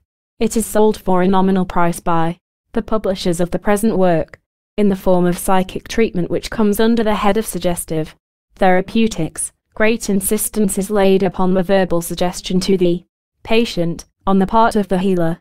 The patient is told that he will get well, that his organs will function normally, etc., etc. But the student, of the present lessons will readily see that the only virtue in the spoken words consists in their power to evoke and induce the mental image of the desired condition in the mind of the patient. The mental picture thus evoked produces a corresponding effect in the astral body of the patient and sets into operation the materialization of desired results. In addition, the words produce a strong mental picture in the mind of the healer himself, and thus give form and strength to his psychic vibrations, which are being poured out toward the patient. This is really the secret of suggestive treatment. The many cults of metaphysical healing in America and Europe lay great stress upon what they call affirmations, which are but statements of the patient of his or her faith in the healing power of God, or of mind, or spirit, or principle. Different names are used. The patient naturally has confidence aroused, and as naturally begins to picture the desired condition, this in turn reacting upon the astral body, and this upon the physical body or organ. In addition, the healer's mind is also set to work, in the same way, and sets into motion the healing psychic forces in the way just mentioned. You will notice that the same principle is always involved and set into operation in manifestation. There is no particular virtue in the form of affirmation used by the healer or patient, except the important virtue of being able to arouse strong mental pictures of restored health, proper functioning, etc. There is, of course, this also. Certain forms of affirmations or mental statements are better suited than others to the particular wants of certain persons. For instance, a very religious person will be aroused better by affirmations and statements filled with religious sentiments and ideas, while a person of a purely scientific turn of mind will receive more benefit from affirmations in which the precise physiological functions are specifically mentioned, while the person who is fond of mystery and strange ceremonies will be better served in the affirmations or statements, taken in the form of some magical incantation, etc. The difference, however, lies in the mind of the patient, rather than in the words themselves. Words are merely invokers of ideas, symbols of ideas. In themselves, words are nothing, ideas are everything. If you wish to treat yourself psychically for some physical disorder, or, if you wish to do good to others in the same way, you have but to put into operation the general principles of psychic influence herein described. That is to say, you must first be filled with the strong desire and wish to make the cure, then you must make a strong mental image of the desired result as actually present. Do not think of it as going to be, instead, say and think that it is now. Then concentrate the attention firmly and positively upon the idea. You may aid yourself and others by affirmations or autosuggestions, words creating desired ideas and mental pictures. If you wish, you may get better results in this way. In this connection, let me remind you that the healing work in many cases consists largely in placing proper mental pictures in the mind of the patient, thereby displacing improper and harmful mental pictures of disease, etc., which have been given lodgment the before. Many persons are sick because of improper and harmful mental pictures that they have allowed to be placed by the suggestions of others. Fear and dread of disease often acts to bring about the feared condition, for reasons that you can readily see. And, now, finally for the work of absent healing by psychic influence. I can state this to you very simply. It is this take what I have just told you regarding personal treatments, and combine it with what I have told you in previous lessons about long distance psychic influence, then you will have the whole thing.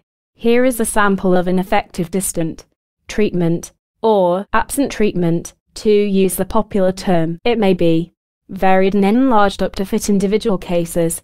Sit quietly in your own room, inducing a calm, peaceful mental attitude and state. Then, in the way already told you in this book, make a mental picture of the patient as sitting opposite to you or lying down in front of you. If you have never seen the patient, make simply a mental image of a man or a woman, as the case may be, and think of the figure as being the patient.